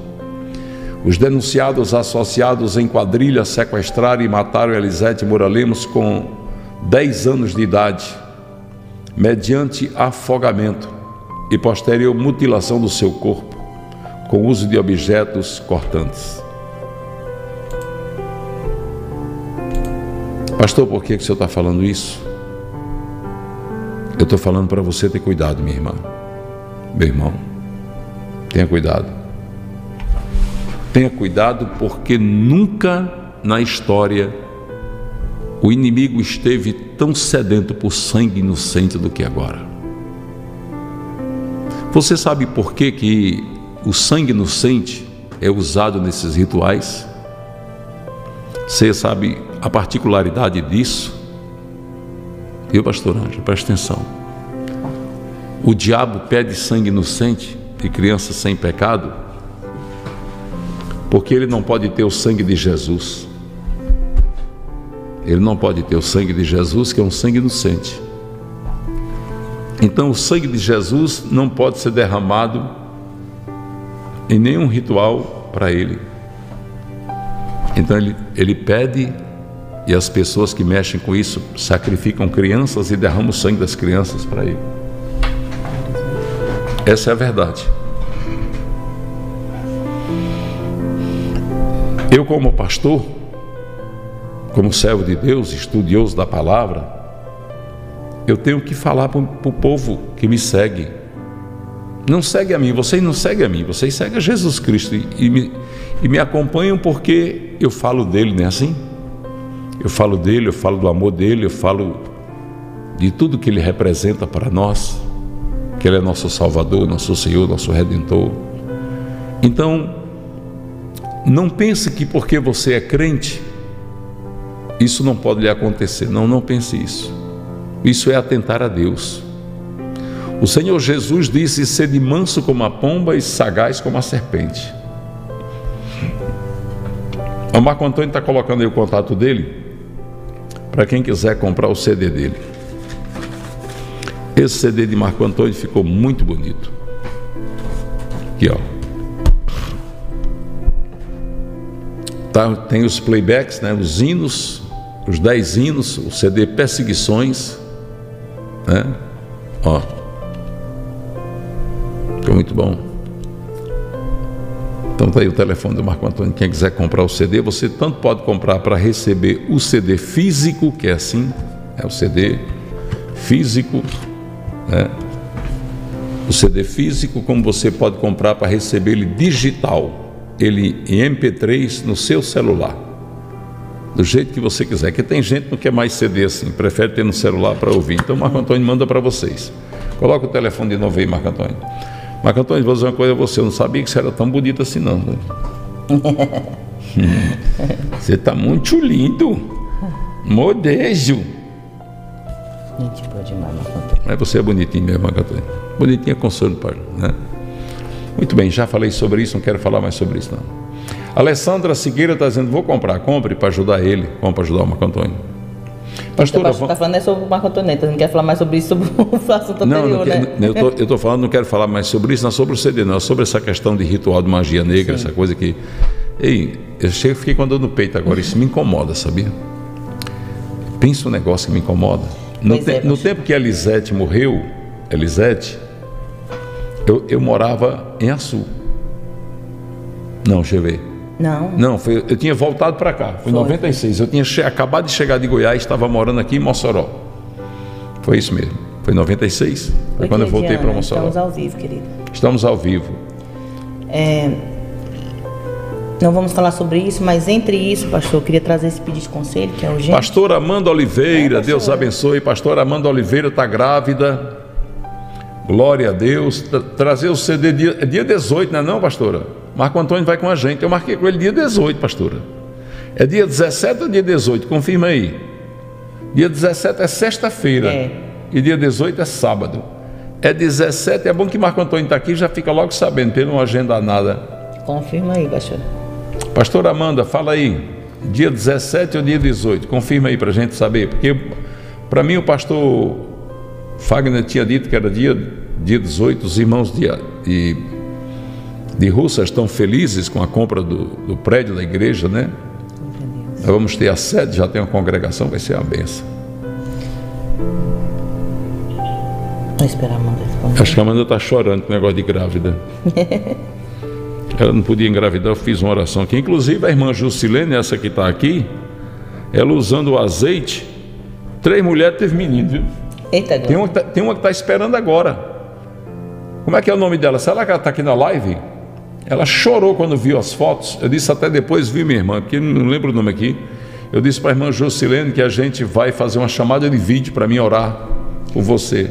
Ah, a pastora Amanda está confirmando, é dia 18, pastor. Dia 18, pronto. Sábado, dia 18, nós vamos estar em Russas, no aniversário de um ano da igreja de Russas, não é isso, pastora? Pronto, ela, eu estou confundindo, é dia 18 mesmo. Amém. Sim, pastora, vamos lá. Trazer esse pedido de conselho é urgente. Hum. E a irmã diz assim: é... Ela diz, a paz do Senhor Jesus, preciso muito de ajuda, de uma orientação urgente para minha vida. Estou como aquela que Deus vomita, nem quente nem frio, sabe? Morna na fé. São tantas lutas em minha vida, embora eu creia que só Deus pode me ajudar, me sinto incapaz e sem força para lutar mais. Eu preciso de uma orientação espiritual, de uma pessoa que conhece a palavra de Deus. Eu creio que vocês têm experiência. É, eu tenho enfrentado muitas lutas na minha família. Faz um bom tempo já que meu marido, meu marido não é convertido. Já me traiu várias vezes no passado estamos à beira da separação. Na verdade, vivemos juntos separados. Ele ameaça ir embora, outras vezes eu ameaço ir embora. E não vou porque tenho três filhos. Tenho duas meninas e um bebê que nasceu prematuro. E assim, no fundo eu amo meu marido e minha família. Meu bebê ele ficou na UTI mais de 20 dias, quase morreu, mas Deus fez um milagre, devolveu o fôlego de vida para ele. Ele é fruto de uma oração que fiz inspirada em Ana, porque tínhamos o sonho de ter um menino, principalmente meu marido. Só que ele não anda, tem dificuldades motoras, ele tem mais de um aninho, faz um ano que viajo toda semana para a capital, que é bem longe, para fazermos tratamento. E onde ele nasceu, então, ele faz fisioterapia, terapia ocupacional, tem fonoaudiólogo e outros especialistas que acompanham ele. Por incrível que pareça, ele não tem um diagnóstico. Todos os exames que faz saem perfeitos. Até um rastreamento de DNA que foi aos Estados Unidos, ele fez para ver se aparecia alguma doença ou alguma síndrome e nada aparece. E eu não entendo. Agora fizeram outro, um último para descartar qualquer genoma raro que ele possa ter. E eu creio que ele não tem nada, mas eu não entendo por que tanta dificuldade. Tudo isso veio junto com uma crise financeira muito grave. Meu marido fala que tem vontade de se matar, várias vezes já falou isso. Ele repete o mesmo comportamento do falecido pai dele. E a única coisa diferente é que ele parou de beber faz um ano. Disse que fez um voto com Deus pelo nosso filho. E desde então não bebe mais, não bebe mais nada de álcool. Ele me cobra muito. Cobra eu, eu que eu seja é, parceira nos negócios, que eu seja a mãe perfeita, a esposa perfeita, e eu nunca alcançarei a perfeição que ele exige. Não dou conta de tudo isso e isso me adoece. Eu me sinto completamente sozinha nessa caminhada espiritual. Eu sei que Deus é que me basta, mas eu fico sem força para orar, para jejuar, para repreender o mal. Eu me converti em um outro ministério, mas da, da pandemia para cá eu me afastei um pouco da igreja. Às vezes ainda vou é, e fica longe da minha, da, da minha cidade. E com meu filho doente, meio que desisti de ir. A pastora de lá nunca me mandou uma mensagem para saber como meu filho está ou porque eu não fui mais, qualquer coisa do tipo. Acho que ela não tem essa obrigação. é, eu que tenho que ter o compromisso de ir buscar, mas me senti sozinha. Aí tenho acompanhado a Pão da Vida, o culto no lar, umas pregações, sinto verdade no que é pregado, sem interesse, mas queria muito estar numa igreja porque minhas filhas precisam estar na presença de Deus. Eu tenho medo que elas se percam, embora a gente ore em casa, eu oro com elas sempre. Uma já tem 8 anos, a outra 13. E eu vivo três fases aqui: é bebê, criança e adolescente. É um turbilhão de problemas, de tantas coisas. Estou muito perdida e com medo de fracassar como mãe, já que fracassei como esposa. Queria ser uma boa filha para Deus, mas me sinto tão incapaz. Voltei a ser uma mulher tola, embora eu saiba que devo ser sábia, que a tola destrói com as próprias mãos. Hoje mesmo briguei com minha filha adolescente aos gritos, que meu marido chegou lá para ir ver o que estava acontecendo. Eu perdi o controle. Tenho tentado estar mais na presença de Deus, no meu secreto, mas meu coração está um pouco endurecido com tanto sofrimento. Não sei se vocês podem me ajudar, mas se puder, me aponte um caminho, me diga o que fazer para restaurar minha comunhão com Deus em primeiro lugar, para restaurar meu casamento, minha família, minha vida. Eu sei que só Deus pode mudar minha vida, mas me sinto indigna. Não sei porquê. Eu vivo para minha família, mas sinto que não é o suficiente. Eu estou afastada do meu trabalho por conta do bebê, preciso ir várias vezes ao hospital. Então estou de licença, mas terei que voltar daqui a alguns meses. Entrei com um pedido para ele receber as terapias num lugar mais próximo do município que moro. Eu me abandonei como mulher, sabe? Faz alguns dias que voltei a fazer caminhadas pela manhã, pois ninguém ficava com o bebê para mim. Algumas pessoas já até falaram para mim: como pode acontecer isso contigo? Isso se referindo ao bebê, pois o restante das áreas da minha vida eu mantenho as aparências. E eles perguntam: como pode acontecer isso contigo? Porque eu sendo tão de Deus e eu mesma me pergunto: o que será que estou fazendo errado? Não que eu seja santa, claro que não, sou pecadora, mas sempre vivi de casa para o trabalho, da casa para a igreja. Sinto que Deus quer algo de mim com tudo isso. Deus permitiu que eu corresse risco de vida na gravidez, risco de vida para o bebê, fracasso financeiro, depressão, casamento destruído, fundo do poço mesmo. Aí meu marido olha para mim e pergunta: onde está seu Deus? Mas ao mesmo tempo ele crê, pois Deus salvou o nosso filho. Eu me tornei amargurada, me isolei do mundo. Minha filha mais velha vê vultos às vezes. E eu, essa semana, enquanto orava de joelhos às quatro da manhã, senti atrás de mim um vulto escuro negativo. Senti medo, mas continuei falando com Deus. E aí me pergunto: como se eu estou orando? Ontem meu marido estava com nosso filho no colo e olhou para mim e disse: Acho que ele é especial. Por que Deus permitiu isso? E eu não tive resposta. Só disse: Eu não sei se ele é especial. Nenhum médico disse isso, nenhum exame mostrou. Eu estou sem ir na igreja, sinto vontade de ir, mas as igrejas ficam longe da minha casa. E eu, com três crianças, me sinto numa missão impossível. Tenho a carteira de motorista, vai fazer cinco anos. E esses anos eu nunca peguei o carro de tanto medo e pavor que me dá. Quando tirei a carteira, eu pedi para Deus que eu queria passar porque eu queria ir para a igreja, ser assídua, participar de tudo e passei, mas me travei até hoje. Dependo de ônibus e das pessoas me levarem. Meu pai é, o marido, quando estão de boa vontade, sabe, eles me levam. Semana passada saí de ônibus com o bebê, ele é pesado. E mais a bolsa dele. Quando voltava, fui descer do ônibus e resbalei, caí com meu filho no colo, foi uma humilhação. Ele havia vomitado no ônibus e as pessoas desviavam do vômito dele no chão.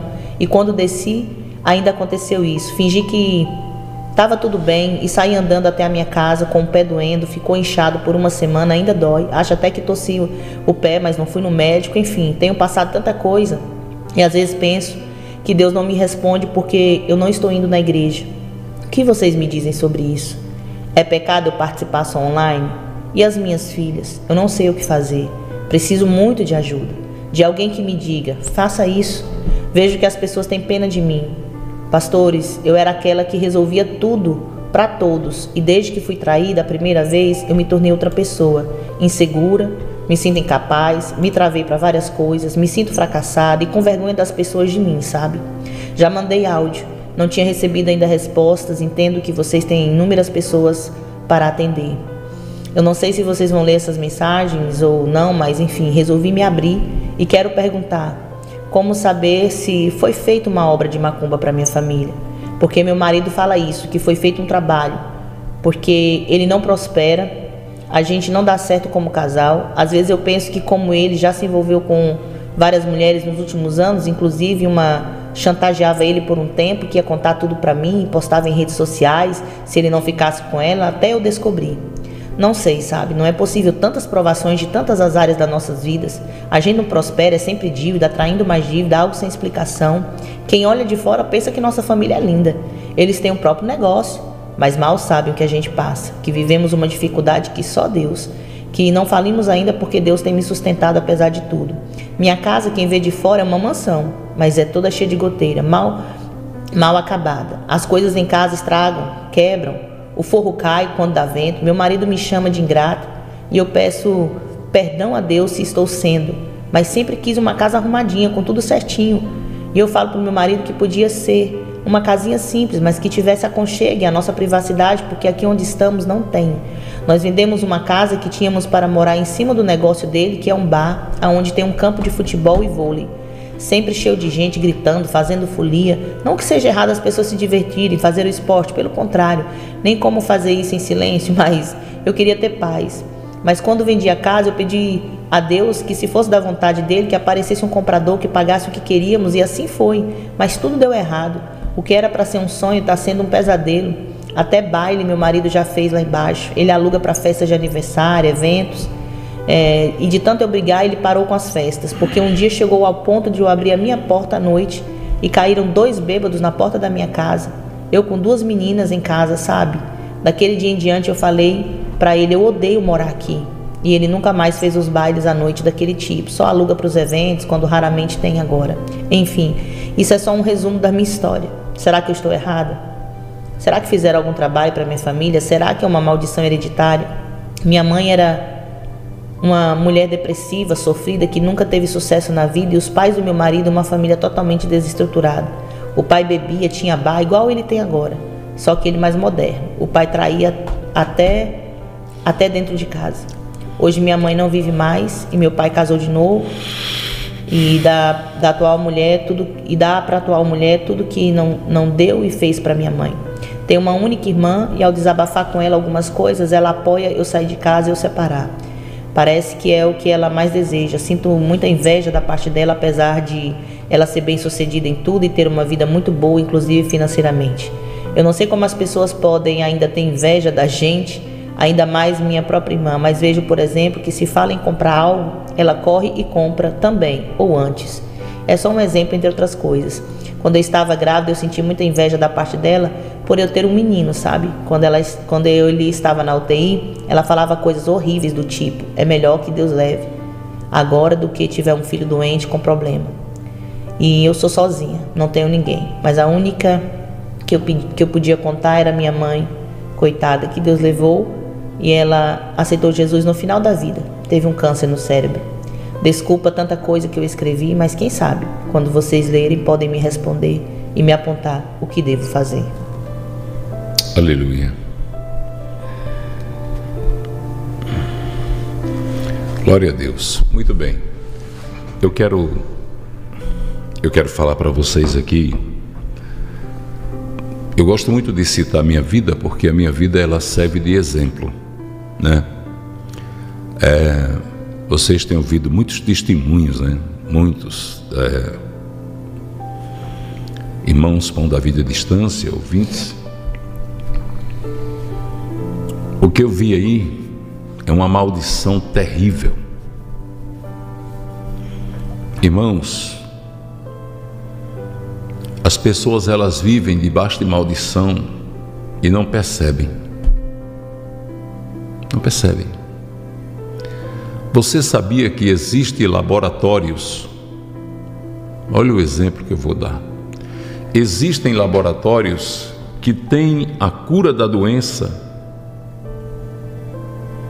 A cura da doença, mas eles não fabricam remédio para curar, fabricam remédio para manter a doença sob controle.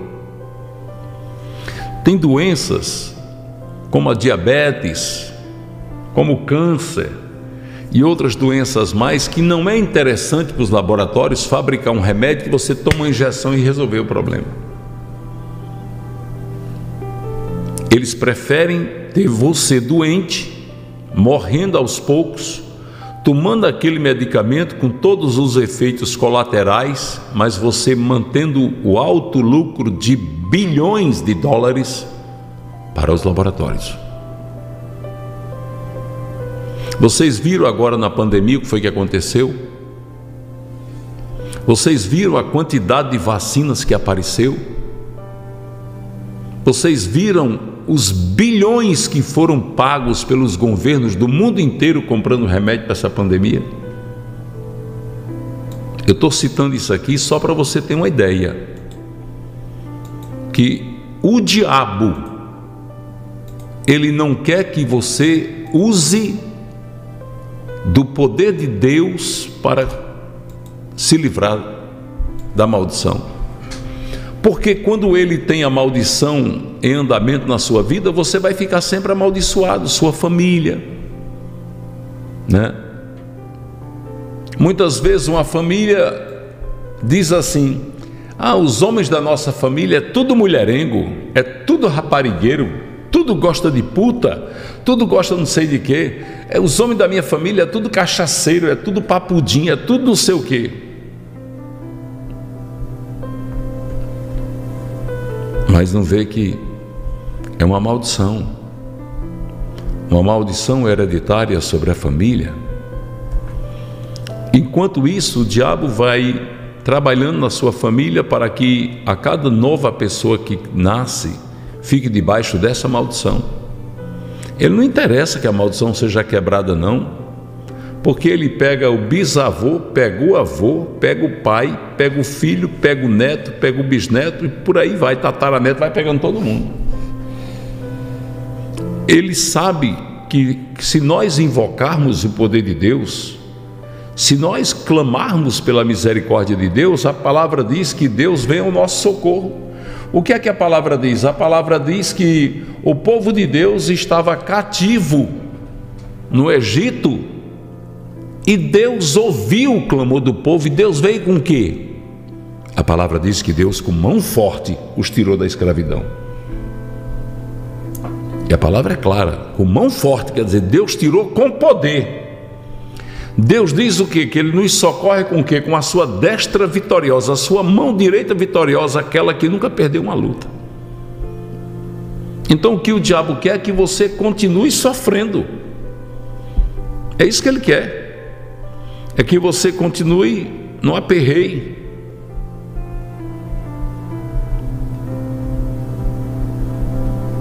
Estão me entendendo? Você continue no aperreio, você continue no sofrimento, porque no sofrimento você se torna prisioneiro dele, prisioneira dele. O inimigo, ele quer que você continue achando que isso é normal. Tem um marido que trai a mulher dentro da sua própria casa. Quantas vezes eu não já ouvi isso? O marido diz: ele botou a mulher em cima da minha cama, dentro do meu quarto.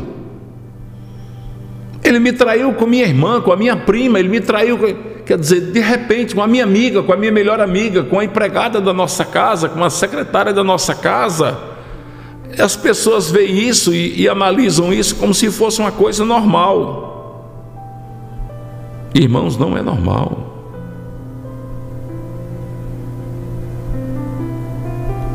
Não é normal.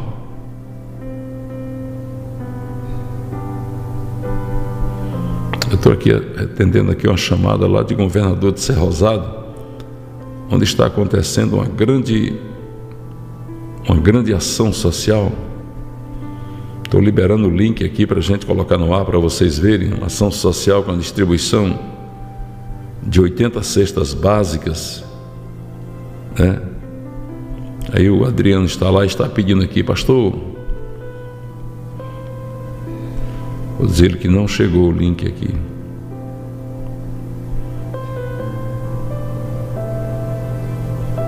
Vocês estão entendendo?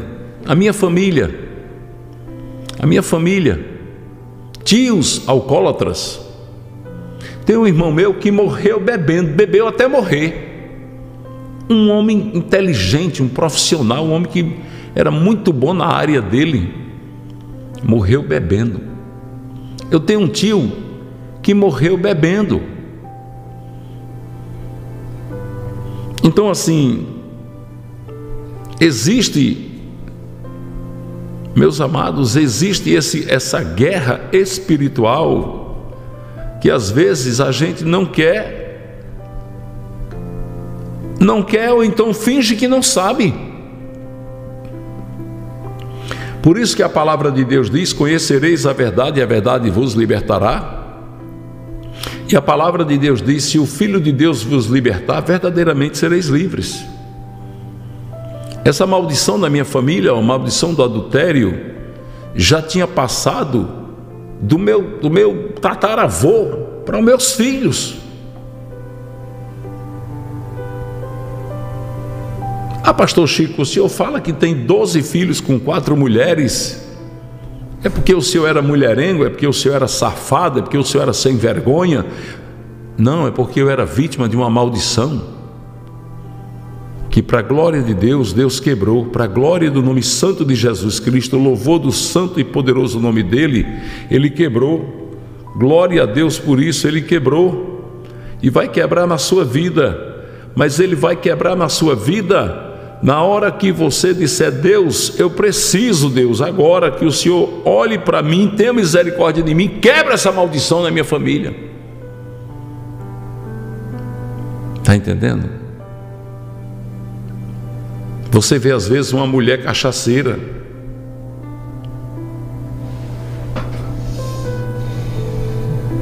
Deixa eu perguntar ele aqui, meu Deus.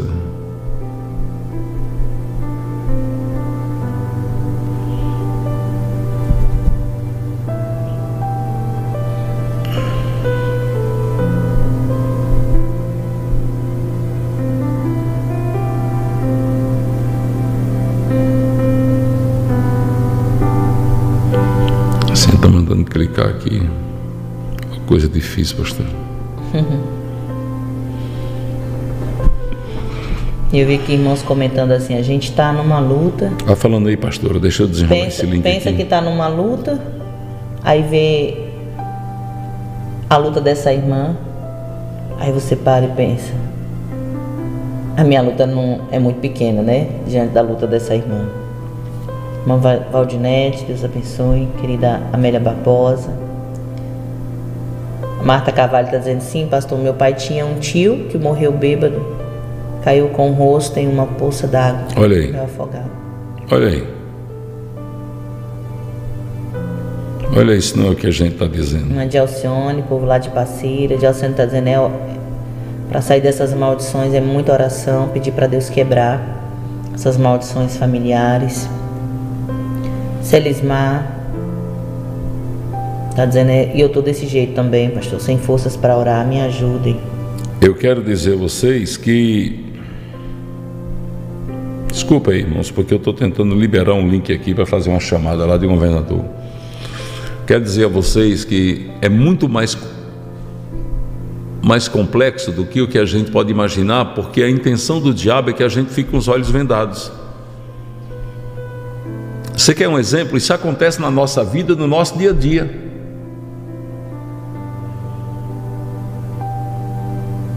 Você já viu uma pessoa, por exemplo, um comerciante.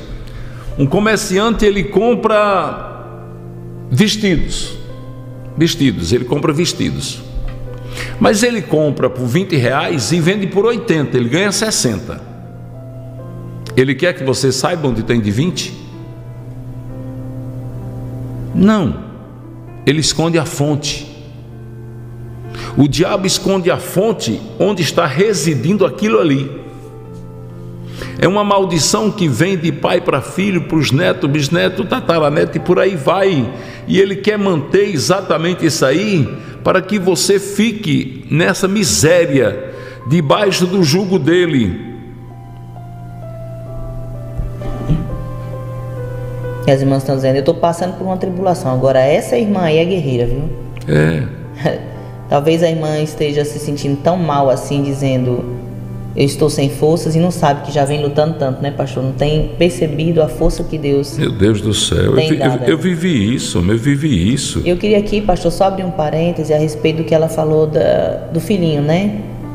Que ela fez uma oração com a Diana, pedindo a Deus esse filho, já que ela, e especialmente o marido, sonhava com um menino, né? A chegada de um menino.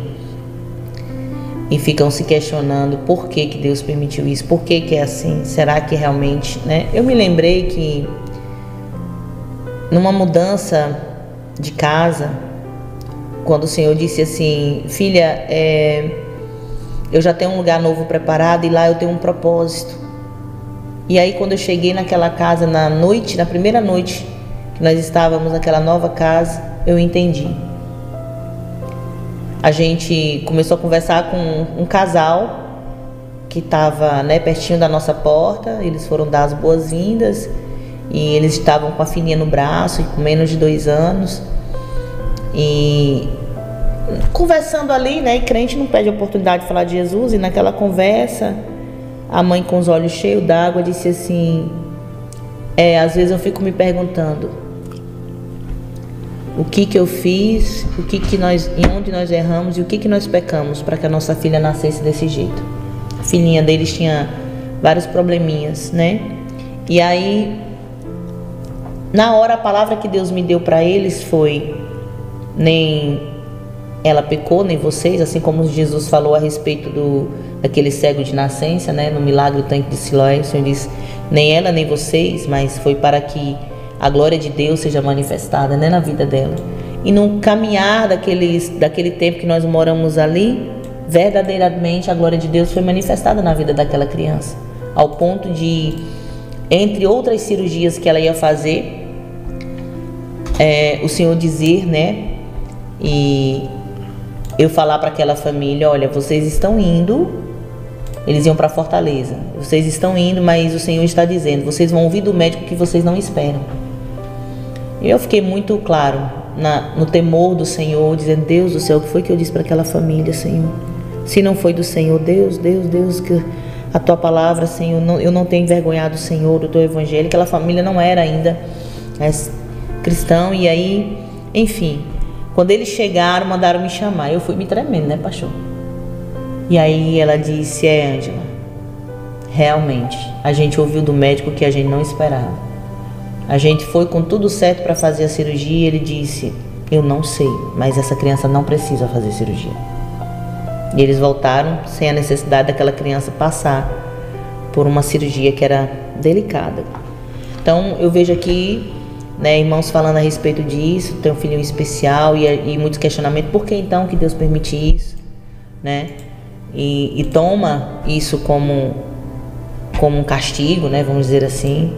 Mas não é, é não. Exato. E aí a, a, irmã fica com o coração não, não, não pegue o seu filho especial e tome como um castigo. Não, não faça isso. Eu vou lhe dizer por quê.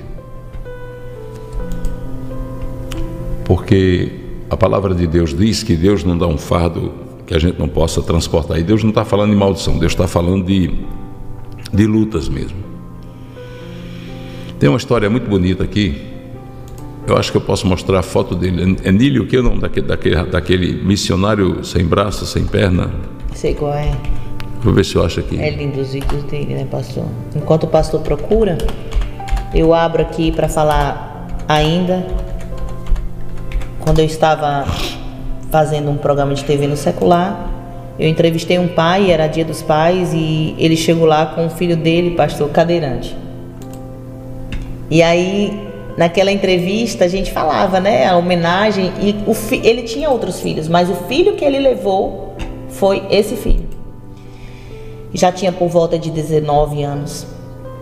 E aí, na, na nossa conversa, ele foi contar a história dele. Esse pai é, ele tinha uma empresa em Mossoró, trabalhava para a prefeitura, né? Então era algo bem grande. E aí ele contando a história dele até chegar aqui em Mossoró e tudo. E na história é o seguinte: essa criança foi deixada beber na porta da casa deles. Ele tinha um casal de filhos, morava ele, a mulher e, o casal de filhos. Ele pegou o bebê, ele com a esposa. E aí quando foi, eles perceberam, né, a deficiência do bebezinho.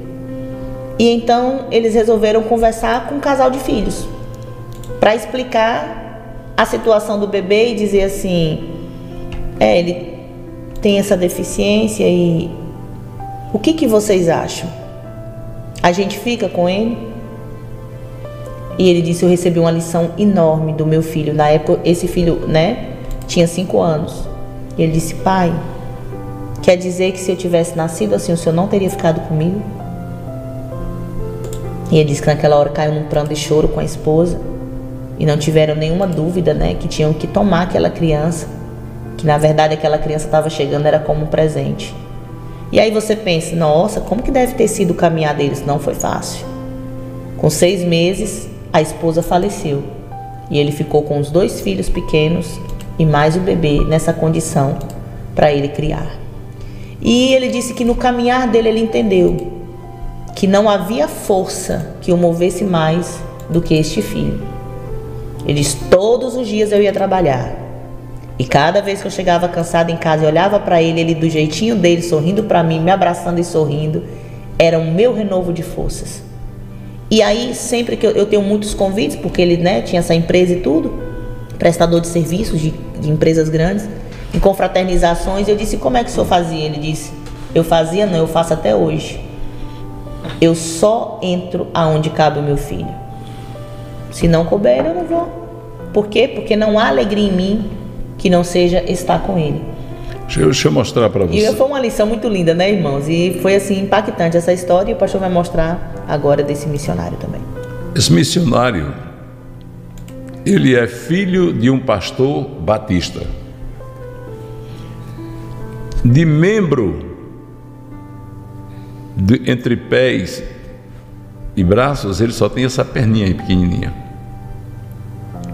Só isso aí. Aí olha o título aqui: sem braços, sem pernas, sem problemas. Está falando dele. Nick Yushiki. Yu, Yu, Yus, Yujishiki, alguma coisa assim. é Yujishiki, alguma coisa assim.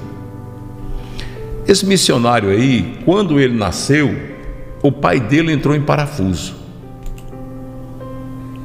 A história do livro, o livro que conta a história dele é uma história linda. O pai dizendo: Mas o que é que Deus fez isso comigo? É isso aí, Sônia Inácio. É. Nick Vushiki, eu sei lá. É. O que é que acontece? O pai dele questionou a Deus e quase virou ateu. E quando ele cresceu, que ele começou a falar, ele falou para a mãe dele: Por que, que eu nasci assim, mamãe? Por que, que Deus me fez nascer sem braços, sem pernas? E a mãe dele disse: Deus tem propósito em tudo, meu filho. E ele, desse jeito, ele já ganhou milhões, não é milhares, não, é milhões de almas para Deus. Milhões de almas.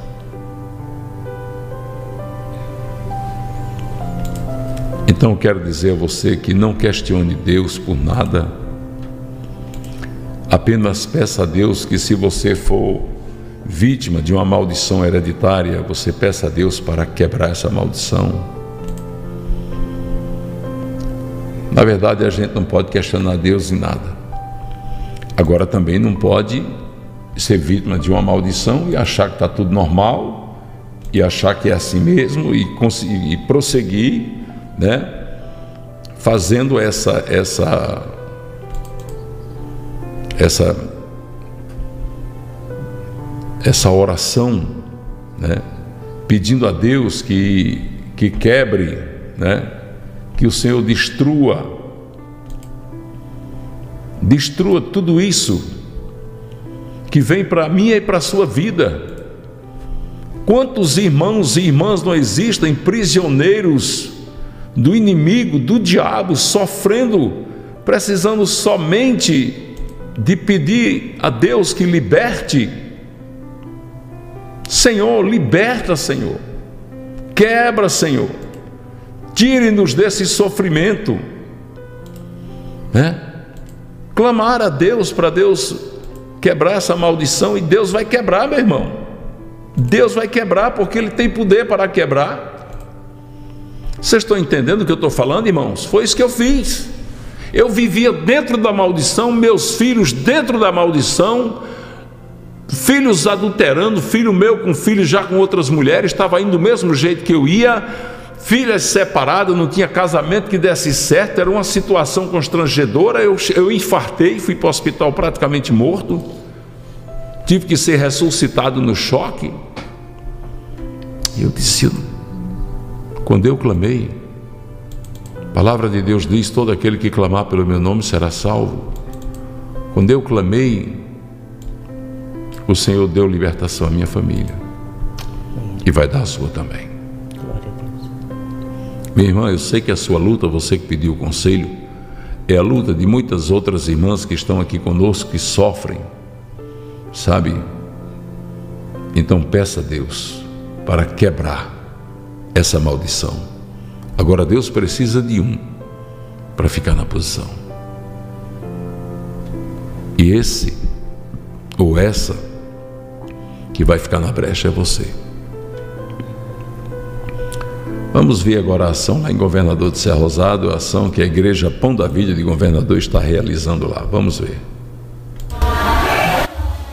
É com imenso prazer que eu venho saudar a todos com a paz do Senhor, desejar a todos os irmãos do culto do lar, o nosso pastor Chico Chaga, com a graciosa paz do Senhor. Estamos aqui na Pão da Vida em Governador, tá para ver que eu estou bem suadinho, né? O movimento está grande, são muitas pessoas, é, ação social muito grande, com corte de cabelo, sobrancelha, né, unhas, é, também tem é, psicóloga. Nós estamos aqui, meus amados irmãos, comemorando o Dia Internacional da Mulher e aproveitamos para abraçar toda a família. Estamos fazendo também entrega de roupas, de calçados, tudo material muito bom. E enquanto isso, nós estamos na igreja trabalhando com as crianças. A vovó Glória, que é um personagem bíblico, foi criada aqui na nossa região, ela está ministrando as crianças. Agora há pouco, várias crianças aceitaram Jesus e nós cremos que elas vão ser sal, vão ser luz para dentro das suas casas.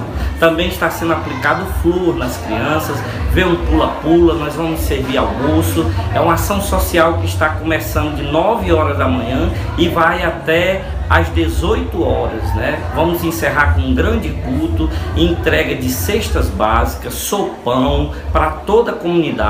Enquanto eu estou falando com vocês, está tendo uma grande equipe na evangelização, rodando as ruas da cidade, convidando as pessoas carentes para vir fazer parte desta grande obra. Porque a Igreja Pão da Vida é uma igreja que entende o Evangelho. Não só o ID do Senhor empregar o Evangelho, mas também trazer o que as pessoas estão necessitando: um abraço, o amor, o perdão e, por que não, o alimento também. Nós estamos com a psicóloga, a pastora Fabiana, aconselhando, ouvindo, né, dando aquele aconselhamento de uma profissional. Eu também, como pastor, estou com ação pastoral orando, sem pessoas chegando aqui oprimidas. Então, meus amados irmãos, Deus está fazendo uma grande obra. Você que contribui com essa obra, você tem participação, né? Você está plantando em terra fértil, a uma igreja que contribui, que impacta a sociedade aonde ela chega. Essa é a igreja Pão da Vida.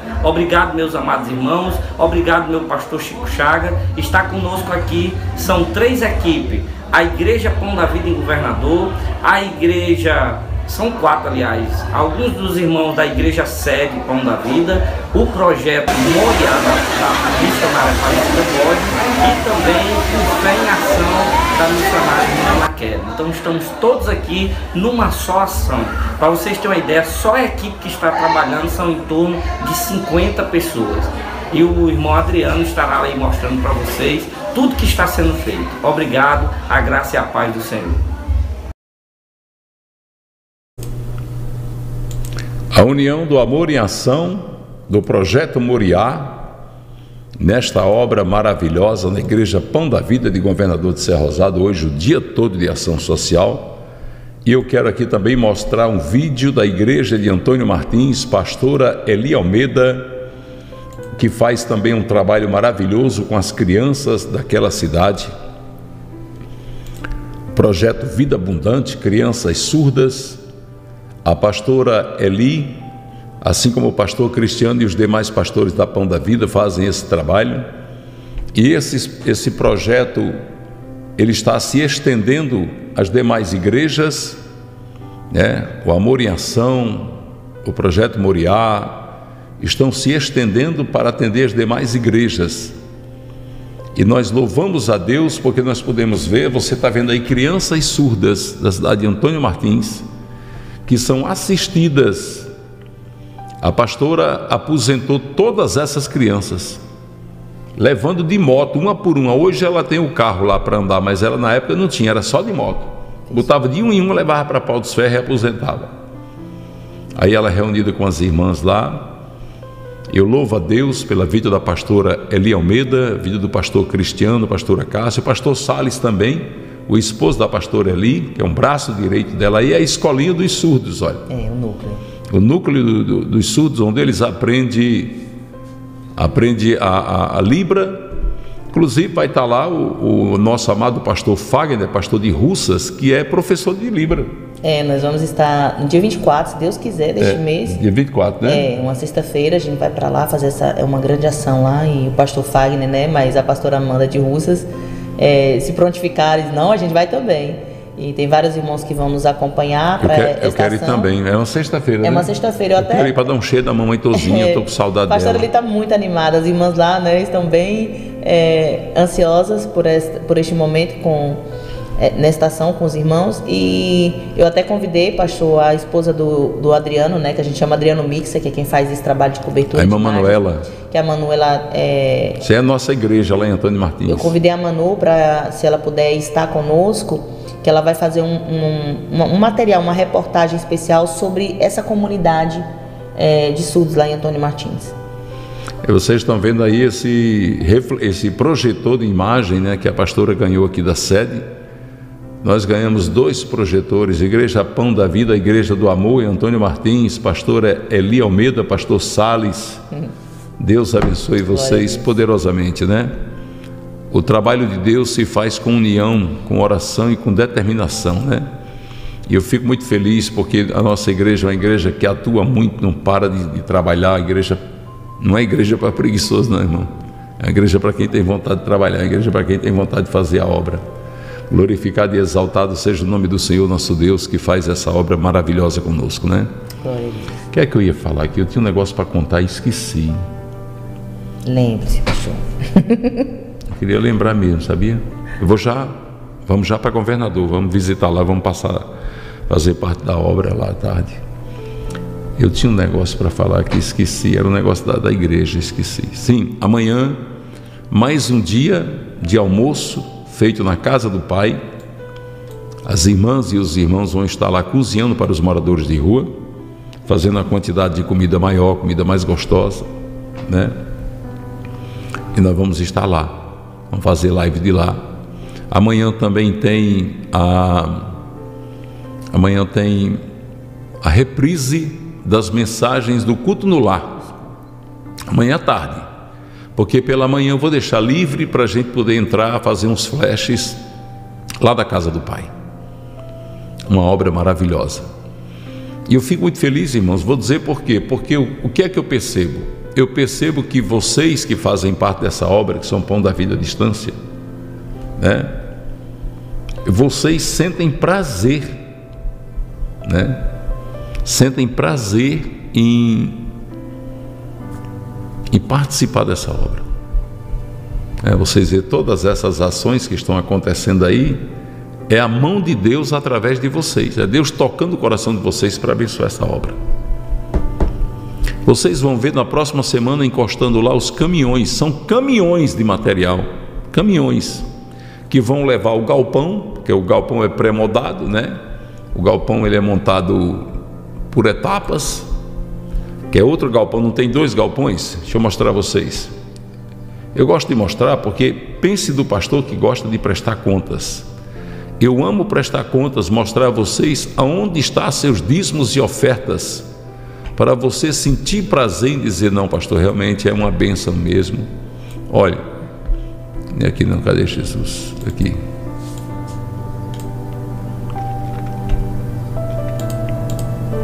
Pronto, aqui é a casa do pai, né? Olha, você já conhece essa imagem aí. Aí tem esse, viu um galpão, dois galpões, está aí, ó. Aí, vizinho a esse outro galpão que já está fechado, vai ser construído outro do mesmo tamanho. Ele é 12 metros por 15.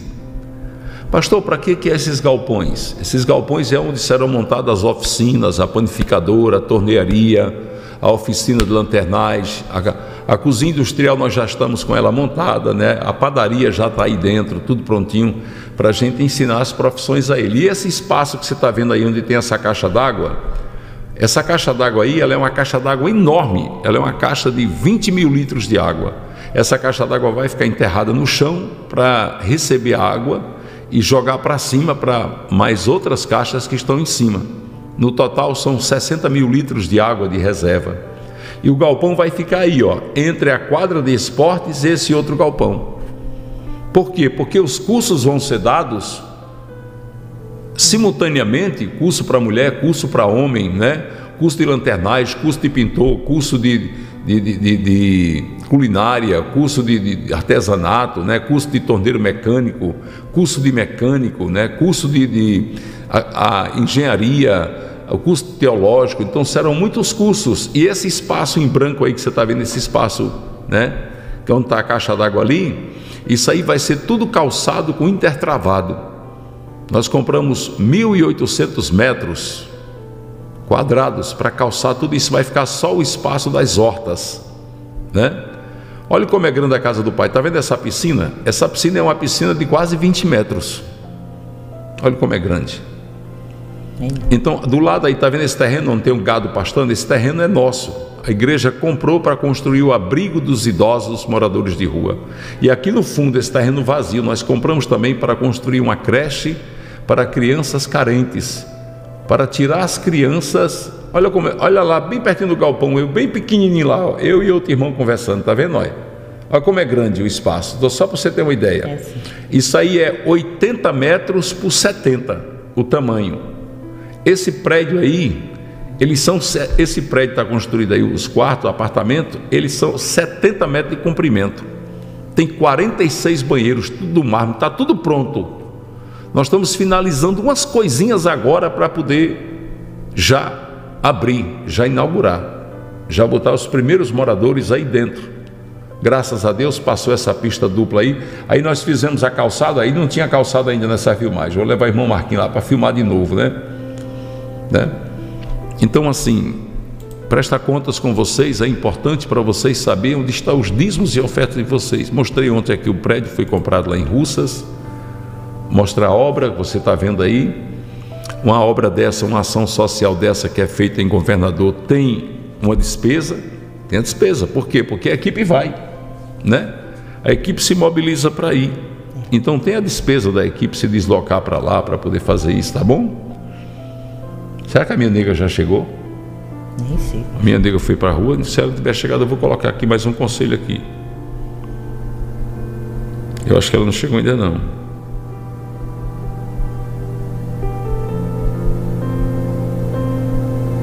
Ela vai responder que ela tá ruim. Hein? Sim, você perguntou ela. Então vamos só rodar esse pedido de conselho aqui. Olha que coisa mais fofa. A filha da Daiane. É. Olha. Essa aqui é a menina que o pastor orou no ventre da mãe dela. Olha, mas é muito linda, né? Jesus do céu. Meu pai do céu, que coisa mais fofa. Olha. Ela queria ter uma filha mulher. Lindinha, né? Oh Jesus. Ela queria ter uma filha mulher. E o médico disse que não ia dar. Era muito complicado para ela. E lá na fazenda do pai, quando ela veio aqui, eu coloquei a mão na barriga dela, mas a pastora Jossanete, profetizamos a filha. Olha aí que coisa mais fofa.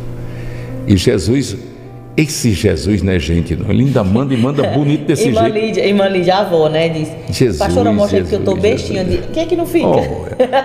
né? Olha, você acha muito bonitinha essa menina, meu Deus. Que coisa abençoa, meu pai. Abençoa, meu pai. Eita Deus. Quem é aqui que é menina aí? Pastor vai fazer uma oração agora, mas a pastora aqui vai ser mulher buchuda para tudo quanto é canto. Quem quer? É?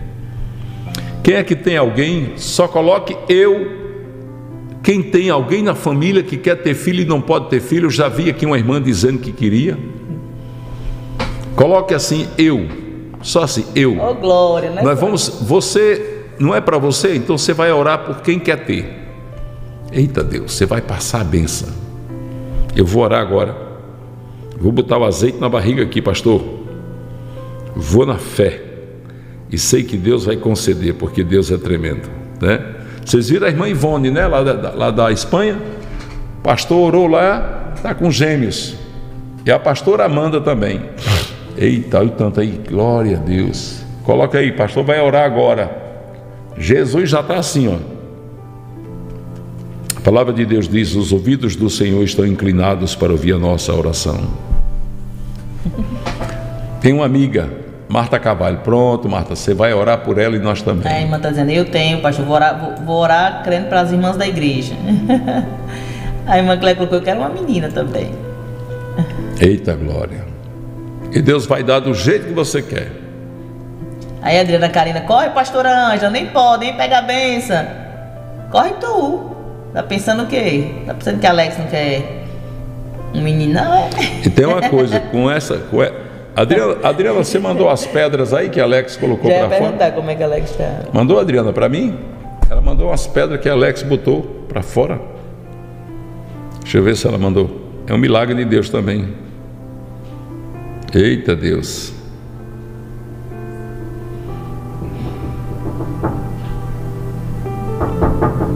Pode entrar. Pode entrar.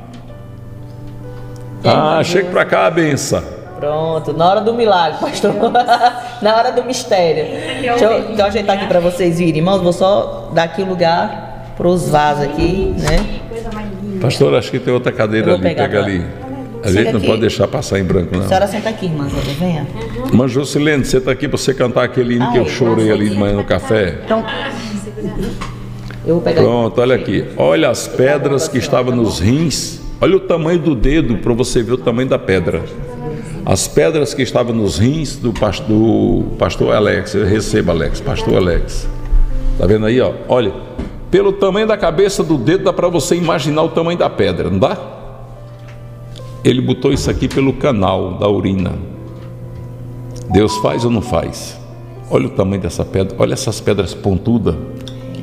Deus tirou Aleluia. pedra nos rins. Vamos orar também pela cura da pedra nos rins. Bom, aqui é mãe e filha, né? Glória a Deus. Bota o fone de ouvido aí para você, você ver como é que fica bonito sua voz aí. Eita Deus do céu. Eita glória. Essa aí é- Senhor, povo de é Deus. Jusilene. Jusilene lá de Goiânia, Pernambuco. Ela é, na verdade, você é baiana, né? Sou. A mamãe dela também é baiana. A mãe dela é de Itabora, Taberaba, Taberaba, Bahia. Taberaba. Bahia. Taberaba. Não tem uma cadeira maior, não? Não, tá bom aqui. A senhora vai ficar muito baixinha. Ah, né? eu vou pegar. Eu sou pequenininha. Deixa, a pastora vai pegar, a pastora vai pegar uma cadeira lá. Mas essas mulheres, irmãos, elas têm tanto milagre, tanta coisa para contar. A irmã Jusilene aqui, ela orou com azeite e profetizou filho em três mulheres, não foi? Foi. Aí já nasceu duas crianças Já. e tem outra que está para nascer agora. Tá para nascer agora. Olha que benção. Inclusive ela tá nos assistindo. Meu nome, meu nome dela? É irmã Tereza, Irmã Tereza. Irmã minha Te- vizinha. Ela mora em Goiânia também? Mora lá, minha vizinha. Sua vizinha? É. Que bênção do céu, irmã Tereza, Deus abençoe sua vida, né? Glória a Deus. Tá para chegar o neném dela e ela disse: "Olha, eu quero ter minha neném só depois que você voltar para cá". É. E aqui, olha, a irmã, Zélia. a irmã Zélia, eu estava contando aqui a história do seu filho, irmã Zélia. Contando para Pronto, chegou a cadeira. Tira esse banquinho, bota a cadeira para a irmã Zélia ficar entre nós aqui. Eita Deus, como é maravilhoso o nosso Deus, hein? Como Deus é lindo, hein? Jesus é lindo. Vocês lembram da história que eu estava contando do filho que só foi encontrado depois de 30 anos? Está aí ela, É verdade. a irmã Zélia. É verdade, tem um vídeo aqui. Tem um vídeo? né, Sem tem daquele vídeo, né? Aquele vídeo. Aquele vídeo foi o encontro de vocês, Foi o foi? encontro da gente depois de 30 anos. Olha que coisa maravilhosa, meu Deus. Deus, ele é fiel, Mas né? ele Nosso é- Deus, ele é muito grande. É. E ele só faz coisas É grandes. como eu testemunhei, pastor, que o choro pode Eu tô achando você parecido com a Adriana Santos. Eita glória! Que o choro pode Beijo, durar minha uma noite, mas Adriana- a alegria amada. pela manhã, né? É. A Adriana está aqui, Adriana? Cadê você? Eita Deus. Deixa eu ver aqui. A missionária Adriana Santos. É. Eu falei pra ela que um dia eu ainda ia vir aqui. Ô, Glória. E aqui tô enquanto, eu. enquanto sua mãe procura, cante aquele hino ali. Você quer cantar com playback? Pode ser. Sabe o nome do hino? O nome do hino eu não sei não, pastor. Olha o encontro dela com o filho.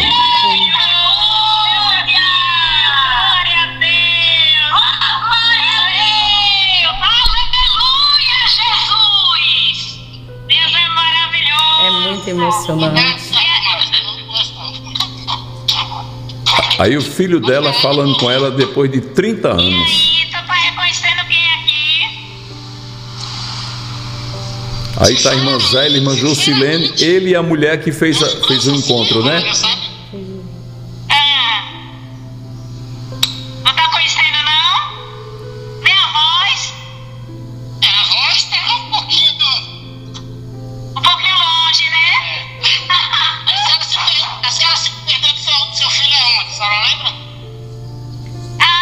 Ele estava perguntando, ele estava perguntando se. Meus irmãos, é, a irmã Zélia falando sobre o sofrimento dele, não foi, irmã Zélia? Foi muito sofrimento, porque ele foi- Apanhou muito, passou apanhou muita fome. muito, passou muita fome. É, o pessoal judiava dele até os 12 anos, até os 18 anos. Ele teve que fugir de lá para se ver livre, que era um cativeiro. Era um cativeiro total, mas Deus então com a providência ele fugiu de lá, só que ele não sabia encontrar mais os parentes onde estavam, porque quando ele saiu da Bahia para São Paulo, ele só tinha dois anos, né? E aí depois a gente foi para essa cidade que raptaram ele, ele estava com 12 anos, ele não sabia, ele só sabia o meu nome, mas realmente não sabia o nome mais dos parentes, entendeu? E o local, e aí foi muito difícil, muito sofrimento, mas Deus entrou com a providência e ele procurou uma ONG para procurar a família, porque a pessoa que tinha raptado ele falou que a mãe dele já era falecida. Mostrou uma foto de um acidente e falou: "Olha, sua mãe morreu nesse acidente. não? Ele não tinha mais esperança de encontrar a mãe, sabe? Tinha esperança de encontrar os irmãos e tal, a família que ele não conhecia. E Deus deu essa vitória para a glória e honra do Senhor Jesus. Esse encontro foi lindo, maravilhoso. Eu só agradeço ao Senhor por essa rica oportunidade, porque esse Deus é lindo, maravilhoso. né? Aleluia, Quando Ele Jesus. promete, Tu és cumpre. grande. Pode durar, o choro dura uma noite, mas a alegria vem pela manhã. Aleluia. Hoje eu estou feliz, né? Porque minha família está completa, meus filhos, todos, né? Porque a gente, quando tem um filho que não está na presença da gente, não sabe onde está, pastor, dói, dói, como eu dei o testemunho aí. É muita dor que você não sabe, você nunca tem sossego, você não dorme direito, né? É. E fica pensando, não sabe onde que tá, não sabe se tá com fome, não sabe. Porque na, na, na mente da gente só vem que tá passando necessidade. E como ele estava, porque, né? Ele estava muito humilhado, né? Muito mesmo. O, o pessoal que criou ele judiou muito dele, ele tinha medo de montar em animal, ele tinha medo de, de vaca, boi, eles forçavam ele montar no animal a pulso. É, não foi fácil, não foi fácil. Ele me contou tudo depois, porque como é que eu sabia? Eu não sabia nada dele, onde é que ele estava, né? Quando a gente se encontrou, foi que ele passou tudo, contou tudo, o que aconteceu, quem foi, quem não foi, e é que eu vim ficar sabendo todos os detalhes. Glória a Deus. Essa aqui, irmã Zélia, é a mãe da irmã Jusilene e são duas servas de Deus que têm vivido os milagres de Deus. Ela contando os testemunhos de Deus, da compra do carro dela, né? O carro dela e do esposo, né? Que o esposo não acreditava, do carro que ela chegou na concessionária e disse: Olha, é esse aqui o carro que Deus vai nos dar. E o marido disse: Não, esse aí é caro. né? Foi. E ela disse: É esse mesmo, Deus disse que é esse aqui. Foi. E hoje eles estão de posse desse carro, né? De vitória. A irmã Zélia, que Deus usou uma contemplação no consórcio para mostrar para o marido dela que Deus é na vida dela, né? Assim, as coisas que Deus faz que aos olhos das pessoas pode parecer mínima, É verdade. mas é tão importante, né? É verdade. Mas a, a irmã Jusilene cantou um hino hoje ali na hora do café da manhã e eu achei lindo esse hino, né? Depois eu queria saber até quem canta. Se vocês souber aí quem canta, fala o nome aí para mim poder É um ver aqui. sobrevivente. Chama sobrevivente? É um sobrevivente. Ah, então é fácil de achar. Peraí. É. fácil, deixa eu ver aqui. Um sobrevivente. Deixa eu ver. Vou botar playback. Playback. Um. Sobrevivente. Eu sou um sobrevivente. É, um Nós somos, né? Nós somos. Um sobrevivente. Será que é isso aqui? Será que é isso? Eu acho que é De esse aqui. Eunice Diniz? É, é o de baixo. Esse? É, eu acho que é esse. Vamos ver se é. Se for, você canta, certo? Uhum.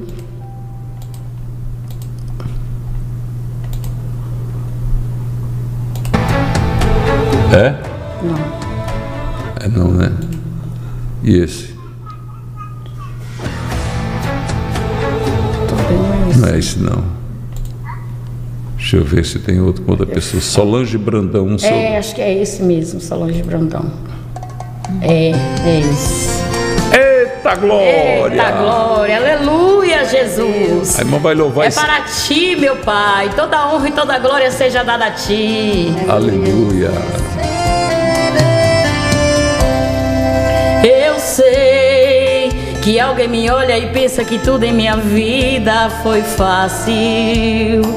Que eu tive um berço de ouro, um sangue real, nasci num palácio. Não sabe que já fui traído e até humilhado pelos meus irmãos.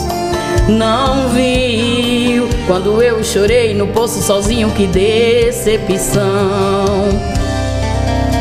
Mas havia um plano de Deus, e quando Deus planeja dar certo, não importa se vão te humilhar, te vender como escravo, mas Deus está perto, cuidando de cada detalhe do teu amanhã, do teu amanhã. Aprendi que pra tudo há um tempo, para tudo debaixo do céu. Deus permite a dor e a perca, mas não abandona um servo fiel. O que você viveu foi lição, mas você aprendeu. Para futuramente cantar que sobreviveu. Eu já fui vendido, mas sobrevivi. Já fui humilhado, mas sobrevivi. Passei no deserto, enfrentei perigos, mas Deus estava comigo e eu não desisti. Já fui perseguido,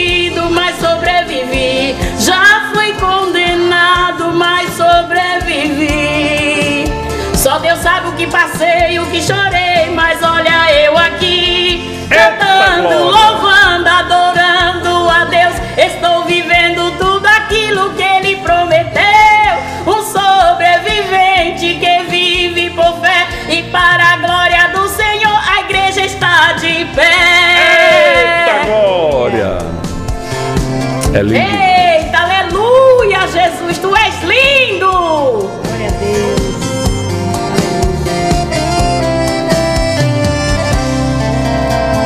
Havia um plano de Deus, e quando Deus planeja dar certo, não importa se vão te humilhar, te vender como escravo, mas Deus está perto, cuidando de cada detalhe do teu amanhã, do teu amanhã. Aprendi que pra tudo há um tempo, para tudo debaixo do céu. Deus permite a dor e a perca, mas não abandona um servo fiel. O que você viveu foi lição, mas você aprendeu. Para futuramente cantar que sobreviveu. Eu já fui vendido, mas sobrevivi. Já fui humilhado, mas sobrevivi. Passei no deserto, enfrentei perigos, mas Deus estava comigo e eu não desisti. Já fui perseguido, mas sobrevivi. Já fui condenado, mas sobrevivi. Só Deus sabe o que passei, o que chorei, mas olha eu aqui, lutando, louvando, adorando a Deus. Estou vivendo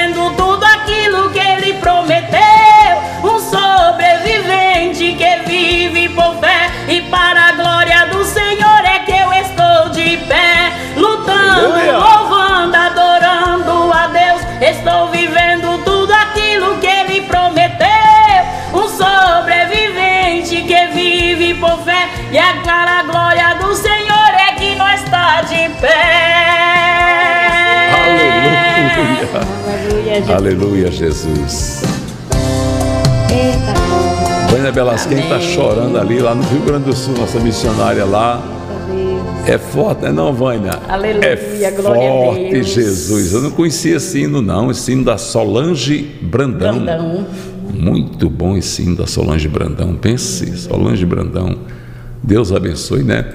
Mas aí a gente não pode deixar passar, porque elas também vão. Nós vamos fazer depois um, um outro culto com elas. Elas só vão terça ou quarta-feira, né? É. Os maridos podem ir se acostumando aí, porque vai demorar um pouquinho mais, né? Eita glória! Mas vão sair daqui abençoadas, Estamos levando. vivendo tudo que ele prometeu. Aleluia. Que coisa linda, né? Deus é maravilhoso, né? Verdade. E assim, uma coisa que a gente pergunta a todos os irmãos que vêm aqui é que "Oh, como você encontrou a pão da vida? Como você encontrou? Eu encontrei a Pão da Vida, na verdade foi Jesus que me apresentou. Ele me apresentou, a gente te- é, eu morava na Bahia com a minha mãe, né? E aí Deus colocou a gente toda sexta-feira, nós subíamos um monte, eu e ela. Só eu e ela, nós estávamos com um propósito no nosso coração que o Senhor colocou, né? E aí toda sexta-feira, quando terminava a reunião da igreja, a gente subia um monte, eu e ela, para orar. Meio-dia em ponto. Nós subíamos para Meio- orar. meio-dia? Meio-dia em ponto, o sol Eita, aí, fervendo. é, aí é propósito mesmo. Era, foi. A gente passou dois meses com esse propósito, não foi minha mãe. E aí foi quando Deus, no monte, ele nos deu uma palavra, né? E ele falou que era pra gente alugar um ônibus, né? Nós duas ia alugar um ônibus e convidar o povo do bairro, nós duas saía evangelizando, enchia o ônibus e levava para a igreja. Verdade. Olha que coisa linda. Aí isso nós fez, nós, e aí ela chegou e não falou, ela falou, não vou falar com o pastor, não vou falar com ninguém. Foi Deus que mandou, a gente vai fazer. Eu pago uma parte e você paga a outra. Eu falei, vamos, e aí a gente meteu a cara. Quando era meio-dia de tarde, dia de quinta-feira, que era na quinta-feira, que era o culto da família. Aí a gente botava a blusa de evangelização, botava um boné na cabeça, garrafinha de água e nós saía no bairro inteiro. No bairro inteiro, chegava na casa das pessoas, a gente evangelizava, tinha gente que às vezes precisava assim de alguma coisa, a gente fazia cesta básica, levava, né? É o amor que Deus coloca, entendeu? Então ele, ele tem um propósito para tudo. Não é à toa que ele nos trouxe para este lugar. Porque ele sabe que o desejo do Senhor é com aqueles que faz a vontade dele. Então ele, ele faz, ele jun, jun, une o útil ao agradável. Então assim a gente fez esse propósito, só que quando a gente começou a fazer, o inimigo ele se levantou. Aí me jogou uma enfermidade, né? Muito grande, como o senhor sabe, né? Eu fiquei muito mal e aí eu tive que parar porque eu fui para cima da cama. Foi, foram muitas orações, foram muitos propósitos, mas a gente não parou. A gente não parou. Mas é, e depois ele foi cumprindo outros propósitos, outros propósitos, e aí tudo foi mudando. Foi quando ele me falou que ia me levar para a terra estranha.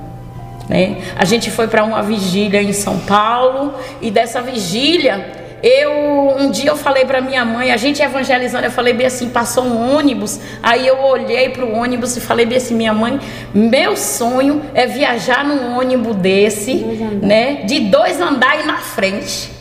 E ele cumpriu. Ele cumpriu e o nome do ônibus era Espírito Santo. Quando a gente entrou no ônibus, só tinha, só tinha missionário e servo de Deus. Que ia todo mundo para vigília. E a gente ainda fez a obra dentro do ônibus. E olha, é, quando a gente pegou esse ônibus, a primeira viagem que a gente fez para essa vigília, ia uma mulher dentro do ônibus, a gente estava com água ungida, com óleo ungido dentro do ônibus. Quando o manto, a água ungida. Quando chegou lá, tinha uma mulher que ela estava. O médico desenganou ela, desenganou ela dentro do, do, do hospital, disse que ela não tinha mais vida e ela já estava pensando que ela ia morrer. Então, dentro daquele ônibus, o, tudo que Deus ele cumpriu, ele se realizou naquele dia. E aí foi quando começou o ministério que Deus ia me entregar, que foi de vir para a Assembleia de Deus, que é onde eu estou hoje, né? E aí é, a gente, ela começou a, quando ela viu que disse que nós, quando ela viu que nós duas era obreira, Nós ia louvando. é, ela pediu nós duas louvando, né? Eu comecei a louvar, aí quando ela chegou, ela não falava, ela não andava dentro do ônibus, pastor, na parte de cima. Ela estava numa cadeira assim do outro lado, né? Aí ela pediu, me chamou para a gente fazer uma oração nela. Dentro do ônibus, aquela mulher foi Ela estava curada. passando, Oh, ela aleluia. estava. Foi Os Que dela estavam linda. paralisando. Oh Deus Olha, ela estava paralisando, Os isso era, tudo. isso era umas duas 11, 11 horas da, 11 horas da noite. Aí nós levantamos, quando a gente levantou, o ônibus todo levantou e a gente começou a clamar dentro desse ônibus. Esse ônibus parece que tinha pegado fogo, o fogo do céu desceu dentro daquele ônibus. Eu vivi, eu vivi Aleluia, uma coisa linda. Nós vivemos uma coisa linda nesse ônibus. E aí quando a gente chegou, foi tanto quando a gente chegou na sede, depois que passou tudo isso, ela foi curada. Aí ela disse que ia lá dar o testemunho, a mulher já saiu andando, abraçou a gente, pegou o telefone da gente e começou a ficar é, é, amiga da gente, né? Só que depois meu número se perdeu, eu perdi o contato dela, né? Mas a vontade do Senhor foi cumprida, ela foi curada, ela foi na igreja, ela deu testemunho, né? E aí a gente chegou na vigília, quando a gente chegou na vigília que a gente se vestiu de obreira, nem quiseram deixar a gente participar. E o- Deus usou o pastor lá, ele falou assim, para elas duas não, elas duas vão ficar aqui na frente do altar.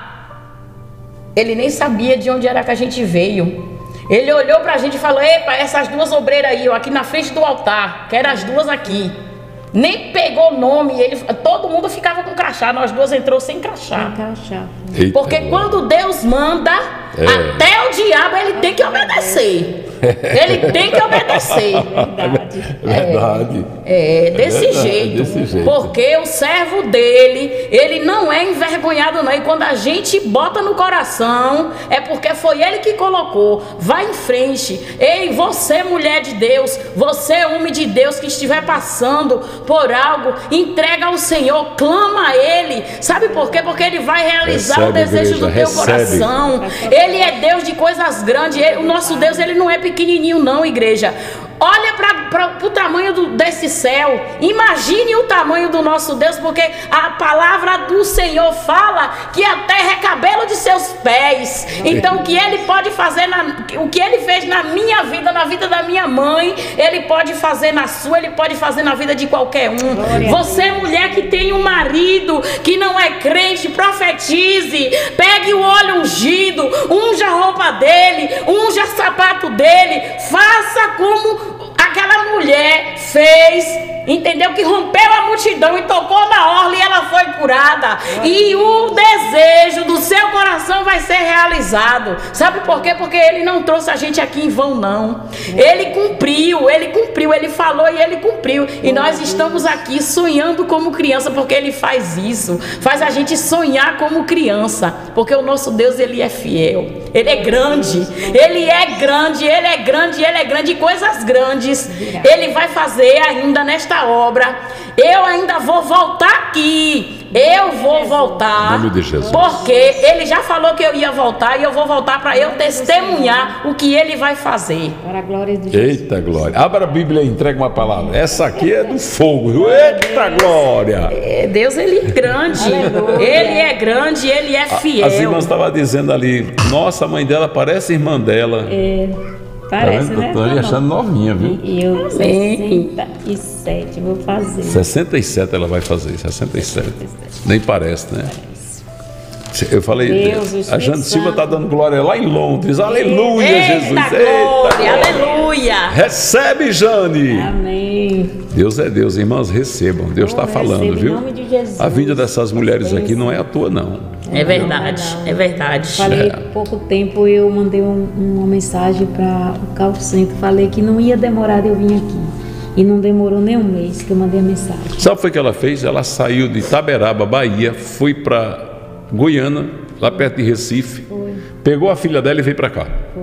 Foi o propósito que Deus Ela cancelou uma festa de aniversário, falou: não vou não. Não foi, não, Não vou não, porque eu vou para esse propósito, eu vou cumprir um propósito, um propósito que ela fez com a pão da vida. Eu vou lá cumprir meu propósito e ninguém me tira desse Ninguém me propósito. tirava, porque de- quando eu cheguei as festas já estava toda preparada. Meu genro falou: a senhora vai bater o pão? Eu falei: não. Pode eu não vou. Minha proposta é com Deus, eu não vim comemorar nada. eu vou cumprir o que Deus colocou no meu coração. E aí, se alguém ficou zangado, não sei, mas só eles e Deus, e eu tô aqui, eu não fui nem eu nem ela. É, e a- e a- o marido da irmã Jusilene, dessa aqui, mandou um áudio, eu achei bonito, ele dizendo, "Ô, como eu queria estar aí com vocês. Ele mandou Ele o áudio vir. pro senhor. Ele vai É. vir, ele vai vir. Ele vai vir, ele vai vir porque eu profetizei. Eu já profetizei, eu falei que ele, nós dois ainda ia virmos aqui e o Senhor vai consagrar o nosso casamento. glória. Porque o meu casamento quem me deu foi Deus. Aleluia, Jesus. Quem me deu foi Deus. E inimigo nenhum toca naquilo que Deus dá. É verdade.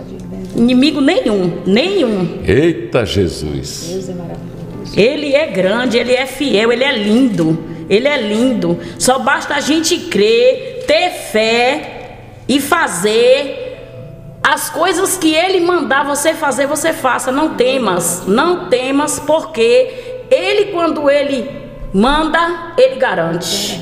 Ele garante. Ele garante. Ele é, ele é aquele que, que faz coisas grandes e impossível. Aos olhos do homem pode até parecer impossível, mas para ele não existe nada impossível, porque ele traz à existência aquilo que não existe. Eita glória! Aquilo que não ele existe. surpreende, né? Surpreende. né? E eu quero deixar aqui uma palavra, né, neste dia, né, para agradecer. Primeiro eu quero agradecer ao Senhor, né, ao meu Deus, por ele ter nos trazido aqui, né? Quero agradecer ao meu pastor, né, que hoje eu, tô- hoje eu tenho esse privilégio que Deus me deu, de eu estar aqui frente a frente com ele. Você que está em casa, você que está aí do outro lado da telinha, se você tiver no seu coração o desejo, pode ter certeza. Sossega, porque ele vai te trazer até aqui. Assim como ele nos trouxe, eu não tenho, eu não trabalho. Primeiro lugar, eu não trabalho. A única coisa que eu faço é só a obra. Só quem trabalha é meu esposo, mas ele me deu condições. Em nome de Jesus. Ele falou que era para eu arrumar as malas, que ele que eu ia viajar. Agora eu não sabia para onde. Quando eu penso que não, minha mãe me liga. Olha aqui, olha a surpresa. E, e na igreja não foi o irmão disse, "Ei, arruma as malas que Deus vai te Foi. levar lá. Ei, você aí levanta. Pode arrumar as malas, viu? Que você tá viajando. Aí eu, eu recebo, eu tomo posse. Eu tomo posse dessa vitória. Mas quando eu olhei para um lado e para o outro, cadê o dinheiro? Aí eu olhei para cima e falei, mas ele é o dono do ouro e da prata. Eita glória! Eu sou assim, eu sou mulher de fé. Se hoje eu não tiver, amanhã eu sei que eu vou ter. Entendeu? Então, para você, Lucas 1,37, porque para Deus nada é impossível. Nada, nada, nada, nada, nada, nada para Ele é impossível.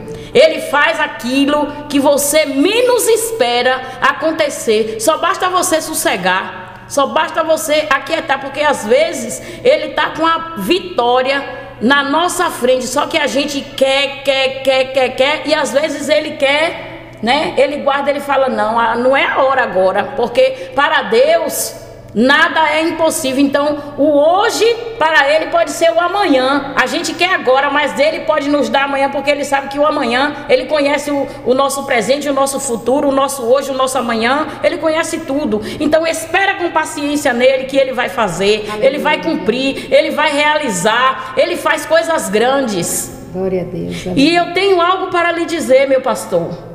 Tenho algo para lhe dizer, da parte do meu Senhor, do nosso Senhor. Aleluia. O desejo do seu coração, ele falou que vai realizar. A cidade, a cidade vai ser a cidade. Aleluia. Vai ser a cidade pão da vida que todos vão contemplar. O mundo inteiro, o mundo inteiro vai visitar a cidade aqui de Mossoró, pão da vida. Aleluia, Jesus. Porque quem falou é fiel para cumprir. Aleluia. Eu recebo Jesus. E hoje de manhã eu estava pensando nisso. Ô, glória. É um sonho do meu coração. Então é Aleluia, resposta. É Jesus. resposta, porque ele falou aqui comigo agora. Pode falar que foi eu que, tô, que mandei. É Eita, assim, glória. vai ser a cidade, a cidade, a cidade pão da vida, que muitos vai chegar e vai contar testemunho, vai ser testemunho de impactar o mundo. Eita Deus. O mundo, o mundo. Pode ter certeza que eu também vou contemplar. Eu vou contemplar, eu vou estar aqui de Os pé. irmãos lembram do sonho que o pastor tem que botar uma placa lá na entrada da casa do pai, Eita, glória. cidade de Pão da Vida, um pedacinho do céu na terra. Ô, Glória. Eita glória, eu recebo. Vai realizar, vai E se Deus é- realizar. e Deus é tão bom que o proprietário do maior terreno essa semana ligou e falou: Vamos sentar para a gente conversar, eu quero lhe vender lá. Aleluias. Dá para fazer centenas de casas lá. Já está assinado. Eita O Jesus. papel já foi, foi assinado e já foi carimbado. Já foi assinado e carimbado. Assinado e carimbado com o sangue do Cordeiro. Aleluia, Eita Deus. Deus é fiel. E sabe o que foi que Deus colocou no meu coração agora aqui? Deus disse: O grupo nem existe, viu? Da Arábia. E ele disse: Coloca elas no grupo pelotão de oração. Redebia Candarabachurra daia ai. Reicho Nakamantui. Aleluia. O Senhor Eu falou. Coloca elas no grupo pelotão de oração, que tudo que vocês pedirem, eu vou dar. Ô, Glória. Aleluia. Eu recebo em nome de Jesus. Tu és grande, tu és grande, tu és grande, gente. Que presença é essa? Aleluia, Jesus. Que presença. Muito forte. Glória a Deus. É Vai ser desse jeito, Brasil. viu? É forte, Brasil. Essa mulher aqui é porque eu- nós vamos fazer outro, outro culto no lar com ela. Ela tem, tanto ela como a mãe dela, tem milagres tremendos para contar. Testemunhos tremendos. tremendos mesmo. Ela contou uma história aqui, a irmã, a irmã Zélia contou a história. Conta aí, irmã Zélia, a história do homem do dente inflamado que não foi trabalhar. Ah, é assim. Eu, meu esposo tava, chamou um, um vizinho para trabalhar com ele. Aí o vizinho falou que não podia ir porque estava com o dente inflamado, o dente inchado, o rosto estava todo deformado. Você disse que o olho dele chega tava Estava fechado, estava fechado. Daí o meu esposo chegou e falou: Ah, ele não vai. Eu não tinha visto ele, né? Mas aí meu esposo falou: Ele não vai, que ele tá com o dente inflamado, tá com o dente inchado. Eu falei: Ah, só Deus, né? E daí ele veio comprar umas coisas, que eu tenho uma merceariazinha, ele veio comprar umas coisas na mercearia, aquele rosto todo deformado, o olho fechado. Eu falei, irmão, o que é isso? Ele falou assim, ah, eu tô com dente inflamado que eu não aguento fazer nada. Eu falei, eu tenho um remédio para te dar. Fui lá, peguei o azeite, eu falei, eu deixa eu passar no senhor, dá licença. Aí passei o azeite, né? E deu outro ele para levar e ele tomar. Daí quando foi no outro dia, ele chegou lá em casa, são, são, sem inchaço nenhum. Ele falou, olha como estou. Minha irmã, eu fui curado com o azeite que a senhora me deu. Que azeite é Glórias. aquele? Eu digo, movido pelo Espírito Santo do Senhor. E o meu azeite eu trouxe para consagrar. Eita glória. maravilha, foi. Eita Jesus. E eu vou levar. Que E, a- tem... e ela veio dizendo: Olha, amanhã eu quero estar lá na casa do pai cozinhando para os moradores Ah, vou sim. Vou botar a mão na massa, ainda vou sair para ajudar a distribuir, porque é o meu sonho. É o meu sonho. Glória a Deus. Eita Deus, amanhã vai ser benção, viu? Glória a Jesus. Já Abençoe, está começando a benção de hoje. Conta aí, conta aí o testemunho do carro.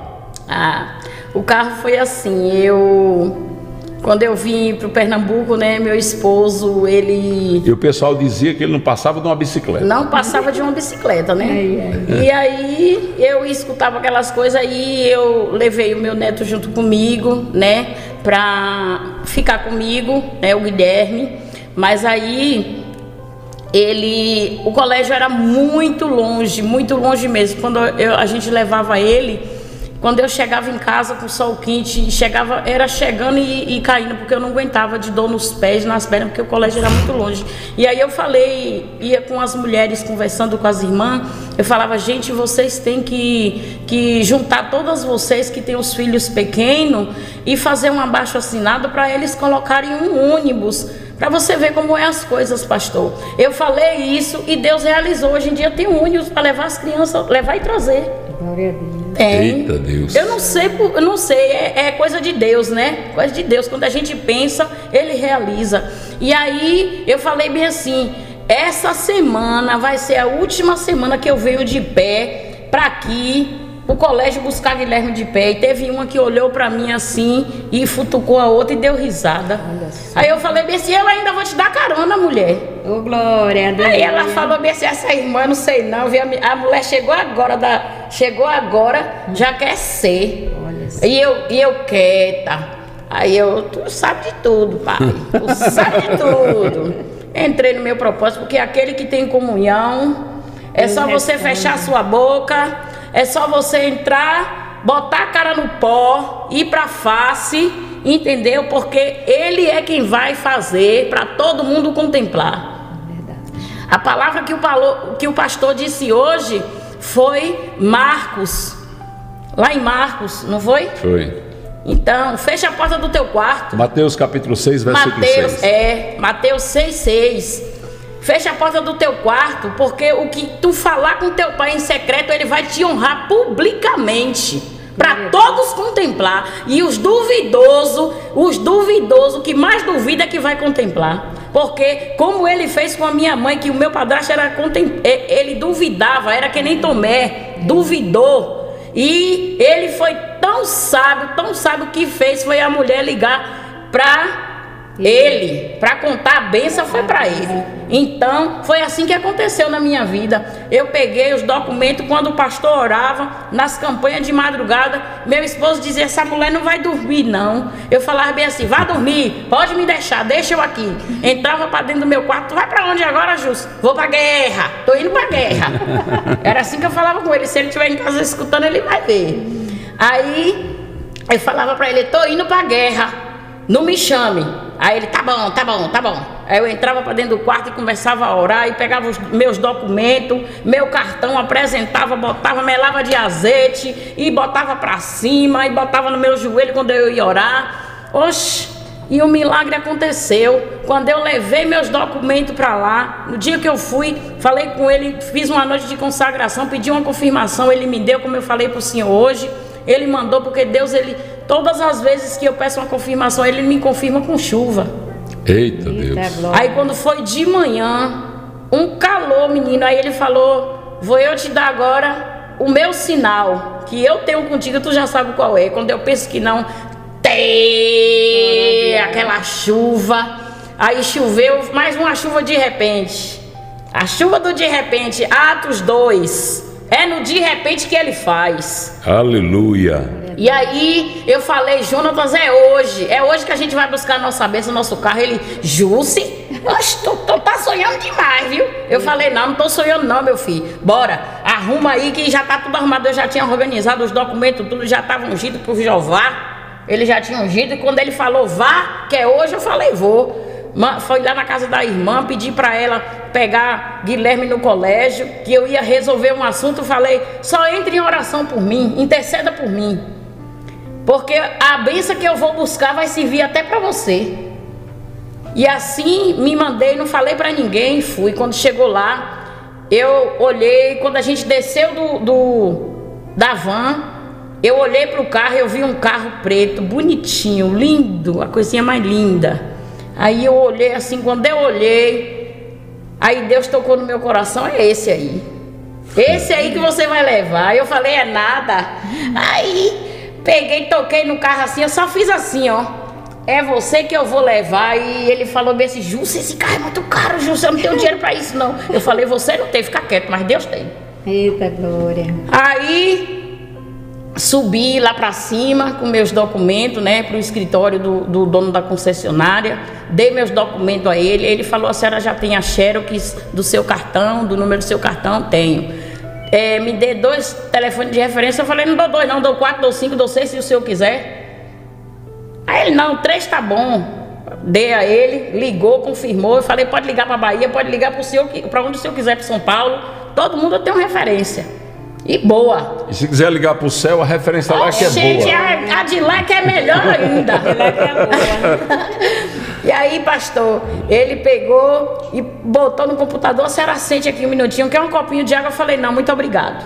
Fiquei sentadinha lá, e ele lá no, no, no computador. Aí, quando ele falou bem assim, dona Jusilei, a senhora foi aprovada, viu? Pode levar seu carro. Eu falei, eita glória! O meu Deus, ele é fiel. Aí ele olhou pra mim assim, assustado. Se assustou. Aí me deu os papéis. Quando eu desci de lá de cima e meu esposo andando de um lado pro outro, de um lado pro outro, de um lado pro outro. Quando eu desci, eu falei, eu não te falei, homem? Olha aqui, ó, vamos buscar o carro, vamos assinar os papéis porque o carro é nosso. A gente sai daqui hoje dentro do carro.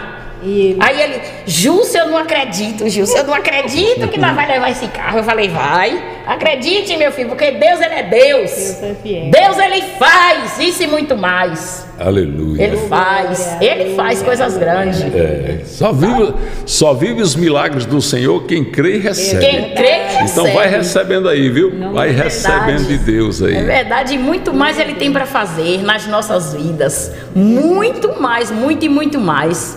Porque o nosso Deus, ele quando ele começa, ele termina. Ele é o Deus que começa a obra e ele conclui. O homem deixa pela metade, mas ele conclui que é para todo mundo ver. Verdade. Verdade. Deus é fiel. Desse jeito. É desse jeito que ele faz. Nós vamos orar agora.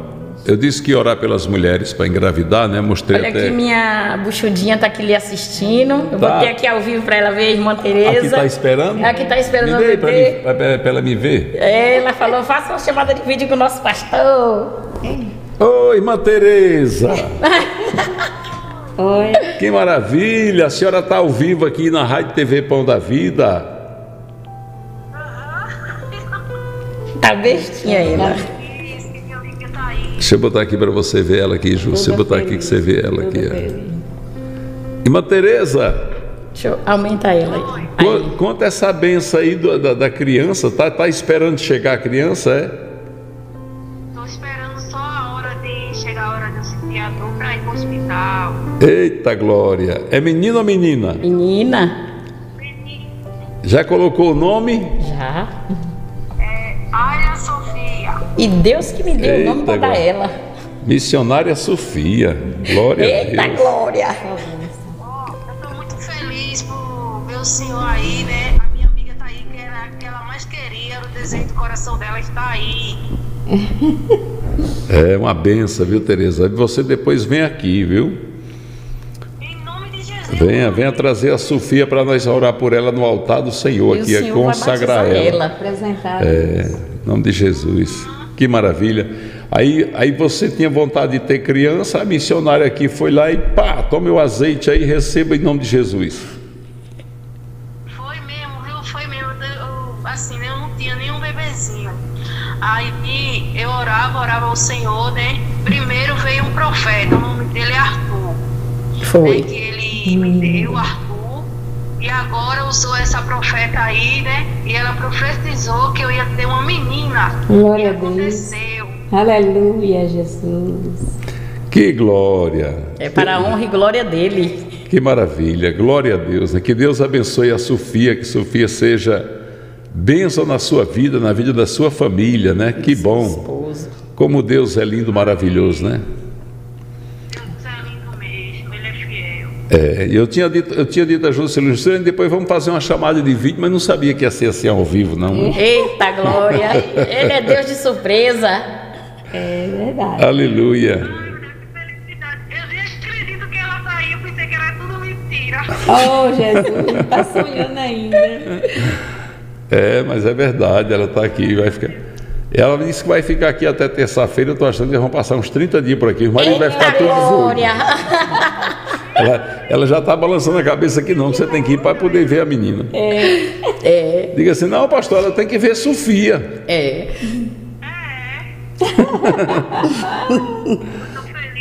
Pelo celular, chamada de vídeo. Amém. Pois Deus abençoe, viu? Deus abençoe você, abençoe sua filha. Vamos fazer uma oração por você. Quero orar por você, dizendo, Pai Santo, Deus amado. Pai amado, Pai querido. Senhor, eu sei que essa criança, a Sofia, foi escolhida no ventre da mãe dela. Aleluia. E eu peço, Deus, que o Senhor dê a ela um bom parto. Que esta criança venha, Deus, gozando de perfeita saúde. Para ser a alegria dos seus pais, da sua família, Deus. Sim, Pai. E a tua escolhida por toda a vida.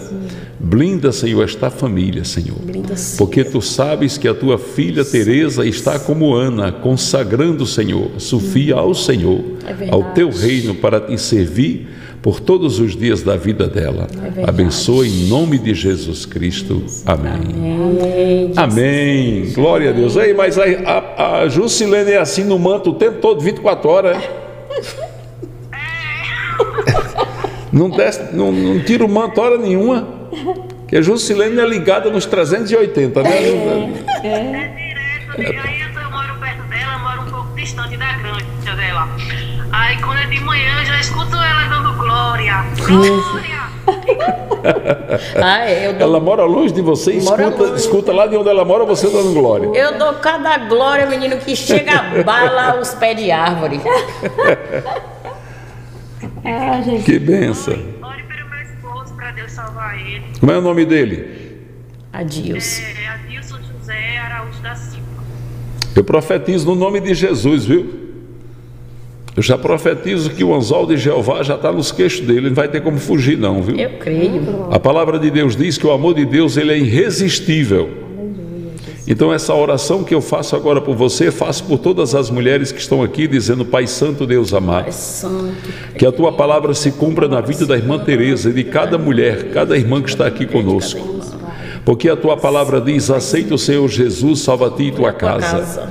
Então, Pai, vai atrás do Adilson, do esposo da tua filha, de todos os esposos, das tuas filhas que estão ouvindo esta oração e que ouvirão em qualquer tempo, Senhor, para que recebam esta oração, Senhor, como sinal do céu, de que os maridos te servirão, Senhor, e não serão servos comuns, não, serão soldados de Cristo, te servindo com amor no coração, tocados pelo teu Santo Espírito e transformados, Senhor, pelo fogo do teu Santo Espírito.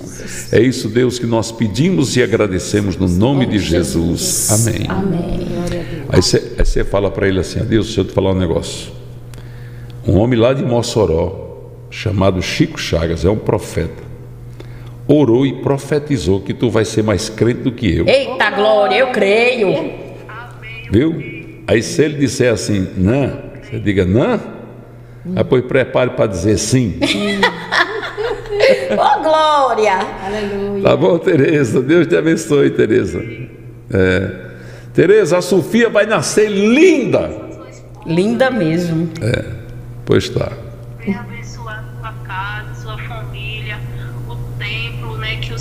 Suprir todas as necessidades. Amém. Eu estou feliz. Glória a Deus. Estou falando o né? Estou feliz por a minha amiga estar aí, né? Ela sempre falou para mim que ainda ia aí se batizar, né? E eu não acreditava, mas um milagre aconteceu. É. É verdade. Estou feliz, muito feliz. Ontem ela mandou as fotos para mim. Quando eu vi a sua foto, assim, eu não acredito que ela foi. Porque eu ia pra casa dela. Aí assim, meu Deus, Júlio foi pra casa do pastor. Oh, Jesus. Tá aqui na minha casa, tá aqui mais eu aqui. Café da manhã hoje já foi um mistério total aqui. Eita, foi manto. Quando perto dessa profeta aqui, o manto desce toda hora. Viu? Glória a Deus. Olha que coisa linda. É o Arthurzinho. Arthurzinho. É, esse é o Arthur. Aí agora chega a Sofia. É. Ela- Deus abençoe, Arthur. Tô vendo, Arthur. Deus abençoe, viu? Pai do Senhor, Arthur. Pai do Senhor. Arthur é crente, Arthur é crente. É crente. Da glória. Louvado seja Deus.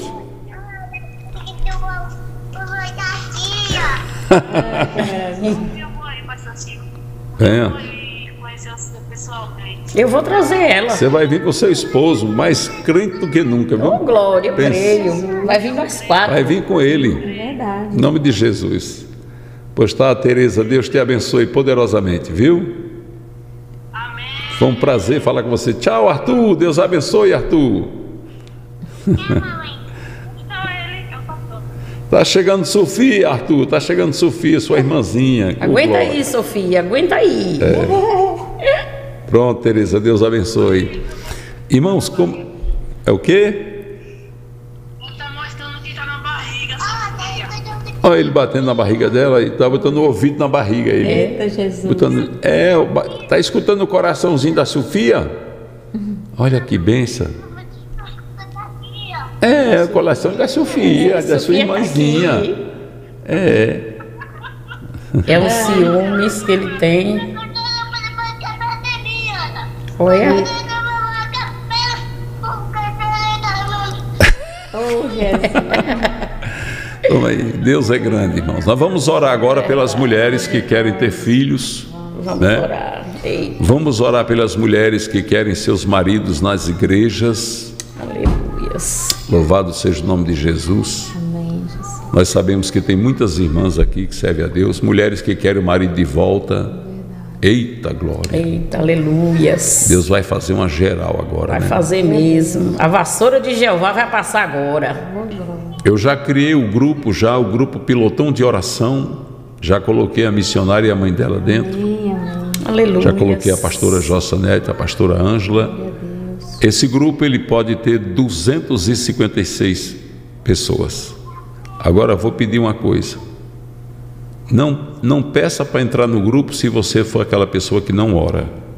É verdade. Só entre no grupo se você for gente que ora. Oração. Porque vai ter dia que a gente vai orar e vai dizer assim: tá na UTI, tá morrendo, vamos clamar e a gente clama e quem está na UTI, como a irmã Taninha, vai, nas, vai sair andando com os pés dela, que é para Em todo mundo nome ver que de Deus Jesus. é Deus. Deus vai, Deus vai fechar a sepultura, Deus vai Em curar. nome de Jesus. Deus vai trazer de volta, porque Deus escuta a oração da sua igreja. É verdade. Amém? Então vamos orar agora, vamos passar o azeite em nossas mãos aqui para nós orarmos. Glória a Deus, vamos consagrar o azeite a Deus. Primeiro vamos consagrar. Eita, Arthurzinho está aí, Tereza, baixa. Festejando. Tereza está chorando. Glória a Deus. Emoção. A nossa oração vai ser por você, mulher, por você, pelo seu esposo, pela sua família. Vai ser uma oração para restauração de casamento, uma oração para repreender a macumba, a feitiçaria, a magia negra, uma oração para repreender as setas, as lanças lançadas dos infernos contra a sua família, contra a sua casa. Vai ser uma oração também pelas mulheres que estão pedindo marido a Deus. Eita glória! A missionária ficou tudo doida aqui, missionária. Eu falei que tinha sonhado uma missionária casando na igreja, pô, tem um bocado de solteira aí, tudo dizendo, foi eu, pastor, foi eu, foi eu. Eita, meu pai. Eita glória! Vai ser uma oração forte, uma oração cheia do poder de Deus para Deus fazer o mover agora. A nossa oração vai ser dizendo, Pai, Oh, Tu és santo, Tu és poderoso. Senhor, apresentamos ao Senhor este azeite santo. Ele é símbolo do teu sangue e do teu Santo Espírito. Ó Deus, quantos milagres, quantas maravilhas o Senhor tem operado no meio do teu povo. E nós estamos aqui apresentando este azeite que está em minhas mãos e nas mãos de cada irmão e cada irmã no Brasil e no mundo. Oferecendo este azeite, Senhor, como prova da nossa fé, do nosso amor. Estende a tua mão soberana e santa sobre todo este azeite agora. E derrama, Deus, o teu poder para fazer maravilhas, milagres, o teu poder para realizar sonhos. E todas as vezes que esse azeite for usado, seja para a glória do teu santo e poderoso nome, meu Deus. Deus abençoa, Senhor. Nossos dizimistas, nossos ofertantes, teus filhos e filhas que ajudam esta obra a avançar, a crescer. Abençoa os que têm votos e propósitos e todos que amam esta obra. Abençoa agora esta oração que eu vou fazer com tuas filhas, meu Deus. Nós vamos fazer aqui a imposição de mãos, porque o Senhor disse: imporão as mãos sobre os enfermos, eles serão curados. Vamos clamar pelo teu nome, porque o Senhor disse: todo aquele que clamar pelo meu nome será salvo. Tudo que pedires em meu nome eu te darei, para que o Pai seja glorificado no Filho. A tua palavra nos garanta esta vitória, meu Deus. É por isso que agora nós vamos ungir nossas mãos neste azeite santo que já está ungido pela tua mão poderosa, pelo teu coração cheio de misericórdia. E nesta oração, meu Pai, nós vamos vamos impor as mãos assim, irmãs. Recebe agora esta oração. Pai Santo, Deus amado. Aqui está nossas mãos. Estamos aqui. E nesta imposição de mãos, nós temos pedidos a fazer nesta oração. Vai fazendo. Nós começamos, Deus, pedindo, Deus, que seja quebrado o arco, quebrado. corta a lança e queima os carros do fogo. Destrói, Senhor, todo levante contra teus filhos e filhas.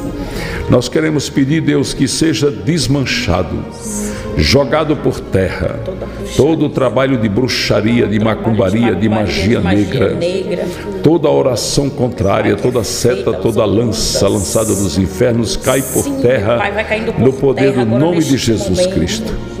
Queremos clamar a Deus pelas mulheres que desejam ser mãe. Deus, o Senhor abriu a madre de Sara, de Raquel, de Isabel, de Ana, de Maria e de tantas outras milhares e milhares de mulheres. Abre agora a madre de cada uma das tuas filhas que estão pedindo, Deus, e atenda as orações daquelas irmãs e irmãos que estão pedindo para a minha madre de outras pessoas. Senhor, realiza a tua obra no ventre das tuas filhas. Senhor, não importa qual seja o impedimento para que a criança não venha, mas tu és o Deus que coloca no ventre das tuas filhas o filho e a filha tão desejado. Nós queremos também aqui, Deus, pedir, Pai, que o Senhor traga de volta os maridos que abandonaram as tuas filhas. Que o Senhor desmanche todo engodo, toda mentira, todo laço. Que o Senhor desmanche, Senhor, a arapuca. Liberta teus filhos, porque a tua palavra diz que se o Senhor libertar verdadeiramente será livre. Então liberta, Deus. Liberta do engano, do adultério, da mentira, do pecado. Liberta, Deus, das dívidas. Liberta, Deus, da escassez, da maldição. Quebra, Pai querido Deus amado, todo laço armado para destruir teu povo, desmancha toda armadilha. Que os teus anjos, como está prometido em tua palavra, se acampem ao redor dos teus filhos e filhas, para que o teu nome santo seja glorificado hoje e eternamente. É o nosso pedido. Em nome de Jesus. Amém. Amém. Eita glória! Aleluia. Você vai cantar aquele hino de novo. Eita glória. Eu fiquei, eu fiquei apaixonado nesse hino. Deus. Que hino lindo. Esse hino fala tudo sobre mim. É lindo. Esse hino é a minha vida. Glória. Eu sei que é a vida dos irmãos também. Irmãos, vocês não gostaram do hino, não, porque esse hino é tremendo. Quando você cantou ali no. Eu arrupiei todo e falei, ficha, eu não conhecia, não. Não, Nunca tinha ouvido. mas eu ia cantar outro, mas Deus tocou no meu coração para cantar aquele, né? Qual era o que você ia cantar? Hum? Qual era? A gente bota também. Não, pode ser esse mesmo. Pode ser. Pode ser? Pode. Então ela vai cantar de Solange Brandão, um sobrevivente. Por que, que nós somos sobreviventes? Porque Deus nos resgatou e nos sustenta até hoje para ficarmos na presença dele. É verdade. Vamos adorar. Oh, aleluias! Creia que você também é um sobrevivente, porque Ele faz. Ele faz. Eu sei alguém me olha e pensa que tudo em minha vida foi fácil. Que eu tive um berço de ouro, um sangue real, ou nasci num palácio. Não sabe que já fui traído e até humilhado pelos meus irmãos. Não viu quando eu chorei no poço sozinho, que decepção. Mas havia um plano de Deus E quando Deus planeja dar certo Não importa se vão te humilhar, te vender como escravo Mas Deus está perto Cuidando de cada detalhe Do teu amanhã, do teu amanhã Aprendi que pra tudo há um tempo, para tudo debaixo do céu. Deus permite a dor e a perca, mas não abandona um servo fiel. O que você viveu foi lição, mas você aprendeu. Para futuramente cantar que sobreviveu. Eu já fui vendido, mas sobrevivi. Já fui humilhado, mas sobrevivi. Passei no deserto, enfrentei perigos, mas Deus estava comigo e eu não desisti. Já fui perseguido, mas sobrevivi. Já fui condenado, mas sobrevivi. Só Deus sabe o que passei, o que chorei, mas olha eu aqui, lutando, louvando,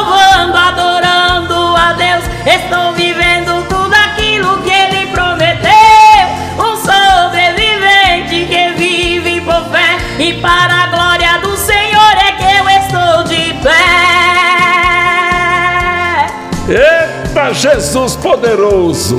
Tu és grande, Deus! Eita Deus!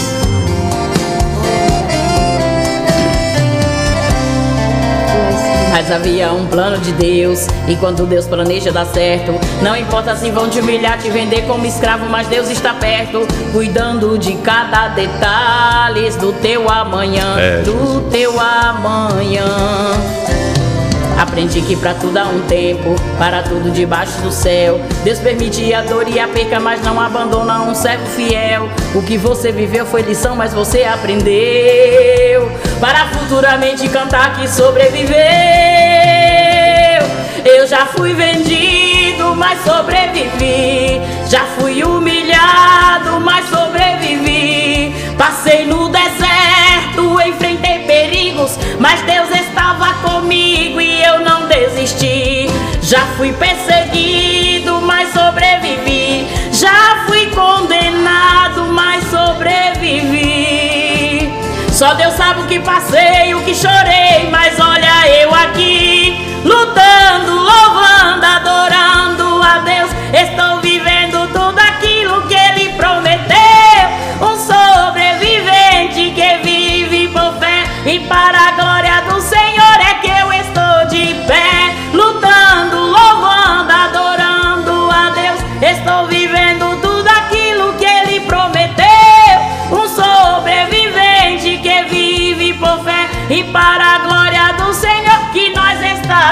está de pé.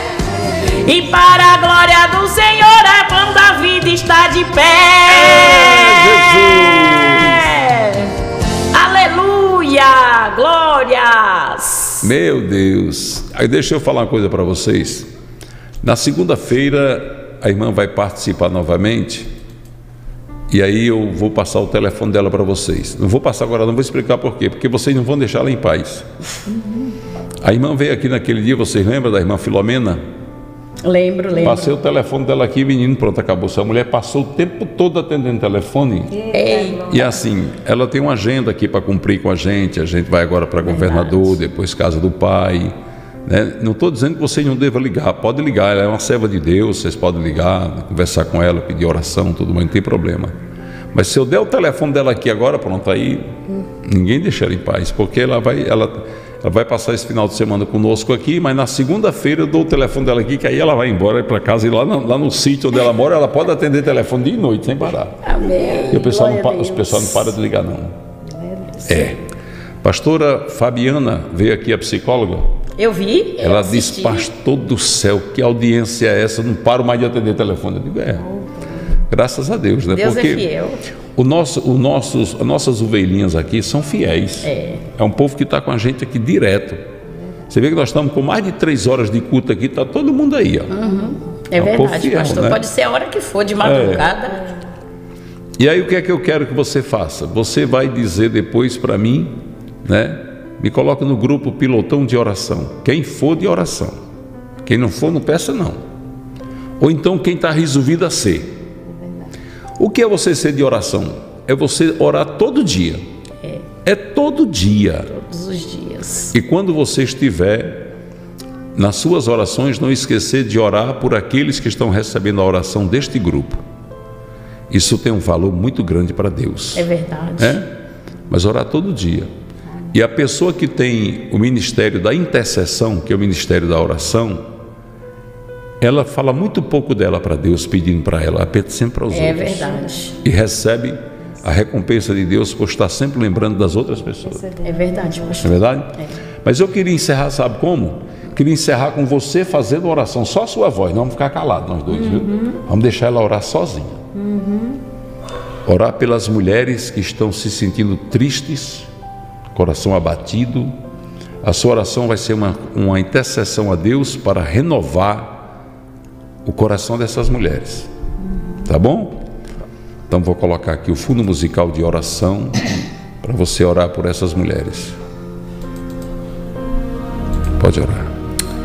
Oramos. Maravilhoso Pai e eterno Deus, neste momento, Pai, já aqui te agradecendo por esta oportunidade que tu tem me concedido, Pai, Pai, eu quero te apresentar, Pai, a cada uma dessas mulheres que esteja aí do outro lado, no nosso Brasil, no nosso mundo, no nosso país. Seja qual for que estiver precisando, Pai, vai neste momento, estende as tuas mãos, porque tu és o Deus grande, o Deus fiel, o Deus poderoso, o Deus que faz hoje, faz amanhã, faz a depois, não importa o dia, não importa a hora, não importa aonde esteja, tu és aquele que alcança. Pai, vai realizando o desejo do coração daquela mãe que quer ser mãe, que nunca teve, Pai.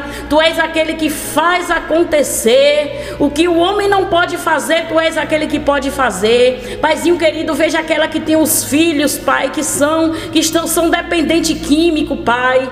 Pai, vai tirando, Pai, da depressão, vai tirando da dependência química. Pai, neste momento, Pai, eu te apresento, Pai, cada alcoólatra, eu te apresento cada fumante, cada jogante, aqueles mulheres, aqueles homens que estão na prostituição, aqueles homens que estão tá atraindo as suas esposas, aquelas mulheres que estão tá com desejo de separar dos seus maridos. Eu agora eu profetizo no nome de Jesus que seja repreendido toda a fúria do mal, toda oração ao contrária, toda magia negra, toda hora de macumbaria, toda obra de feitiçaria, toda oração que é feita ao contrário, as ocultas, tu és o Deus que revela, tu és o Deus que faz. Então vai fazendo no coração de cada mãe, de cada pai, de cada filho, daqueles que necessitam, dos necessitados. Cuida dos teus filhinhos, dos moradores de rua. Também profetizo, Pai, na vida do teu filho amado, Chico Chagas, da sua família. Veja toda a sua família, veja a grande obra que tu colocou na mão do teu filho, Pai. Faça crescer, faça multiplicar. Que a oração, Pai, do teu servo venha chegar nos corações, venha crescer mais e mais. E que este grupo, Pai, que venha ser, meu Pai, para a tua honra e para a tua glória, para que o teu nome venha ser glorificado no mundo inteiro, no país inteiro. Aonde esta oração chegar, meu Pai, que o milagre venha acontecer, que grandes bênçãos vai ser contada através dessa pequena oração, porque nada aqui eu sou, mas tu és aquele que tudo é. E é no teu nome, Pai, que nós já profetizamos e já agradecemos. Amém. E que assim seja. Amém. Glória a Deus. Louvado seja o nome de Jesus. Pois bem, querido, vamos encerrar, senão a gente passa a noite aqui, a noite, o dia, a madrugada, Eita faz logo uma vigília. Falar de. Ah, eu amo vigília. Eita, eu rapaz, amo vigília. agora, agora, se você tivesse me avisado que vinha, rapaz, eu tinha marcado uma vigília para você participar, lá na Fazenda do Pai. Ah, vigília, Porque vigília lá o comigo fogo mesmo. desce. viu? Eita glória. É. Eu já participei. Mas na próxima vez que você vier, vai, avisa. Tá. Pra gente marcar uma Agora eu vigília. tenho o seu contato, agora eu tenho o seu número, É. número da pastora. Amém. Após, queridos amados, moderadoras, amadas, queridas mulheres de Deus, Beijinha de Deus. Costa, minha linda, chaveirinho. Ah, você mantém contato com os é? Adriana Santos, Eita, todas as moderadoras da Pão da Vida, Fátima da Almeida, né? Amo todos vocês. Um beijo no coração de todas vocês e pode ter certeza que assim como ele realizou o meu desejo, ele vai realizar o seu também, porque ele é Deus que realiza. Eita Deus poderoso. Queridos, que a graça de Deus nosso Pai, o amor do Senhor Jesus Cristo, as maravilhas do Santo Espírito, seus frutos, dons e consolações, seja sobre as nossas vidas, hoje e sempre. A igreja diz amém. Amém. Obrigado, a Deus abençoe. Deixa eu só mandar aqui um abraço carinhoso para você que ajudou o Ministério Pão da Vida, querida Maria Zuleide de Moraes. Deus abençoe você, minha amada. Querida Mônica Daniele Cavalcante, Deus te abençoe. Glória a Deus pela, pelo estar cumprindo este propósito com a casa do Pai. Deus multiplique, querida irmã Grace Santos. Deus abençoe vocês. Pastor, sou pão da vida. Glória a Deus. Ela está dizendo que quer contar um testemunho. O gato dela tinha estomatite. Ficou fazendo tratamento por meses até eu passar o óleo ungido nele. Deus curou ele, pastor. Estou grato a Deus. Aleluia. Peço oração pela minha casa. Ah, depois eu não posso encerrar esse culto sem a irmã contar a história da cabra. Tem que contar. O Felipe Ferreira, Deus abençoe Felipe Ferreira, Deus abençoe Felipe Ferreira. Querida Regineide Regi, Deus abençoe e recompense você. Clebinha Sobrancelha, top das galáxias. Amada e querida irmã Marilene dos Santos, lá dos Estados Unidos, um beijo na mamãe Aparecida, na irmã Ednei, do irmão Givanildo, Alessandra Diade, Deus abençoe você, Maria Roberto, Deus te abençoe poderosamente, viu? O esposo, Deus abençoe seu esposo, diga ele que eu agradeço por estar ajudando a obra. Querida irmã Analice, vou ligar para você, Analice, vamos conversar, tá bom, minha amada? João Carlos Froze, Danilo Oliveira, Deus abençoe vocês. Olha, fica aí só um pouquinho, não sai agora não, só para você escutar isso aqui. Só para você escutar, depois a gente encerra. É mais para cá, para perto, vem, vem, irmão. É da cabra, foi você? Foi. Sim, o negócio da cabra foi com você. É com ela, da casa. Ah, pois conta aí a história da cabra, homem. Então, foi assim, né?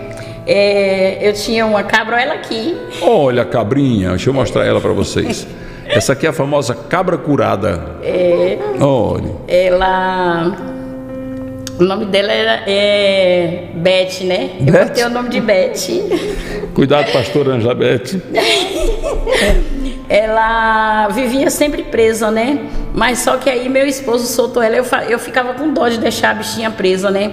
E aí, como a, eu- a gente mora em um sítio, ela comendo capim, é, meu esposo estava sem arrumar a roçadeira, e aí ele pegou, soltou ela e ela começou a comer os capim, entrou dentro de um capim lá que é grande, então uma cobra picou ela, a cobra mordeu ela, né?